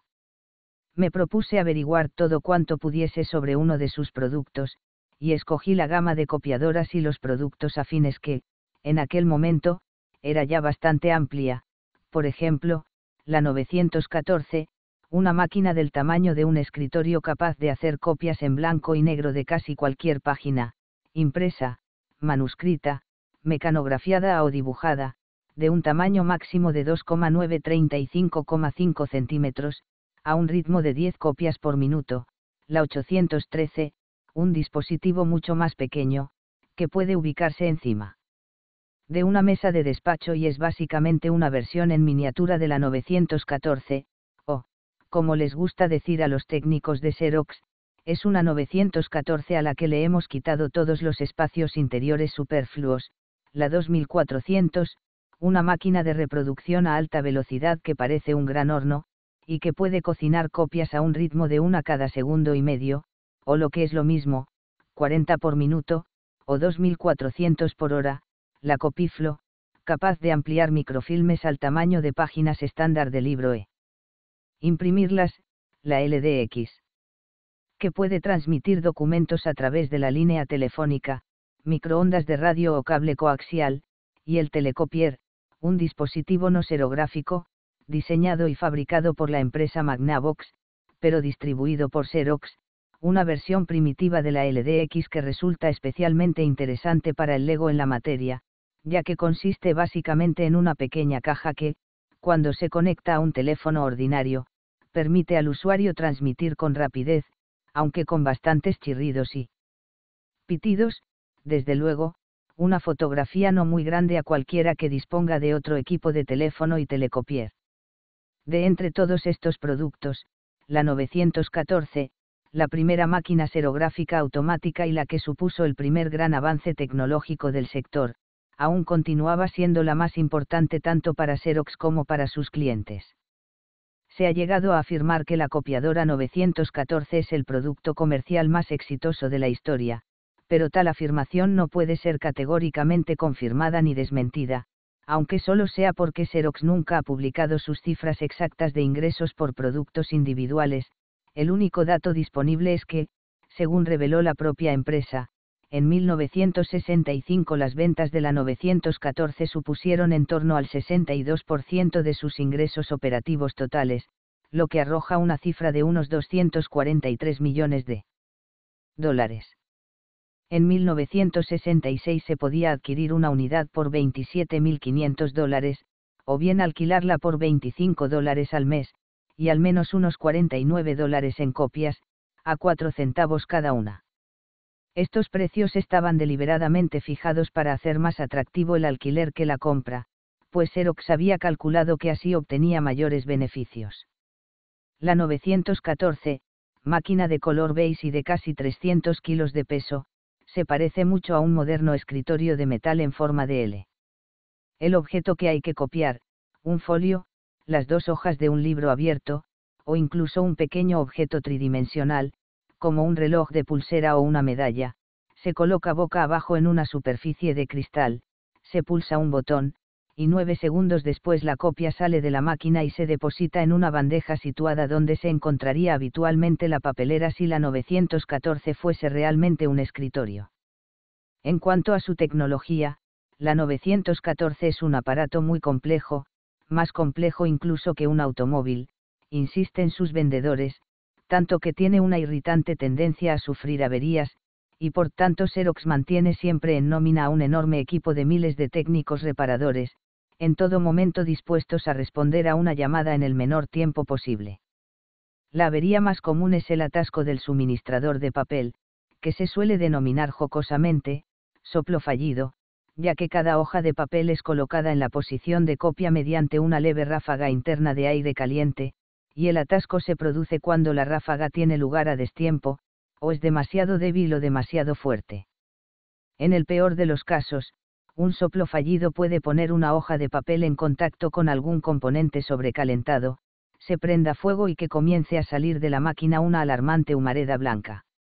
En tal situación, normalmente se aconseja al operario que no haga nada, ya que el fuego tiende a apagarse solo sin causar muchos daños, o como mucho se le indica que utilice el pequeño extintor especial que suele haber adjunto a la copiadora, ya que si se le echa agua a la superficie metálica de la 914 puede causar descargas eléctricas muy dolorosas, o incluso letales. Además de las posibles averías, el dispositivo requiere bastante mantenimiento y atención por parte de la persona que opera con él, que casi siempre es una mujer. Las mujeres que comenzaron a trabajar con los primeros modelos de máquinas de mecanografiar se llamaron, mecanógrafas, pero afortunadamente hoy en día nadie llama, Xeroxas, a las operadoras de productos de Xerox. Las reservas de papel y de polvo electrostático negro, llamado, toner, debían rellenarse con frecuencia, y el componente más importante, la bobina de selenio, debía limpiarse regularmente con un algodón especial antiabrasión y aplicarle una capa protectora de cera. Tras pasar un par de tardes en compañía de una 914 y de su operadora habitual, observé lo que me pareció la relación más cercana que pueda darse entre un ser humano y un equipo de oficina que jamás se haya visto.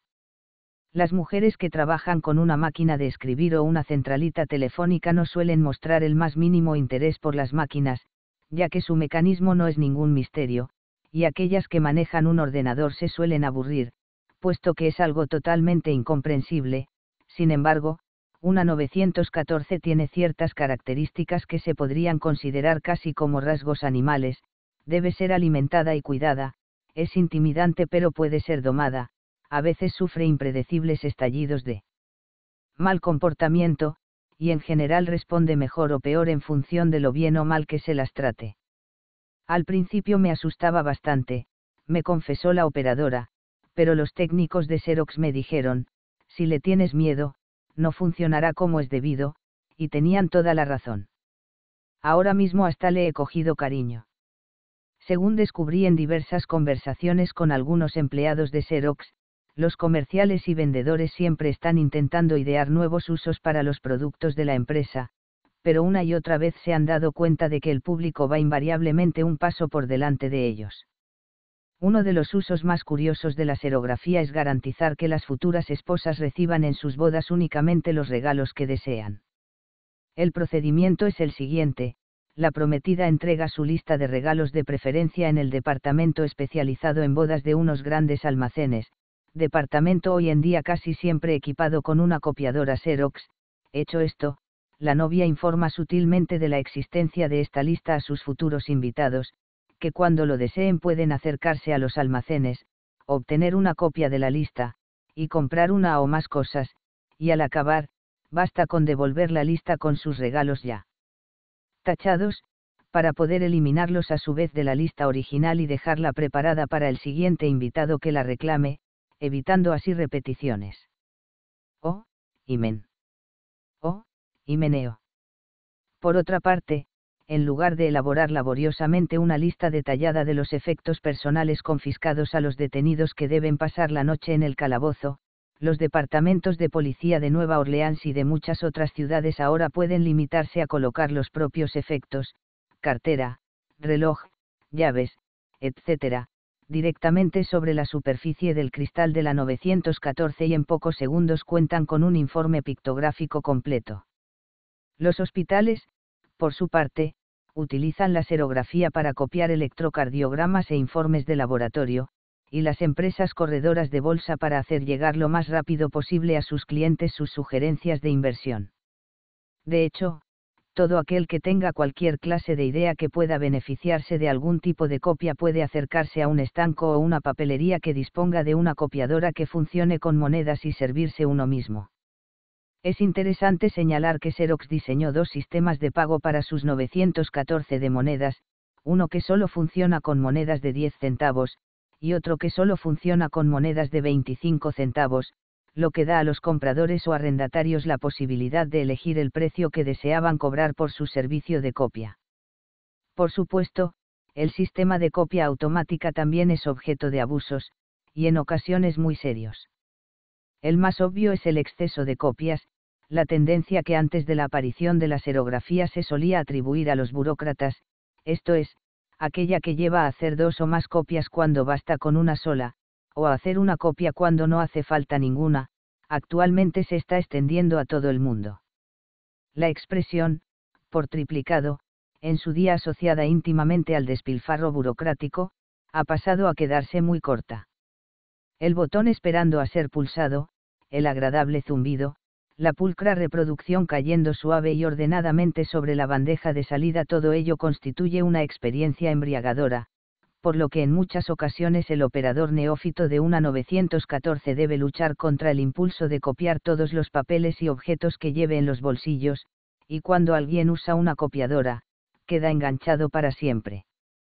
Tal vez el principal peligro de esta especie de adicción no es tanto la acumulación excesiva de documentos o la pérdida o deterioro de documentación importante sumergida entre las copias, sino el insidioso incremento de una actitud negativa en contra de los originales, una sensación de que nada es realmente importante a menos que sea necesario copiarlo, o que sea una copia en sí misma. Sin embargo, el problema más serio provocado por la aparición de la serografía es sin duda que muchos usuarios sienten una tentación casi irresistible de violar las leyes de derechos de autor. Actualmente, casi todas las grandes bibliotecas públicas y universitarias, y también de las escuelas secundarias, están equipadas con al menos un ejemplar de copiadora, y tanto los profesores como los alumnos que deseen disponer para su uso personal o académico de, por ejemplo, una serie de poemas de un libro publicado, un relato corto de una antología, o un artículo concreto de una revista científica de renombre, han ido adquiriendo el hábito de cogerlo de la estantería, llevarlo al departamento de reproducción y hacer las copias Xerox que les hagan falta, con el obvio efecto de privar al autor y al editor de la publicación de los ingresos que les corresponderían. Por desgracia, no existen registros legales de tales vulneraciones de los derechos de autor, ya que normalmente los autores y editores no suelen demandar a los infractores, aunque solo sea porque en la mayoría de los casos estas infracciones pasan inadvertidas, y además los infractores casi nunca son conscientes de estar cometiendo un acto ilegal. La alta probabilidad de que muchos derechos de autor se infringieran inconscientemente desde la aparición de la serografía quedó patente de manera indirecta hace unos años, cuando un comité de educadores envió una circular a profesores de centros de todo el país informándoles explícitamente de cuáles eran sus derechos de copia y cuáles no, y el resultado inmediato fue un notable incremento en el número de cartas recibidas por editores que solicitaban permiso de copia de una de sus publicaciones. Además, existen más pruebas concretas de las prácticas ilícitas existentes, por ejemplo, En 1965 el director de la Biblioteca de la Universidad de Nuevo México afirmó públicamente que las bibliotecas gastaban una media del 90% de sus presupuestos en personal, teléfono, copias, telefacsímiles y similares, y tan solo el 10%, como si de un diezmo se tratase, en libros, revistas y demás publicaciones. Hasta cierto punto, muchas bibliotecas se esfuerzan por controlar ellas mismas las copias que se hacen de sus libros. Por ejemplo, el Servicio Fotográfico de la Biblioteca Pública de Nueva York, que recibe en torno a 1.500 peticiones de copia a la semana, suele informar a sus socios que, el material sujeto a derechos de autor no podrá ser reproducido más que para un uso adecuado, esto es, en la forma y volumen permitidos por precedentes legales, lo que en la práctica limita las copias a breves pasajes de cada publicación. Además, la biblioteca continúa diciendo que, el solicitante es responsable de cualquier problema legal que pueda surgir por el hecho de realizar una copia y por el uso que dé a lo copiado. Da la impresión de que en la primera parte de esta advertencia la biblioteca asume la responsabilidad de las copias y en la segunda renuncia a ella, y esta ambivalencia parece reflejar la ansiedad sentida por los usuarios de las fotocopiadoras de la biblioteca. Ahora bien, fuera de los muros de una biblioteca pública no parece que existan tantos escrúpulos, ya que muchos empresarios, que en otros aspectos suelen ser muy meticulosos con su cumplimiento de la ley, tienden a considerar la violación de los derechos de autor con la misma despreocupación que demuestra un peatón imprudente a la hora de cruzar las calles por donde mejor le viene. En una ocasión, un escritor más o menos conocido recibió una invitación para asistir a un seminario de líderes industriales de alto nivel y se sorprendió mucho al descubrir que un capítulo entero de su último libro había sido copiado y distribuido entre los asistentes como base de debate. Cuando el escritor protestó enérgicamente por tal acción, los empresarios se quedaron atónitos, e incluso casi ofendidos, ya que hasta ese momento estaban convencidos de que al escritor le agradaría la atención prestada a su trabajo. El problema era que, después de todo, se trataba de la clase de adulación que podría mostrar un ladrón al elogiar el buen gusto de una mujer mientras le está robando sus joyas. En opinión de algunos especialistas en el tema, lo que ha ocurrido hasta el momento es solo la primera fase de una suerte de revolución en el sector de las artes gráficas. La serografía está aterrorizando al mundo de la edición y la publicación, porque permite que cada lector pueda convertirse fácilmente también en autor y editor, escribió el erudito canadiense Marshall McLuhan en la edición de la primavera de 1966 de la revista American Cholar.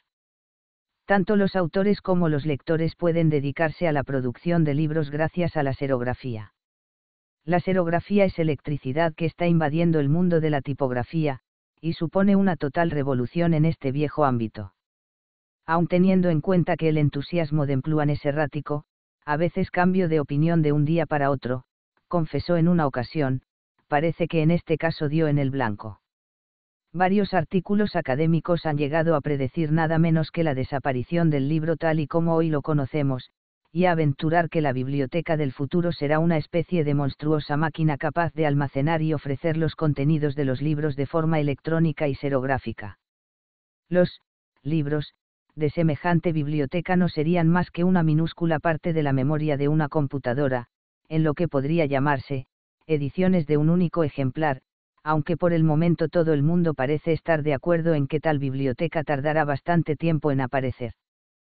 si bien no tanto como para eliminar los recelos de los editores más avispados.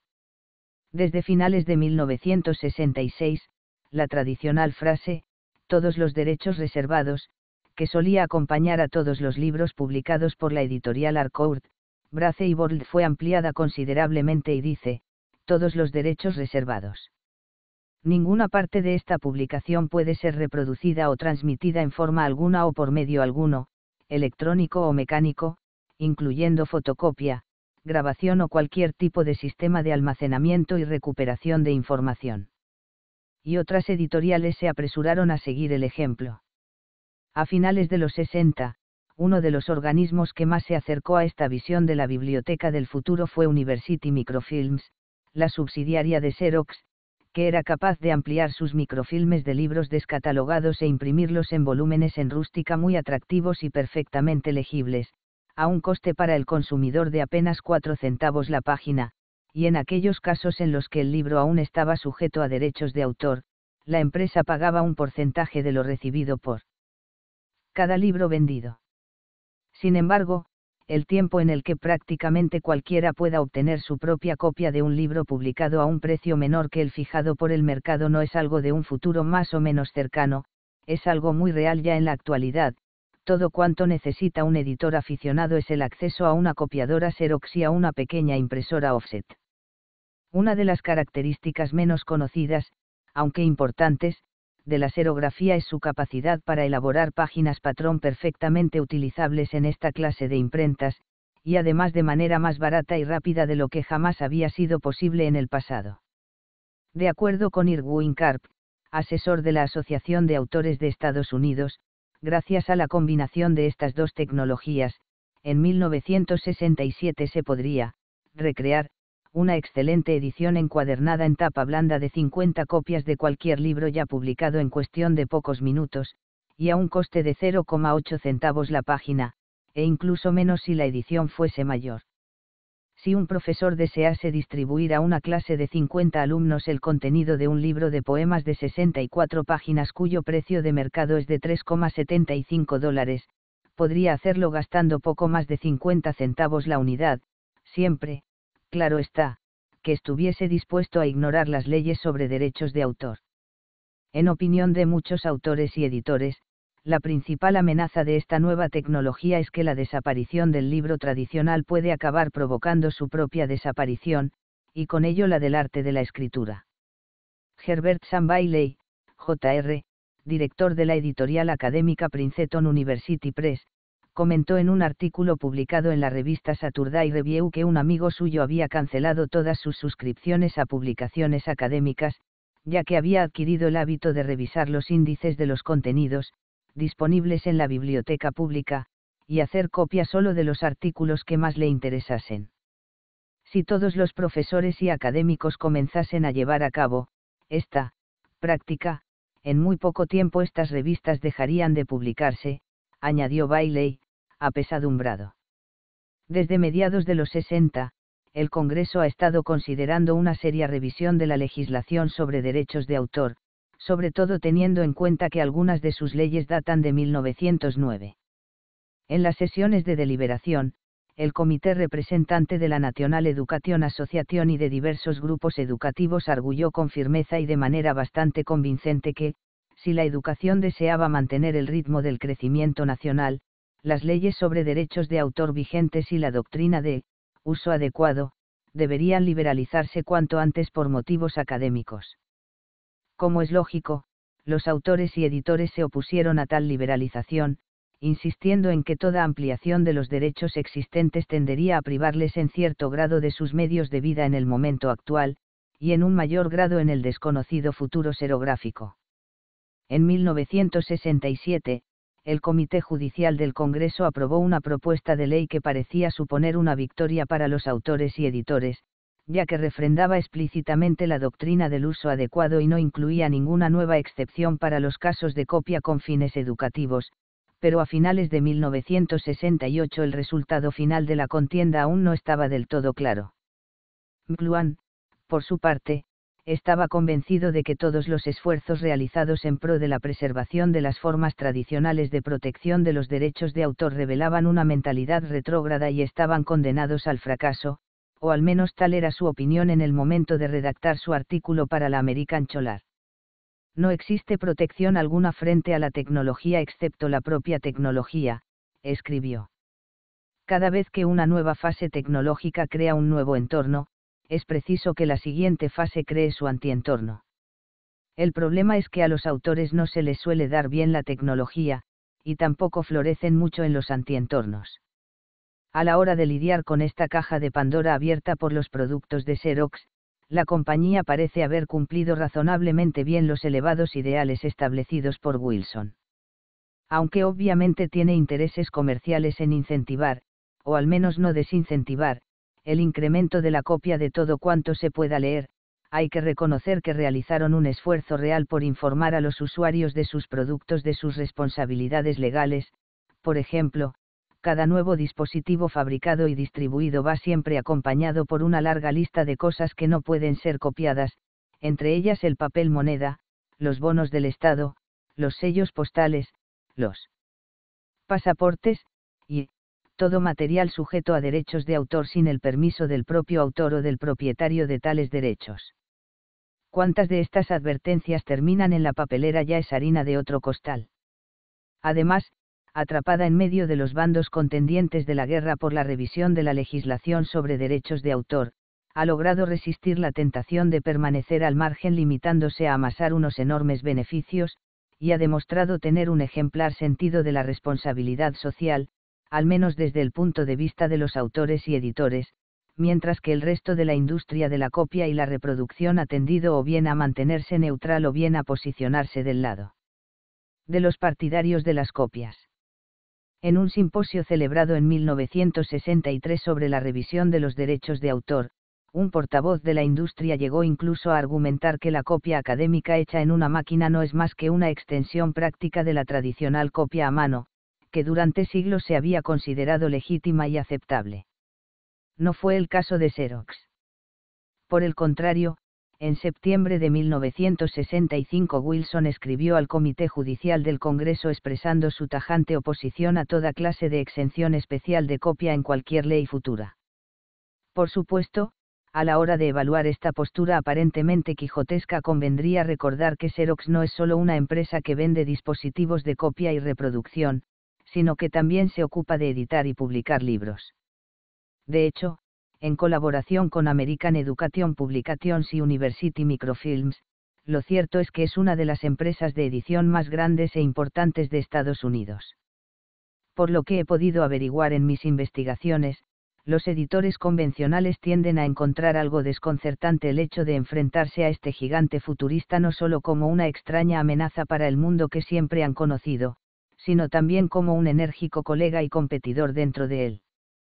Tras estudiar en profundidad algunos de los productos de Xerox y reflexionar detenidamente acerca de las implicaciones de su uso, me trasladé a Rochester para conocer la empresa de primera mano y hacerme una idea de la forma en la que sus empleados estaban reaccionando ante los problemas emergentes, tanto los materiales como los éticos, aunque no cabía duda alguna de que cuando llegué los problemas materiales eran los más acuciantes, ya que no hacía mucho que había tenido lugar la infausta. Semana de la caída de 42 puntos en la bolsa.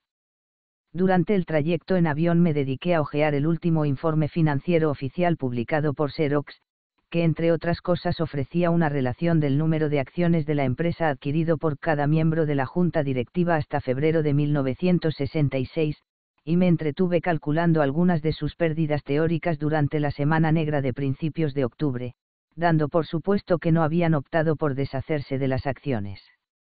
El presidente Wilson, por ejemplo, tenía en su cartera personal hasta febrero un total de 154.026 acciones, por lo que sus pérdidas serían de 6.546.105 dólares. La cartera del Linovitz era de 35.166 acciones, por lo que sus pérdidas ascenderían a 1.494.555 dólares. Y la del Dr. Honora de Sauer, vicepresidente ejecutivo a cargo de la investigación, tenía 73.845 acciones, lo que arrojaría unas pérdidas de 3.138.412 dólares. En su conjunto, se trataba de unas pérdidas que a duras penas podrían considerarse triviales, incluso para los elevados estándares de los ejecutivos de una gran empresa como Xerox. En vista de esto, estaría la sede central a la que me dirigía invadida por la melancolía y la pesadumbre, o al menos ligeramente conmocionada. En aquel momento, el cuartel general de Xerox estaba ubicado en los últimos pisos de la Midtown Tower de Rochester, en cuya planta baja se encuentra el Midtown Plaza, un enorme centro comercial. Poco después, la empresa se trasladó al otro lado de la calle a la Xerox Square, un complejo que actualmente incluye un edificio de oficinas de 30 pisos, un auditorio para uso general y una gran pista de patinaje sobre hielo. Antes de subir a la sede de Xerox, me di una vuelta por el centro comercial, y descubrí que disponía de todo tipo de tiendas, una cafetería, kioscos de prensa, piscinas, árboles y bancos que, a pesar de una atmósfera rabiosamente agradable y próspera, fruto tal vez de una música insulsa y omnipresente, estaban parcialmente ocupados por vagabundos, igual que los bancos de los centros comerciales al aire libre. Los árboles tenían cierta tendencia a languidecer por falta de luz y aire, pero los vagabundos no tenían mal aspecto. Tras subir en el ascensor, me reuní con un miembro del Departamento de Relaciones Públicas de Xerox con quien había concertado una cita, y mi primera pregunta fue cómo había reaccionado la empresa a su caída en bolsa.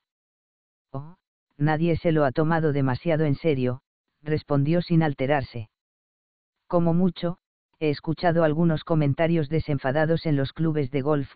por ejemplo, que alguien le comenté a otro, las bebidas las pagas tú, que ayer perdí otros 80 mil dólares en Xerox. Es cierto que Joe Wilson consideró un poco traumático el día que tuvieron que suspender las operaciones en bolsa, pero en general no le ha afectado mucho. De hecho, el otro día, precisamente cuando las acciones más estaban cayendo, se celebró una fiesta y un montón de gente se agrupó a su alrededor para preguntarle qué estaba ocurriendo, y él respondió algo así como bueno, ya saben que es muy raro que la oportunidad llame dos veces a la misma puerta. Y en cuanto a estas oficinas, apenas se oye a nadie comentar siquiera el asunto.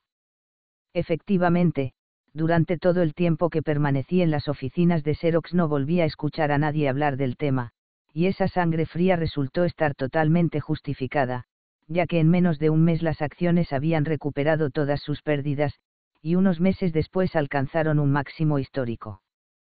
Pasé el resto de aquella mañana hablando con tres destacadas figuras del Departamento de Investigación Científica de la empresa, escuchando nostálgicas historias de los primeros años del desarrollo de la serografía.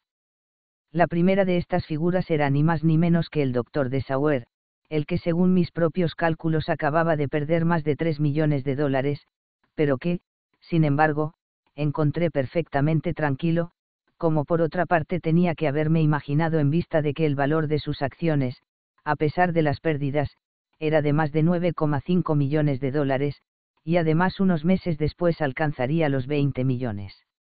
El doctor de Sauer, veterano de la empresa nacido en Alemania, que había estado al frente de la investigación y la ingeniería desde 1938 y que además era vicepresidente del Consejo de Administración, fue el primero en lograr suscitar el interés de Joseph Wilson por el procedimiento de Carlson, tras leer un artículo sobre este en una revista técnica en 1945. Durante nuestra entrevista, observé que en una de las paredes de su despacho había colgada una enorme tarjeta de homenaje de sus empleados en la que se le aclamaba como el mago, y ciertamente la persona que tenía delante era un hombre afable y de aspecto juvenil, con un ligero acento que sin duda podría hacerle pasar por un hechicero quiere que le cuente cómo eran los viejos tiempos, EH. Dijo el doctor de Sauer jovialmente. Bueno, fueron emocionantes y maravillosos, pero también terribles. A veces me volvía loco, casi literalmente. El dinero era el principal problema. La empresa podía considerarse afortunada de poder mantenerse más o menos lejos de los números rojos, aunque quizá no lo bastante lejos todos los miembros de nuestro equipo se jugaban mucho en el proyecto. Yo mismo volví a hipotecar mi casa, y todo lo que me quedaba era mi seguro de vida. Desde luego, mi cuello llegó a estar realmente expuesto.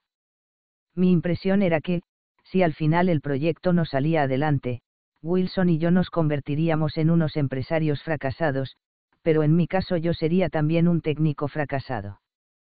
Nadie me volvería a ofrecer un empleo nunca más, al menos no en este sector. Habría tenido que renunciar a la ciencia y ponerme a vender seguros o algo así. Tras mirar distraídamente al techo durante unos segundos, continuó, durante los primeros años nadie era muy optimista. Varios miembros de nuestro propio grupo llamaron varias veces a mi puerta para decirme que todo aquel maldito proyecto jamás funcionaría. El mayor riesgo era que al final la electrostática acabase no funcionando en ambientes de elevada humedad. Casi todos los expertos estaban convencidos de ello, decían, nunca se podrán realizar copias en un lugar tan húmedo como Nueva Orleans.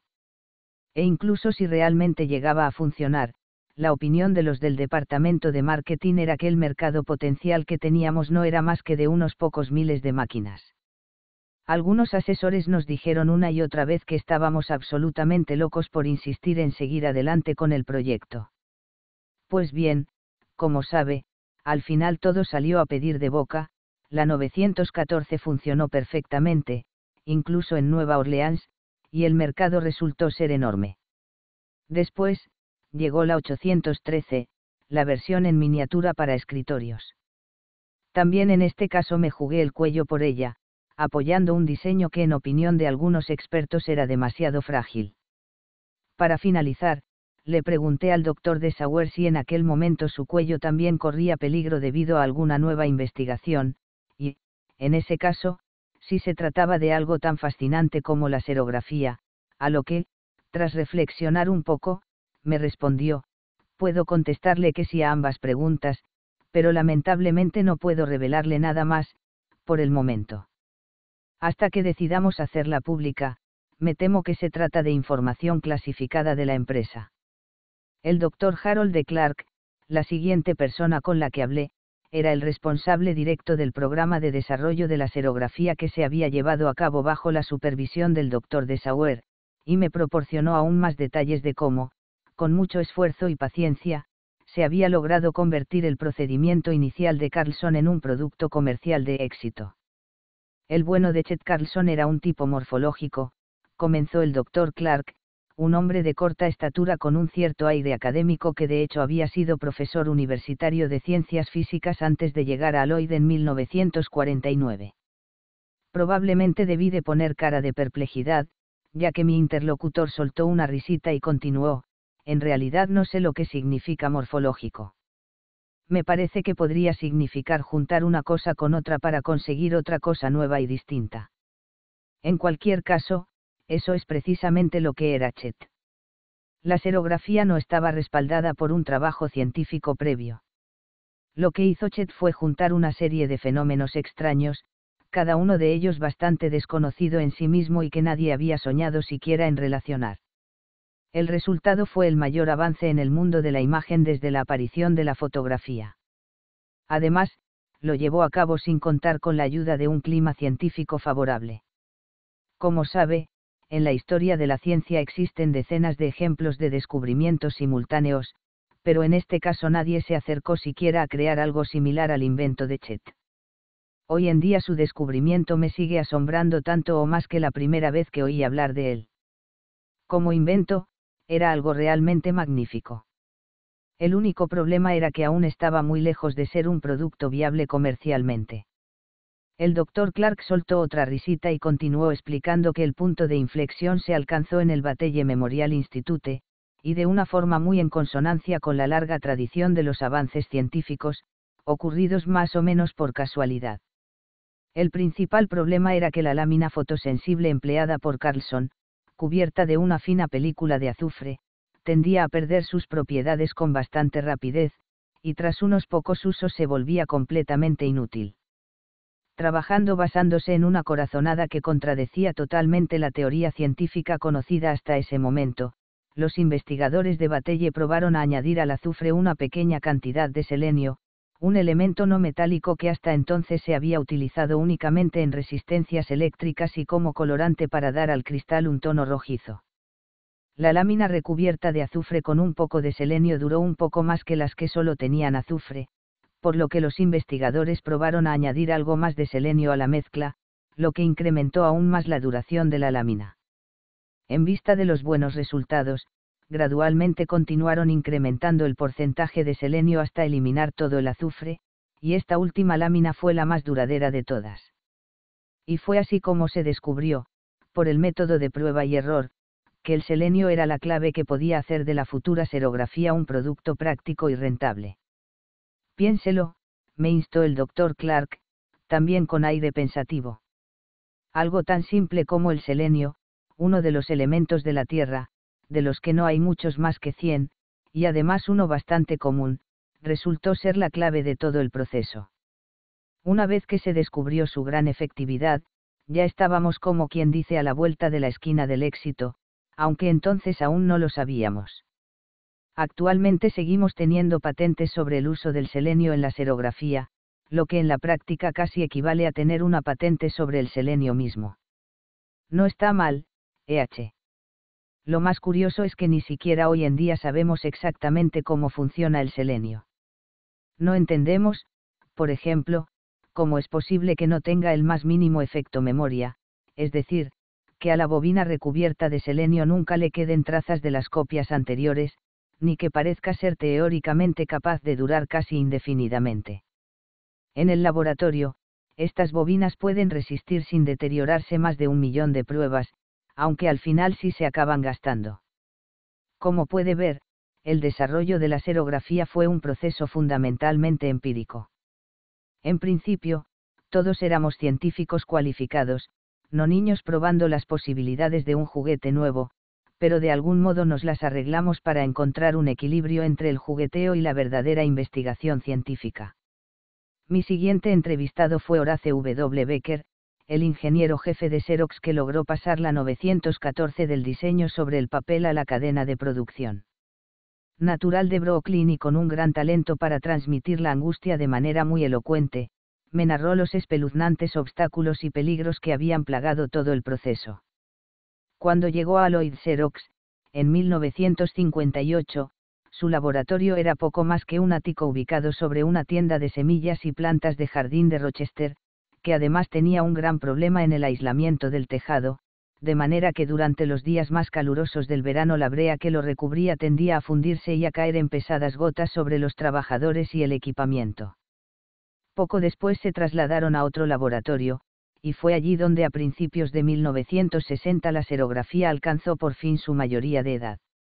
El nuevo laboratorio estaba en otro edificio destartalado, con un ascensor que daba miedo de lo que crujía y chirriaba, y daba a una vieja vía férrea por la que cada dos por tres pasaban trenes cargados de cerdos, me contó Becker, pero al menos teníamos más espacio y no terminábamos embreados de arriba abajo cada vez que subía un poco la temperatura. No me pregunte cómo sucedió. Simplemente, decidimos que había llegado el momento de crear una cadena de montaje, y eso hicimos. Todo el mundo estaba entusiasmado con el proyecto. Los sindicatos olvidaron temporalmente sus quejas y agravios, y los jefes olvidaron sus rangos profesionales. Llegó un momento en que era difícil distinguir a un ingeniero de un obrero. Nadie era capaz de desconectar del trabajo, si por ejemplo se te ocurría ir al laboratorio un domingo, cuando la cadena de montaje estaba inactiva, la mayoría de las veces encontrabas a más de uno realizando algún ajuste o simplemente yendo de aquí para allá admirando el trabajo realizado. En otras palabras, la 914 estaba por fin en camino.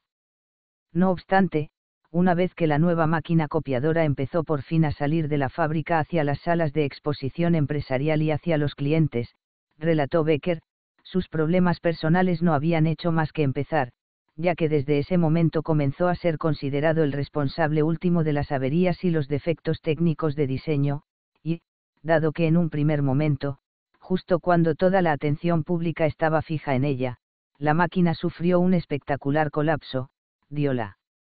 impresión de que la 914 podría ser nada menos que un nuevo Ford Edsel, los circuitos y los relés no funcionaban, los resortes se rompían, las fuentes de alimentación fallaban, los usuarios inexpertos dejaban caer grapas y clips en su interior estropeando el mecanismo, lo que provocó la instalación de rejillas protectoras en todas las juntas y resquicios, y se produjeron los problemas esperados en los climas húmedos y otros no esperados en altitudes elevadas. En general, resumió Becker, los primeros dispositivos tenían la mala costumbre de no hacer absolutamente nada cuando se pulsaba su botón de encendido. O, si hacían algo, en la mayoría de los casos era averiarse. En la primera gran demostración pública de la 914 en Londres, por ejemplo, Wilson en persona fue el encargado de apretar ceremoniosamente el botón por primera vez, y no solo no se produjo copia alguna, sino que el generador que alimentaba la máquina comenzó a arder súbitamente. Tal fue el gran debut de la serografía en el Reino Unido, y, en vista del resultado inicial, el hecho de que este país acabase convirtiéndose en el principal importador de la 914 es todo un tributo tanto a la potencia comercial de Xerox como a la proverbial flema británica. Esa tarde, un guía de la empresa me llevó hasta Webster, una localidad agrícola ubicada a pocos kilómetros de Rochester, junto al lago Ontario, para visitar el flamante sucesor de los desvencijados áticos en los que habían tenido que trabajar Becker y su equipo, un enorme complejo de modernos edificios industriales, entre ellos uno mastodóntico de casi 93.000 metros cuadrados donde se ensamblaban todos los productos de Xerox, excepto los fabricados por las filiales de la empresa en el Reino Unido y Japón, y otro algo más pequeño y esbelto donde se llevaban a cabo todos los proyectos de investigación. Mientras caminábamos junto a las cadenas de montaje, mi guía me explicó que cada una de ellas funcionaba 16 horas al día, en dos turnos laborales, que todas ellas llevaban años siendo incapaces de satisfacer toda la enorme demanda existente, que en el edificio trabajaban casi 2.000 empleados, y que su sindicato era una rama local de la Unión de Trabajadores Textiles de Estados Unidos, al parecer debido a que Rochester había sido durante mucho tiempo un centro neurálgico de la industria textil, y por tanto este sindicato era el más poderoso de la zona. Cuando el guía me llevó de vuelta a Rochester me propuse recabar por mi cuenta algunas opiniones de la comunidad hacia Xerox y su éxito, y descubrí que eran bastante ambivalentes. La aparición de Xerox ha sido algo muy positivo para Rochester, me dijo un empresario local. Por supuesto, Estman Kodak ha sido el gran padre blanco de la ciudad durante muchos años, y aún sigue siendo de largo la empresa más grande del lugar, pero Xerox ha alcanzado una clara segunda posición, y continúa creciendo a toda velocidad. A Kodak esta nueva competencia no le ha hecho daño alguno, de hecho, lo cierto es que le beneficia bastante. Además, el éxito de una nueva empresa local implica más dinero y más empleo para la zona. Por otro lado, sé que hay personas que sí están resentidas con Xerox la mayoría de las industrias locales llevan funcionando desde el siglo XIX, y sus dueños y empleados no suelen caracterizarse por su cálida receptividad a los recién llegados. Cuando Xerox estaba en pleno ascenso meteórico, algunos estaban convencidos de que su burbuja acabaría estallando. No, más bien estaban deseando que estallase. Por si fuera poco, a la gente le suele molestar bastante que Joe Wilson y Sol Linovitz hablen siempre de los valores humanos mientras hacen dinero a manos llenas. En fin, ya sabe, es el precio que hay que pagar por el éxito. Seguidamente me dirigí a la Universidad de Rochester, en las orillas del río Genesee, y tuve una pequeña charla con su rector, W. Allen Wallis. Alto, pelirrojo y estadístico de formación, Wallis forma parte de los consejos de administración de varias empresas locales, entre ellas Estman Kodak, que siempre ha sido algo así como el Papá Noel de la universidad, y continúa siendo su mayor benefactor. En cuanto a Xerox, la institución académica tiene sólidas razones para tener una buena disposición hacia la empresa. En primer lugar, las universidades son uno de los principales clientes de Xerox, que hasta el momento ha invertido más de 100 millones de dólares en productos diseñados específicamente para ellas, y ha obtenido unos beneficios netos de más de 10 millones. En segundo lugar, Xerox es la segunda empresa que más donaciones en efectivo entrega a sus mejores clientes, solo por detrás de Kodak, y recientemente se ha comprometido a donar casi 6 millones de dólares al fondo de capital de la universidad. Y en tercer lugar, el presidente Wilson, graduado de la Universidad de Rochester, ha formado parte también del Consejo de Administración de la propia universidad desde 1949, y ha sido su director desde 1959. Antes de mi nombramiento como rector, en 1962, jamás había oído hablar de empresas privadas que entregasen a universidades sumas tan elevadas como las que Kodak y Xerox nos conceden en la actualidad, dijo Wallis y todo cuanto piden a cambio es que nos esforcemos al máximo por ofrecer la mejor educación que nos sea posible. Jamás han solicitado que llevemos a cabo investigaciones académicas o científicas para su propio beneficio, ni nada que se le parezca. Y aunque es cierto que existen bastantes consultas técnicas informales entre nuestros investigadores y los de Xerox, igual que con los de Kodak, Bauschilom y otras empresas, estoy plenamente convencido de que no es esa la razón por la que apoyan a nuestra universidad. En mi opinión, su intención es hacer de Rochester un lugar intelectualmente atractivo para la clase de profesionales que desean tener por aquí. La universidad jamás ha inventado nada para Xerox, y supongo que nunca lo hará. A la mañana siguiente, de vuelta en las oficinas de Xerox, hablé sucesivamente con dos miembros de alto nivel del cuerpo directivo, y terminé con Joseph Calle Wilson en persona. El primero de ellos fue Sol Linovitz, el abogado que Wilson había contratado, temporalmente, en 1946 y que acabó manteniendo a su lado desde entonces como su asesor más indispensable. Desde que Xerox se hizo famosa, mucha gente comenzó a sospechar que Linovitz era algo más que un asesor, y que de hecho era el director ejecutivo de la empresa. Los directivos siempre han sido conscientes de esta idea errónea, y nunca ha dejado de sorprenderles, ya que Wilson, en calidad de presidente a secas, hasta mayo de 1966, o como presidente del Consejo de Administración, desde entonces, siempre ha sido considerado como el jefe indiscutible de la empresa. Pillé a Linovitz casi literalmente saliendo por la puerta, ya que acababa de ser nombrado embajador de Estados Unidos en la Organización de Estados Americanos, y estaba a punto de abandonar Rochester y Xerox para trasladarse a Washington y asumir su nuevo cargo.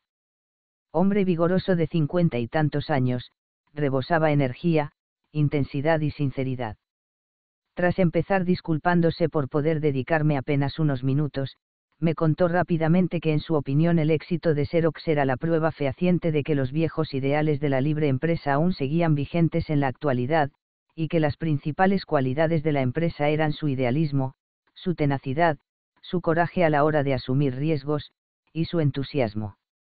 Dicho esto, me deseó muy buenos días, y se marchó a toda prisa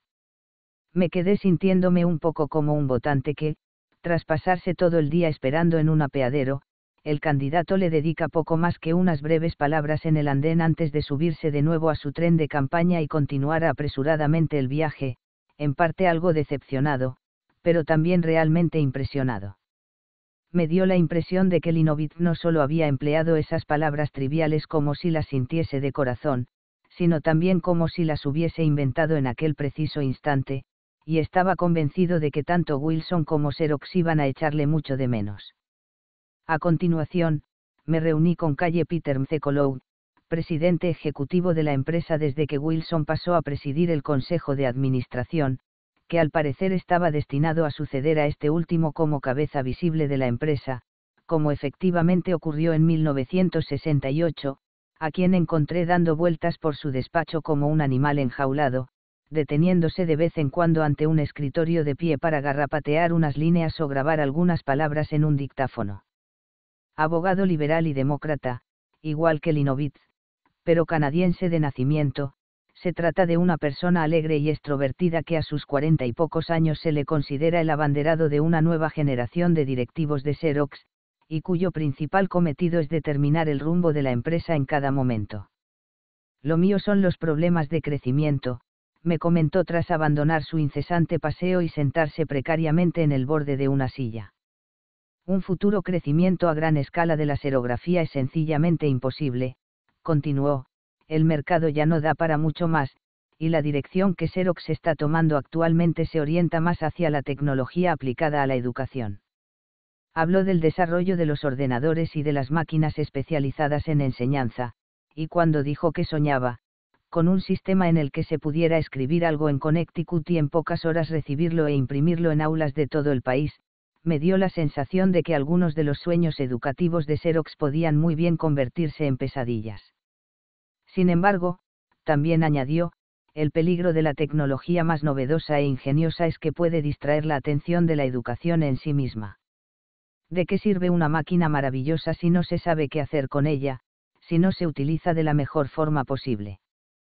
Mcekolov me dijo también que desde que llegó a Lloyd, en 1954, había tenido la sensación de formar parte de tres empresas completamente diferentes, hasta 1959, una empresa pequeña inmersa en una peligrosa y emocionante apuesta, desde 1959 hasta 1964, una empresa en clara expansión que saboreaba los frutos de un gran triunfo, y desde 1964 hasta el momento de nuestra entrevista, una empresa enorme y consolidada que estaba empezando a diversificar sus actividades hacia otros sectores. No pude evitar preguntarle cuál de las tres le gustaba más, y tras pensarlo un buen rato respondió, la verdad es que no sabría decirle. Antes sentía una mayor libertad, y sentía también que todos los miembros de la empresa teníamos la misma actitud ante temas concretos como las relaciones laborales. Actualmente ya no tengo esas sensaciones. Las presiones son mucho más intensas, y la empresa se ha vuelto más impersonal. No me atrevería a afirmar que la vida sea ahora más fácil, ni que vaya a ser más fácil en el futuro. De todos los sorprendentes aspectos de Joseph Calle Wilson, pensé cuando me condujeron por fin ante su presencia, posiblemente uno de los más llamativos sea el hecho de que las paredes de su despacho estuviesen empapeladas con motivos florales algo pasados de moda, lo que revelaba un cierto sentimentalismo que en mi opinión no pegaba mucho con el hombre sentado al volante de una empresa como Xerox. No obstante, sus modales cercanos y afables se adaptaban a la perfección a la decoración del despacho y a su aspecto físico, un hombre más bien pequeño que ya rozaba los 60 años, que se mantuvo serio y circunspecto durante toda nuestra entrevista, y que hablaba con tono pausado, casi dubitativo. Le pregunté cómo había entrado en el negocio familiar, y respondió que a punto estuvo de no hacerlo. Además de en ciencias y tecnología en la Universidad de Rochester, también se había graduado en literatura inglesa, y durante un tiempo estuvo dudando si iniciar una carrera como profesor o dedicarse a la parte financiera y administrativa del trabajo universitario. Sin embargo, poco después ingresó en la Escuela de Negocios de Harvard, donde consiguió ser uno de los alumnos más destacados de su promoción. En cualquier caso, concluyó con una súbita sonrisa, entró a trabajar en Aloyd al año siguiente de terminar sus estudios en Harvard, y allí estaba desde entonces. Los temas que Wilson parecía más deseoso de discutir eran los relacionados con las actividades sin ánimo de lucro de Xerox y sus teorías sobre responsabilidad corporativa. Parece haber un cierto resentimiento hacia nosotros en estos aspectos, dijo. Y no me refiero solo a los accionistas que opinan que estamos repartiendo alegremente un dinero que consideran suyo, pues cada vez son menos los que opinan así. No, me refiero al resto de la comunidad nunca se llega a escuchar con claridad, pero siempre está presente la sensación de que la gente nos critica a nuestras espaldas, pero bueno, habráse visto, estos advenedizos, ¿quién demonios se pensarán que son? Tras una pequeña pausa, Wilson continuó sosegadamente, todo el asunto de comprometer a la empresa, forzándonos a tomar una posición en algunos temas de gran interés público, suscita determinados interrogantes que nos obligan a autoexaminarnos constantemente. Es una cuestión de equilibrio, no podemos ser demasiado suaves, porque entonces no podríamos influir en nada en absoluto, pero tampoco podemos emitir un juicio público sobre todos los temas. En nuestra opinión, el trabajo de una empresa privada no incluye divulgar sus preferencias sobre los resultados de unas elecciones nacionales, por ejemplo, afortunadamente, ya que Sol Linovitz es demócrata y yo soy republicano. Sin embargo, en temas como la educación universitaria, los derechos civiles y la contratación de empleados negros sí podemos y debemos implicarnos. Quiero creer que no dudaríamos en defender un punto de vista impopular si consideramos que es justo y apropiado hacerlo. Hasta el momento no se nos ha presentado tal ocasión, esto es, no nos hemos encontrado ante ningún conflicto de intereses en el que tengamos que decidir entre nuestra responsabilidad cívica y la buena marcha de nuestro negocio, pero es posible que en algún momento debamos hacerlo, poniéndonos en la línea de fuego. Por ejemplo, aunque no lo hemos publicitado mucho, hemos intentado formar a jóvenes negros para que puedan obtener puestos de trabajo más allá de encargados de barrer el suelo o cosas similares. El programa requería la total cooperación de nuestro sindicato, y nos la concedieron, pero me he percatado de que en algunos aspectos muy sutiles la luna de miel ha terminado. Existe una corriente soterrada de oposición, que si llega a crecer mucho podría suponer un gran problema para la empresa. Si las pocas decenas de objetores que se oponen a este programa crecen hasta convertirse en varios centenares, podría desencadenarse incluso una huelga, y en tal caso confío en que los líderes del sindicato se unan a nosotros para luchar contra una huelga basada en motivos racistas más que empresariales. En realidad, no sé qué ocurriría. Nunca se puede predecir con seguridad qué haríamos en un caso como este, pero creo que sería algo como lo que he descrito. Tras levantarse y caminar hasta situarse ante la ventana de su despacho, Wilson dijo que, en su opinión, uno de los principales objetivos actuales de la empresa, y aún más en el futuro, debería ser mantener el elevado nivel de calidad humana que había logrado hasta el momento y que casi todo el mundo le atribuía. Ya se perciben los primeros signos de que lo estamos perdiendo, dijo. En cierto modo, estamos intentando adoctrinar a los estudiantes y posibles futuros trabajadores de nuestra empresa, pero lo cierto es que mil personas en Rochester no pueden hacer frente a los 20.000 empleados del hemisferio occidental. Justo antes de dar por finalizada la entrevista, me uní a Wilson ante la ventana. Era una mañana fría y lluviosa, como según me contaron suele suceder en la ciudad buena parte del año, y le pregunté si, en días tan oscuros y sombríos como aquel, no le asaltaban las dudas de que la antigua calidad se pudiera mantener durante mucho más tiempo. Wilson asintió brevemente y sentenció, es una batalla sin tregua, y no podemos estar seguros de si al final la ganaremos o no. 6 cuidar de los clientes. La muerte de un presidente. La mañana del martes, 19 de noviembre de 1963, un hombre de entre 30 y 40 años, bien vestido pero de rostro ligeramente demacrado, se presentó en las oficinas ejecutivas del New York Stock Exchange, el conocido edificio situado en el número 11 de Wall Street, y anunció que se llamaba Morton Camerman, que era gerente y socio de la entidad financiera Iraja Cobalto, miembro permanente de la Bolsa de Nueva York, y que deseaba ver a Frank J. Coyle, director del Departamento de Entidades Asociadas. Tras realizar una comprobación, la recepcionista le explicó que en aquel preciso momento el señor Coyle se encontraba en una reunión, a lo que el visitante replicó que su misión era urgente y que si podía entonces hablar con el subdirector del departamento, Robert Majestad Bishop. Sin embargo, tras nueva comprobación, la recepcionista le informó de que Bishop tampoco estaba disponible, pues se encontraba al teléfono con una llamada importante. Al final, Camerman, que parecía cada vez más consternado, fue conducido al despacho de un empleado de menor rango llamado George Ora Newman, y pudo por fin comunicar su mensaje, según sus cálculos, las reservas de capital de su entidad habían caído por debajo del mínimo requerido por el NYSE para sus miembros, y había venido para comunicar tal hecho, conforme a la legislación vigente. Mientras se efectuaba este sorprendente anuncio, Bishop continuaba en un despacho cercano con su importante conferencia telefónica con un experto financiero de Wall Street, que posteriormente el propio Bishop declinó identificar, y esta persona estaba casualmente comunicándole que tenía fundadas razones para creer que dos entidades del NYSE, J. Reverendo Williston y Ben, Incorporated, e Ira y Cobalto, se encontraban en dificultades financieras lo bastante serias como para ser investigadas. Tras colgar el teléfono, Bishop llamó a Newman a su despacho para contarle lo que acababa de escuchar, a lo que este último respondió, para sorpresa del primero, que ya tenía conocimiento de tal información, o al menos de una parte de ella. De hecho, un tal Camerman, representante de la segunda entidad, está sentado ahora mismo ante mí, dijo. De esta forma tan curiosa y confusa comenzó una de las crisis más complicadas y serias de la larga historia de Wall Street.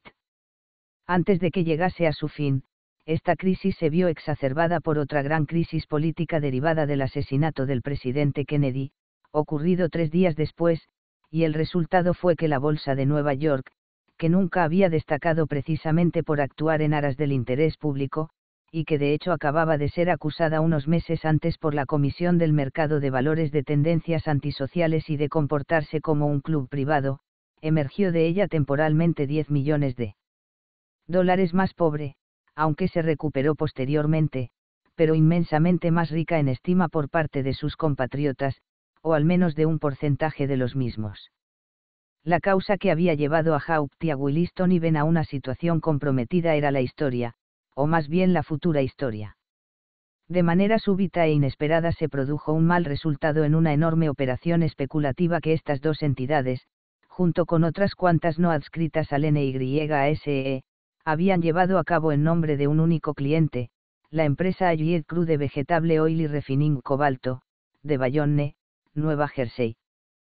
Tal operación consistió básicamente en la firma de algunos contratos de compra de enormes cantidades de futuros suministros de aceite de semillas de algodón y de soja.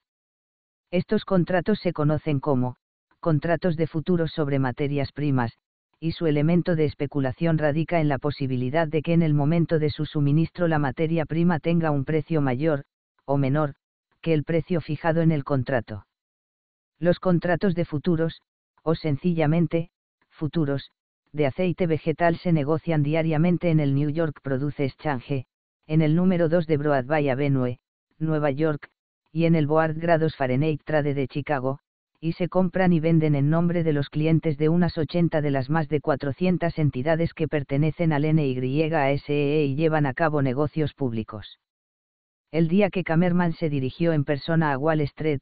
su entidad estaba en posesión, a crédito, de tantos futuros de aceite de algodón y de soja en nombre de Ayued que la modificación de un solo centavo en el precio de las materias primas suponía un cambio de unos 12 millones de dólares en el valor de la cuenta de Ayued en Haupt. Durante los dos días operativos previos, el viernes 15 y el lunes 18 de noviembre, los precios habían caído un promedio de algo menos de 1,5 centavos por 400 gramos de material, y debido a ello Haupt había solicitado a Juliet que ingresase en su cuenta 15 millones de dólares para sanearla. Sin embargo, Juliet se había negado a ello, por lo que Haupt,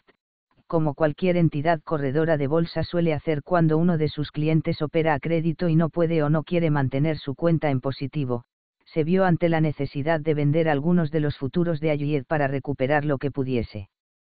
El volumen casi suicida que Haupt había asumido queda aún más patente por el hecho de que, aunque a principios de noviembre el capital de la entidad era de tan solo 8 millones de dólares, había pedido prestado el suficiente dinero como para proporcionar a un único cliente, Ayed, cerca de 37 millones para financiar las operaciones especulativas con el aceite. Y por si fuera poco, al parecer había aceptado como aval de estos préstamos una gran cantidad de la propia materia prima, aceite de algodón y de soja, procedente de las reservas de Ayed, en aquel momento almacenada en tanques especiales ubicados en Bayonne, cada uno etiquetado con la cantidad en litros y el tipo de aceite que contenían. Haupt había pedido prestado el dinero fiado a Ayed a diversos bancos, empleando a su vez como aval los recibos del aceite. Todo esto parecía perfectamente legal si no hubiese sido porque posteriormente se descubrió que muchos de estos recibos habían sido falsificados, que la mayoría del aceite supuestamente almacenado no estaba en Bayonne, y probablemente nunca había estado, y que el presidente de Ayed, Anthony de Angelis, que más tarde sería juzgado por un gran número de cargos y sentenciado a una pena de cárcel, había llevado a cabo el mayor fraude comercial desde Ibar Kreuger, el rey de las cerillas. ¿Dónde estaba el aceite desaparecido? ¿Cómo era posible que los acreedores directos e indirectos de Ayed, entre los que se contaban algunos de los bancos más poderosos y experimentados de Estados Unidos y el Reino Unido, se hubiesen dejado engañar de semejante forma? realmente alcanzaban las pérdidas totales de la debacle 150 millones de dólares, tal y como estimaban algunas autoridades, o la cifra sería incluso mayor. ¿Cómo podía una entidad bursátil líder como Haupt haber sido tan inconsciente e ingenua como para asumir un riesgo tan elevado e irracional en nombre de un único cliente? Todas estas preguntas aún no habían sido planteadas aquel 19 de noviembre, ya no digamos respondidas, de hecho, actualmente aún quedan algunas que no han obtenido respuesta, y posiblemente pasarán aún muchos años antes de que se encuentre una explicación plausible. Lo que comenzó a emerger ese día, y lo que quedó más que claro durante los días siguientes, fue que en el caso de Haupt, que tenía más de 20.000 clientes inversores registrados en sus libros, y en el caso de Williston y Ben, que contaba con cerca de 9.000, el desastre inminente que se avecinaba implicaba directamente los ahorros personales de muchas personas totalmente inocentes que jamás habían oído hablar de allí y apenas tenían una vaga noción de lo que era la especulación con materias primas. El informe de Camerman al NYSE no implicaba que Haupt hubiese entrado en quiebra, y, en el momento de comunicarlo, el propio Camerman no pensaba que su entidad hubiese quebrado realmente Existe una gran diferencia entre que una entidad financiera sea insolvente y que simplemente no pueda cumplir, en un momento dado, los estrictos requisitos de capital exigidos por Wall Street a sus miembros, diseñados para mantener siempre un margen suficiente de seguridad. De hecho, varios empleados del NYSE declararon posteriormente que la mañana de aquel martes no consideraron que la situación de Haupt fuese preocupante, y aún menos la de Williston y Ben. Una de las primeras reacciones del Departamento de Entidades Asociadas fue de disgusto por el hecho de que Camerman hubiese informado al NYSE del problema de su entidad antes de que el propio NYSE lo hubiese detectado, gracias a su elaborado sistema de auditorías y controles, lo cual, según insiste una y otra vez aunque sin mucha convicción, fue una cuestión más de mala suerte que de mala gestión. De forma rutinaria, el NYSE exige a sus miembros que cumplimenten detallados cuestionarios sobre su situación financiera varias veces al año, y como medida adicional un experto en contabilidad hace a todos ellos una inspección sorpresa de sus libros al menos una vez al año. El problema, al parecer, fue que Ira Haupt y Cobalto había entregado su último cuestionario a principios de octubre, y dado que el enorme crecimiento de la posesión de futuros sobre materias primas en nombre de Ayuyed se había producido justo después, tal cuestionario no había mostrado nada sospechoso o inapropiado. Y en cuanto a la inspección sorpresa, el experto del NYSE se encontraba justamente en la sede de Haupt en el preciso momento en el que estallaron los problemas. El auditor ya llevaba trabajando allí una semana, con la nariz enterrada en todos y cada uno de los libros contables de la empresa, pero la tarea suele ser larga y tediosa, por lo que el 19 de noviembre aún no había llegado a examinar los activos financieros de materias primas. Habían puesto a nuestro hombre en un escritorio de un departamento donde no estaba ocurriendo nada inusual, dijo posteriormente un empleado del NYSE. Ahora es muy fácil decir que debería haberse olido la tostada, pero el caso es que no lo hizo.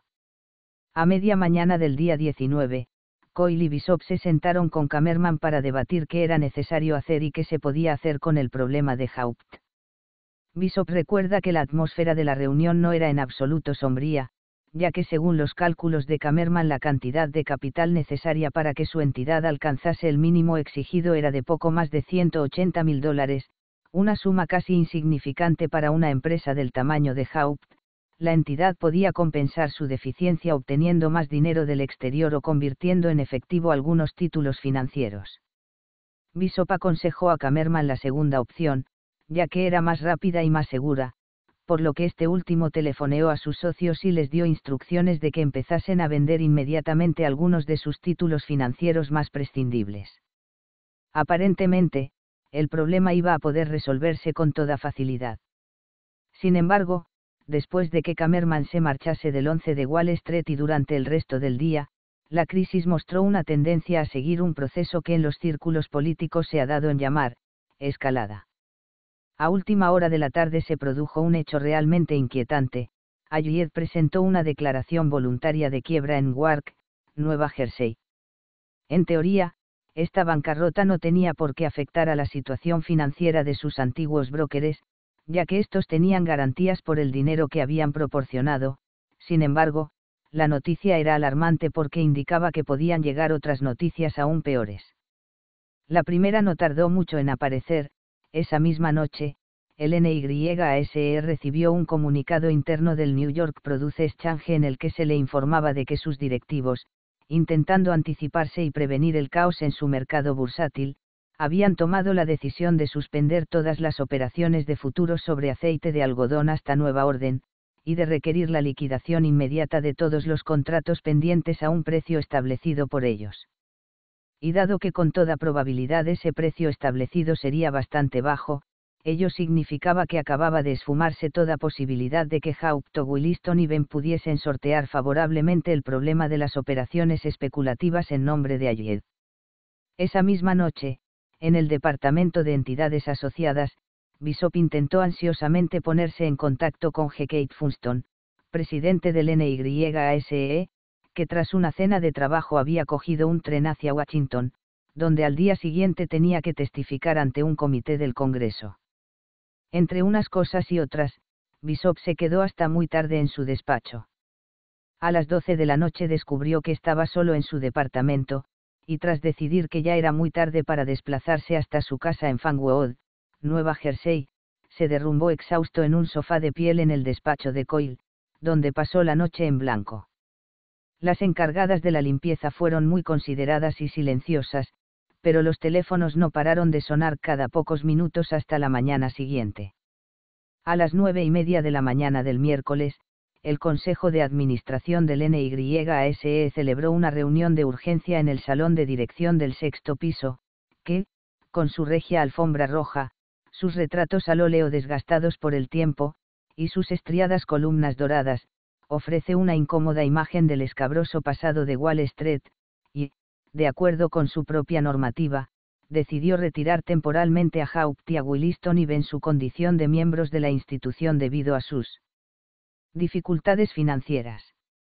La doble suspensión se hizo pública unos minutos después del inicio de las operaciones, que tuvo lugar a las 10 en punto, y de ello se encargó Henry Majestad Watts, Jr., presidente del Consejo, que subió a una tribuna ubicada sobre el parque, tocó la campana que normalmente señala el comienzo y el fin de cada sesión, y leyó un comunicado en voz alta ante todos los presentes. Desde el punto de vista de la comunidad inversora, el efecto inmediato de tal anuncio fue que las cuentas de casi 30.000 clientes de las dos entidades suspendidas pasaban a estar, congeladas, esto es, que los propietarios de tales cuentas no podían ni vender sus acciones ni recuperar su dinero. La junta directiva del NYASE, conmovida por la apurada situación de todos estos desafortunados, comenzó inmediatamente a intentar ayudar a las dos atribuladas entidades para que pudiesen obtener el capital necesario para revocar su suspensión y así descongelar las cuentas. En el caso de Williston y Ben, estos esfuerzos tuvieron incluso demasiado éxito, ya que la entidad tan solo necesitaba medio millón de dólares para cubrir el mínimo, y hubo tantos colegas que ofrecieron préstamos que muchas de las ofertas tuvieron que ser rechazadas. Finalmente, la cantidad requerida provino en parte de Walston y Cobalto. Y en parte de Merrill Lynch, Pierce, Fenner y Smith.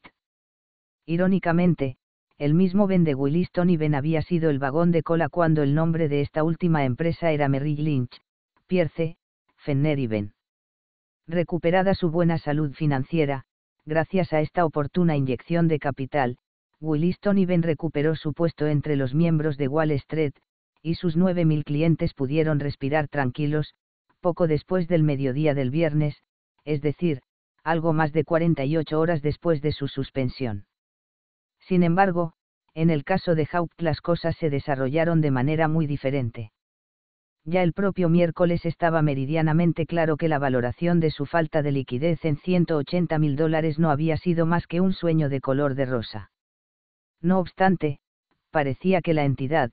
pese a sus pérdidas en la venta forzada de los futuros sobre el aceite, aún podía ser solvente si cumplía una condición, que el aceite almacenado en los tanques de Bayonne entregado por Ayueda Haupt como aval, y que debido a la quiebra de Ayueda ahora pertenecía por derecho a Haupt, se pudiese vender a otras distribuidoras a un precio razonable.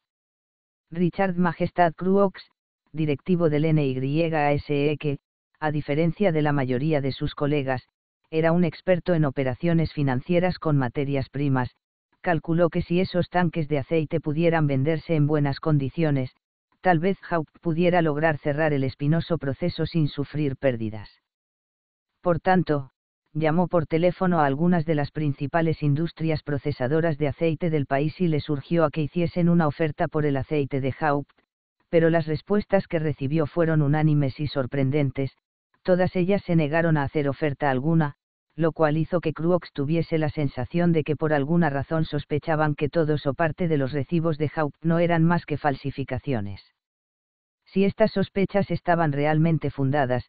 podía deducirse también que todo o parte del aceite consignado en los recibos no se encontraba realmente en Bayonne.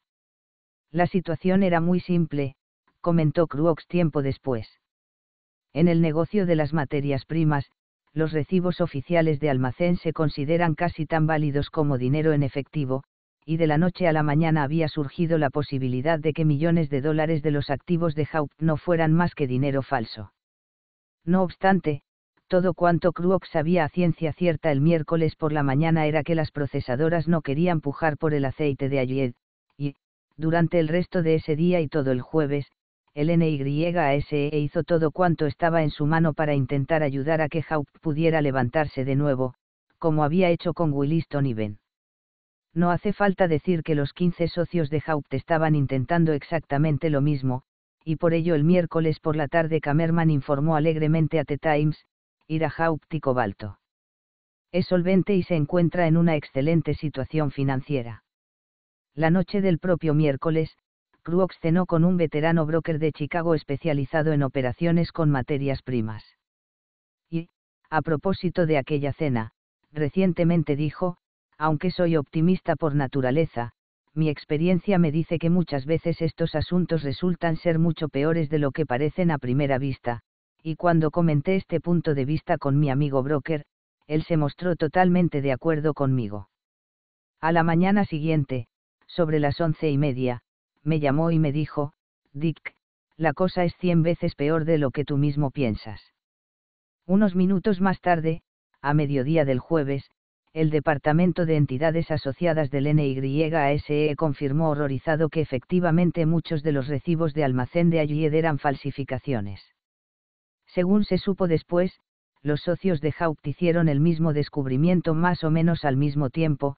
por lo que muchos de ellos no se fueron a casa el jueves por la tarde, sino que pasaron toda la noche en sus despachos de la sede de la compañía, situada en el 111 de Broadway Avenue, intentando establecer cuál era su situación exacta. Bishop sí se fue a su casa de de esa noche, pero ni en su propia cama pudo dormir mucho mejor que en el sofá de Coil, por lo que acabó levantándose mucho antes del amanecer, tomó el tren de las 5 de la mañana desde Jersey Central hacia Nueva York y siguiendo una corazonada se dirigió a la sede de Haupt. Allí, en la sala de juntas, decorada hacía poco tiempo con modernas butacas, archivos con superficie de mármol y refrigeradores camuflados como escritorios, encontró a varios de los socios, sin afeitar y con los trajes arrugados, dormitando en las butacas. Estaban hechos un desastre, comentó Bishop tiempo después, y con razón. Tras despertarlos a todos, le dijeron que habían estado despiertos toda la noche haciendo cálculos, y que hacia las tres de la madrugada habían llegado a la conclusión de que su situación era desesperada, dado que los recibos de almacén habían resultado no tener valor alguno, Haupt era insolvente. Bishop tomó buena nota de la funesta información y se dirigió a Wall Street, donde esperó a que saliera el sol y a que todos sus colegas llegaran al trabajo.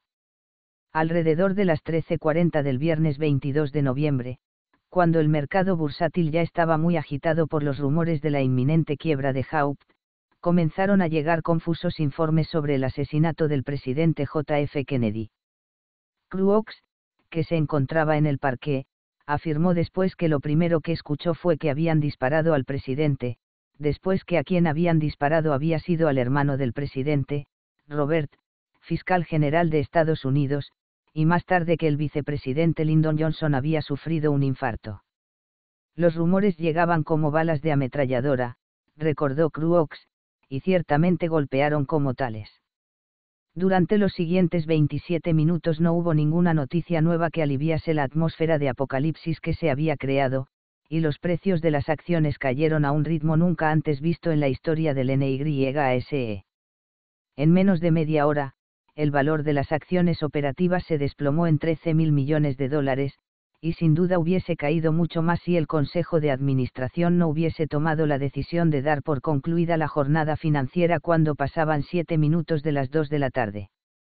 El efecto inmediato del pánico creado sobre la situación de Haupt fue el súbito empeoramiento de la situación de las 20.000 cuentas financieras congeladas,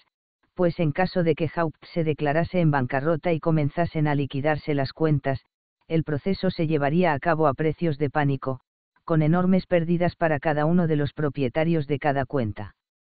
Otro efecto de los acontecimientos ocurridos en Dallas, más importante pero más difícilmente evaluable, fue el surgimiento de una desesperación paralizadora, aunque Wall Street, o, más bien, algunos miembros y empleados de Wall Street, contaban con una ventaja psicológica sobre el resto del país, y era que tenían mucho trabajo que hacer, la confluencia de desastres les impuso una tarea muy definida y urgente que les permitió olvidarse de todo lo demás. Tras prestar testimonio en Washington el miércoles por la tarde, el presidente del NYASE, Funston, regresó a Nueva York aquel mismo día, y se pasó casi todo el jueves y la mañana del viernes trabajando para volver a poner en pie a Williston y Ben. Durante ese periodo fue quedando gradualmente claro que Haupt no estaba únicamente corta de capital, sino que realmente era insolvente, por lo que Funston llegó a la conclusión de que Wall Street y sus miembros debían empezar a considerar una línea de acción que hasta ese momento carecía virtualmente de precedentes, compensar con su propio dinero a las víctimas inocentes de la imprudencia de Haupt. El caso que más se había acercado a esta situación fue el de DuPont, Omsey y Cobalto, una pequeña entidad financiera que quebró en 1960 como resultado del fraude llevado a cabo por uno de sus socios. El NYASR embolsó a los clientes de la entidad el dinero que habían perdido por ello, y que ascendía en total a unos 180 mil dólares. Tras volver a su despacho después de almorzar rápidamente y justo antes del cierre de emergencia del mercado, Funston se puso manos a la obra para implementar su plan, llamó por teléfono a las principales entidades corredoras de bolsa asociadas cuyas sedes estaban situadas cerca de Wall Street y le solicitó que enviasen cuanto antes al menos a un representante. Poco después de las 3 de la tarde, los brokers enviados se reunieron en el salón de comités, una versión algo más pequeña del salón de dirección, y Funston les expuso los hechos del caso Haupt tal y como él los conocía, junto con un esbozo de su plan de salvamento. Los hechos eran los siguientes, Haupt debía cerca de 36 millones de dólares a un grupo de bancos estadounidenses y británicos, y dado que 20 millones de sus activos eran unos recibos de almacén que habían resultado no valer nada, era imposible que Haupt pudiese pagar su deuda. Por tanto, era de esperar que los bancos acreedores demandasen a Haupt por morosidad tan pronto como los tribunales abrieran sus puertas el lunes de la semana siguiente, lo que provocaría que muchos de los títulos financieros y el dinero en efectivo de Haupt pasase a manos de los bancos, y ello significaría a su vez que, según las estimaciones de Funston, algunos de los clientes de Haupt podrían acabar recuperando un máximo del 65% de sus inversiones, y eso tras un largo periodo de procedimientos legales. Además, el efecto psicológico que se produciría si Haupt se declarase finalmente en quiebra, combinado con el evidente efecto que iba a tener la puesta en el mercado de su considerable volumen de activos, podría muy bien conducir a una depresión aún mayor de un mercado bursátil ya en caída libre debido a una grave crisis nacional. Así pues, no solo estaba en juego el bienestar de los clientes de Haupt, sino tal vez también el bienestar nacional. El sencillo plan de Funston, sencillo al menos en teoría, consistía en que el NYSE y barra o sus miembros aportaran el suficiente dinero como para permitir que todos los clientes de Haupt pudiesen recuperar su dinero y sus títulos financieros, o, según la expresión bancaria, pudiesen volver a estar, enteros. Además, Funston propuso que se intentase persuadir a los acreedores de Haupt, los bancos, de que pospusiesen todo intento de recuperar su dinero hasta que los clientes quedasen satisfechos, para lo cual estimaba que se necesitaría una suma de 7 millones de dólares, o tal vez algo más. De manera unánime, todos los brokers reunidos accedieron a apoyar el generoso, casi caritativo, plan de Funston. Sin embargo, antes de que se pudiese dar por concluida la reunión surgió un nuevo problema, ahora que el NYSE y sus entidades asociadas habían acordado hacer el sacrificio conjunto, la dificultad radicaba en cómo lograr que fuese la otra parte, esto es, las entidades asociadas, la que realmente asumiese el peso del sacrificio propiamente dicho. Funston instó a las entidades asociadas a que se hicieran cargo de todo el asunto, pero éstas declinaron graciosamente y sugirieron que fuese el NYSE el que se encargase de todo. Si lo hacemos así, advirtió Funston, tendrán ustedes que reembolsarnos lo que paguemos por ello. De este diálogo no excesivamente digno surgió un acuerdo según el cual inicialmente los fondos procederían de las arcas del NYSE, y posteriormente se redistribuiría entre todas las entidades. Finalmente, se creó un comité de tres personas, liderado por el propio Funston, con poderes para realizar las negociaciones que permitiesen llevar a cabo el plan. La parte más importante y más complicada del proceso era la negociación con los bancos acreedores de Haupt, ya que se necesitaba el consentimiento unánime de todos ellos, si uno de ellos se enrocaba e insistía en la liquidación inmediata de sus préstamos, todo se iría al garete, tal y como describió mordazmente el presidente del Consejo de Administración del NYSE, Henry Watts, un patriarca graduado en Harvard y veterano de la Segunda Guerra Mundial que en 1944 participó activamente en el desembarco en Normandía. Entre estas entidades acreedoras destacaban cuatro bancos locales de reconocido prestigio, Chase Manhattan, Morgan Guaranty Trust, First National City y Manufacturers Hanover Trust, que conjuntamente habían prestado a Haupt en torno a 18,5 millones de dólares. Tres de estos bancos se han mostrado muy reticentes a desvelar la cantidad exacta de sus funestos préstamos a Haupt,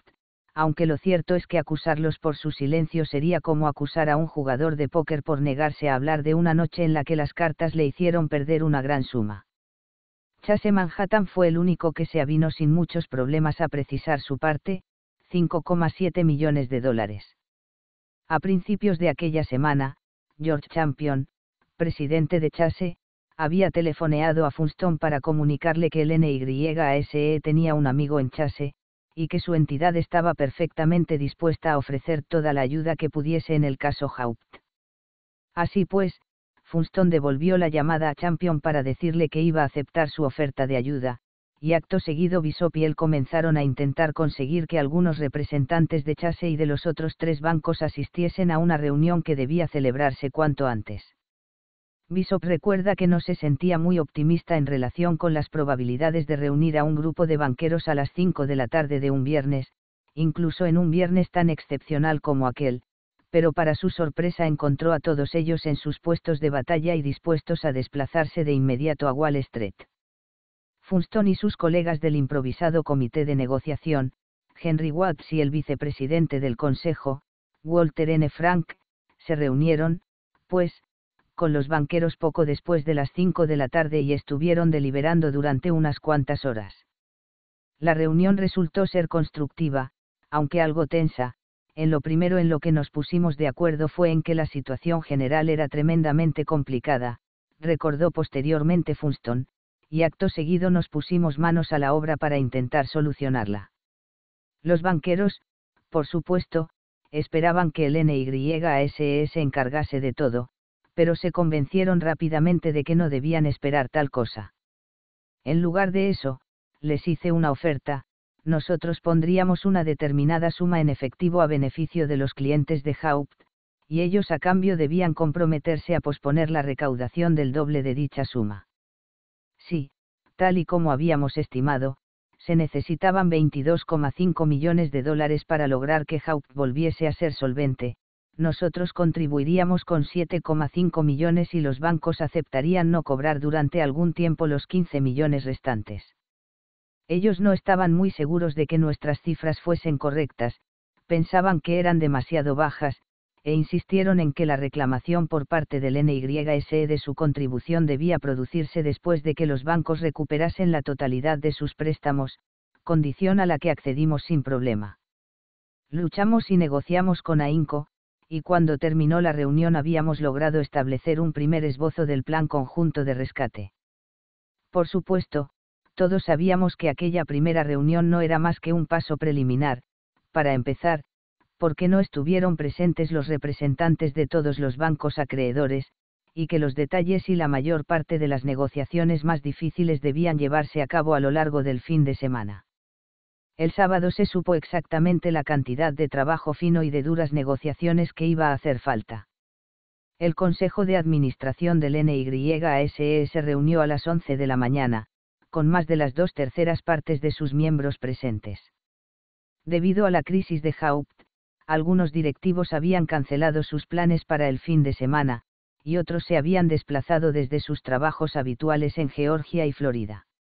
La primera decisión del Consejo, la de mantener el mercado sin operaciones el lunes, día en el que se iba a celebrar el funeral de Estado del presidente, se alcanzó con profundo alivio por parte de todos, ya que ello ofrecía 24 horas adicionales para poder alcanzar un acuerdo antes de la apertura de los tribunales y las bolsas.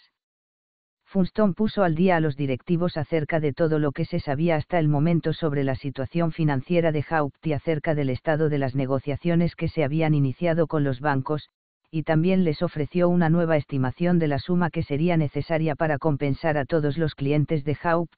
9 millones de dólares.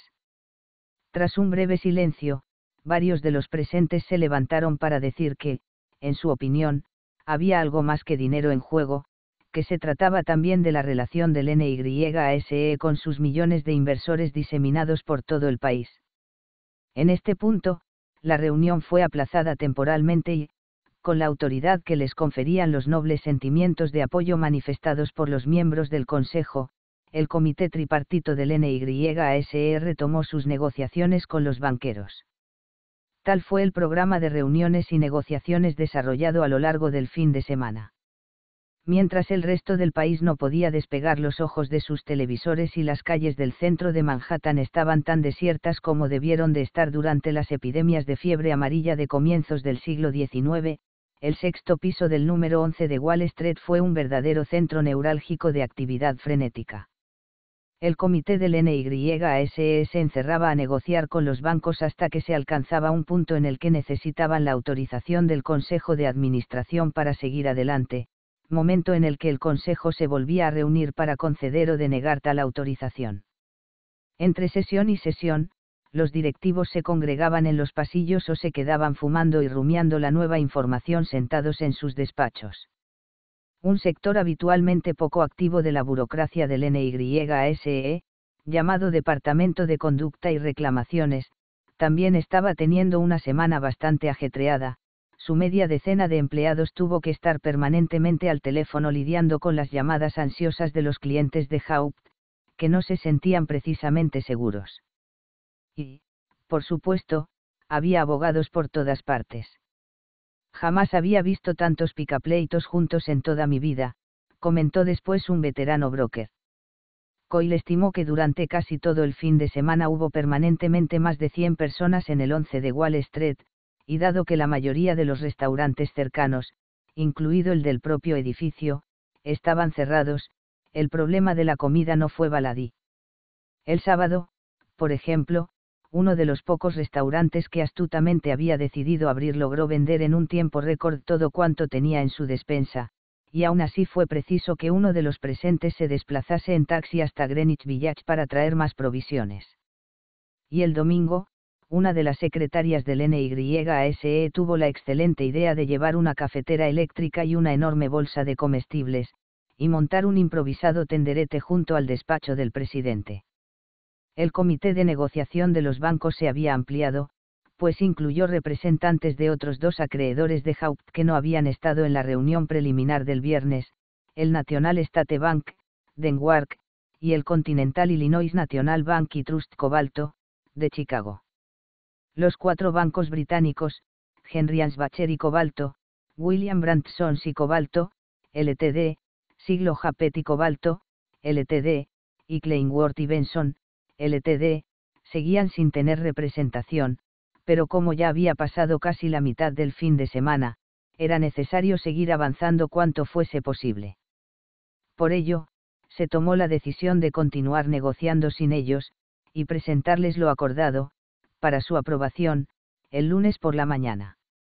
Uno de los puntos más cruciales era la cantidad de dinero en efectivo que tendría que pagar el NYSE para cumplir su parte del trato. Los banqueros aceptaron la fórmula propuesta por Funston, según la cual tendrían que posponer el cobro de 2 dólares por cada dólar aportado por Wall Street, y no pusieron en duda que Haupt tuviese en su poder una serie de recibos de almacén falsos por valor de 22,5 millones de dólares. Sin embargo, en su opinión, esta suma no representaba la cifra necesaria para solucionar la insolvencia de Haupt, argumentando que para ir sobre seguro se debería realizar el cálculo sobre la deuda total de la entidad, esto es, 36 millones, lo que implicaba que la contribución del NYSE no debería ser de 7,5 millones, sino de 12 millones de dólares. Otro punto importante era la cuestión de a quién se iba a pagar tal cifra, fuera la que fuese finalmente. Algunos de los banqueros consideraban que el dinero debería ir directamente a las arcas de Ira Haupt y Cobalto, para que la entidad la distribuyese a su criterio entre sus clientes.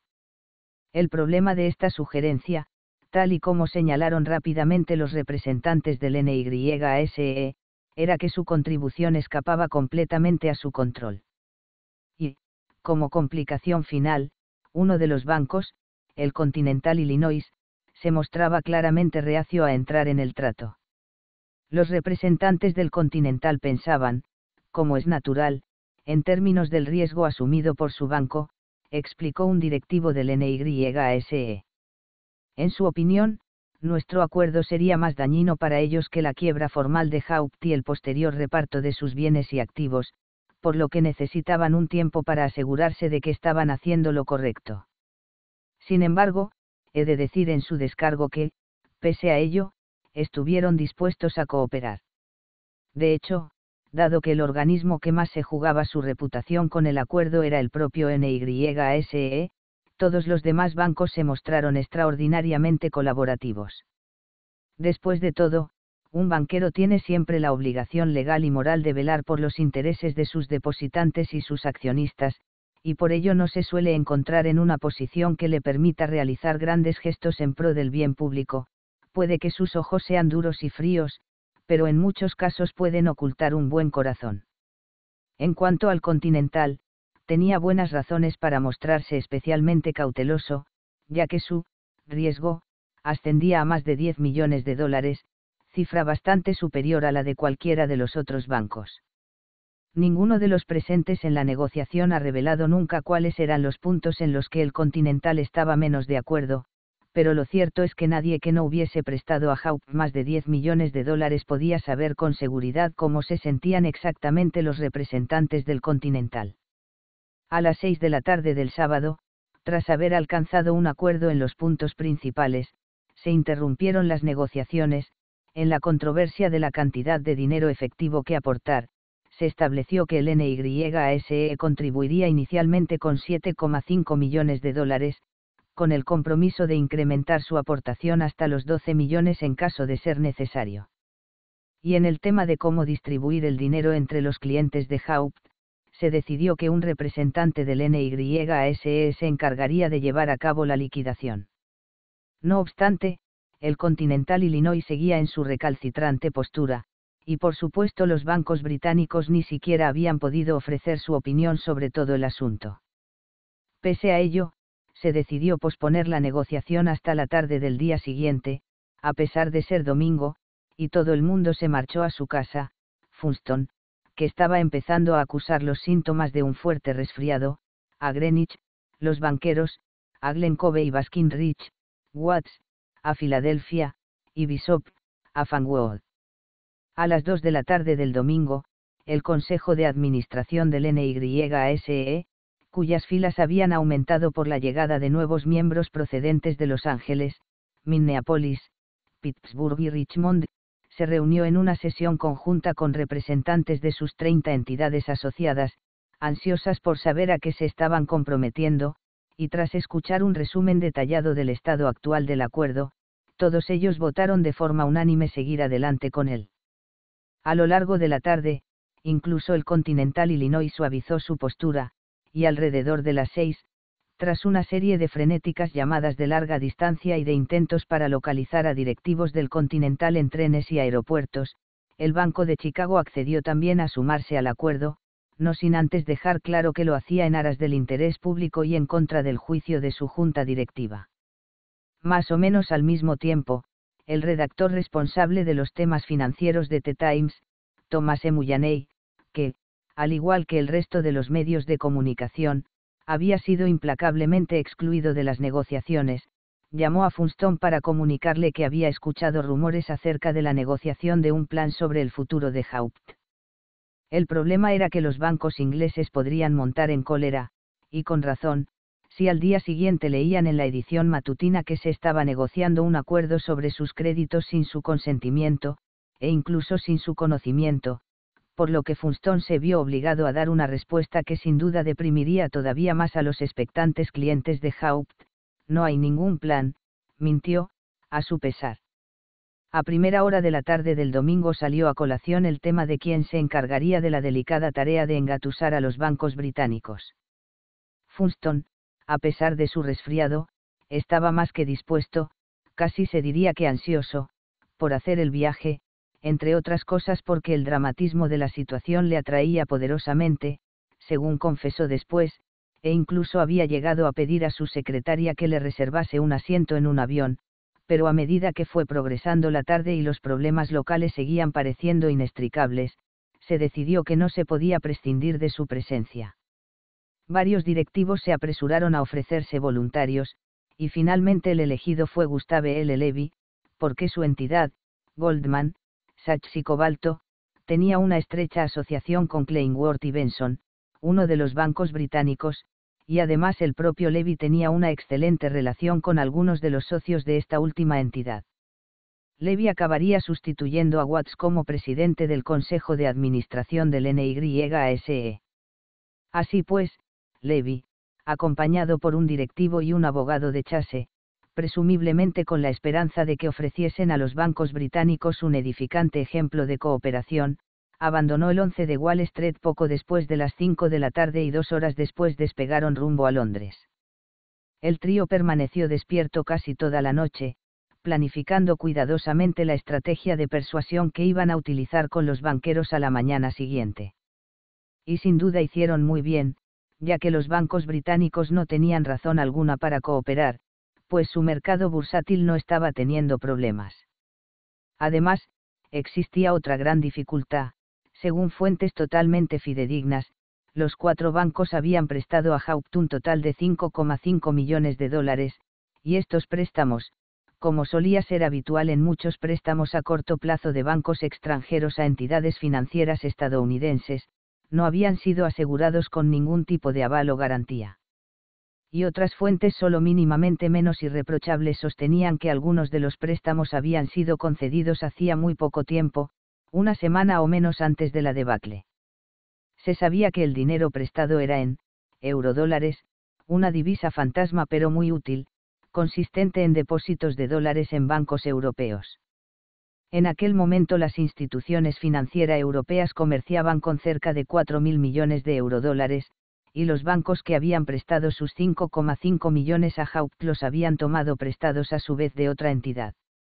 Según un experto local en banca internacional, las operaciones en eurodólares se suelen realizar en bloques enormes, y por unos beneficios relativamente minúsculos, por ejemplo, un banco puede pedir prestado un bloque a un interés del 4,25% y prestarlo a su vez al 4,5%, con lo que obtiene un rendimiento de solo el 0,25% anual. Obviamente, se considera que tales transacciones carecen virtualmente de riesgo.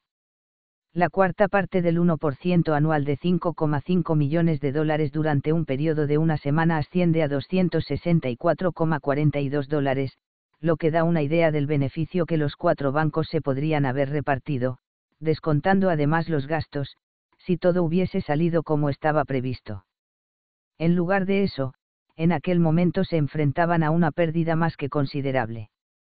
Soñolientos y ojerosos, Levi y sus acompañantes del chase llegaron a Londres poco después del amanecer de una mañana gris y lluviosa, y tras una rápida parada en el lujoso Hotel Savoy para dejar el equipaje, cambiarse de ropa y desayunar, se dirigieron directamente a la City, el famoso distrito financiero londinense. Su primer destino fue la sede de Fenchurch Street de William Brandsons, que había aportado más de la mitad de los 5,5 millones de dólares los socios de Brandt les ofrecieron sus sentidas condolencias por la muerte del presidente Kennedy, los visitantes se mostraron de acuerdo en que era un hecho terrible, y seguidamente ambas partes fueron al grano. En estaban al corriente de la inminente bancarrota de Haupt, pero obviamente no sabían nada del plan ideado para rescatar a sus clientes y evitar una quiebra formal, por lo que Levy se lo explicó. Durante la hora siguiente se produjo un tira y afloja, mostrando los británicos cierta reticencia a participar, lo cual era lógico, un grupo de yanquis les acababa de tomar el pelo, y no tenían muchas ganas de arriesgarse a que otro grupo de yanquis hiciese lo mismo. Estaban muy disgustados, comentó más tarde Levy. Se me echaron encima en tanto que representante de Wall Street, uno de cuyos miembros les había metido en todo ese lío. Deseaban hacer un trato con nosotros, aceptarían posponer temporalmente su recaudación conforme a los términos del plan, pero a cambio debíamos garantizarles que la devolución de su parte del préstamo sería prioritaria. El problema era que su posición negociadora no era buena, ya que en un procedimiento de liquidación por quiebra la gran mayoría de las veces se tiende a satisfacer primero los préstamos que cuenten con un aval, y el suyo no lo tenía, de hecho, en mi opinión no deberían haber recibido ni cinco centavos, por imprudentes. Por otra parte, según los términos de nuestra oferta, recibirían el mismo trato que el resto de los acreedores de Haupt, a excepción de los clientes, que recibirían su compensación en primer lugar. Tuvimos que explicarles que aquello no era una negociación, o lo tomaban o lo dejaban. Los representantes de Brandt respondieron que antes de tomar una decisión deseaban disponer de un tiempo para pensarlo, y además saber cuál era la respuesta del resto de los bancos británicos, por lo que los delegados estadounidenses se dirigieron a la sede en Londres del Chase, ubicada en Lombard Street, donde se reunieron con representantes de las otras tres entidades acreedoras, momento en el que Levy pudo charlar con sus amigos de Kleinworth y Benson. Obviamente, las circunstancias del encuentro no fueron precisamente alegres y relajadas, pero según Levy sus amigos tenían una visión muy realista de su situación y, con una objetividad realmente heroica, contribuyeron en gran medida a que sus compatriotas comprendiesen la postura estadounidense en el asunto. Aún así, al igual que la anterior, aquella reunión finalizó sin que se hubiese logrado un compromiso firme por parte de nadie. Levy y sus colegas almorzaron juntos en la sede del Chase y después fueron caminando hasta el Banco de Inglaterra, que había mostrado interés y preocupación por el problema de los préstamos a Haupt, ya que su incumplimiento afectaría a la balanza de pagos del Reino Unido. Allí, uno de los vicepresidentes de la institución expresó su aflicción por la tragedia nacional de Estados Unidos y por la local de Wall Street, y les comentó que, aunque el Banco de Inglaterra carece de poder legal para dictar a los demás bancos lo que deben hacer, en su opinión harían bien en seguir el plan propuesto por la delegación estadounidense. Seguidamente, a eso de las dos de la tarde, el trío regresó a Lombard Street a esperar con impaciencia la respuesta de los bancos. Mientras tanto, al otro lado del Atlántico, en Nueva York, también había gente esperando, Funston había llegado al NYSE a las nueve de la mañana del lunes y, muy consciente de que tan solo les quedaba un día para poder cerrar el acuerdo, se encontraba paseando ansiosamente sobre la alfombra de su despacho, esperando a que una llamada le dijese si Londres iba a ser la causa de que todo se fuera al garete.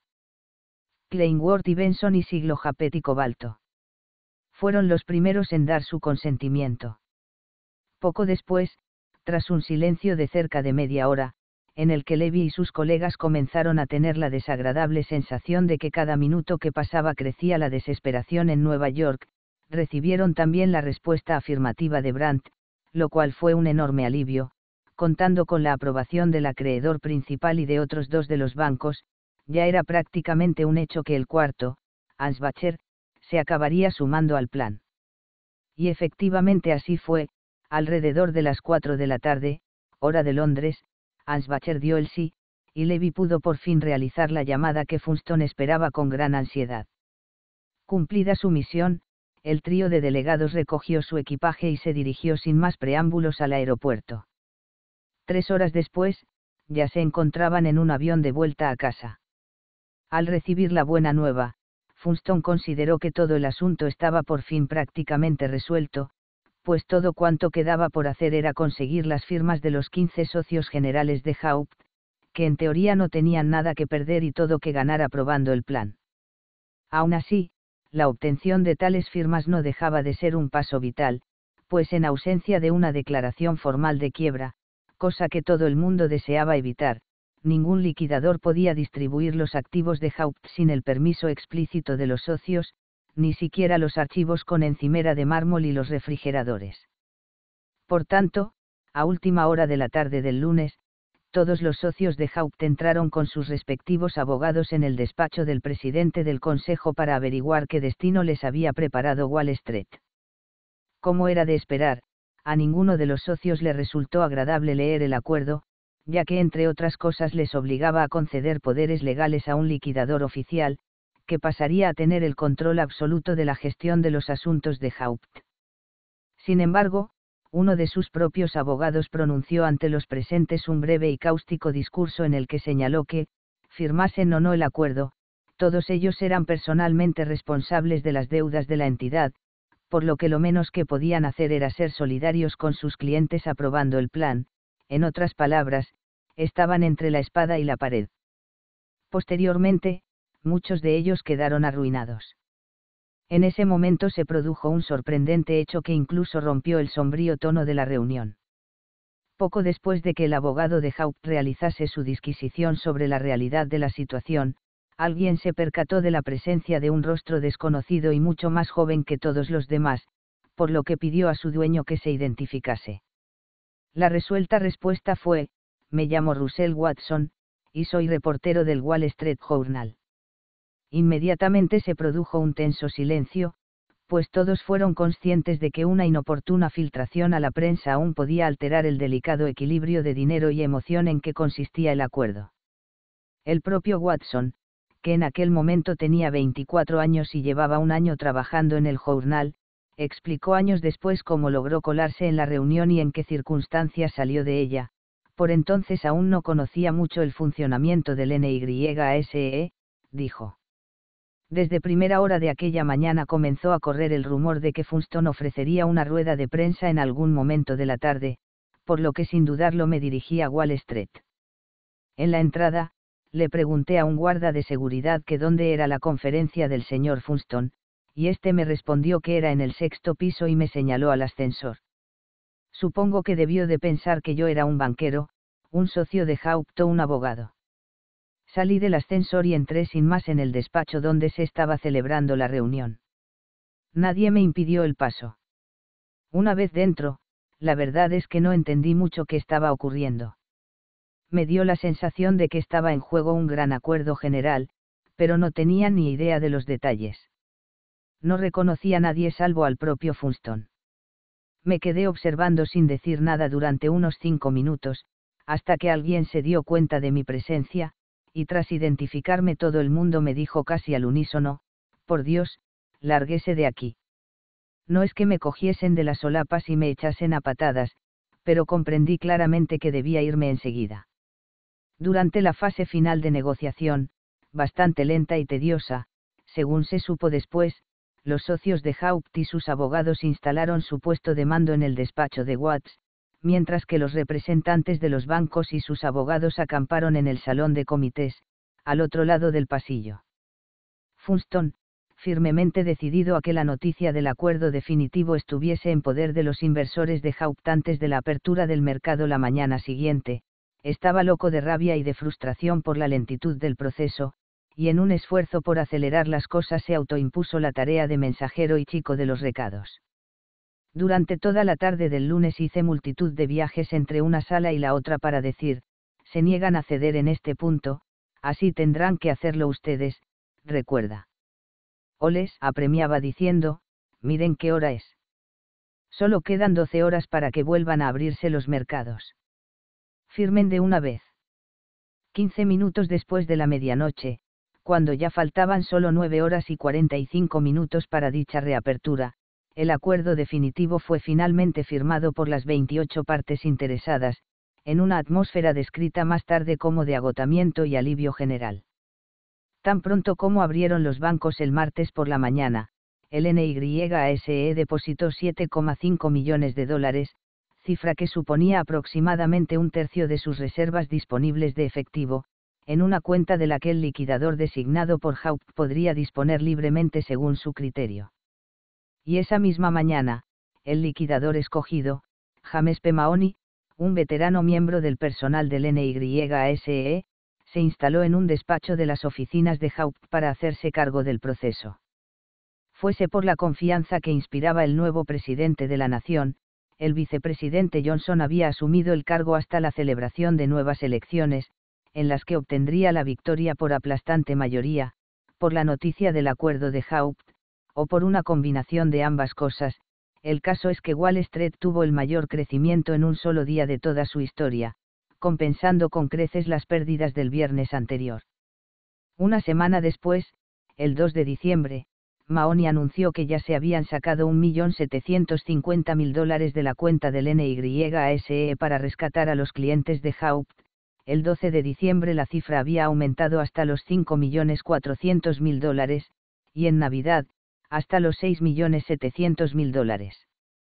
Finalmente, el 11 de marzo de 1964, el NYSE pudo anunciar que había repartido un total de 9,5 millones de dólares, y que todos los clientes de Haupt, con la excepción de unos pocos que no pudieron ser localizados, volvían a estar, enteros. El acuerdo, que mucha gente vio como el primer signo claro de una mayor implicación de Wall Street en la compensación por el daño público causado por las fechorías e infortunios de cualquiera de sus miembros, provocó reacciones muy variadas. Como era de esperar, los clientes de Haupt se mostraron muy agradecidos. The Times dijo que el acuerdo era la prueba palpable de, un sentido de la responsabilidad que ha inspirado confianza en los inversores, y, puede haber contribuido en gran medida a evitar un posible pánico financiero. En Washington, el presidente Johnson interrumpió brevemente el programa de su primer día oficial en el cargo para telefonear a Funston y felicitarle por su rápida actuación.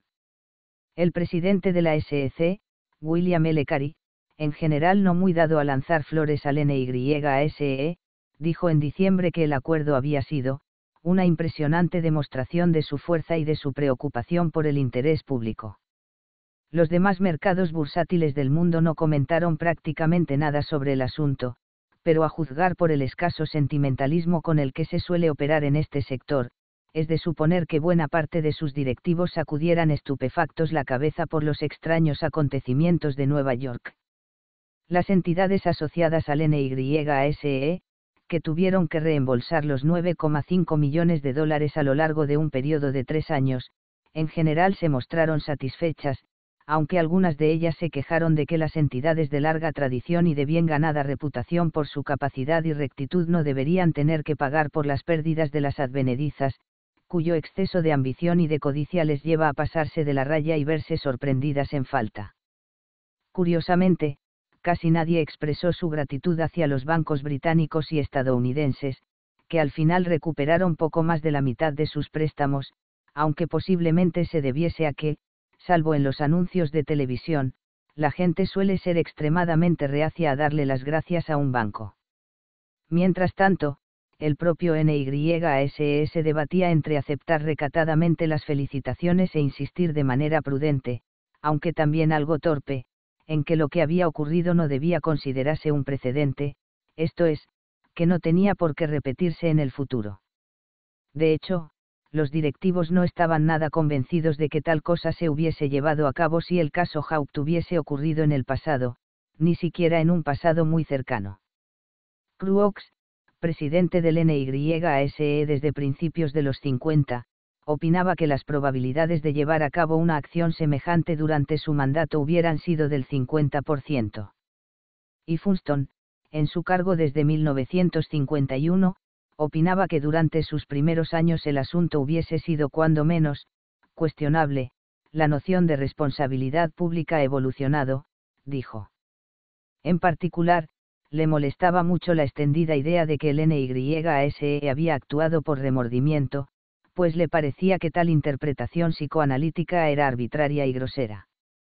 Y en cuanto a los veteranos directivos que sí observaron todo el proceso desarrollado en el salón de dirección y en el salón de comités con una mirada furiosa, casi amenazante, su opinión nunca se sabrá con seguridad, aunque pueda imaginarse. Continúa con la segunda parte del audiolibro.